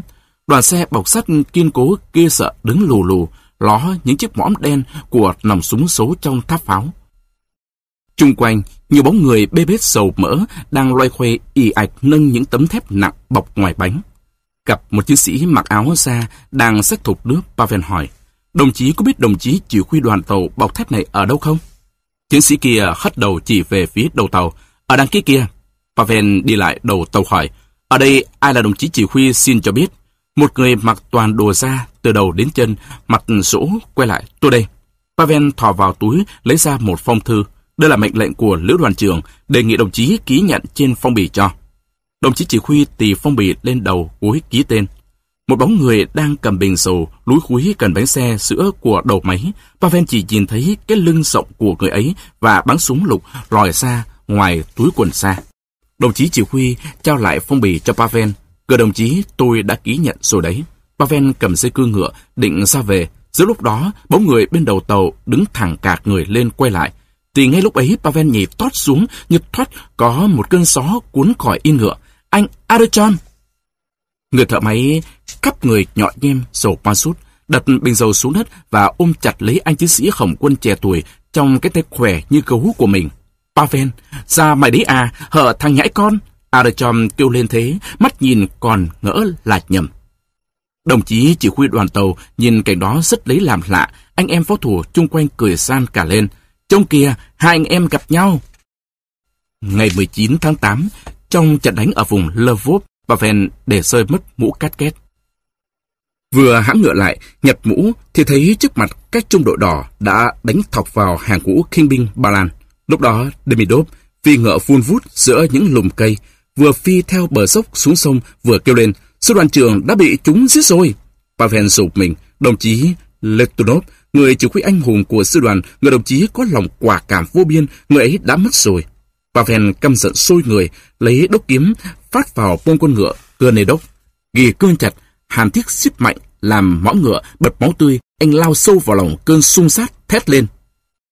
Chém hết đầu loài súc sinh, nhớ bản ấy đi, chém đi, chém hết bọn của tộc Ba Lan, chúng nó đã giết mất Letunov rồi. Và Pavel chém phập vào bóng một tên mặc binh phục xanh, anh chẳng ngoái lại nhìn kẻ bị chém đó nữa. Điên tiết lên vì căm thù trước cái chết của sư đoàn trưởng quân kỵ mã đỏ chém chết cả một đơn vị Lê dương Họ xông lên đến tận cánh đồng, truy kích lũ giặc đang chạy, thì vào lúc ấy pháo binh địch bắn tới. Trái pháo nổ vừa bung lên, xé đứt không trung, mảnh đạn chết người bắn tung tóe. Trước mắt Pavel, một ngọn lửa xanh bùng lên, lóe sáng như chớp lòe, xoẹt mạnh bên tai, nghe như tiếng sấm, mảnh đạn đỏ rực cháy xém vào đầu anh. Chú thích. Trong bản tiếng Nga là lóe sáng như đốt mỹ chất, mỹ chất magnesium, chất kim màu bạc, cháy sáng lòe thường dùng để chụp ảnh. Chúng tôi tạm dịch là chớp lòe. Mắt Pavel hoa lên, đất bắt đầu xoay như trong chóng, ghê sợ, quay cuồng, lao đảo, rồi những gã vật xuống bên anh. Tiếng nổ xung chuyển mạnh làm Pavel bắn khỏi bình ngựa nhẹ như chiếc lông. Anh lăn qua đầu con ngựa, gơ nề đốc, nặng nề ngã nhào ra đất và anh thấy tối sầm lại tối sầm lại, tối sầm lại. Chương 9 Trong cơn mê man, Pavel thấy một con bạch tuộc, mắt nó lồi lên, to bằng đầu con mèo, đỏ ngầu, giữa thì xanh, sáng óng ánh một thứ ánh sáng chói lọi. con bạch tuộc ngọ nguệ hàng chục những tua càng xoắn lại như rắn rết, lớp vầy trên da cọ sột soạt. Con bạch tuộc nhúc nhích bò lên. Pavel thấy nó ngay trước tập mắt mình. Tua càng của nó bò trên mình anh tê lạnh mà làm người anh ngứa gian nóng bỏng như bị lá han. Nó chìa vòi ra sắc như gươm, xúc vào đầu anh như giống đỉa, co mình lại, dễ lên đành đạch, rồi thì hút máu của anh. Pavel cảm thấy rợt như máu mình thấm hết vào cái xác căng trương của con vật. Vòi nó hút máu hút lấy hút để, nó chui đến đâu thì anh lại thấy đầu anh đau nhói không tài nào chịu được. Có tiếng người nói văng vẳng ở đâu xa lắm. Mạch cậu ấy bây giờ bao nhiêu? Rồi có tiếng người phụ nữ đáp lại, giọng nói càng khẽ hơn. Mạch 138, nhiệt độ 39,5, không lúc nào ngất mê sảng. Con bạch tuộc đã biến rồi, nhưng đầu anh vẫn còn đau. Bà Ven cảm thấy có ngón tay ai chạm vào cổ tay mình. Anh cố mở mắt ra, nhưng hai hạt mi nặng chịu không sao hé ra được. Mà sao lại nóng thế nhỉ? Chắc là mẹ đốt lò nướng bánh rồi. Vẫn còn giữa cơn nửa tịch nửa mê ấy, thì anh lại nghe có tiếng người nói đâu đây. Mạch bây giờ 122. Anh lại cố mở mắt ra. Trong người nóng như lửa đốt, ngột ngạt quá. Khát quá đi bớt, anh định ngồi dậy uống nước cho thỏa cơn khát. Nhưng sao không dậy được? Muốn cựa mình một cái, mà sao cái xác cứ ỉ ra, không nhúc địch. Chẳng phải là thân thể mình nữa rồi. Anh vẫn còn mê man, nghĩ đến mẹ sắp đem nước tới, anh sẽ nói với mẹ, con muốn uống nước. Có cái gì cựa quậy bên anh, hay lại con bạch tuộc rồi? Đấy, mắt nó đỏ ngầu kia kìa. Từ xa, có tiếng nói nhỏ vọng lại. Forosia, mang nước lại. Forosia, tên ai đấy nhỉ? Pavel cố nhớ lại xem là tên ai, nhưng sự cố gắng đó lại nhấn chìm anh vào bóng tối. Anh cố ngoi lên và một lần nữa lại nhớ ra mình khát lắm. Có tiếng nói, tôi thấy cậu ta tỉnh lại rồi đấy. Và ngay đó có tiếng dịu dàng, lần này nói nghe rõ hơn, gần hơn, hỏi Pavel. Đồng chí bệnh binh muốn uống nước phải không? Thế ra, mình là bệnh nhân hay sao? Hay là không phải là người ta nói với mình đâu? Ừ, ta bị bệnh. Chí giận, thật rồi mà. Và lần thứ ba, Pavel định mở mắt ra, lần này thì mở được, qua khe nhỏ của bên mắt mở, Cảm giác đầu tiên mà anh cảm thấy là một quả cầu đỏ lơ lửng trên đầu anh, nhưng rồi một vật gì tối om đã che mất. Bóng tối om ấy cứ cúi xuống gần anh và làm mũi anh nhận ra cái thành cứng của chiếc cốc, rồi là nước, một thứ nước mát rượi, uống tịch người. Lửa nóng trong người nguội đi. Anh quan khoái thì thầm, bây giờ sẽ chịu rồi. Đồng chí bệnh binh, đồng chí có nhìn thấy tôi không? Người hỏi đó chính là cái bóng tối om đang ngả xuống người anh. Pavel thiêu thiêu ngủ, miệng vẫn còn kịp đáp lại. Không thấy, nhưng nghe thấy. Ai có thể nói là cậu ấy qua khỏi được. Thế mà cậu ấy hồi lại rồi đấy. Thật là một cơ thể sắn khỏe lạ thường. Chị, nhiên hạ, chỉ có thể tự hào là đã cài từ hoàn sinh cho cậu ta. Và giọng người phụ nữ xúc động trả lời. Cậu ta khỏi được, tôi mừng lắm. Sau 13 ngày mê tiếp đi, Pavel đã hồi tỉnh lại. Tấm thân trẻ của anh không muốn chết sớm, dần dần lại sức, thật như sống lại, mọi vật, mọi thứ đối với anh đều mới lạ khác thường. Chỉ có cái đầu nặng chình chịch, nằm cứng trong hộp bó thạch cao, không nhúc nhích. Nhưng cảm giác toàn thân đã trở lại và những ngón tay anh đã có thể nắm vào, duỗi ra rồi. Nina, y sĩ của một quân y viện, ngồi bên chiếc bạt nhỏ trong gian phòng vuông đang lật từng tờ quyền vở dày biệt trắng bạch. Mỗi trang ghi những dòng nhật ký ngắn, nét chữ thanh, viết nghiêng. 26 tháng 8 năm 1920, chuyến xe lửa quân y hôm nay đưa về một lô chiến sĩ bị thương nặng. Trên giường ở góc toa, gần cửa sổ, có một chiến sĩ Hồng quân mới 17 tuổi bị thương ở sọ. Tên cậu ta là Karasakin Pavel Andreevich. Người ta trao cho tôi những giấy má tìm thấy trong túi chiến sĩ bỏ trong một chiếc phong bì cùng với y bạ của thầy thuốc. Trong phong bì có một tấm thẻ đã nhổ nát của Đoàn Thanh niên Cộng sản Ukraine số 967. Một cuốn sổ quân bạ đã rách, trong đó có ghi Pavel được tuyên dương vì đã hoàn thành tốt một nhiệm vụ quân báo và một mẩu giấy có lẽ chính tay Pavel viết. Nếu tôi chết, xin các đồng chí báo cho thân nhân tôi thành Sepetovka sở đầu máy xe lửa, ông thợ nguội Artyom Karasagin. Người thương binh ấy đã bất tỉnh từ lúc bị một mảnh trái phá bắn bị thương từ ngày 19 tháng 8. Ngày mai, bác sĩ Anatol Stepanovic sẽ khám bệnh cho cậu ta. 27 tháng 8, hôm nay đã xem vết thương của Pavel sâu lắm, nặng lắm. Hộp sọ bị thùng, cho nên cả nửa đầu bên phải bị liệt hẳn. Mắt phải bị đứt mạch máu, sưng vù lên. Bác sĩ giải phẫu Anatol muốn lấy cả mắt đi cho khỏi sưng. Tôi can mãi vì còn có thể hy vọng chỗ sưng sẽ bớt tấy lên. Bác sĩ đồng ý. Tôi đề nghị thế chỉ vì nghĩ đến vẻ đẹp của con người. Nếu cậu ta sống được, thiếu một mắt là xấu đi bao nhiêu mà lấy mắt ấy đi có lợi gì đâu. Người thương minh trẻ tuổi ấy vật vã mê hoặc liên miên, phải cho người khác luôn ở bên. Tôi để phần lớn thời giờ trông nom cậu ta. Thấy cậu ta trẻ măng mà thương quá, ước gì cứu được cậu ta khỏi chết. Hôm qua, sau khi hết viên, tôi đã ở lại rất lâu trong phòng cậu ta vì cậu ta là người bị nặng nhất. Tôi nghe hết những lời nói mê của cậu ta.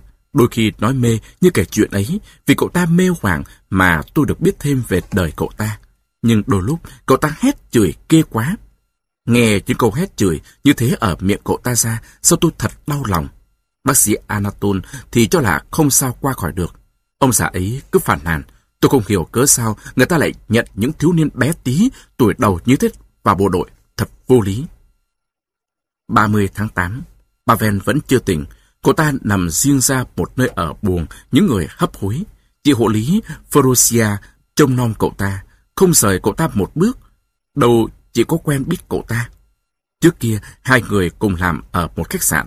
Cô ta phục vụ người bệnh này hết sức ân cần, hết sức chu đáo. Bây giờ tôi cũng bắt đầu thấy rằng không có hy vọng gì cứu sống được cậu ta.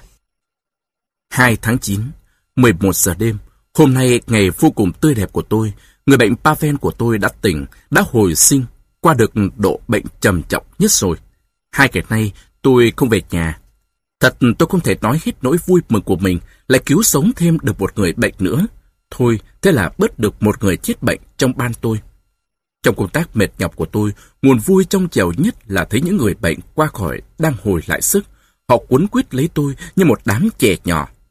Tình thân của họ giản dị, thật thà, và đến khi cùng họ chia tay nhiều lần tôi phải khóc. Buồn cười thật, xong thật như thế đấy, không sao cầm lòng được. 10 tháng 9, hôm nay tôi viết hộ Pavel bức thư thứ nhất gửi cho người nhà cậu ta, Cậu ta bảo tôi viết là vết thương nhẹ thôi, sắp khỏi và sẽ về thăm nhà. Thật ra, cậu ta mất nhiều máu lắm, người xanh bạch hay còn yếu lắm. 14 tháng 9 Cái cười thứ nhất của Pavel, cười ngoan lắm. Thường cậu ta có vẻ mặt cắt khổ, ít thấy ở số người cùng lứa tuổi với cậu. Cậu đã bình phục lại nhanh chóng quá. Thật không ngờ, Frosia và cậu ta là đôi bạn thân. Tôi luôn thấy Frosia ở bên giường cậu ta. Chắc là cô ấy có nói cho cậu ta biết tôi đã chăm sóc thế nào, có lẽ còn nói quá lên nữa. Cậu ta thấy tôi đến thì hớn hở cười. Hôm qua cậu ta hỏi tôi, Thưa bác sĩ, tại sao cánh tay bác sĩ có nhiều vết tím bầm thế? Tôi không muốn nói cho cậu ta biết đấy là vết móng tay cậu ta. Trong cơn mê hoàng, cậu ta ôm ghì lấy cánh tay tôi, cào cấu, rất đau. 17 tháng 9, vết thương Pavel đã khá. Tất cả các thầy thuốc đều ngạc nhiên trước tinh thần chịu đựng kiên nhẫn khác thường của cậu ta trong những buổi làm thuốc. Thường thường, trong những ca như vậy, người bệnh rên la và khó tính lắm. Thế mà Pavel thì không hề rên la và cho đến khi bôi canh kia sốt lên vết thương thì người cậu ta co lại căng thẳng như chiếc dây thừng thường khi cậu ta ngất đi. Ở nhà thương ai cũng hiểu nếu Pavel Zenla, ấy là cậu ta đã bất tỉnh rồi. Làm sao mà cậu ta gan thế nhỉ? Tôi cũng không biết nữa. 21 tháng 9, lần đầu tiên Pavel được ra ngoài hiên chơi. Người ta đặt cậu ta ngồi trên cái ghế bành có bánh xe đun. Cậu nhìn vườn hoa bằng con mắt háo hức vô chừng, hít lấy, hít để không khí tươi mát ngoài trời. Mặt cậu ta cuốn băng kín mít chỉ để hở con mắt trái. Con mắt đó sáng và nhanh, ngắm nhìn sự vật y như người mới nhìn thấy lần đầu. 26 tháng 9, Hôm nay, người ta gọi tôi xuống phòng khách gặp hai cô thiếu nữ. Trong hai cô đó, có một cô rất xinh. Cả hai đều đến xin gặp Pavel. Một cô tên là Tonya, cô kia là Tatiana. Tôi đã nghe đến tên Tonya. Trong lúc mê Pavel hay nhắc đến tên cô ta, tôi cho phép vào thăm. 8 tháng 10 Lần đầu tiên Pavel đã đi bách bộ một mình ngoài vườn được rồi. Nhiều lần cậu ta hỏi tôi khi nào thì ra viện được. Tôi đáp chóng thôi. Hai cô bé bạn cậu ta ngày nào cũng đến thăm. Giờ tôi mới biết tại sao cậu ta không rên la. Tôi hỏi thì cậu ta trả lời bác sĩ đọc chuyện Rùi Châu tất hiểu.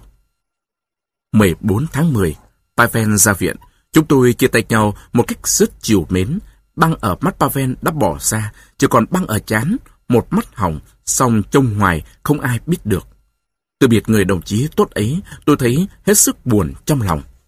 Ở bệnh viện thường như vậy, các anh chị em thương binh chữa khỏi rồi ra đi, xa chúng tôi để có lẽ rồi không bao giờ gặp nữa. Lúc từ xã, Pavel có than thở. Giá học mắt trái thì hơn, bác sĩ ạ. Học mắt phải, thế này làm sao còn ngắm bắn được nữa. Chưa chi cậu ta đã nghĩ đến mặt trận rồi. Ở nhà thương gia, thời gian đầu Pavel ở nhà Tatiana là nhà bà con với Tunya. Tunya về ở đấy trong thời gian đến thăm anh. Anh nghĩ ngay đến chuyện đưa dần người yêu vào công tác chung. Một hôm anh rủ Tunya đến sự cuộc họp của đoàn thanh niên thành phố. Tunya nhận lời. Nhưng khi thấy Tunya từ trong buồng riêng bước ra diện rất sang, cầu kỳ nữa, Pavel cắn môi. Anh cảm thấy rất ngượng ngùng, khó chịu phải dẫn Tunya như thế đến với các đồng chí của mình. Thế là xảy ra sự va chạm đầu tiên giữa hai người. Khi Pavel hỏi tôi nha tại sao lại ăn mặc như thế, thì tôi nha không bằng lòng. Em không bao giờ hòa với cái điệu tầm thường của mọi người được. Nếu anh thấy cùng đi với em không tiện, thì em ở nhà để anh đi một mình. Ở câu lạc bộ, giữa anh chị em thanh niên cộng sản mặc toàn quần áo bạch phết, nhìn Tô Nha mặc xiêm xú quá, Pavel cảm thấy cổ tâm. Các đồng chí coi Tô Nha như một người xa lạ, lạc điệu. Tô Nha cũng cảm thấy thế. Cô nhìn mọi người bằng cặp mắt khinh bỉ, có vẻ khiêu khích. Anh công nhân quân vác Pankratov, vai rộng, mặc áo vải bạc thu là bí thư chi đoàn, kéo Pavel ra một chỗ, quắc mắt nhìn anh, rồi nhắm mắt về phía Tô Nha. Có phải cậu dắt cái của ấy đến đây phải không? Pavel đáp lại cộc lốc, phải, mình đấy. Pankratov biểu môi, chà, cái bộ ấy chẳng hợp với chúng mình đâu. Sặc mùi tư sản, sao lại để cho nó vào đây được cơ chứ? Pavel cảm thấy hai thái xương nóng rực lên. Đấy là một đồng chí của tôi và chính tôi đưa đến đây, cậu rõ chưa? Đối với chúng ta, cô ta không phải là thù địch, còn về cách ăn mặc, cô ta thích thế, có thế thật. Xong, không thể cứ nhìn cách ăn mặc mà chụp mũ cho người ta được đâu. Mình cũng hiểu như cậu, những ai có thể vào đây được. Cho nên, chĩa mũi sùi vào nhau thì không có lợi đâu, đồng chí ạ. Pavel suýt bóp chát thêm nữa, sau nén được vì hiểu rằng Pankratov đã nói lên ý kiến chung của anh chị em. Anh quay ra bực với tôi nha. Đã bảo mà, cứ thích lên khung loè loẹt làm gì. Từ buổi tối hôm ấy, tình cảm giữa hai người bắt đầu dạn nứt. Pavel nhận ra ngay vết dạn, ngày một to trong tình yêu mà anh tưởng bồi đắp đến thế là bền vững. Anh ngơ ngác và đau xót. Qua mấy ngày, mỗi lần gặp gỡ, mỗi lần trò chuyện lại càng làm không hiểu nhau thêm. Hai bên dần dần cảm thấy đối với nhau lạnh nhạt, có phần không ưa nhau nữa mà nói ra. Chủ nghĩa cá nhân rẻ tiền của tôi nha đối với Pavel đã trở nên không thể nào chịu được. Mỗi bên đều thấy rõ đến nông nỗi này thì cần phải cắt đứt. Ngày hôm ấy, hai người đưa nhau đến công viên thương mại để nói với nhau những lời quyết định. Lá khô vàng úa phủ đầy dưới đất. Tựa vào hàng lan can nhô ra trên vực sâu, hai người cùng nhìn xuống con sông đơn nhép lấp lánh màu nước xám. Một cái tàu kéo từ một chiếc cầu lớn ló ra, chạy ngược dòng, đang kéo hai chiếc xà lan to phình. Cánh cuộn uể oải đập vào nước. Nắng xế chiều sát vàng lên hòn củ lao Torukhanov. Cửa kính những căn nhà nhỏ chói nắng ánh lên sực màu vàng tía. Tôi nhà nhìn những tia nắng vàng, buồn sầu nói, có thể nào tình bạn của chúng ta lại nguội đi như mặt trời sắp tắt kia được? Pavel cau mày nhìn tôi nha không chớp, hiệp thấp giọng trả lời. Tôi nha, chúng ta đã nói chuyện với nhau rồi đấy. Em đã biết anh yêu em đến thế nào và bây giờ tình yêu đó vẫn còn có thể trở lại nữa. Nhưng muốn thế thì tôi nha phải đi với các anh. Anh bây giờ chẳng còn là cậu bé Pavel Lusa như hồi trước kia nữa đâu. Và anh đối với tôi nha sẽ chỉ là một người chồng rất đáng kinh bỉ nếu tôi nha đòi rằng anh trước hết là của em rồi sau mới là người của đảng. Không, anh trước hết phải là của đảng, rồi mới đến là của em và của những người thân khác. Tôi nha buồn sầu nhìn dọc nước xanh biếc, trên khóe mắt nhòa ánh lệ. Nhìn bóng dáng thân yêu quá ý với móc tóc dày màu hạt rẻ, lòng Pavel cảm thấy ái ngại vô hạn. Người con gái này trước đây đối với anh thân thiết và gần gũi biết nhược nào. Tay anh đặt nhẹ lên vai tôi nha. Tôi nha ơi, em hãy chút hết những cái gì còn ràng buộc em đi. Em hãy đi đến với các anh, cùng nhau hạ nốt bọn quyền quý. Trong hàng ngũ các anh có rất nhiều người con gái can đảm, cùng các anh gánh vác nhiệm vụ chiến đấu ác liệt, cùng chia gian khổ với các anh. Các chị ấy có thể không học thức bằng tôi nha. Vậy mà tại sao, tại làm sao tôi nha lại từ chối không muốn đi với các anh? Tôi nha bảo tại Trusanin đã trực dùng vũ lực mà chiếm lấy thân thể tôi nha. Nhưng thằng Trusanin ấy là một con quái vật chứ không phải là một chiến sĩ cách mạng. Tôi nha bảo tại anh, chị em trong đoàn thanh niên khinh khỉnh với tôi nha, có phải không? Nhưng tại làm sao tôi nha, đi họp lại tô son điểm vấn như đi dự hội khiêu vũ của bọn tư sản ấy thế? Chính là tính kiêu ngạo khiến tôi nha làm ra như vậy. Tôi nhà không muốn hòa mình với những người mặc toàn quần áo nhem nhuốc.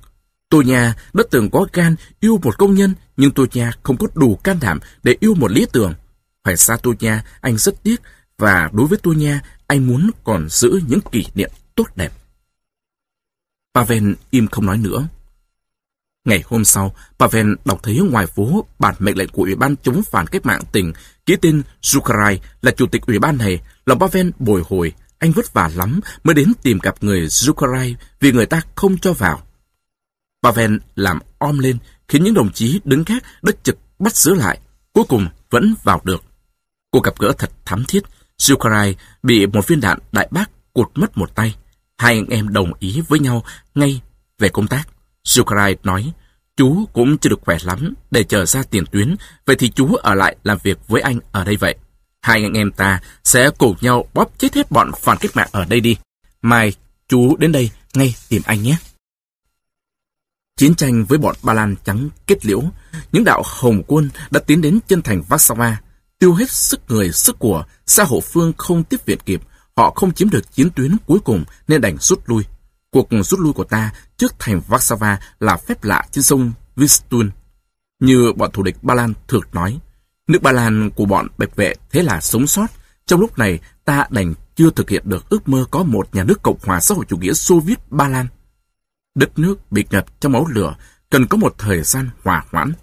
Pavel không về thăm nhà được vì Svitovka lại bị quân Ba Lan trắng chiếm đóng lại và tạm thời lấy làm thành phố giới tuyến của hai bên. Ta và địch đang tiến hành đàm phán lập lại hòa bình. Ngày đêm, Pavel công tác trong ban đặc biệt chống phản cách mạng, làm mọi nhiệm vụ cấp trên giao cho. Anh ở cùng phòng với Sukrai. được tin quê hương nằm trong vùng chiếm đóng của Ba Lan, Pavel buồn rười rượi. Đồng chí Sukrai ạ, nếu sau khi đình chiến vẫn giữ được nguyên tình trạng ấy, thì mẹ em hóa ra thành sống ở nước ngoài mất ư. Sukrai giải thích cho Pavel yên tâm. Chắc giới tuyến sẽ chạy qua Gorin, dọc theo bờ sông, như thế thì Sepetovka vẫn là của ta, chúng ta sẽ chóng được tin chắc chắn. Những sư đoàn khổng quân rời mặt trận Ba Lan đổ về phía Nam. Lợi dụng thời cơ ngừng chiến, tên Vrangen đã bỏ ra khỏi Crimea và trong khi nước Cộng hòa tuôn hết sức xa mặt trận Ba Lan thì tên tướng Nga trắng ấy đã từ phương Nam lần lần tiến về phía Bắc, dọc sông Đơi Chép tìm cách chiếm tỉnh Ekaterin. Nhân lúc chiến tranh với quân Ba Lan chấm dứt, đất nước ta điều quân đến Kripe để tiêu diệt cái ổ cuối cùng này của bọn phản cách mạng. Những chuyến tàu chất đầy cười, đầy xe cộ, chờ những bếp cấp dưỡng, lưu động, những khẩu đại bác chạy qua Kiev đổ về phương Nam. Ủy ban đặc biệt địa phương của ngành vận tải làm việc sốt vó. Tất cả làn sóng, những chuyến tàu như thác lũ đổ về đó bị ứ lại, mắc nghẽn. Nhà ga chật am áp, sự đi lại bị tắc vì đường nào cũng mắc cả. Máy điện đài nhà ra hàng loạt băng ghi những bức điện tối hậu thư, những bản mệnh lệnh khẩn cấp mở đường cho sư đoàn này, sư đoàn khác. Những băng điện vô tận ấy chi chít những chấm, cạch, cướp bò, ra dài rằng sặc và gần như điện nào cũng đọc thấy tối khẩn mệnh lệnh chiến đấu có đường ngay lập tức. Và bức điện nào cũng nhắc ai không chấp hành mệnh lệnh sẽ phải đưa ra tòa án quân sự cách mạng. Bao nhiêu chuyện mắc nghẽn, trách nhiệm đều đổ lên đầu Ủy ban đặc biệt về giao thông vận tải cả thôi. Luôn luôn có những cán bộ chỉ huy đơn vị sồng sộc ập tới ủy ban, hòa súng ngắn và đòi phải có được ngay cho đơn vị mình đi, chiều theo điện thượng khẩn số nọ số kia của tư lệnh trưởng tập đoàn quân. Chẳng ai chịu hiểu cho rằng những việc yêu cầu của họ thật không thể nào làm nổi được. Mặc kệ, các đồng chí cứ giải quyết đường cho chúng tôi đi ngay thôi. Thôi thì tiếng la, tiếng chửi om sòm suốt ngày trong trụ sở. Gặp những trường hợp nan giải nhất, người ta phải cấp tốc mời Sukarai đến. Có thế mới chấn tĩnh được đám người hùng hồ sắp sửa xông vào cố xé lẫn nhau. Nét mặt rắn giỏi như đúc bằng thép, bình tĩnh lạnh lùng, giọng nói cứng, không thể cãi lại được của Sukarai, buộc họ phải chịu ngoan ngoãn cho súng vào bao. Ở phòng làm việc bước ra ke, Pavel thấy đầu đau nhoi nhói, công tác ở đây rất hại đến thần kinh của anh. Có một hôm, trên một chiếc toa khúc mui chờ đầy những hòm đạn, Pavel nhìn thấy Sergei. Cùng lúc ấy Sergei nhảy bổ xuống suýt nữa xô ngã bạn và ôm kỳ lấy Pavel. Pavel, thằng quỷ, tao nhận ngay ra mày. Đôi bạn gặp nhau, không biết hỏi nhau, kể cho nhau nghe chuyện gì bây giờ. Thời gian gấp lắm, mà từ lúc xa nhau, hai người đã sống biết bao chuyện trong đời. Hỏi nhau câu này, chưa kịp nghe trả lời, đã lại nói luôn. Còi tàu sụp đi, cũng không nghe thấy nữa. Mãi khi đoàn xe chuyển bánh, từ từ bỏ đi, đôi bạn mới chịu buông nhau ra. Làm thế nào bây giờ? Cuộc gặp gỡ thế là bị ngắt, con tàu mở thêm tốc độ. Để khỏi bị rớt lại, xe kê choàng đuổi theo xe, chạy dọc bờ ke, ngoái lại, phía Paven, kêu gì lần cuối không kê rõ, rồi nhảy tót lên bám lấy cửa một toa chở hàng. Những bàn tay từ trong toa thò ra nắm lấy tay anh kéo vào trong. Pavel đứng lại, bàng hoàng nhìn theo con tàu xa dần. Mãi, bây giờ anh mới sực nhớ ra là thằng bạn nó chưa biết tin Valia chết rồi. Ừ, nó có về qua CP Topka đâu bà biết. Pavel nghi người vì cuộc gặp gỡ bất ngờ nên đã quên quý không nói với bạn. Thế càng hay, không biết tin đó, nó đi càng yên tâm. Pavel tự bảo thế, anh có ngờ đâu là anh gặp bạn lần ấy là lần cuối cùng. Sergei đứng trên nóc toa xe lửa, phanh ngực ra, hứng gió mùa thu. Cũng không biết là mình đang đi ra trước cái chết. Dorosenko, một chiến sĩ mặc áo capot, lưng áo bị cháy xém, nói với Sergei, ngồi xuống không bị ngộ gió. Đấy, Sergei ạ, Sergei cười đáp lại, không hề gì, mình với gió là bạn đấy mà, cứ để mình đứng, gió thổi cho mát. Và một tuần sau, Sergei hy sinh ngay trong trận đầu của cuộc Nam Hạ giữa đồng cỏ vàng úa mùa thu của xứ Ukraine. Một viên đạn lạc trúng vào anh. Anh bị đạn, sụp mình, xú thêm một bước, ngực đau bút như xé, miệng không kêu không nói, lảo đảo, tay sờ soạng không gian, rồi hai bàn tay đưa lên ôm ghì lấy ngực, khom khom mình như người trực chạy, thân thể bỗng chốc nặng như chì. Anh ngã vật xuống, đôi mắt xanh thao láo, trừng lên, nhìn như dán vào khoảng mênh mông đồng cỏ. Công việc hết sức căng thẳng, ở ủy ban đặc biệt đã ảnh hưởng lớn đến sức khỏe của Pavel, vốn yếu sẵn, chưa lại người. Vết thương cũ lại luôn luôn đau nhói lên, và sau hai đêm mất ngủ, Pavel bị ngất đi. Vì thế Pavel lại hỏi Zukarai, Anh Zukarai ạ, em muốn đổi công tác, ý kiến anh thấy có đúng không? Em thì rất muốn trở lại nghề cũ, ở phân xưởng chính nhà máy xe lửa. Không có làm ở đây, em thấy sức em yếu quá. Tiểu ban y tế khám lại sức khỏe, nó là em yếu sức không thể tòng quân được nữa, nhưng ở đây còn gay hơn ngoài mặt trận kia. Mấy hôm vừa rồi, đi tiểu bọn phỉ xua tưa đã làm em mệt lả người đi. Cứ sau loạt bắn là em lại phải nghỉ tay để thở. Anh Sukarai ạ, chắc anh cũng hiểu, chân em đứng cũng chẳng còn vững nữa, thì em làm công tác tốt thế nào được ở ủy ban đặc biệt này? Sukarai nét mặt lo lắng nhìn Pavel. Phải đấy, tôi thấy chú yếu lắm. Đáng lẽ phải đổi công tác cho chú từ trước đây rồi. Khuyết điểm ở tôi, bận công tác quá không nhìn đến. Sau buổi nói chuyện đó, Pavel được điều động sang tỉnh đoàn thanh niên Cộng sản, nhận công tác. Một tay trẻ băng, tính hay cựa quậy luôn, mũ cắt két, kéo sụp xuống tận mắt, rất ngang, nhìn lướt qua mảnh giấy, rồi vui vẻ nháy mắt hỏi Pavel. Cậu ở ủy ban đặc biệt đến à? Cơ quan đó dễ chịu đấy. Chờ nháy mắt là chúng mình sao công tác cho cậu ngay. Bên mình bấn người quá, thật là nạn thiếu cán bộ. Cậu muốn sang đâu? Ủy ban cung cấp? Không à? Ừ, đừng sang đó, sang cơ sở tuyên truyền ngoài bến sông. Không à? Thế thì dại quá, chỗ này bở lắm. Sinh hoạt phí theo chế độ xung phong đấy. Pavel ngắt lời. Mình muốn sang đường sắt làm ở các phân xưởng chính. Gã kia chố mắt nhìn Pavel. Sang phân xưởng chính à? Hừm, ở đấy có cần người đâu. Thôi, cậu cứ đến gặp chị Rita. Chị ấy sẽ xếp công việc cho. Sau cuộc nói chuyện ngắn với người con gái nước xa ngâm ngâm bánh mật, Pavel được chỉ định làm bí thư chi đoàn thanh niên cộng sản xí nghiệp xe lửa, vừa công tác vừa tham gia sản xuất. Giữa lúc đó, trước cửa ngõ vùng Kripme, tại những đường biên giới cổ xưa đã từng là ranh giới giữa những người Takta xứ Kripme và những trung đoàn người Zaporo ở chỗ thắt lại của bán đảo nổi lên pháo đài của bọn bạch vệ mới xây lại. Trung quanh có những công sự kiên cố rất lợi hại, pháo đài Perekop. Sau pháo đài ấy, cả cái xã hội cũ đã bị lên án từ khắp xó xỉnh trong nước chúi vào xó Kripme này. Yên chí ở đấy an toàn, say xưa túi lúy với nhau trong hơi men rượu nho. Một đêm mùa thu băng giá, hàng vạn người con của nhân dân lao động đã đổ xuống eo biển nước xá lạnh để đêm tối vượt vịnh Sivat đánh vào sau lưng kẻ địch đã chui tọt vào các công sự. Đi trong hàng quân đó có Jackie, hai tay nâng niu khẩu súng máy, đội trên đầu, và khi sạng đông, cả vùng eo biển Perekop sôi lên sùng sục cho cơn sốt rét điên cuồng, hàng nghìn người ào ào ập vào hàng rào dây thép cai, những mũi quân tiến đầu tiên lội qua vịnh Sivat đặt chân lên những bờ đá lồm chùm của bán đảo Litop ở sau lưng quân địch.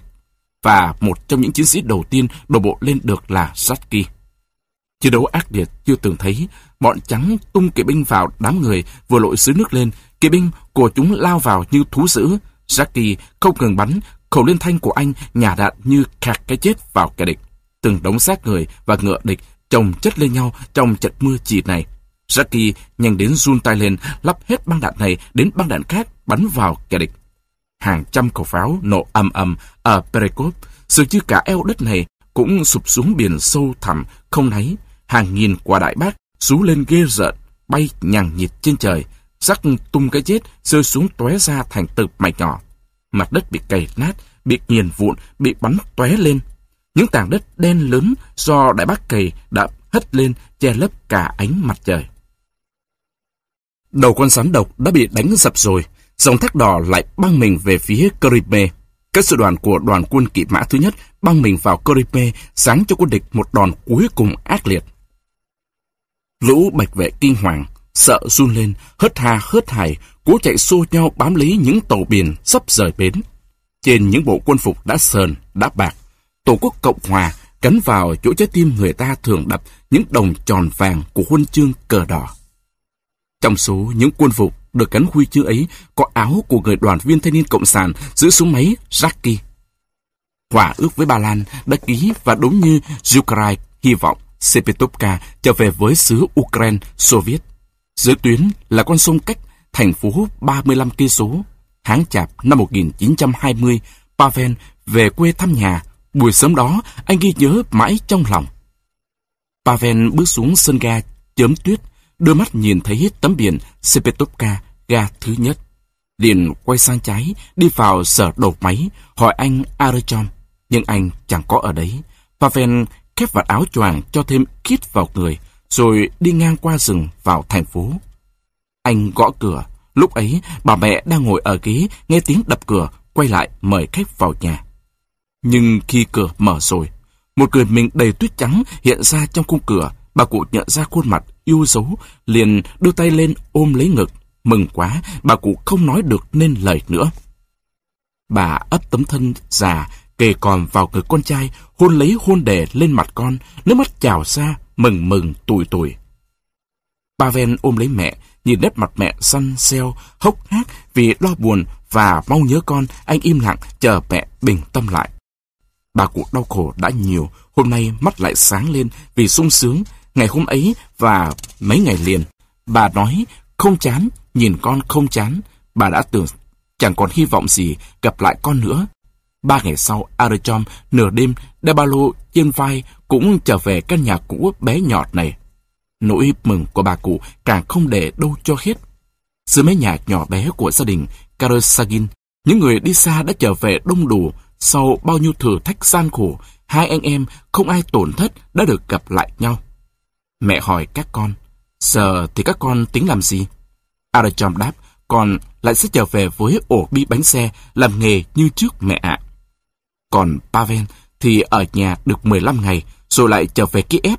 Ở đấy công việc đang chờ anh. Đang chờ anh. Đang chờ anh. Phần thứ hai, Chương 1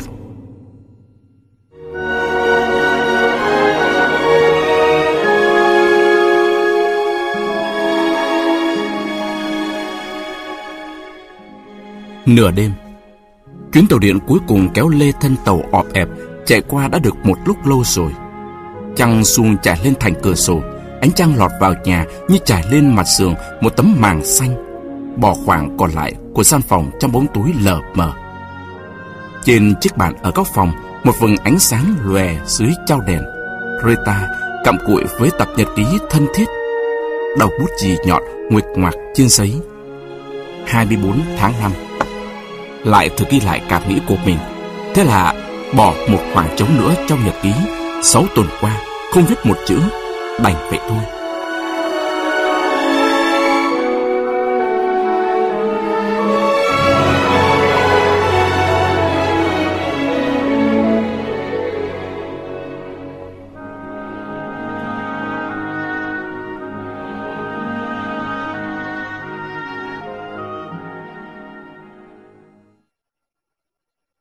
Lấy đâu ra thời giờ kỳ chật ký thân yêu này được.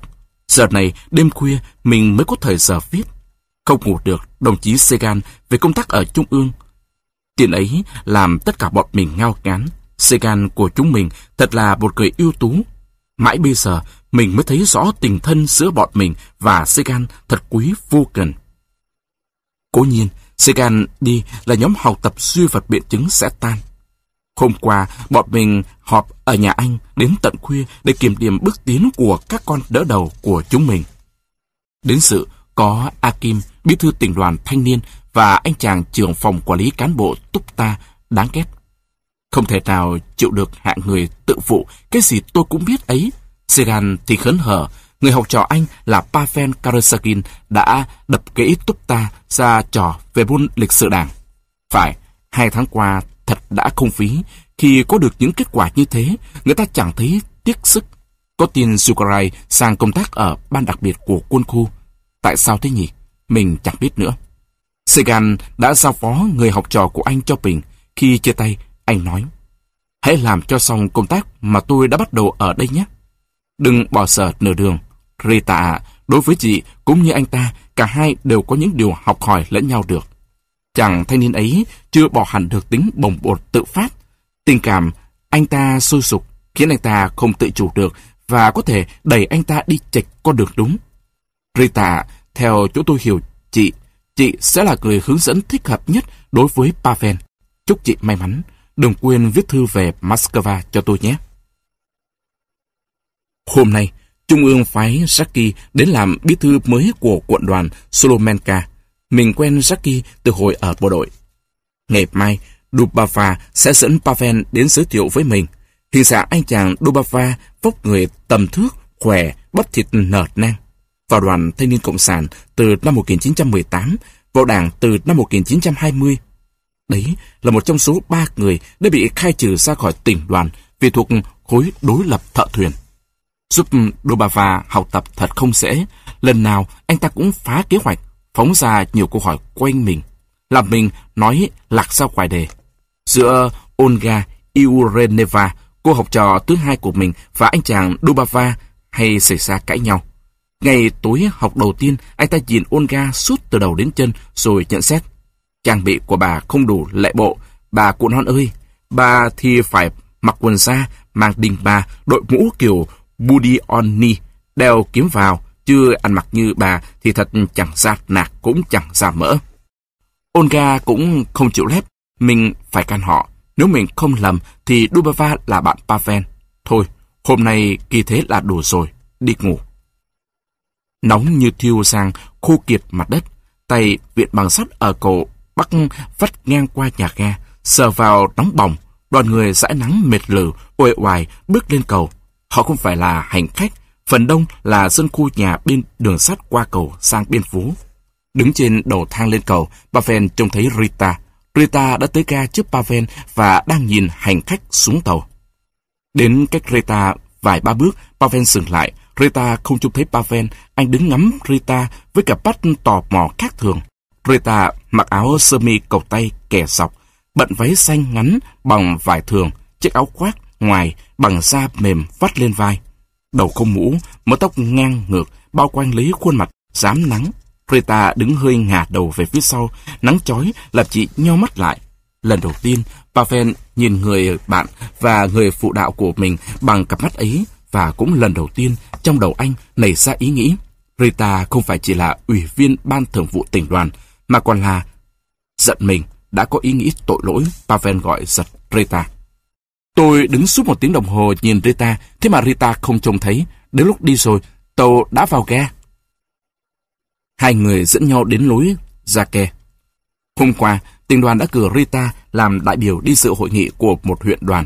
Pavel được cử đi phụ với Rita. Hôm nay, thế nào cũng phải lên xe lửa đi cho bằng được. Chuyện đó không phải dễ. Thời buổi hiếm tàu xe đi lại, vào giờ tàu chạy, nhà ga do một ban xếp người lên tàu rất có uy quyền, điều khiển. Ai không có giấy của ban này không được bước ra ke. Tất cả các cửa ra vào đều có người của ban này đứng chắn. Tàu đầy ắp mà vẫn chỉ mới chờ được một phần mười những người cần đi. Không ai muốn ở lại để chờ ngày nọ qua ngày kia. Họa ra mới có một chuyến tàu khác. Hàng nghìn người vây các lối ra ke, cố chen ra tới những toa xanh. Nhà ga mấy ngày nay sống trong cảnh bị bao vây thật sự, đôi khi xảy ra ẩu đả. Pavel và Rita định chen ra ke, nhưng không sao lên được. Vốn biết hết ngõ ngách ra vào, anh liền dẫn người bạn gái đi qua kho chứa hành lý. Vất vả lắm, hai người mới đến được toa tàu số 4. Anh công an đặc biệt, ướt đẫm mồ hôi, đứng trước cửa xe, giữ cho đám đông khỏi chen lên. Anh nhắc đi nhắc lại, có đến trăm lần. Tôi nói với đồng bào là toa chật ních rồi, còn những chỗ nối toa vào mái tàu, lệnh trên cấm ngặt không được ai trèo lên cả. Có những người hùng hồ sấn đến chỗ anh công an, ấn vào mũi anh những vé do ban xếp người phát cho họ đi toa số 4. Trước toa tàu nào cũng có tiếng chửi sủa, giận dữ, tiếng kêu la, xô đẩy nhau. Pavel hiểu là lên tàu theo lối thường thì không thể nào lên được, mà việc thì cần, không đi được thì hội nghị không thành mất. Pavel kéo Rita ra bên. Trình bày kế hoạch hành động của mình, Pavel sẽ lên vào trong toa, bỏ cửa kính xuống và kéo Rita lên qua cửa sổ, không có cách nào khác. Rita đưa tôi chiếc áo da của Rita, đấy là cái chứng minh thư tốt nhất. Pavel khoác chiếc áo của Rita lên người, nhét súng ngắn vào túi, cố ý để lòi bắn súng và rơi súng ra ngoài. Anh đặt túi lương ăn xuống chân Rita, rồi lại chỗ toa xe. Pavel không nể nang ai, lấy cổ tay, chen lấn, đám hành khách, với được thanh sắt bật lên tàu. Này, đồng chí đi đâu? Pavel ngoảnh lại nhìn người công an béo lùn. Tôi là người của ban đặc biệt quân khu. Tôi kiểm tra xem hành khách các đồng chí cho lên tàu có đủ vé của ban xếp người không. Giọng Pavel không để cho ai mảy may ngờ vực uy quyền của mình. Người công an nhìn túi Pavel, lấy tay áo, lau mồ hôi chán và nói bằng một giọng hờ hững. Ừ, đồng chí cứ việc vào mà kiểm tra nếu đồng chí chen vào được. Pavel chen lách bằng tay, bằng vai và có lúc bằng nắm tay, trườn lên vai người khác, sướng tay đánh đu lấy giá ghế trên. Tiếng la chửi đổ lên đầu anh như mưa đá, chửi thì chửi, Pavel cũng len được vào giữa toa tàu. Quỷ tham hạ, anh đi đâu mà anh chen gớm thế hở, cái nhà anh trời đánh thánh vật kia. Một mụ béo phị mắng Pavel khi anh dẫm chân lên đầu gối mụ ta. Mụ đã thu cái thân hình nặng hơn một tạ vào thành ghế dài ở hàng dưới, hai chân đang kẹp lấy cái bình đựng đầy bơ. Bình đựng nước, hộp đựng sữa, hòm, bao và thùng ngổn ngang các ghế dài, không khí ngạt thở. Đáp lời chửi rủa của mụ ta, Pavel hỏi, bảo cho tôi xem vé của ban xếp người. Mụ phát khùng với nhà anh xót vé, chẳng ai khiến ai cần đó. Cái gì? Một cái đầu su côn từ ghế tầng 3 thò xuống và giọng ồ ồ giống lên. Vát ca, nó là cái thá gì mà đến đây nhiễu sự? Mày cho nó một vé vào mõ ấy. Ngay trên đầu Pavel nhô ra một tên sáng chừng là Vát ca. Người nó lực lưỡng, ngực đầy lông, xương cặp mắt to như mắt bò mộ nhìn Pavel chòng chọc. Mày nhiễu sự cái gì với người đàn bà này? Mày hỏi vé gì? Từ giá ghế bên, Bốn đôi chân buông thõng xuống, bốn tên ngồi sát nhau, thì nhau cắn hạt hướng dương lách tách. Rõ ràng đây là một bọn trộm cắp buôn lậu chợ đen. Pavel không có thời giờ gây chuyện với chúng, phải đưa Rita vào trong tòa đã. Pavel chỉ tay vào cái hòm gỗ đặt bên cửa sổ, hỏi một công nhân đường sắt đứng tuổi. Hòm này của ai vậy? Bác công nhân chỉ tay về phía hai cái chân to trùng trục đi tất màu hạt rẻ của nhà chị này.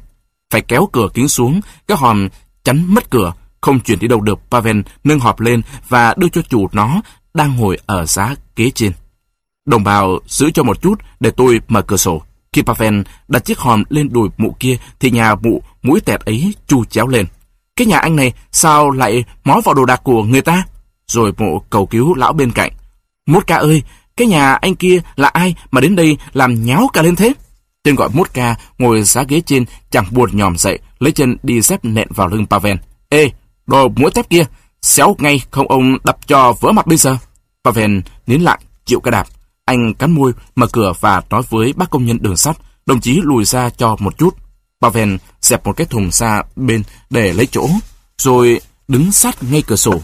Rita đã chờ ở ngoài, chị nhanh tay đưa cái túi cho Pavel. Pavel ném cái túi lên đùi mụ đang kẹp bình đựng bơ, rồi cúi xuống, nắm tay Rita kéo lên. Đồng chí Hồng Quân trong đội tuần tra chưa kịp trông thấy và ngăn việc trái phép đó thì Rita đã ở trong toa rồi. Đồng chí bộ đội chậm chạp ấy không làm sao được, chỉ còn cách cầu nhau bỏ đi. Thấy Rita vào, lũ trộm cắp chợ đen nhau nhau lên, làm cho Rita bối rối và lo ngại. Chị không có chỗ nào đặt chân, đành phải đứng lên mép giá ghế dưới, tay víu lấy chỗ viện của giá ghế trên, lời chửi rủa từ mọi chỗ dồn lại, giọng ô ô ở phía trên phì ra. Rõ thằng đề mặt, nó đã lên rồi, còn tha cả mèo lên nữa. Một tên ngồi khuất đầu trên cao, hét lên. Mốt ca, cậu cho nó xăm quả tống cho tối mắt đi. Mụ mũi tẹt định đặt cái hòm gỗ lên đầu Pavel, chung quanh toàn những bộ mặt ti tiện, hằn học. Pavel tiếc là Rita có mặt ở đây, nhưng thế nào cũng phải thu xếp cho có chỗ ngồi. Này anh, cất hộ những bao ở lối đi đi, lấy chỗ cho nữ đồng chí này đứng. Pavel nói với tên mà người ta gọi là Mốt nhưng nó đã đáp lại một câu thô tục bẩn thỉu làm cho anh sôi cả người lên. Anh cảm thấy tức tối, đau nhức trên mu mắt phải. Được, mày chờ một chút, đồ su côn, mày sẽ biết tay tao. Pavel cố nén, nói với tên lưu manh như vậy, nhưng vừa dứt lời, anh bị liền, bị một cái đá vào đầu. Bọn chúng ở bốn chung quanh thét lên ầm ĩ, phát ca, cứ nện đi, cho nó nể đom đó mắt ra. Bao nhiêu giận dữ từ nãy Pavel cố nén trong lòng, bây giờ bật ra, và trong những lúc như thế này, Cơ chỉ của anh bao giờ cũng nhanh và quyết liệt. Bọn đầu cơ chó má, chúng mày tưởng có thể chiêu được tao đấy phải không? Pavel tay biếu lấy giá ghế thứ hai, đánh đu lên như lò xo và giáng một quả đấm vào cái mặt đều giả vinh váo của một ca. Quả đấm mạnh, làm tên con buôn đầu cơ ngã bổ nhào lên đầu những đứa khác, rồi lăn cành xuống lối đi. Bọn khốn nạn, bỏ ghế, cút ngay không tao bắn chết cả như chó ấy. Pavel giận dữ quát lên, tay vung khẩu súng ngắn vào mặt bốn tên côn đồ. Câu chuyện đã xoay ra chiều hướng khác. Rita chăm chú theo dõi, sẵn sàng nổ súng vào bất cứ kẻ nào định chạm đến người Pavel. Trong nháy mắt, ghế dài tầng trên đã quang hẳn, lối gian vội vã chuồn sang toa bên. Khi Pavel đã đưa Rita lên ngồi trên ghế, đã quang người anh dì tay với Rita. Rita, ngồi đây nhé, để tôi đi thanh toán với bọn chúng. Rita ngăn anh lại. Pavel định đi đánh nhau với chúng đấy à? Pavel nói cho Rita yên tâm, không, tôi sẽ về ngay. Pavel lại mở cửa sổ và nhảy xuống thềm nhà ga. Vài phút sau, anh đã gặp có mặt ở phòng làm việc của Burmeister, cục trưởng cục công an đặc biệt và là người phụ trách cũ của anh. Đồng chí Burmeister là người Latoni. Sau khi nghe Pavel kể, đồng chí hạ lệnh cho hành khách ra khỏi toa và kiểm tra lại giấy tờ của mọi người. Burmeister lẩm bẩm. Tôi nói y như rằng Tàu vào đến ga là đã đầy ắp bọn con buôn đầu cơ rồi. Một đội công an đặc biệt gồm 10 người đến kiểm soát toa tàu. Theo thói quen, Pavel giúp việc kiểm tra lại cả chuyến tàu. Tuy thôi công tác ở Cục Công an đặc biệt, Pavel vẫn đi lại với các bạn mình ở đấy. Khi còn là bí thư đoàn thanh niên đường sắt, anh đã đưa nhiều đoàn viên thanh niên cộng sản ưu tú vào công tác ở Cục Công an đặc biệt. Kiểm tra xong, Pavel về chỗ Rita. Toa tàu bây giờ đầy hành khách mới, những cán bộ đi công tác và các chiến sĩ Hồng quân. Trên ghế tầng 3 ở góc toa chỉ đủ chỗ cho Rita thôi. Những bó báo đã choán hết chỗ. Rita nói, không sao, rồi thế nào cũng thu xếp được chỗ ngồi. Đoàn tàu chuyển bánh. Nhìn qua cửa sổ, hai người lại trông thấy mụ lắm điều lúc nãy ngồi trên đống bao bì. Tiếng kêu của mụ vẳng lại. Manka ơi, cái bình ton của tao đâu rồi? Rita và Pavel ngồi ở một chỗ hẹp. Những bó báo ngăn cách họ với những người bên cạnh. Hai người sợ bánh mì và táo ra ăn một cách ngon lành, vui vẻ, ôn lại câu chuyện chẳng ai lấy làm gì vui lắm vừa qua. Xe lửa bỏ chậm chạp, những toa tàu sộc sạch, chở quá nặng, chạy lắc lư, bánh xe khô, nghiến ken két và răng rắc. Toa sụp mình nảy lên khi bánh lăn qua chỗ đường sắt núi. Trời nhá nhem, cây vật bên ngoài chìm trong màu xanh dày đặc. Rồi đêm tối răng màn đen lên những khoang cửa sổ mở toang. Trong toa cũng tối như bưng. Rita mệt mỏi thiêu thiêu ngủ, đầu gối lên túi xếp. Pavel ngồi hút thuốc lá ở mép ghế, chân buông thõng xuống. Anh cũng mệt nhoài, nhưng không có chỗ đặt lưng. Gió hiu hiu đưa hơi đêm lạnh mát lọt vào cửa sổ. Tàu lắc mạnh, Rita sực tỉnh. Nhìn thấy chấm đỏ ở đầu điếu thuốc của Pavel, Rita nghĩ thầm. Cậu Pavel ngồi mãi thế, được cho đến sáng đấy. Đích là anh chàng ngại không muốn làm phiền mình đây. Rita nói giọng thương mến, đồng chí Pavel bỏ những kiểu cách tư sản ấy đi, nằm xuống mà nghỉ. Pavel ngả mình bên cạnh Rita và khoan khoái duỗi cặp giò đã mỏi tê. Mai chúng mình phải làm khối việc, ngủ đi, ông tướng hay đánh nhau ạ. À? Cánh tay Rita ôm chặt lấy người đồng chí một cách tin cậy. Pavel cảm thấy làn tóc Rita áp vào má mình. Đối với anh, Rita là thiên liêng, một người bạn thân, người đồng chí, cùng chung lý tưởng, giảng viên chính trị của anh. Thế nhưng Rita dù sao cũng vẫn là phụ nữ. Khi ở gần cầu đường sắt, anh cũng đã lần đầu tiên cảm thấy điều đó, cho nên cái ôm của người bạn gái hôm nay mới làm lòng anh xúc động đến thế. Pavel nghe thấy hơi thở mạnh và đều của Rita. Đôi môi Rita ở đâu đây? Gần lắm. Sự gần gũi đó như thúc giục, kêu gọi Pavel tìm đến đôi môi hấp dẫn ấy. Cuối cùng Pavel phải dùng hết ý chí để nén lọc mình lại. Hình như đoán biết tình cảm của Pavel, Rita mỉm cười trong túi. Rita đã từng trải qua niềm sung sướng trong tình yêu say đắm cũng như nỗi kinh sợ khi tổn thất. Rita đã yêu hai người Bolshevik và những viên đạn của bọn Nga Trắng đã cướp mất của Rita cả hai người. Một người to lớn, dũng cảm, tư lệnh một lữ đoàn, còn người kia là một thanh niên có đôi mắt trong sáng. Chẳng mấy chốc, tiếng bánh xe lăn đã du ngủ Pavel. Mãi đến sáng, tiếng còi tàu rú lên mới đánh thức anh dậy. Rita khuya mới về nhà, trong cuốn nhật ký ít khi mở ra, có ghi thêm mấy đoạn ngắn. 11 tháng 8, sau hội nghị Akim Sumsky và các đồng chí khác đã đi Kharkov để dự hội nghị toàn xứ Ukraine. Mọi công việc hành chính đều chút lên đầu mình. Dubava và Pavel được đề bạt vào ban chấp hành tỉnh đoàn. Từ khi Dubava được phái đi làm bí thư huyện đoàn Pesach thì không đến học tới nữa.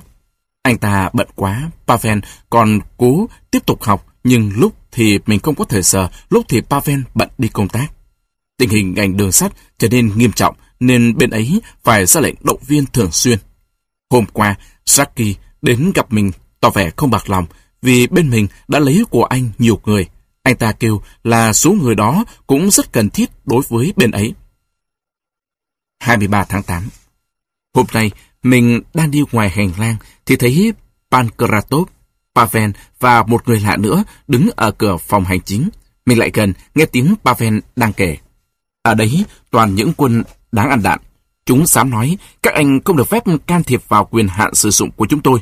Ở đây là do Ủy ban vận chuyển gỗ làm chủ, chưa chẳng biết có đoàn Kunsmun nào cả. Một nó nói thế đấy, các cậu ạ, lũ ăn hại nó nấp ở những chỗ ấy đấy, chứ ở đâu. Tiếp đó, Pavel buông lời chửi rủa rất tục. Pavel nhìn thấy mình liền máy Pavel. Pavel quay lại thấy mình, mặt anh ta tái đi, không dám nhìn thẳng, rồi lịch đi ngay. Chắc Pavel sẽ tránh đến đây gặp mình một dạo lâu cho mà xem. Pavel biết là mình không tha thứ cho ai hay nói tục. 27 tháng 8, Ban thường vụ họp kín, tình hình trở nên phức tạp. Bây giờ thì chưa thể ghi mọi chuyện vào nhật ký được, nhỡ lộ bí mật. A Kim ở huyện về, mặt mày buồn bực. Hôm qua, bên Chicherep, bọn chúng lại làm trượt một chuyến xe chở lương thực xuống chân đường. Có lẽ đến bỏ không ghi nhật ký, lâu nay chỉ ghi toàn những mồi chuyện vụn vặt. Đợi Pavel, hôm trước thấy Pavel, Pavel đang cùng Saki lập công xã 5 người. Đang giữa trưa ở sở máy, người ta gọi Pavel đến dệt nói, Rita báo cho anh biết tối nay Rita dỗi dãi có thể giảng cho xong vấn đề đang nói giờ nguyên nhân thất bại của công xã Paris. Tối hôm ấy, Pavel đến gần cô nhà vua Kruk Unive. Ngước mắt nhìn lên cửa sổ phòng Rita có ánh đèn, Pavel chạy lên thang gác và như mọi lần, lấy nắm tay, đập cửa và không chờ trả lời, đã bước vào ngay. Một cán bộ quân đội đang nằm trên giường Rita.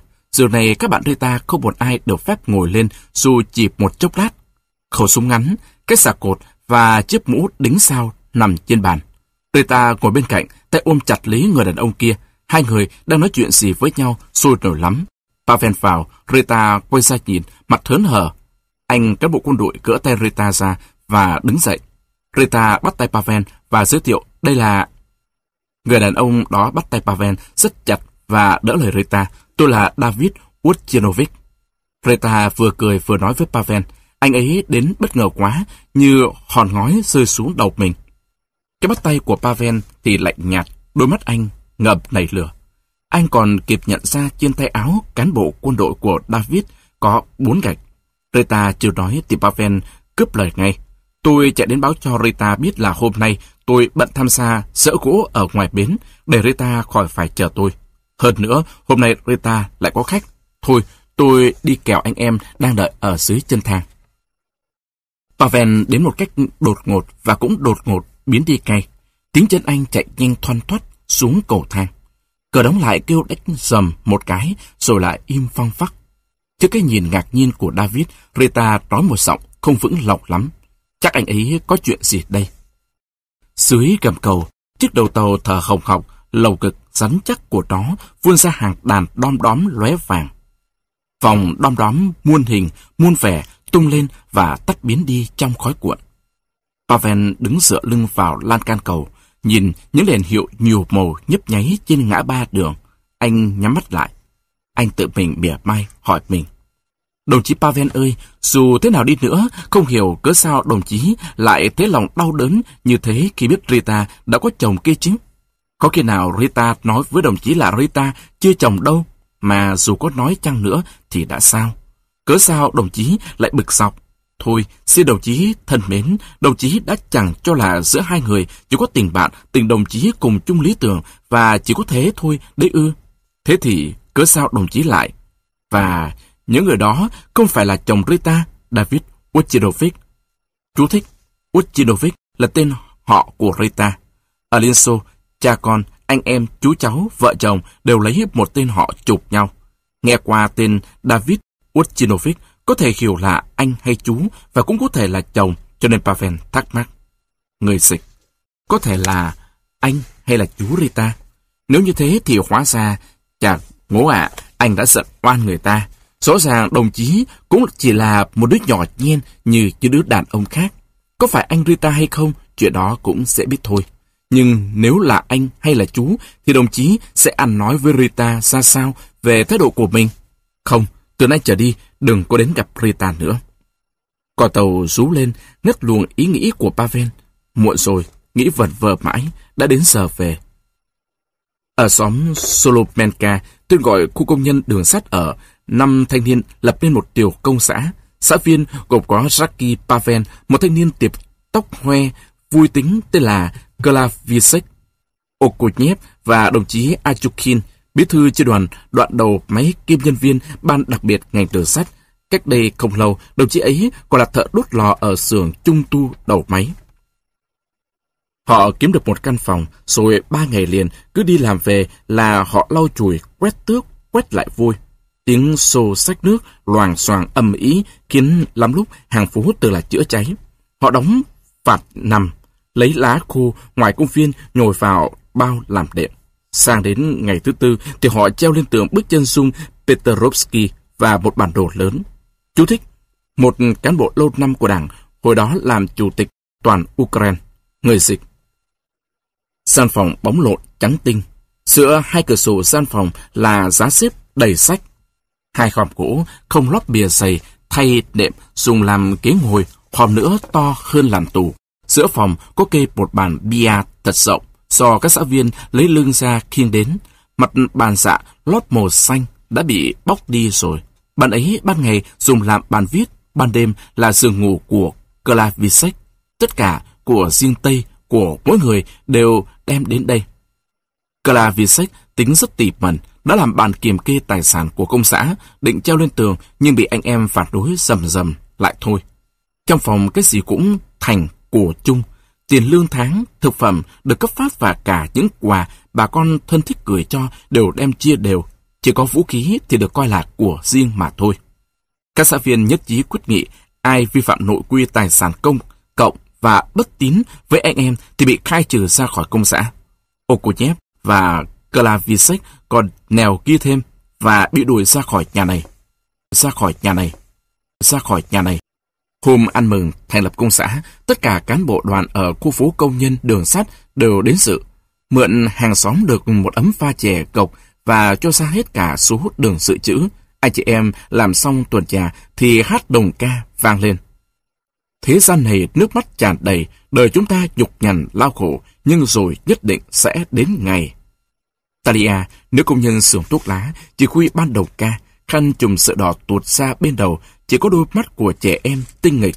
Chưa ai được ghé sát nhìn gần vào cặp mắt ấy, cái cười của Taria làm ai cũng vui lây. Cô thợ làm hộp này nhìn đời qua tuổi trẻ đang nở hoa, nhìn đời trên bậc thang của tuổi 18. Tay Talia đánh nhịp vung lên và điệp khúc vang như tiếng kẹt đầu. Bài ca ta bay xa, bay khắp bốn phương, ngọn cờ ta phấp phới khắp thế gian, đấy là máu đào của ta rực cháy, in trên cờ đỏ thấm sáng chói. Khuya lắm, họ mới chia tay ra về, tiếng hát chia tay vang lên rộn rã, làm mất sức hàng phố đang yên ngủ. Jackie choài tay ra với ống nghe dây trói. Trong phòng đồng chí bí thư phụ trách này, anh chị em đoàn viên đứng chật, chuyện ồn ào, Jackie phải kêu lên. Các cậu ơi, khẽ một chút, chẳng còn nghe thấy gì cả. Tiếng chuyện trò hạ thấp hẳn giọng xuống. Tôi kể đây, đồng chí đấy à? Vâng, vâng, ngay bây giờ, chương trình họp à? Vẫn vấn đề ấy, vấn đề dỡ củi ngoài bến. Không, cậu ta không đi công tác đâu cả, đang ở đây, có muốn gọi cậu ta không? Được, chờ nhé. Jackie vẫy gọi Pavel. Nữ đồng chí Rita Uchinovic hỏi cậu, và anh chuyển ống nghe cho Pavel. Rita cứ tưởng là Pavel không có đấy. May quá, tối nay Rita không bận. Đến nhé. Hôm trước anh Rita đi qua sẽ vào chơi, anh em đã hai năm nay mới gặp nhau đấy. Hóa ra là anh Rita. Pavel không còn để tai nghe Rita nói những gì nữa. Anh nghĩ đến buổi tối hôm ấy, nghĩ đến điều mà lòng anh đã quyết định lúc đứng trên cầu. Ừ, ngay hôm nay phải đến gặp Rita và tuyên bố cắt đứt. Tình yêu bắt phải kỹ ngợi nhiều và kia ra khá là đau đớn cho lòng. Lúc này không phải là lúc nghĩ đến yêu. Tiếng bên kia, ông nói, sao thế Pavel không nghe rõ Rita nói phải không? Có, đang nghe, đồng ý, họp xong sẽ đến. Nói rồi, bỏ ống nói xuống.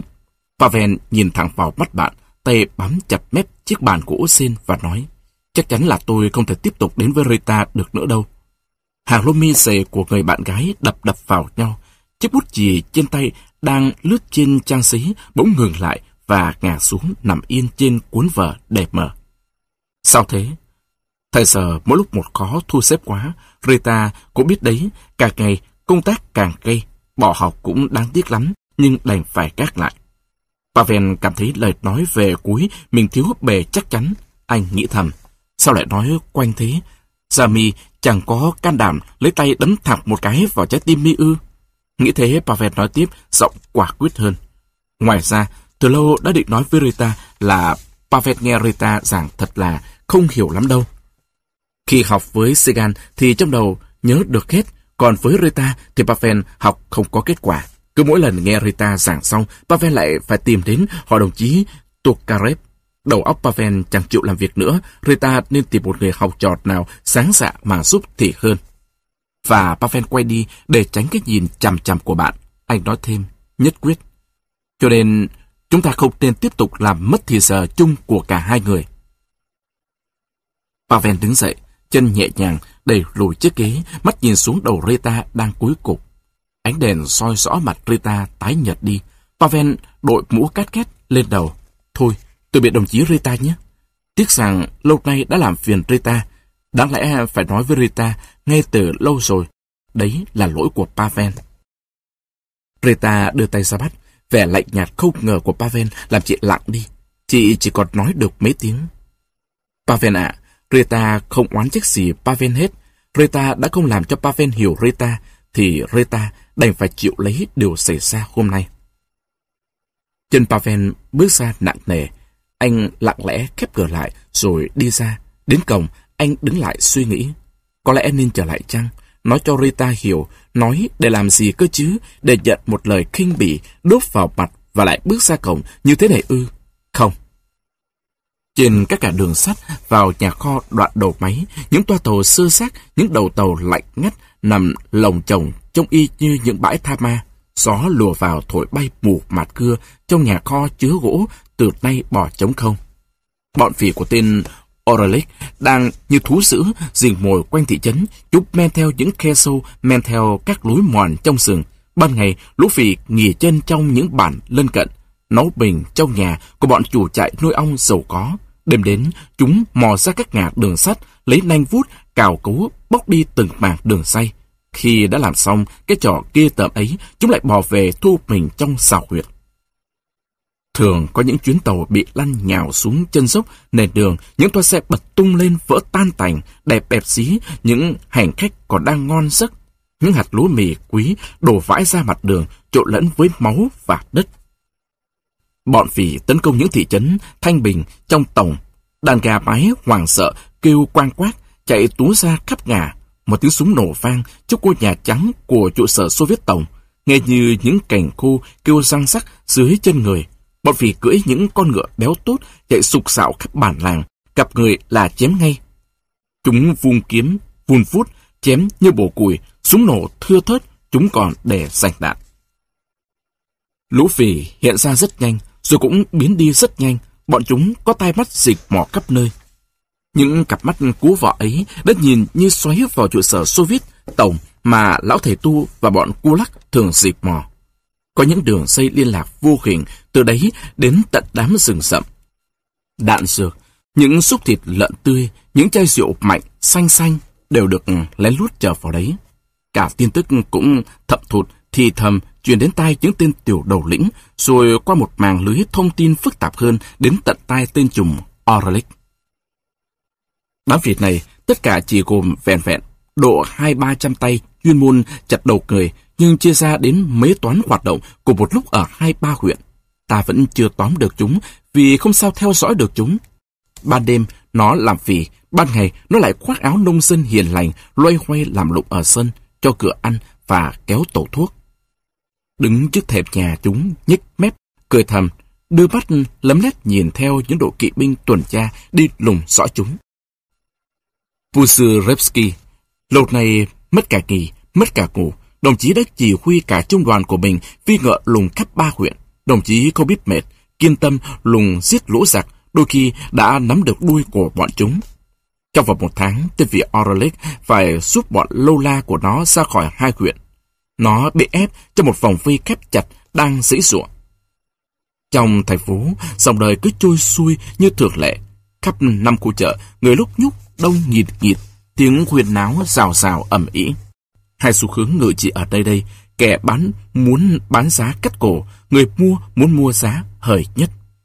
Bọn bịp bợm đủ loại tha hồ mà trổ tài đánh xoáy. Có đến hàng trăm đứa lùi lũi, dìm bò như một đàn dẹp, cử chỉ nhanh thoăn thoắt, cứ nhìn mắt chúng, người ta có thể biết được đủ mọi tính tình, trừ bản chất làm ăn lương thiện. Cả lũ cặn bã của thành phố đều tụ tập ở đây như bu vào một đống phân với mục đích duy nhất, xoay của những ai lỡ ngớ mới đến. Những chuyến tàu thưa chạy đến như cạc ra bên đường, hàng đám người tay sách, lưng đeo nặng chịu những bao với bị. Bọn họ đều đi đến các nhà chợ này. Chiều tối, chợ nào cũng vắng tanh. Những phố buôn bán, những dãy cửa hàng tối om trông chẳng khác gì những phố hoang. Họa hoàn mới có những tay cứng bóng vía ban đêm dám mạo hiểm đi vào khu phố chết này. Nơi đây, mỗi căn phố lặng ngắt đều như có quân bất lương nấp sẵn và sắp sửa sổ ra hăm dọa. Đêm đêm lại hay có tiếng súng nổ đánh đẹt một cái, nghe như tiếng búa đập vào mảnh tôn, rồi có tiếng người kêu ú ớ, máu sặc trong họng. Và chờ cho đến lúc mấy anh công an ở các đồn gần đấy cùng chạy đến, họ không dám đi từng người một, thì ngoài cái xác người còn đang sẫy chết ra, chẳng còn thấy bóng một ai. Bọn giết người đã đi xa rồi và tiếng nổ làm những người còn đi chơi đêm lánh cho xa khu phố chợ. Phía trước là dạp chiếu bóng Orignon. ánh điện ờ, uh, rải trên đường phố và vỉa hè. Công chúng đang chen chúc nhau ở đấy. Trong dạp máy chiếu phim lẹt xẹt, trên màn ảnh, những cặp tịch nhân bất hạnh giết lẫn nhau và mỗi lần phim đứt, người xem lại la ó dữ dội. Ở khu trung tâm và ở các ngoại ô, cuộc sống xem ra như không đi chệch vết xe cũ. Và ngay ở tỉnh ủy, nơi đầu não của chính quyền cách mạng này, mọi sự vẫn trôi theo dòng thường lệ. Song đấy chỉ là vẻ yên tĩnh bề ngoài. Cơn bão táp đang chín mùi, sắp nổ ra giữa thành phố. Có nhiều kẻ biết cơn bão táp sắp đến, chúng là những kẻ từ các nơi kéo lên tỉnh, số không kín khẩu súng trường trong tà áo dài nông dân. Chúng quả là những đứa xà sạc làm bọn con buôn đầu cơ lương thực, ngồi trên máy các toa xe lửa đến đây. Đáng lẽ đi tới chợ lại mang những bao bì ấy đến những địa chỉ mà chúng nhớ như in trong óc. Bọn chúng thì biết rõ, còn các xóm thợ và ngay cả những người buôn xe viết thì lại không hay gì về cơn sông tố đang kéo đến gần.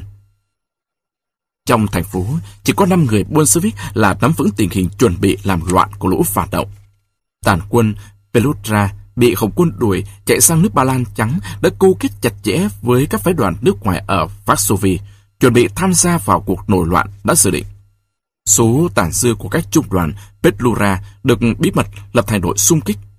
Bọn đầu sò phiến loạn của chúng cũng có bộ phận ở Sepetovka nữa, gồm 47 tên, phần lớn là những tên tích cực phản cách mạng mà trước đây Ủy ban đặc biệt địa phương vì cả tin nên đã tha bổng chúng.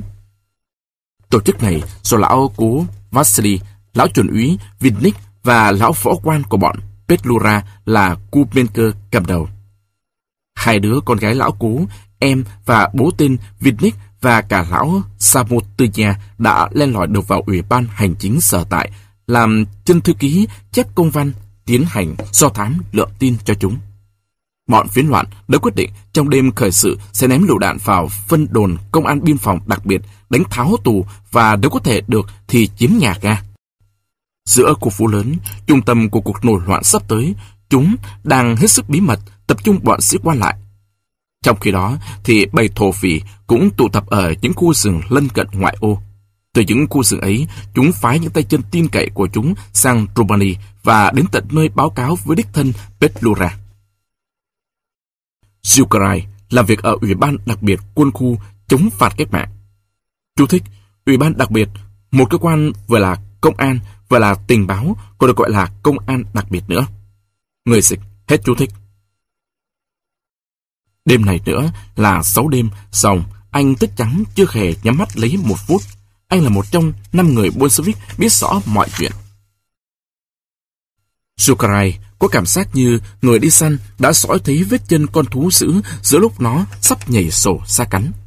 Xong biết mà không thể kêu lên, không thể báo động được, phải đập chết con ác thú, có đập chết tươi nó mới có thể yên ổn làm ăn được, đi đâu khỏi phải nơm nớp nhìn từng bụi rậm. Cần nhất đừng làm cho con thú dữ kia kinh động. Trong trận từ chiến này, chiến sĩ phải có trí sáng suốt, lòng kiên tĩnh và cánh tay vững mạnh mới đảm bảo được thắng lợi. Ngày ấy, giờ ấy sắp đến nơi rồi. Tại một nơi nào đó ở thành phố, trong ngóc ngách của tổ chức bí mật của chúng, bọn chúng đã họp kín với nhau quyết định đêm mai.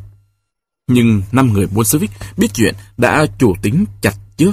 Không, phải ra tay ngay hôm nay, ngay đêm nay. Lúc tối, một chuyến xe lửa bọc sắt lặng lẽ không kéo còi từ từ chạy ra khỏi nhà ga và xe vừa ra khỏi cổng lớn nhà kho khép ngay lại, im ắng như không. Các đường dây điện báo trực tiếp hối hả truyền những bức mật điện, những hàng chữ số đo bay đến đâu là bộ đội biên phòng ở đấy quên cả củ chóc cho tiệt ổ thú dữ. Akim gọi dây nói cho Saki. Các hội nghị chi bộ đã triệu tập xong chưa? Thế nào tốt? Đồng chí cùng với đồng chí bí thư đảng ủy khu phố lại họp ngay nhé. Vấn đề tiếp tế củi thế mà trầm trọng hơn ta từ đấy. Đến đây ta sẽ bàn. Jackie nghe Soko nói nhanh với giọng quả quyết của Akim vừa đặt ống nói xuống, vừa cọc nhau. Vẫn vấn đề củi, còn lật điên đầu với nó. Hai người bí thư đảng và đoàn từ trong chiếc xe của anh lái Litke bước ra. Lên đến tầng 2, họ hiểu ngay không phải vấn đề củi. Một khẩu súng máy Maxim nằm trên bàn giấy đồng chí phụ trách. Các chiến sĩ súng máy của đơn vị đặc công đang tiếu thích chung quanh. Ngoài hành lang, những đảng viên và đoàn viên trung kiên của thành phố lặng lẽ đứng gác. Trong phòng làm việc của đồng chí bí thư tỉnh ủy, cuộc họp bất thường của ban thường vụ sắp sửa kết thúc. Đường dây từ ngoài phố mắc qua cửa sổ con nối với hai máy nối kiểu sụp khi hành quân. Người ta thì thầm nói chuyện với nhau, Saki gặp Akim, Rita và Michaelo ở trong phòng. Rita mặc quân phục, như hồi còn làm chính trị viên đại đội, mũ Burioni, váy kaki, thắt lưng đeo súng, mua xe, nặng chịu. Jackie sửng sốt hỏi, thế này kể là thế nào? Rita nói cho anh biết, tập báo động đấy, Jackie ạ, chốc nữa tất cả sẽ đến khu phố đồng chí. Có hiệu lệnh là tập hợp ở trường lục quân thứ năm. Anh chị em họp chi bộ xong thì cứ đến thẳng đấy ngay. Chủ yếu là tập hợp thế nào cho không ai để ý đến mình. Im lặng bao trùm khu rừng, học sinh quân. Chú thích, thời trước ở đây có trường học sinh quân của chính phủ Nga Hoàng nên gọi là rừng học sinh quân. Người dịch. Hết chú thích. Hàng cây sen đại thụ đứng yên không lay động. Mặt nước ao tù phủ đầy những mảng bèo đang yên hù. Những lối đi rộng kín cỏ, giữa rừng, sau bức tường trắng cao là những tòa nhà của trường học sinh quân. Trước kia, ngày nay là trường lục quân thứ năm của Hồng quân. Đêm đã khuya, tật nhà trên không thắp đèn sáng, đứng ngoài trông vào có vẻ tịch mịch lắm. Ai qua đây cũng tưởng trong mấy tòa nhà này mọi người đang ngủ say. Xong, nếu ngủ thì tại sao hai cánh cửa đúc bằng gang nặng chình chịch lại mở toang ra và ngoài cửa có hai đống lù lù như hai con cóc khổng lồ thế. Người ở khắp các nhà trong khu công nhân đường sắt kéo đến để biết rằng có báo động đêm thì trong trường chẳng ai ngủ đâu. Từ những cuộc họp chi bộ đảng, sau khi được nghe chỉ thị vắn tắt, họ liền đi thẳng đến đây, lặng lặng, không trò chuyện. Họ đi từng người một hay từng đội, nhưng không quá ba người. Trong túi người nào cũng có chứng minh thư trên đề Đảng Cộng sản Bolshevik hoặc Đoàn Thanh niên Cộng sản Ukraine. Có chìa một trong hai giấy chứng nhận đó mới qua được hai cánh cửa đúc bằng can này. Trong phòng họp lớn, người đã đông, gian phòng này thắp đèn sáng, vài bạt che kín các cửa sổ. Những người Bolshevik họp mặt ở đây nói đùa nhau rằng cách tập báo động này có vẻ công thức. Họ thản nhiên hút thuốc như không có chuyện gì xảy ra. Không ai cảm thấy có biến cả. Ai cũng tưởng tập hợp lại như thế chỉ là để kiểm tra tinh thần kỷ luật của các đơn vị công tác đặc biệt mà thôi. Xong, những cựu chiến binh dày kinh nghiệm hơn, vừa bước chân vào cổng trường lục quân đã cảm thấy ngay có một cái gì hoàn toàn không phải là tập báo động cả. Mọi việc đều tiến hành một cách quá lặng lẽ. Theo tiếng hô khe khẽ, từng trung đội học viên sĩ quan im lặng xếp thành hàng ngũ và súng máy sách tay họ tiến ra ngoài đường. Ở ngoài nhìn vào, không một ngôi nhà nào có chút ánh đèn. Pavel đến gần Dubave. Khẽ hỏi, có gì nghiêm trọng không Dubava? Dubava đang ngồi ở thành cửa sổ, cạnh một cô con gái mà Pavel chỉ mới thoáng gặp ở nhà Saki hôm kia. Nghe hỏi Dubava vỗ vai Pavel nói đùa. Thế ra cậu lo mất hồn rồi à? Chẳng ngại gì đâu, rồi chúng mình sẽ dạy cậu đánh nhau. À, cậu không quen cô này hay sao? Dubava khất đầu chỉ về phía thiếu nữ kia. Đây là cô Anna. Họ gì? Mình không biết. Còn chức vụ phụ trách cơ sở tuyên truyền. Thiếu nữ nghe lời giới thiệu tinh nghịch của Dubava, đôi mắt nhìn kỹ Pavel, cô vút lại mái tóc tuột ra ngoài khăn quàng màu hoa cà. Cả mắt cô bạn mới bắt gặp mắt Pavel, nhìn nhau không nói mấy giây, đôi mắt cô bạn đen xanh, ánh lên, hơi kiêu kỳ sẽ ánh hàng mi dày mượt. Pavel quay sang nhìn Dubava, cảm thấy mặt mình đỏ lên. Pavel bực mình cau mày và cố nhếch mép mỉm cười, hỏi cô bạn mới. Vậy thì trong hai đồng chí, ai là người đang tuyên truyền thuyết phục ai? Giữa lúc ấy, trong phòng họp có tiếng ồn ào. Đại đội trưởng trèo lên ghế hô lớn. Các đảng viên cộng sản thuộc đại đội thứ nhất sắp đội ngũ trong phòng này. Mau lên các đồng chí, mau lên! Vừa lúc ấy, Zukarai, đồng chí chủ tịch ban chấp hành tỉnh và Akim bước vào. Chú thích, ban chấp hành tỉnh giống như ủy ban tỉnh Hồi đó ở Liên Xô, chính quyền từ trung ương trở xuống đều gọi là ban chấp hành. Người dịch, hết chú thích. Cả ba vừa mới tới đây, san phòng chật ních người đứng sắp thành hàng. Đồng chí chủ tịch bước lên chỗ đặt khẩu súng máy thường ngày dùng để tập, giơ tay lên, cất tiếng nói. Các đồng chí, hôm nay chúng ta họp nhau ở đây vì một công việc rất khẩn trương. Việc đó đòi hỏi một tinh thần trách nhiệm cao. Bây giờ thì tôi có thể nói ra điều mà hôm qua chưa thể nói được, vì đấy là một bí mật quân sự quan trọng. Đêm mai, trong thành phố này và các thành phố khác ở Ukraine sẽ nổ ra cuộc nổi loạn của bọn phản cách mạng. Thành phố đã đầy sẫy bọn võ quan trắng, lũ phỉ đã tập trung quanh thành. Một bộ phận của bọn phiến loạn ấy đã chui vào tiểu đoàn thiết giáp của ta làm chân lái xe. Ủy ban đặc biệt của ta đã khám phá ra vụ này và hôm nay chúng tôi huy động tất cả tổ chức đảng và đoàn thanh niên cộng sản tới đây để vũ trang đi dẹp phiến loạn.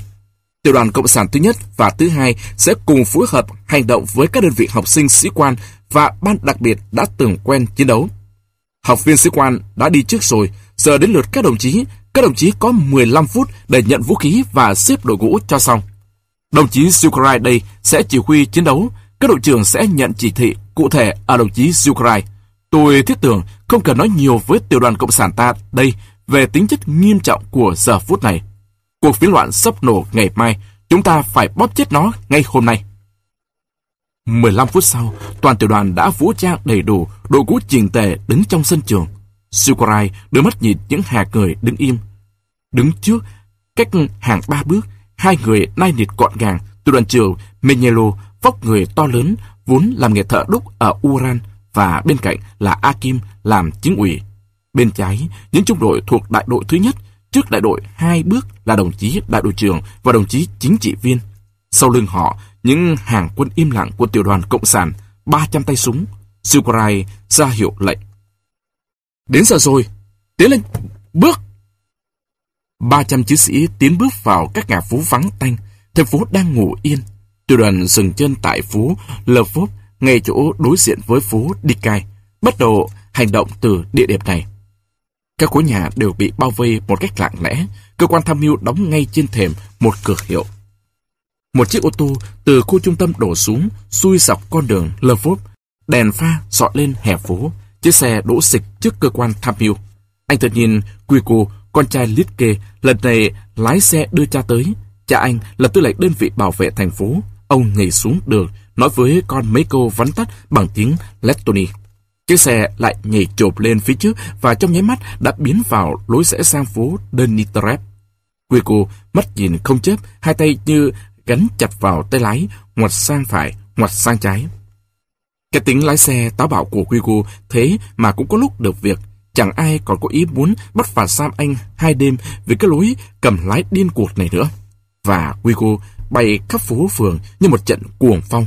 Quico đưa Sukarai thoát từ đầu này thành phố trong nhắm mắt đã vụt đến đầu kia thành phố, làm cho Zucrai cũng phải khen. Quico ạ, nếu đêm nay không chẹt phải ai thì mai cậu sẽ được thưởng một chiếc đồng hồ vàng. Quico mừng quính đáp lại bằng giọng Latoni, lơ lớ của anh. Em thì cứ tưởng là em đến phải ngồi tù 10 ngày vì cái tội lái bạt mạng này mất. Những đòn đầu tiên nhằm sáng vào tổng hành sinh bọn phiến loạn, những tên bị bắt và những tài liệu thu được đưa kê đến ban đặc biệt. Trên phố Zikai, Ờ, ở ngõ cũng mang cái tên lạ lùng ấy. Tại nhà số 1 có một đứa tên là Subeck. Cách nhà nó ở, có cửa sổ, nhìn ra một khu vườn. Vườn này chỉ cách có bức tường ngăn với ngôi nhà trước kia là nhà tu kín. Lúc quân ta đến, thì các nhà không có ai ở đấy. Láng giềng nói là hôm ấy Subeck không về nhà. Khám trong nhà thì thấy có một hòm liệu đạn cùng với bản danh sách có kèm địa chỉ. Đồng chí Litke hạ lệnh phục kích sẵn ở những địa chỉ ấy, cọp mình thì đứng lại bên bàn một phút xét qua những tài liệu tìm được. Người đứng gác ở trong công viên là một học viên sĩ quan trẻ tuổi. Cậu ta trông thấy rõ cửa sổ có ánh sáng, đứng ở trong góc này có một mình thôi, chẳng thú tít nào. Cậu thấy ngại ngại. Người ta ra lệnh cho cậu các bức tường bao phủ khu vườn, nhưng từ chỗ tường đến chỗ ánh sáng yên ổn ở cửa sổ kia còn xa lắm. Hơn nữa, mặt trăng quái ác kia lại cứ bị mây che mờ luôn. Trong bóng túi bụi cây nào cũng như có người trong ấy. Cậu học viên sĩ quan lấy lưỡi lê, dò dẫm quanh mình. Chẳng có gì cả. Sao lại đặt mình gác ở đây? Tường cao thế thì ai mà leo vào được kia chứ? Thôi, mày lại gần cửa sổ ngó vào xem cái đã.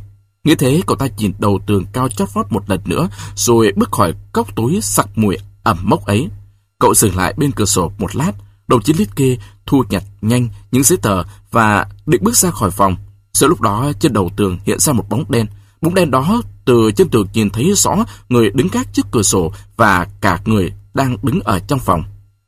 Nhẹ như một con mèo, nó chuyển sang một ngọn cây rồi bò xuống đất, rón rén đến chỗ anh lính gác. Tay nó vung lên và anh học viên sĩ quan quỵ xuống. Lưỡi đoàn kiếm cắm phập vào cổ người gác, lún đến tận cán. Tiếng súng nổ giữa khu vườn đập vào tay các chiến sĩ đang vây quanh khu phố như một luồng điện giật. Sáu người lộp cộp chạy đến. Đồng chí Litke đã chết, xác ngã trong chiếc ghế bành, đầu đẫm máu cục trên bàn. Kính cửa sổ vỡ toang. Cả địch không có thời giờ lấy lại tài liệu. Tiếng nổ tới tấp vang lên ở chân tường khu nhà tu kín. Hung thủ đã nhảy ra phố và chuồn về khoảng đất trống ở đường Lukian. Vừa chạy, hắn vừa bắn trở lại, nhưng thoát sao được, một viên đạn của ta đã bắn theo chúng. Khám xét suốt đêm, hàng trăm người không có tên trong danh sách hộ khẩu nhưng có vũ khí và những tài liệu khả nghi trong người đã bị giải đến ban đặc biệt. Ở đây có bộ phận chuyên môn tra xét. Ở một vài chỗ, bọn phiến loạn đã dùng vũ trang kháng cự. Ở phố Gillian, đồng chí Antosa bị chúng bắn chết giữa lúc ta đang khám xét một nhà. Tiểu đoàn Slomenka đêm ấy mất đi 5 chiến sĩ, ba đặc biệt mất đồng chí Litke, lão đồng chí Bolshevik, người lính gác trung thành và mẫn cán của nước Cộng Hòa. Âm mưu phiến loạn đã bị chặn đứng. Cũng đêm ấy ở Sepetovka, lão cố Vasily, hai con gái và cả bè lũ nhà hắn đã bị bắt. Tình thế quy ngập đã dịu dần. Xong, một kẻ thù mới lại đe dọa thành phố, thiếu cùi, đường xe lửa bị tê liệt và tiếp sau đó là giặc đói và giặc rét. Bánh mì và cùi sẽ quyết định tất cả.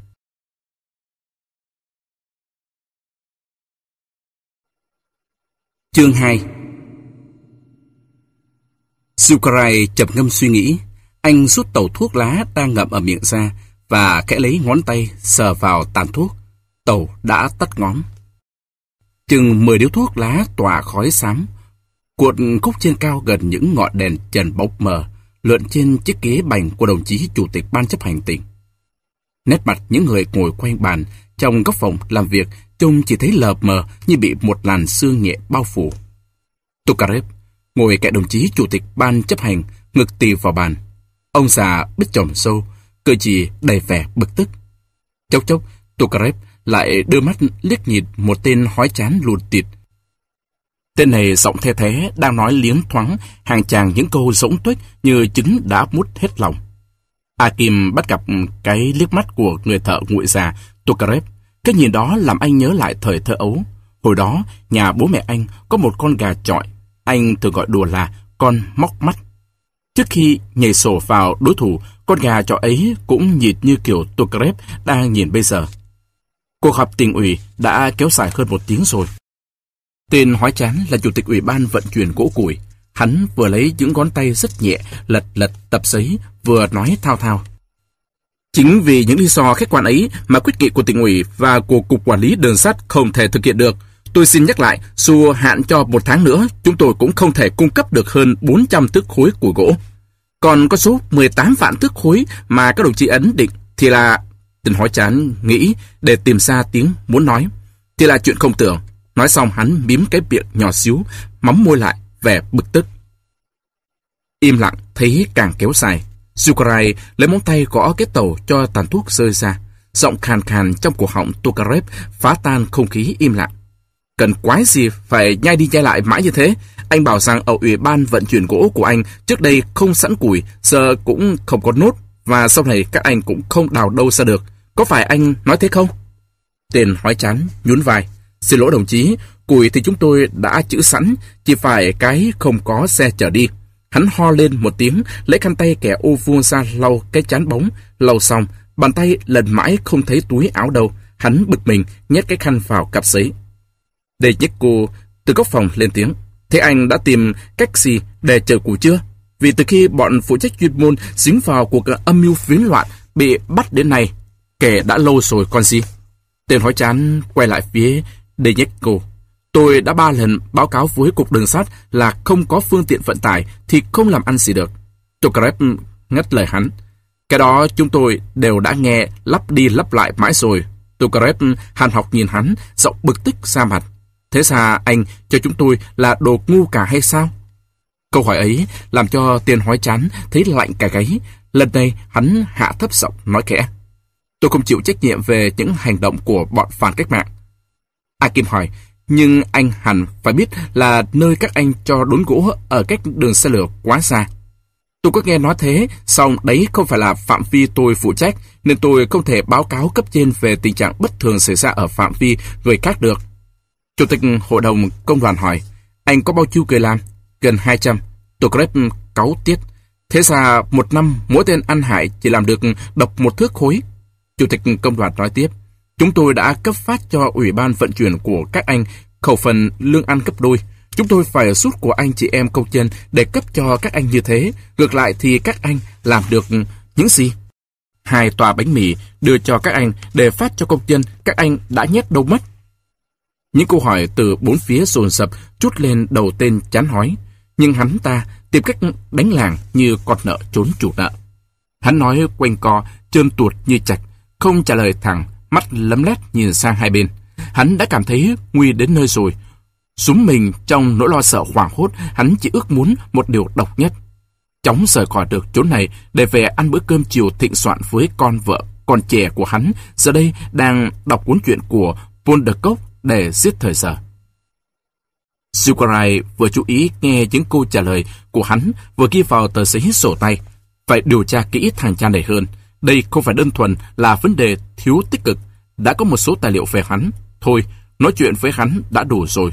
Để hắn cút đi cho sành. Còn chúng ta thì bắt tay vào việc của ta đi thôi. Đồng chí chủ tịch ban chấp hành đọc mảnh giấy kia mấy hàng chữ đó và nhìn Sukarai gật đầu. Sukarai đứng dậy, đi ra phòng ngoài, gọi xe nói. Lúc anh trở vào, chủ tịch ban chấp hành đã đọc đến đoạn cuối của nghị quyết. Cách chức toàn ban phụ trách cơ quan vận chuyển gỗ vì hành động phá hoại hiển nhiên, đưa vụ đốn gỗ này ra tòa. Cơ sự đã không đến nỗi nguy như hắn chờ đợi. Thật ra, cách chức vì phá hoại thì chắc là đặt vấn đề nghi ngờ lòng trung thành của hắn, nhưng đấy chẳng qua là chuyện vặt. Còn việc đốn gỗ ở công trường Bayer Raka thì hắn không phải lo, vì nó không phải phạm vi của hắn. Chà, mình cứ tưởng là tụi nó đã lần ra được manh mối gì rồi kia. Hắn gần như đã yên chí lắm, vừa cho xí má vào cặp vừa nói, phải, tôi là một nhà chuyên môn ngoài đảng, nên các anh có quyền không tin tôi là phải. Nhưng lương tâm tôi trong sạch, tôi không làm được việc chỉ vì thực tế tôi không thể làm nổi thôi. Không ai trả lời hắn, hắn bước xa, vội vã xuống thang gác và mở cửa ra phố, thấy nhẹ nhõm cả người. Một người mặc áo khoác bộ đội hỏi hắn, Vị cho biết tên là gì? Hắn trột dạ, trả lời ấp úng, Zakvinsky. Phần tử lạc loài ấy vừa ra khỏi trong phòng xế của Chủ tịch Ban chấp hành tỉnh 13 cái đầu chụm sát vào nhau trên chiếc bàn lớn. Sukarai ấn ngón tay trên tấm bản đồ mở rộng. Các đồng chí xem, đây là ga Baarka. Cách chỗ lấy gỗ 7 dặm. Ở đấy có 21 vạn thước khối gỗ đang xếp đống. Đội quân lao động đã khó nhọc 8 tháng trời, mất bao nhiêu là công lao động. Kết quả thế nào? Chúng nó đã phản ta, xe lửa và thành phố vẫn không có củi để đốt. Cỗ đốn rồi, phải chở 6 dặm đường nữa mới tới được nhà ga. Muốn thế, phải dùng ít nhất là 5.000 xe ngựa chở suốt một tháng, mà phải chở mỗi ngày hai chuyến mới được. Thôn gần nhất ở đấy cũng cách 15 dặm. Lại phải kết vạ tên Orlik và lũ phỉ lô la của hắn. Luôn quý phá ở những phục này. Các đồng chí có hiểu tình hình như vậy là thế nào không? Thế này đây, theo kế hoạch thì đáng lẽ công trường khai thác gỗ bắt đầu từ đây và làm dần về phía nhà ga. Nhưng quân khốn nạn chúng nó lại vào mãi tận rừng sâu mở công trường. Chúng đã tính sát. Chúng ta không thể nào chờ gỗ đã chặt tới đường sắt được. Thật thế, chúng ta cũng chẳng đào đâu ra lấy trăm chiếc xe ngựa. Chúng đã chơi chúng ta những đòn như thế đấy. Lợi hại chẳng kém gì cái ban bạo động của chúng. Quả đấm nắm chặt của Sukhrai nặng nề rơi chát xuống tấm bản đồ. Cả 13 người đều tưởng tượng thấy rất rõ tai họa đang ập đến, tai họa mà Sukurai không nói ra. Mùa đông đã kể bên cửa, nhà thương, trường học, các cơ quan và hàng trăm nghìn nhân dân lâm vào cảnh gió rét cắt xa mà không củi đốt. Còn ở các nhà ga, hành khách đông như kiến mà xe lửa mỗi tuần chỉ chạy được có một chuyến. Mỗi người suy nghĩ miệt man, Sukurai buông nắm tay ra. Có một biện pháp, các đồng chí ạ, phải làm cho xong trong vòng 3 tháng một con đường sắt nhỏ từ ga tới chỗ đánh gỗ 7 dặm. Tính thế nào để trong một tháng rưỡi thì đã làm được đến đầu chỗ đánh gỗ. Việc này Tôi đã nghĩ 8 ngày nay rồi. Muốn làm được thì...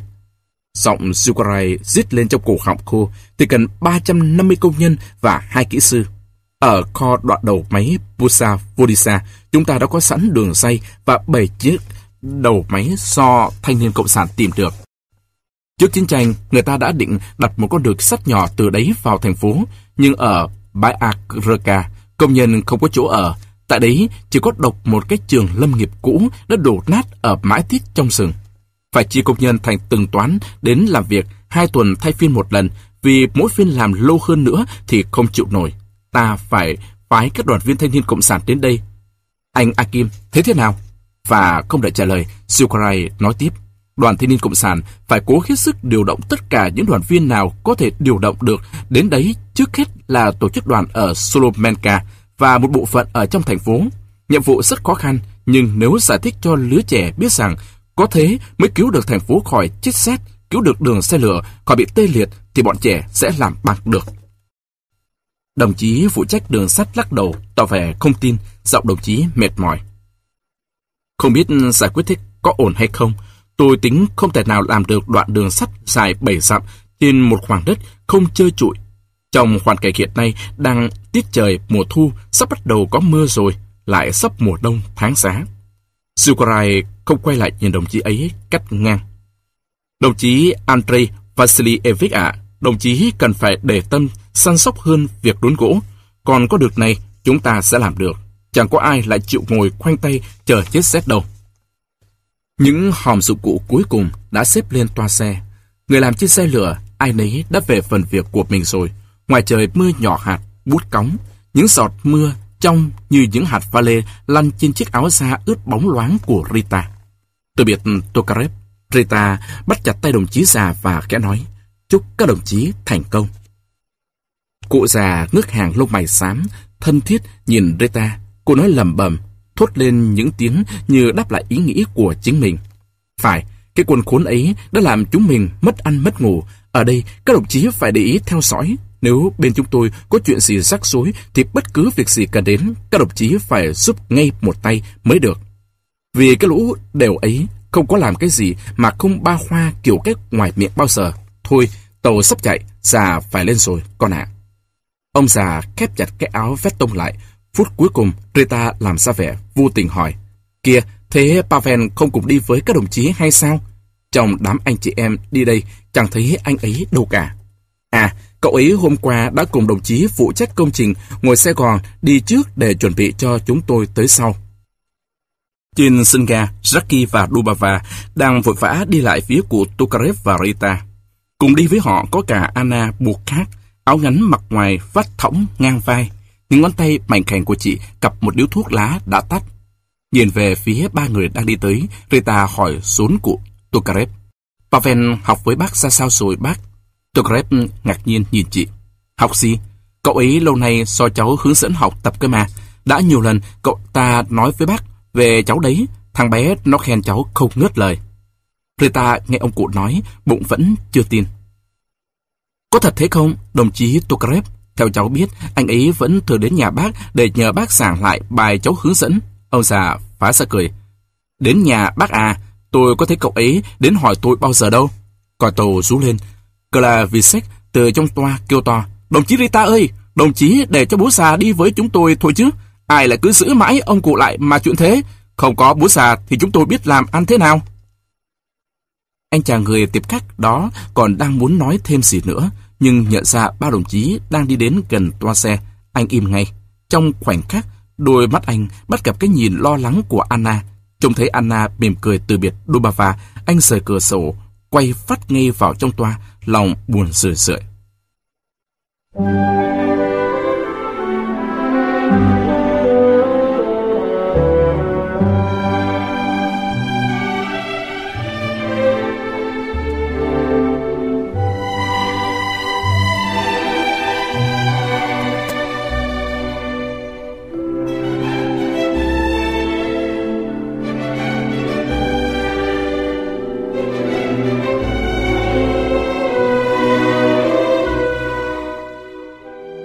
Mưa thu cốt vào mặt người Như đám mây xám nghịt, mọc nước kéo lê thê trên nền trời thấp. Cảnh thu muộn, những cánh rừng đã chút hết lá, hàng cây cổ thụ đứng trao mày, số lớp vỏ nhăn nhiêu dưới màn siêu màu nâu. Mùa thu tạt nhẫn đã lột trần bộ áo sặc sỡ tươi màu của rừng để thân cây đứng trơ trụi và hốc nát. Gà xếp hiu quạnh này nấu mình chính giữa rừng vắng. Từ cây bốc hàng, lát đá mới đắp thêm một dải đất lầy nhầy chạy về phía rừng. Chung quanh, người hì hục làm đông như kiến. Bụt nhầy nhụa, dính lấy mỗi bước đi, ùm ra lội bì bà bì bõm, nghe lớp nhấp khó chịu. Người ta hùng hục xúc đất, đổ nền, xà beng chạm loàng xoàng, cuốc bồ vào đá chan chát. Mưa tuôn như dây bột. Hạt mưa lạnh thấm qua quần áo, mưa đang cuốn đi công trình lao động của con người. Đất thó vữa ra như cháo đặt sệt, cứ từ những chỗ mới đắp tuôn xuống. Quần áo bị ướt sũng, vừa nặng vừa lạnh buốt, nhưng ngày này qua ngày khác, người ta vẫn cố làm xuống đến tận tối biệt mới nghỉ tay. Giả đất mới đắp mỗi ngày một chui thêm mãi vào rừng sâu. Cách nhà ga không xa, ngôi nhà đá sừng sững đứng chơ xương trông dữ tợn. Những thứ gì có thể dỡ được, tháo được hoặc phá được thì đã bị lấy trộm đi từ bao giờ rồi.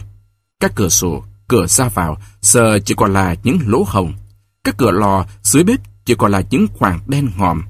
Mái nhà chưa những khe, lỗ để lộ ra kèo cột bên trong. Chỉ có nền nhà bằng bê tông của bốn phòng rộng là còn nguyên thôi. Tối đến, 400 con người quần áo ướt sũng, bê bếp bùn lầy, chen chúc nhau nằm lên đấy, rét run cầm cập. Người ta đứng lại ngoài cửa, vắt quần áo, từng sọc nước bùn đục sò tong tong xuống đất. Họ nguyền rủa trời mưa gió, cảnh lầy lội. Trên ổ sơm dài mỏng dính lên nền bê tông, họ nằm thành hàng san sát, quắp lấy nhau mà ngủ cho ấm.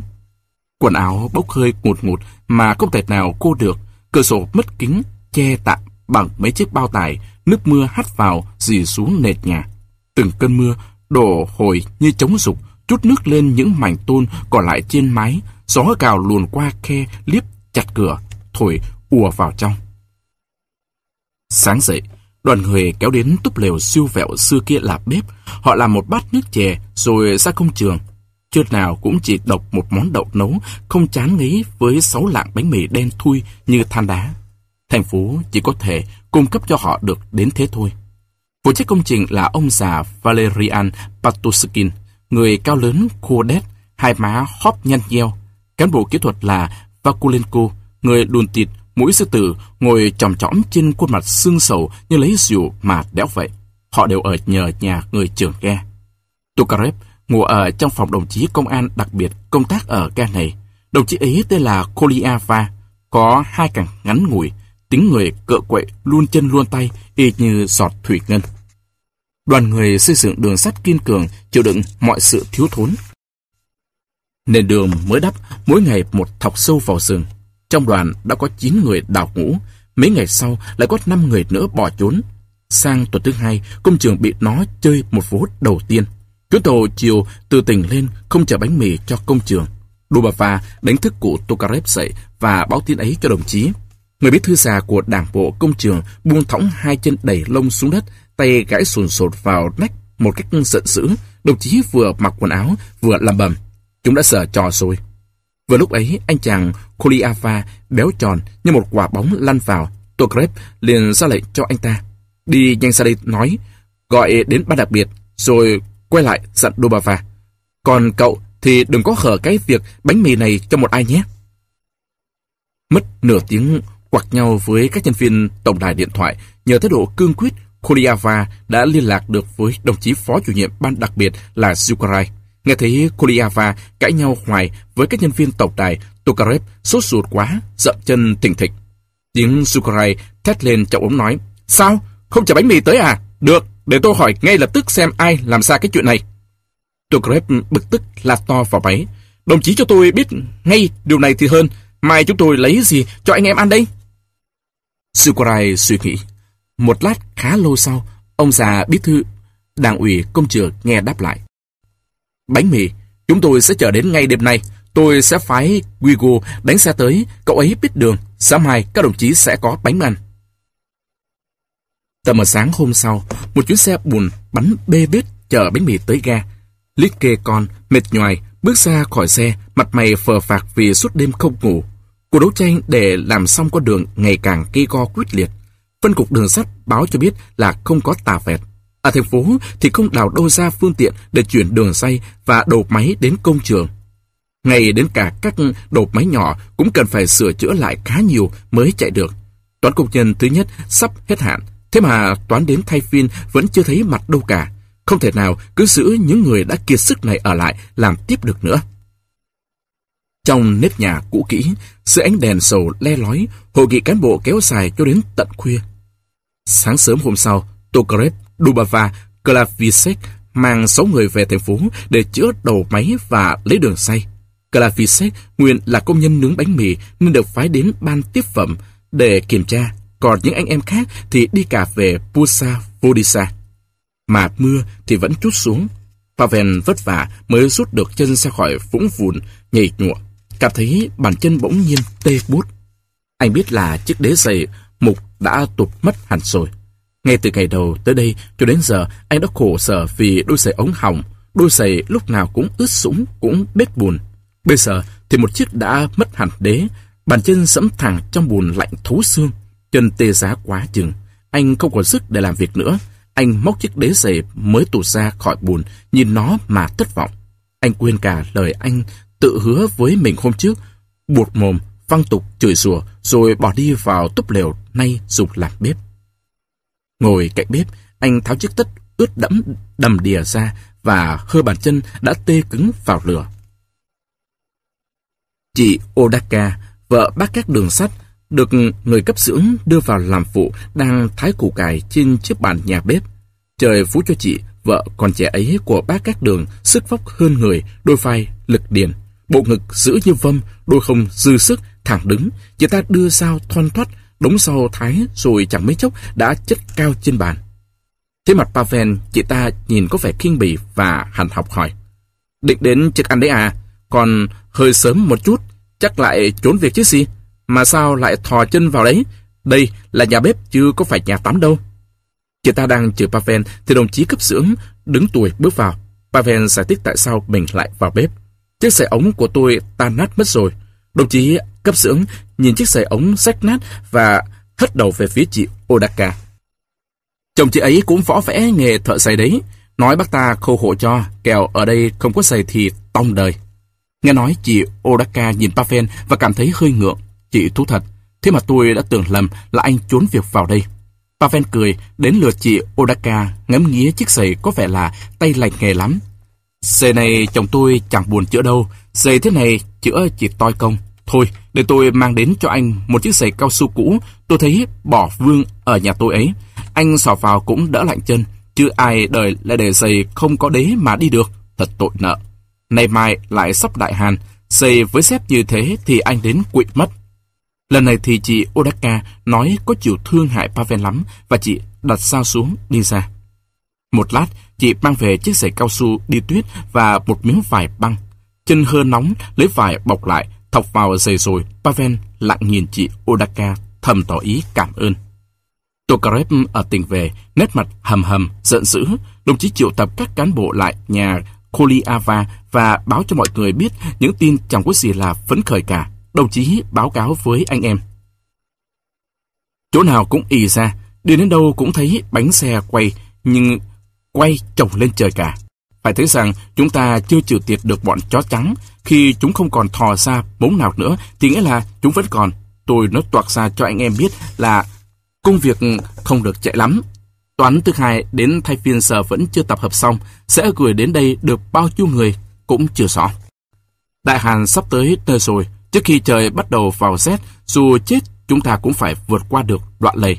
Nếu không, rét đến, có lý răng mà gặp đất cũng không nổi đoạn đường. Ở trên tỉnh, bọn nào làm láo rồi sẽ bị trùy, cẩn thận. Còn chúng ta ở đây phải ra sức lập nhanh gấp đôi mới được. Dù có chết đi chết lại 5 lần cũng phải làm cho xong nhánh đường sắt này. Không xong thì còn mặt mũi nào làm người buôn xe vít nữa. Không xong thì chỉ là một bọn ươn hẹt mà thôi. Tukarev nói, giọng hôm nay không khàn khàn như mọi khi, tiếng cụ rung lên lanh lạch như tiếng thép. Đôi mắt sáng quắc dưới hạt lông mày cao cao đủ tỏ quyết tâm ngoan cường của đồng chí già. Ngày hôm nay chúng ta sẽ họp kín, đánh thông trong nội bộ, ngày mai sẽ đi làm cả, sáng mai thì cho những người ngoài đảng họ về. Còn chúng ta thì ở lại, quyết nghị của tỉnh ủy đây. Tukarev đưa tờ giấy cấp tư cho Pankratov. Nhìn qua vai Pankratov, Pavel thấy trong giấy có những hàng chữ cần thiết sửa lại ở công trường tất cả các đoàn viên cho đến khi nào chờ được chuyến gỗ thứ nhất về mới được thay phiên.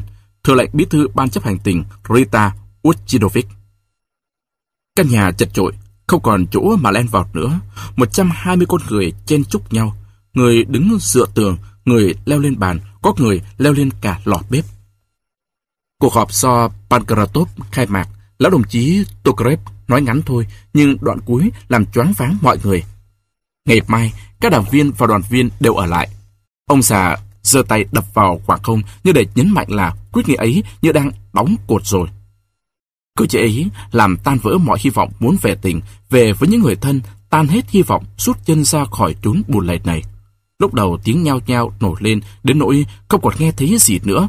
Ngọn đèn dầu nhỏ tí, lay lắt nhưng cũng phần phấp phỏng. Tối quá, không còn trông rõ mặt người, tiếng nói ồn ào mỗi lúc một to. Nhóm này kháo nhau, mơ mộng, gợi lại cảnh gia đình đầm ấm, nhóm kia tức giận kêu mệt nhọc. Có nhiều người không nói gì cả, và chỉ có một người nói ra miệng muốn đào ngũ.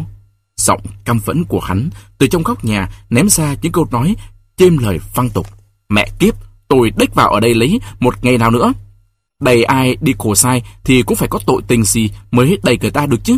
Chúng tôi đây thì có tội gì? Đã giam chúng tôi ở đây nửa tháng, xin đủ lắm rồi. Người ta là cười chứ không phải là sung sụng. Ai quyết định làm chỗ này thì cái ấy tự dẫn xác đến đây mà làm lấy. Ai muốn thì cứ đến mà lăn mình vào đống bùn này. Còn tôi, đời tôi chỉ sống có một lần. Tôi phải giữ lấy thân tôi. Ngay ngày mai là tôi chuồn. Ô đứng ngay trước mặt tên vừa la đó.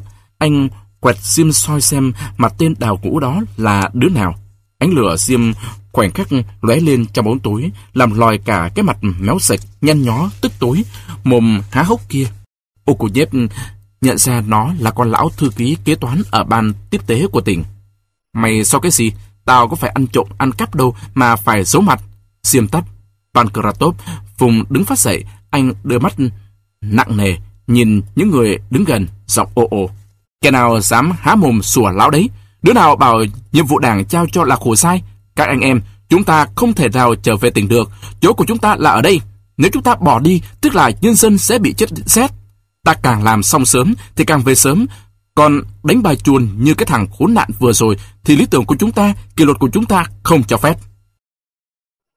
Pankratov, anh công nhân bốc phát, vốn không ưa nói dài, nhưng ngày mấy cô vắn tắt của anh cũng đã lại bị cái giọng ban nãy cắt lời. Người ngoài đảng, ngoài đoàn thì được về phải không? Pankratov trả lời, đốt, được. Tức thì một tên mặc chiếc bành tô ngắn, diện phố, lách tới chỗ bàn. Hắn quăng ra một cái thẻ, cái thẻ như cánh rơi liệng chạm vào ngực Pankratov rồi bắn ra rơi tõm xuống mặt bàn. Thẻ đây, xin các anh cầm lấy hộ, xin phép các anh Chứ vì mảnh biệt này mà tội vào thân thì tôi xin đủ. Hắn chưa dứt lời, tiếng phẫn nộ nhao nhao lên khắp gian nhà. Mày quản cái gì đi đấy? Không biết nhục à? Đồ chó chết, cút đi! Cái thứ bạch ấy chui vào đoàn cốt chỉ để kiếm một chỗ nào ấm cái thân xác. Tống cổ nó đi. Được, rồi chúng tao cho mày chỗ ấm, rõ cái đồ giận tha bệnh thương hàn Tên vừa vứt thẻ đoàn đó cúi cặp mặt lùi lũi bước ra. Hắn đi qua, ai nấy đều giãn ra, nhưng tránh một con bệnh truyền nhiễm. Hắn ra khỏi, cửa đóng kẹt lại. Pankratov vò cái chứng minh thư hắn bỏ, dí vào ngọn đèn dầu. Mạch bìa bốc cháy, tàn quặn lại. Có tiếng súng nổ, từ phía túc nhà tồi tàn, một bóng người cưỡi ngựa phóng trốn vào rừng, biến trong đêm tối. Người từ trong trường học và các nhà đổ ùa ra. Có người đụng phải tấm biển bằng gỗ, dán đút vào kẽ cửa lớn. Người ta quẹt sim và lấy vạt áo che gió. Ánh sim lập lòe, so lên thì đọc thấy mấy chữ. Chúng bay cút ngay khỏi nhà ga này. Ở đâu đến thì lại về đấy ngay lập tức. Kẻ nào ở lại, chúng ông sẽ cho ăn đạn vào sọ. Quân ta sẽ giết sạch, không thạp một mống. Gia hạn cho đến tối mai là cùng, phải tuân lệ này. Dưới có chữ ký đầu lĩnh Senok. Senok là bè đảng Orlik. Trong phòng Rita, cuốn nhật ký của chị đẹp mở trên bàn, mồng hai tháng chạp. Sáng nay, có tuyết đầu mùa rồi, trời lạnh kia người, gặp Vereslav Olsinski ở cầu thang. Mình và anh ta cùng đi ra ngoài, Olsinski nói, tôi bao giờ cũng thích tuyết đầu mùa, trà lạnh, cảnh tuyệt đẹp kia, phải không chị? Mình nghĩ đến công trường ca, nên trả lời anh ta làm mình rét và tuyết chẳng làm mình vui tí nào. Chứ lại chỉ làm mình khổ tâm. Mình nói cho anh ta hiểu vì sao lại thế. Đấy là cách nhìn chủ quan của chị thôi. Nếu phát triển quan điểm của chị thì, chẳng hạn như trong lúc chiến tranh, không thể nào cho phép có tiếng cười và nói chung tất cả những gì biểu hiện vui sống được ư. Nhưng thực tế, có chưa thế đâu chị. Thảm kịch là chỉ ở nơi hỏa tuyến. Ở đấy, mối cảm về cuộc sống luôn luôn bị cái chết kề bên cạnh bóp nghẹt. Nhưng ngay ở đấy vẫn có tiếng cười, còn ở hậu phương, cuộc sống thế nào thì nó vẫn như thế. Tiếng cười và tiếng khóc, đau khổ và mừng vui, khao khát kịch hát, hoan lạc tình cảm, dạo dực tình yêu. Trong những lời của Olsinski, khó mà phân biệt là châm biếm hay nói thật. Olsinski là phái viên của Bộ Dân ủy Ngoại giao, vào đảng từ năm 1917, mặc theo lối phương Tây. Joe bao giờ cũng cạo nhẵn, người lúc nào cũng bôi tí nước hoa. Anh ta ở phòng đồng chí Sepan cùng nhà với bọn mình. Chiều nào cũng đến thăm mình, nói chuyện với anh chàng cũng thấy hay hay. Anh ta đã từng ở Paris lâu, hiểu nhiều về phương Tây, nhưng mình không hề nghĩ rằng anh ta với mình có thể thành bạn thân được. Lý do đối với mình, anh ta trước hết coi mình là một phụ nữ, rồi sau nữa mới là một đồng chí đảng. Thật ra, anh ta không che đậy gì những ý nghĩ, những thèm muốn của anh ta cả. Kể cũng là một tay bạo nói thật. Và cái thú của anh ta cũng không thô bạo đâu. Anh ta khéo nói to, tô vẽ cho nó đẹp. Nhưng mình không ưa anh ta. Tác phòng chấp phát tuy hơi cục cằn của Zukarai làm cho mình dễ gần hơn là cái nước sơn hào nhoáng âu khóa của Olsinski. Nhận được báo cáo ngắn từ Ba A gửi cười về, mỗi ngày đặt được hơn 200 thước đường, tà vẹt đặt ngay trên đất đóng băng, lấy rượu và xà beng khoét đất ấy ra rồi đặt tà vẹt vào đấy. Tất cả chỉ còn 240 người. Toán thứ hai đến thay phiên đã bỏ trốn mất một nửa.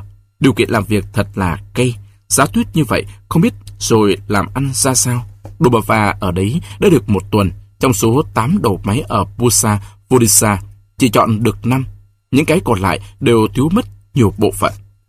Cục quản lý xe điện kiện Dubava vì anh ta cùng toàn đội đã dùng vũ lực giữ tất cả các xe điện đi từ Pusa, Vurisa về tỉnh. Dubava bắt hành khách xuống, lấy toa tàu chở đường say đến công trường, 19 toa xe điện theo đường quanh tỉnh chạy về ga. Công chân xe điện hết sức giúp họ. Ở nhà ga, số đoàn viên thanh niên cộng sản Solomenska còn lại suốt đêm hì khục xếp say đi và Dubava cùng anh em trong đội chở những thanh say về công trường Baia Ruka. Akim gạt đi không xét vụ khiếu nại về Dubava này ở hội nghị thường vụ. Dubava đã trình bày với chúng tôi tình trạng quan liêu lề mề, quá quắt ở cục xe điện. Họ khăng khăng chỉ cho anh hai chiếc tàu điện và nhất định không cho hơn. Túc ta lên lớp Dubava. Thời buổi này phải bỏ tác phong du kích ấy đi.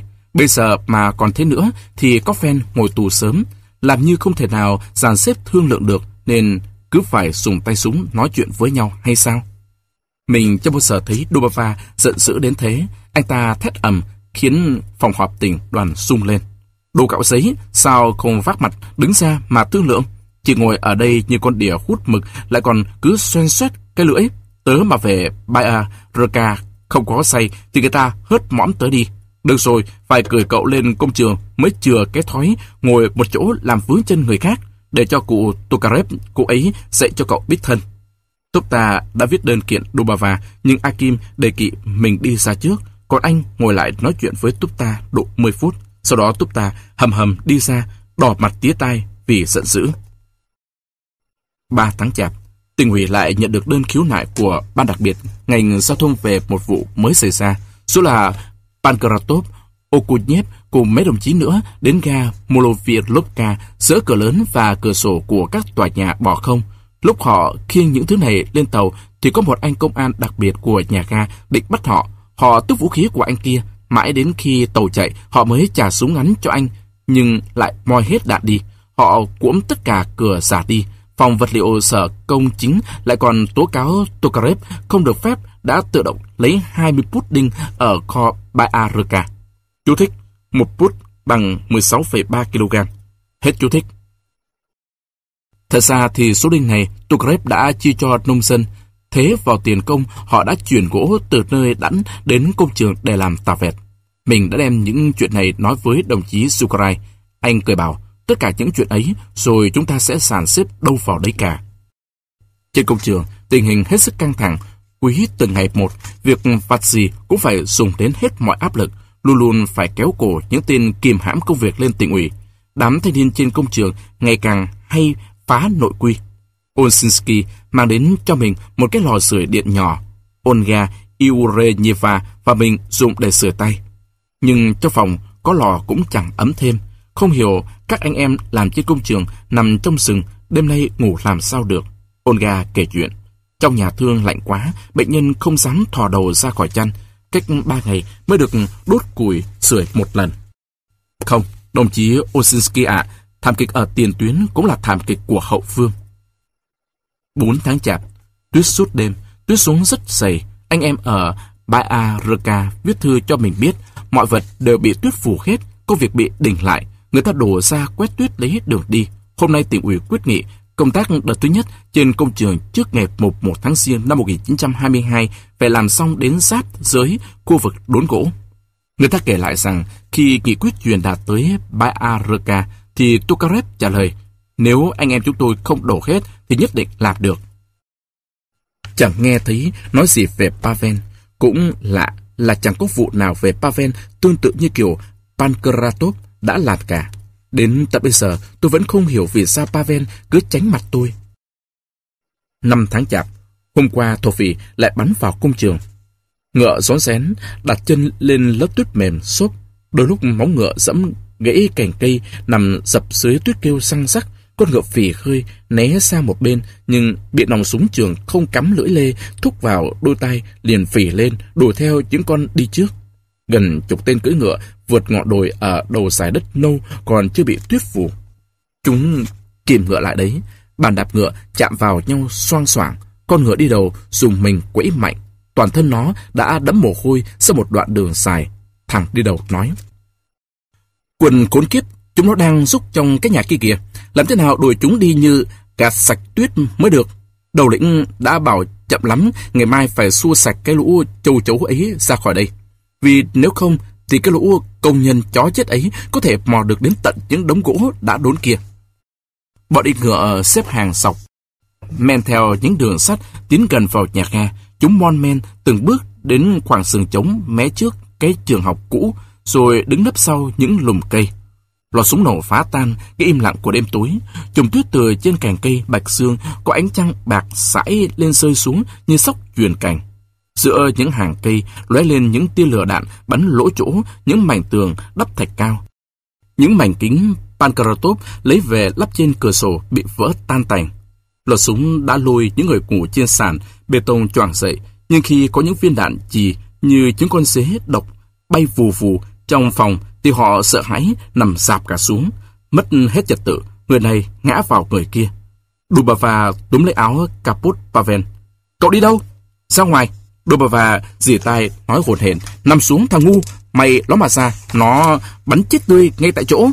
Họ nằm bò sát vào nhau, gần ngưỡng cửa ra vào. Dobova nằm dạp xuống sạt nhà, tay chĩa súng ngắn ra phía ngoài cửa. Pavel ngồi xổm, hồi hộp sờ ổ đạn súng ngắn, có 5 viên tất cả.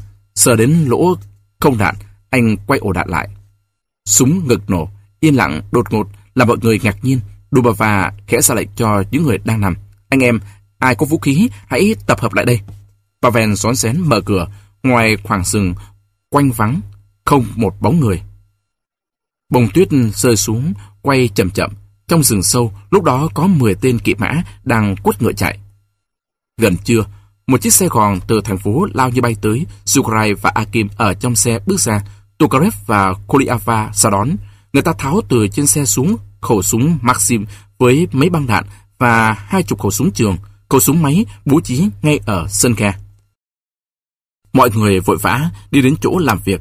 Tà áo capot của Sukarai quét trên mặt đất phủ tuyết, vẽ thành đường ngoằn ngoèo. Anh đi như gấu chạy, người vặn bên này, vặn bên kia, chân hơi quèo. Anh vẫn còn quen cái lối đi ấy như bước trên bong, dập dình của chiếc phóng ngư lôi hạm hồi xưa. Akim, người cao chân dài nên vẫn theo kịp Sukarai.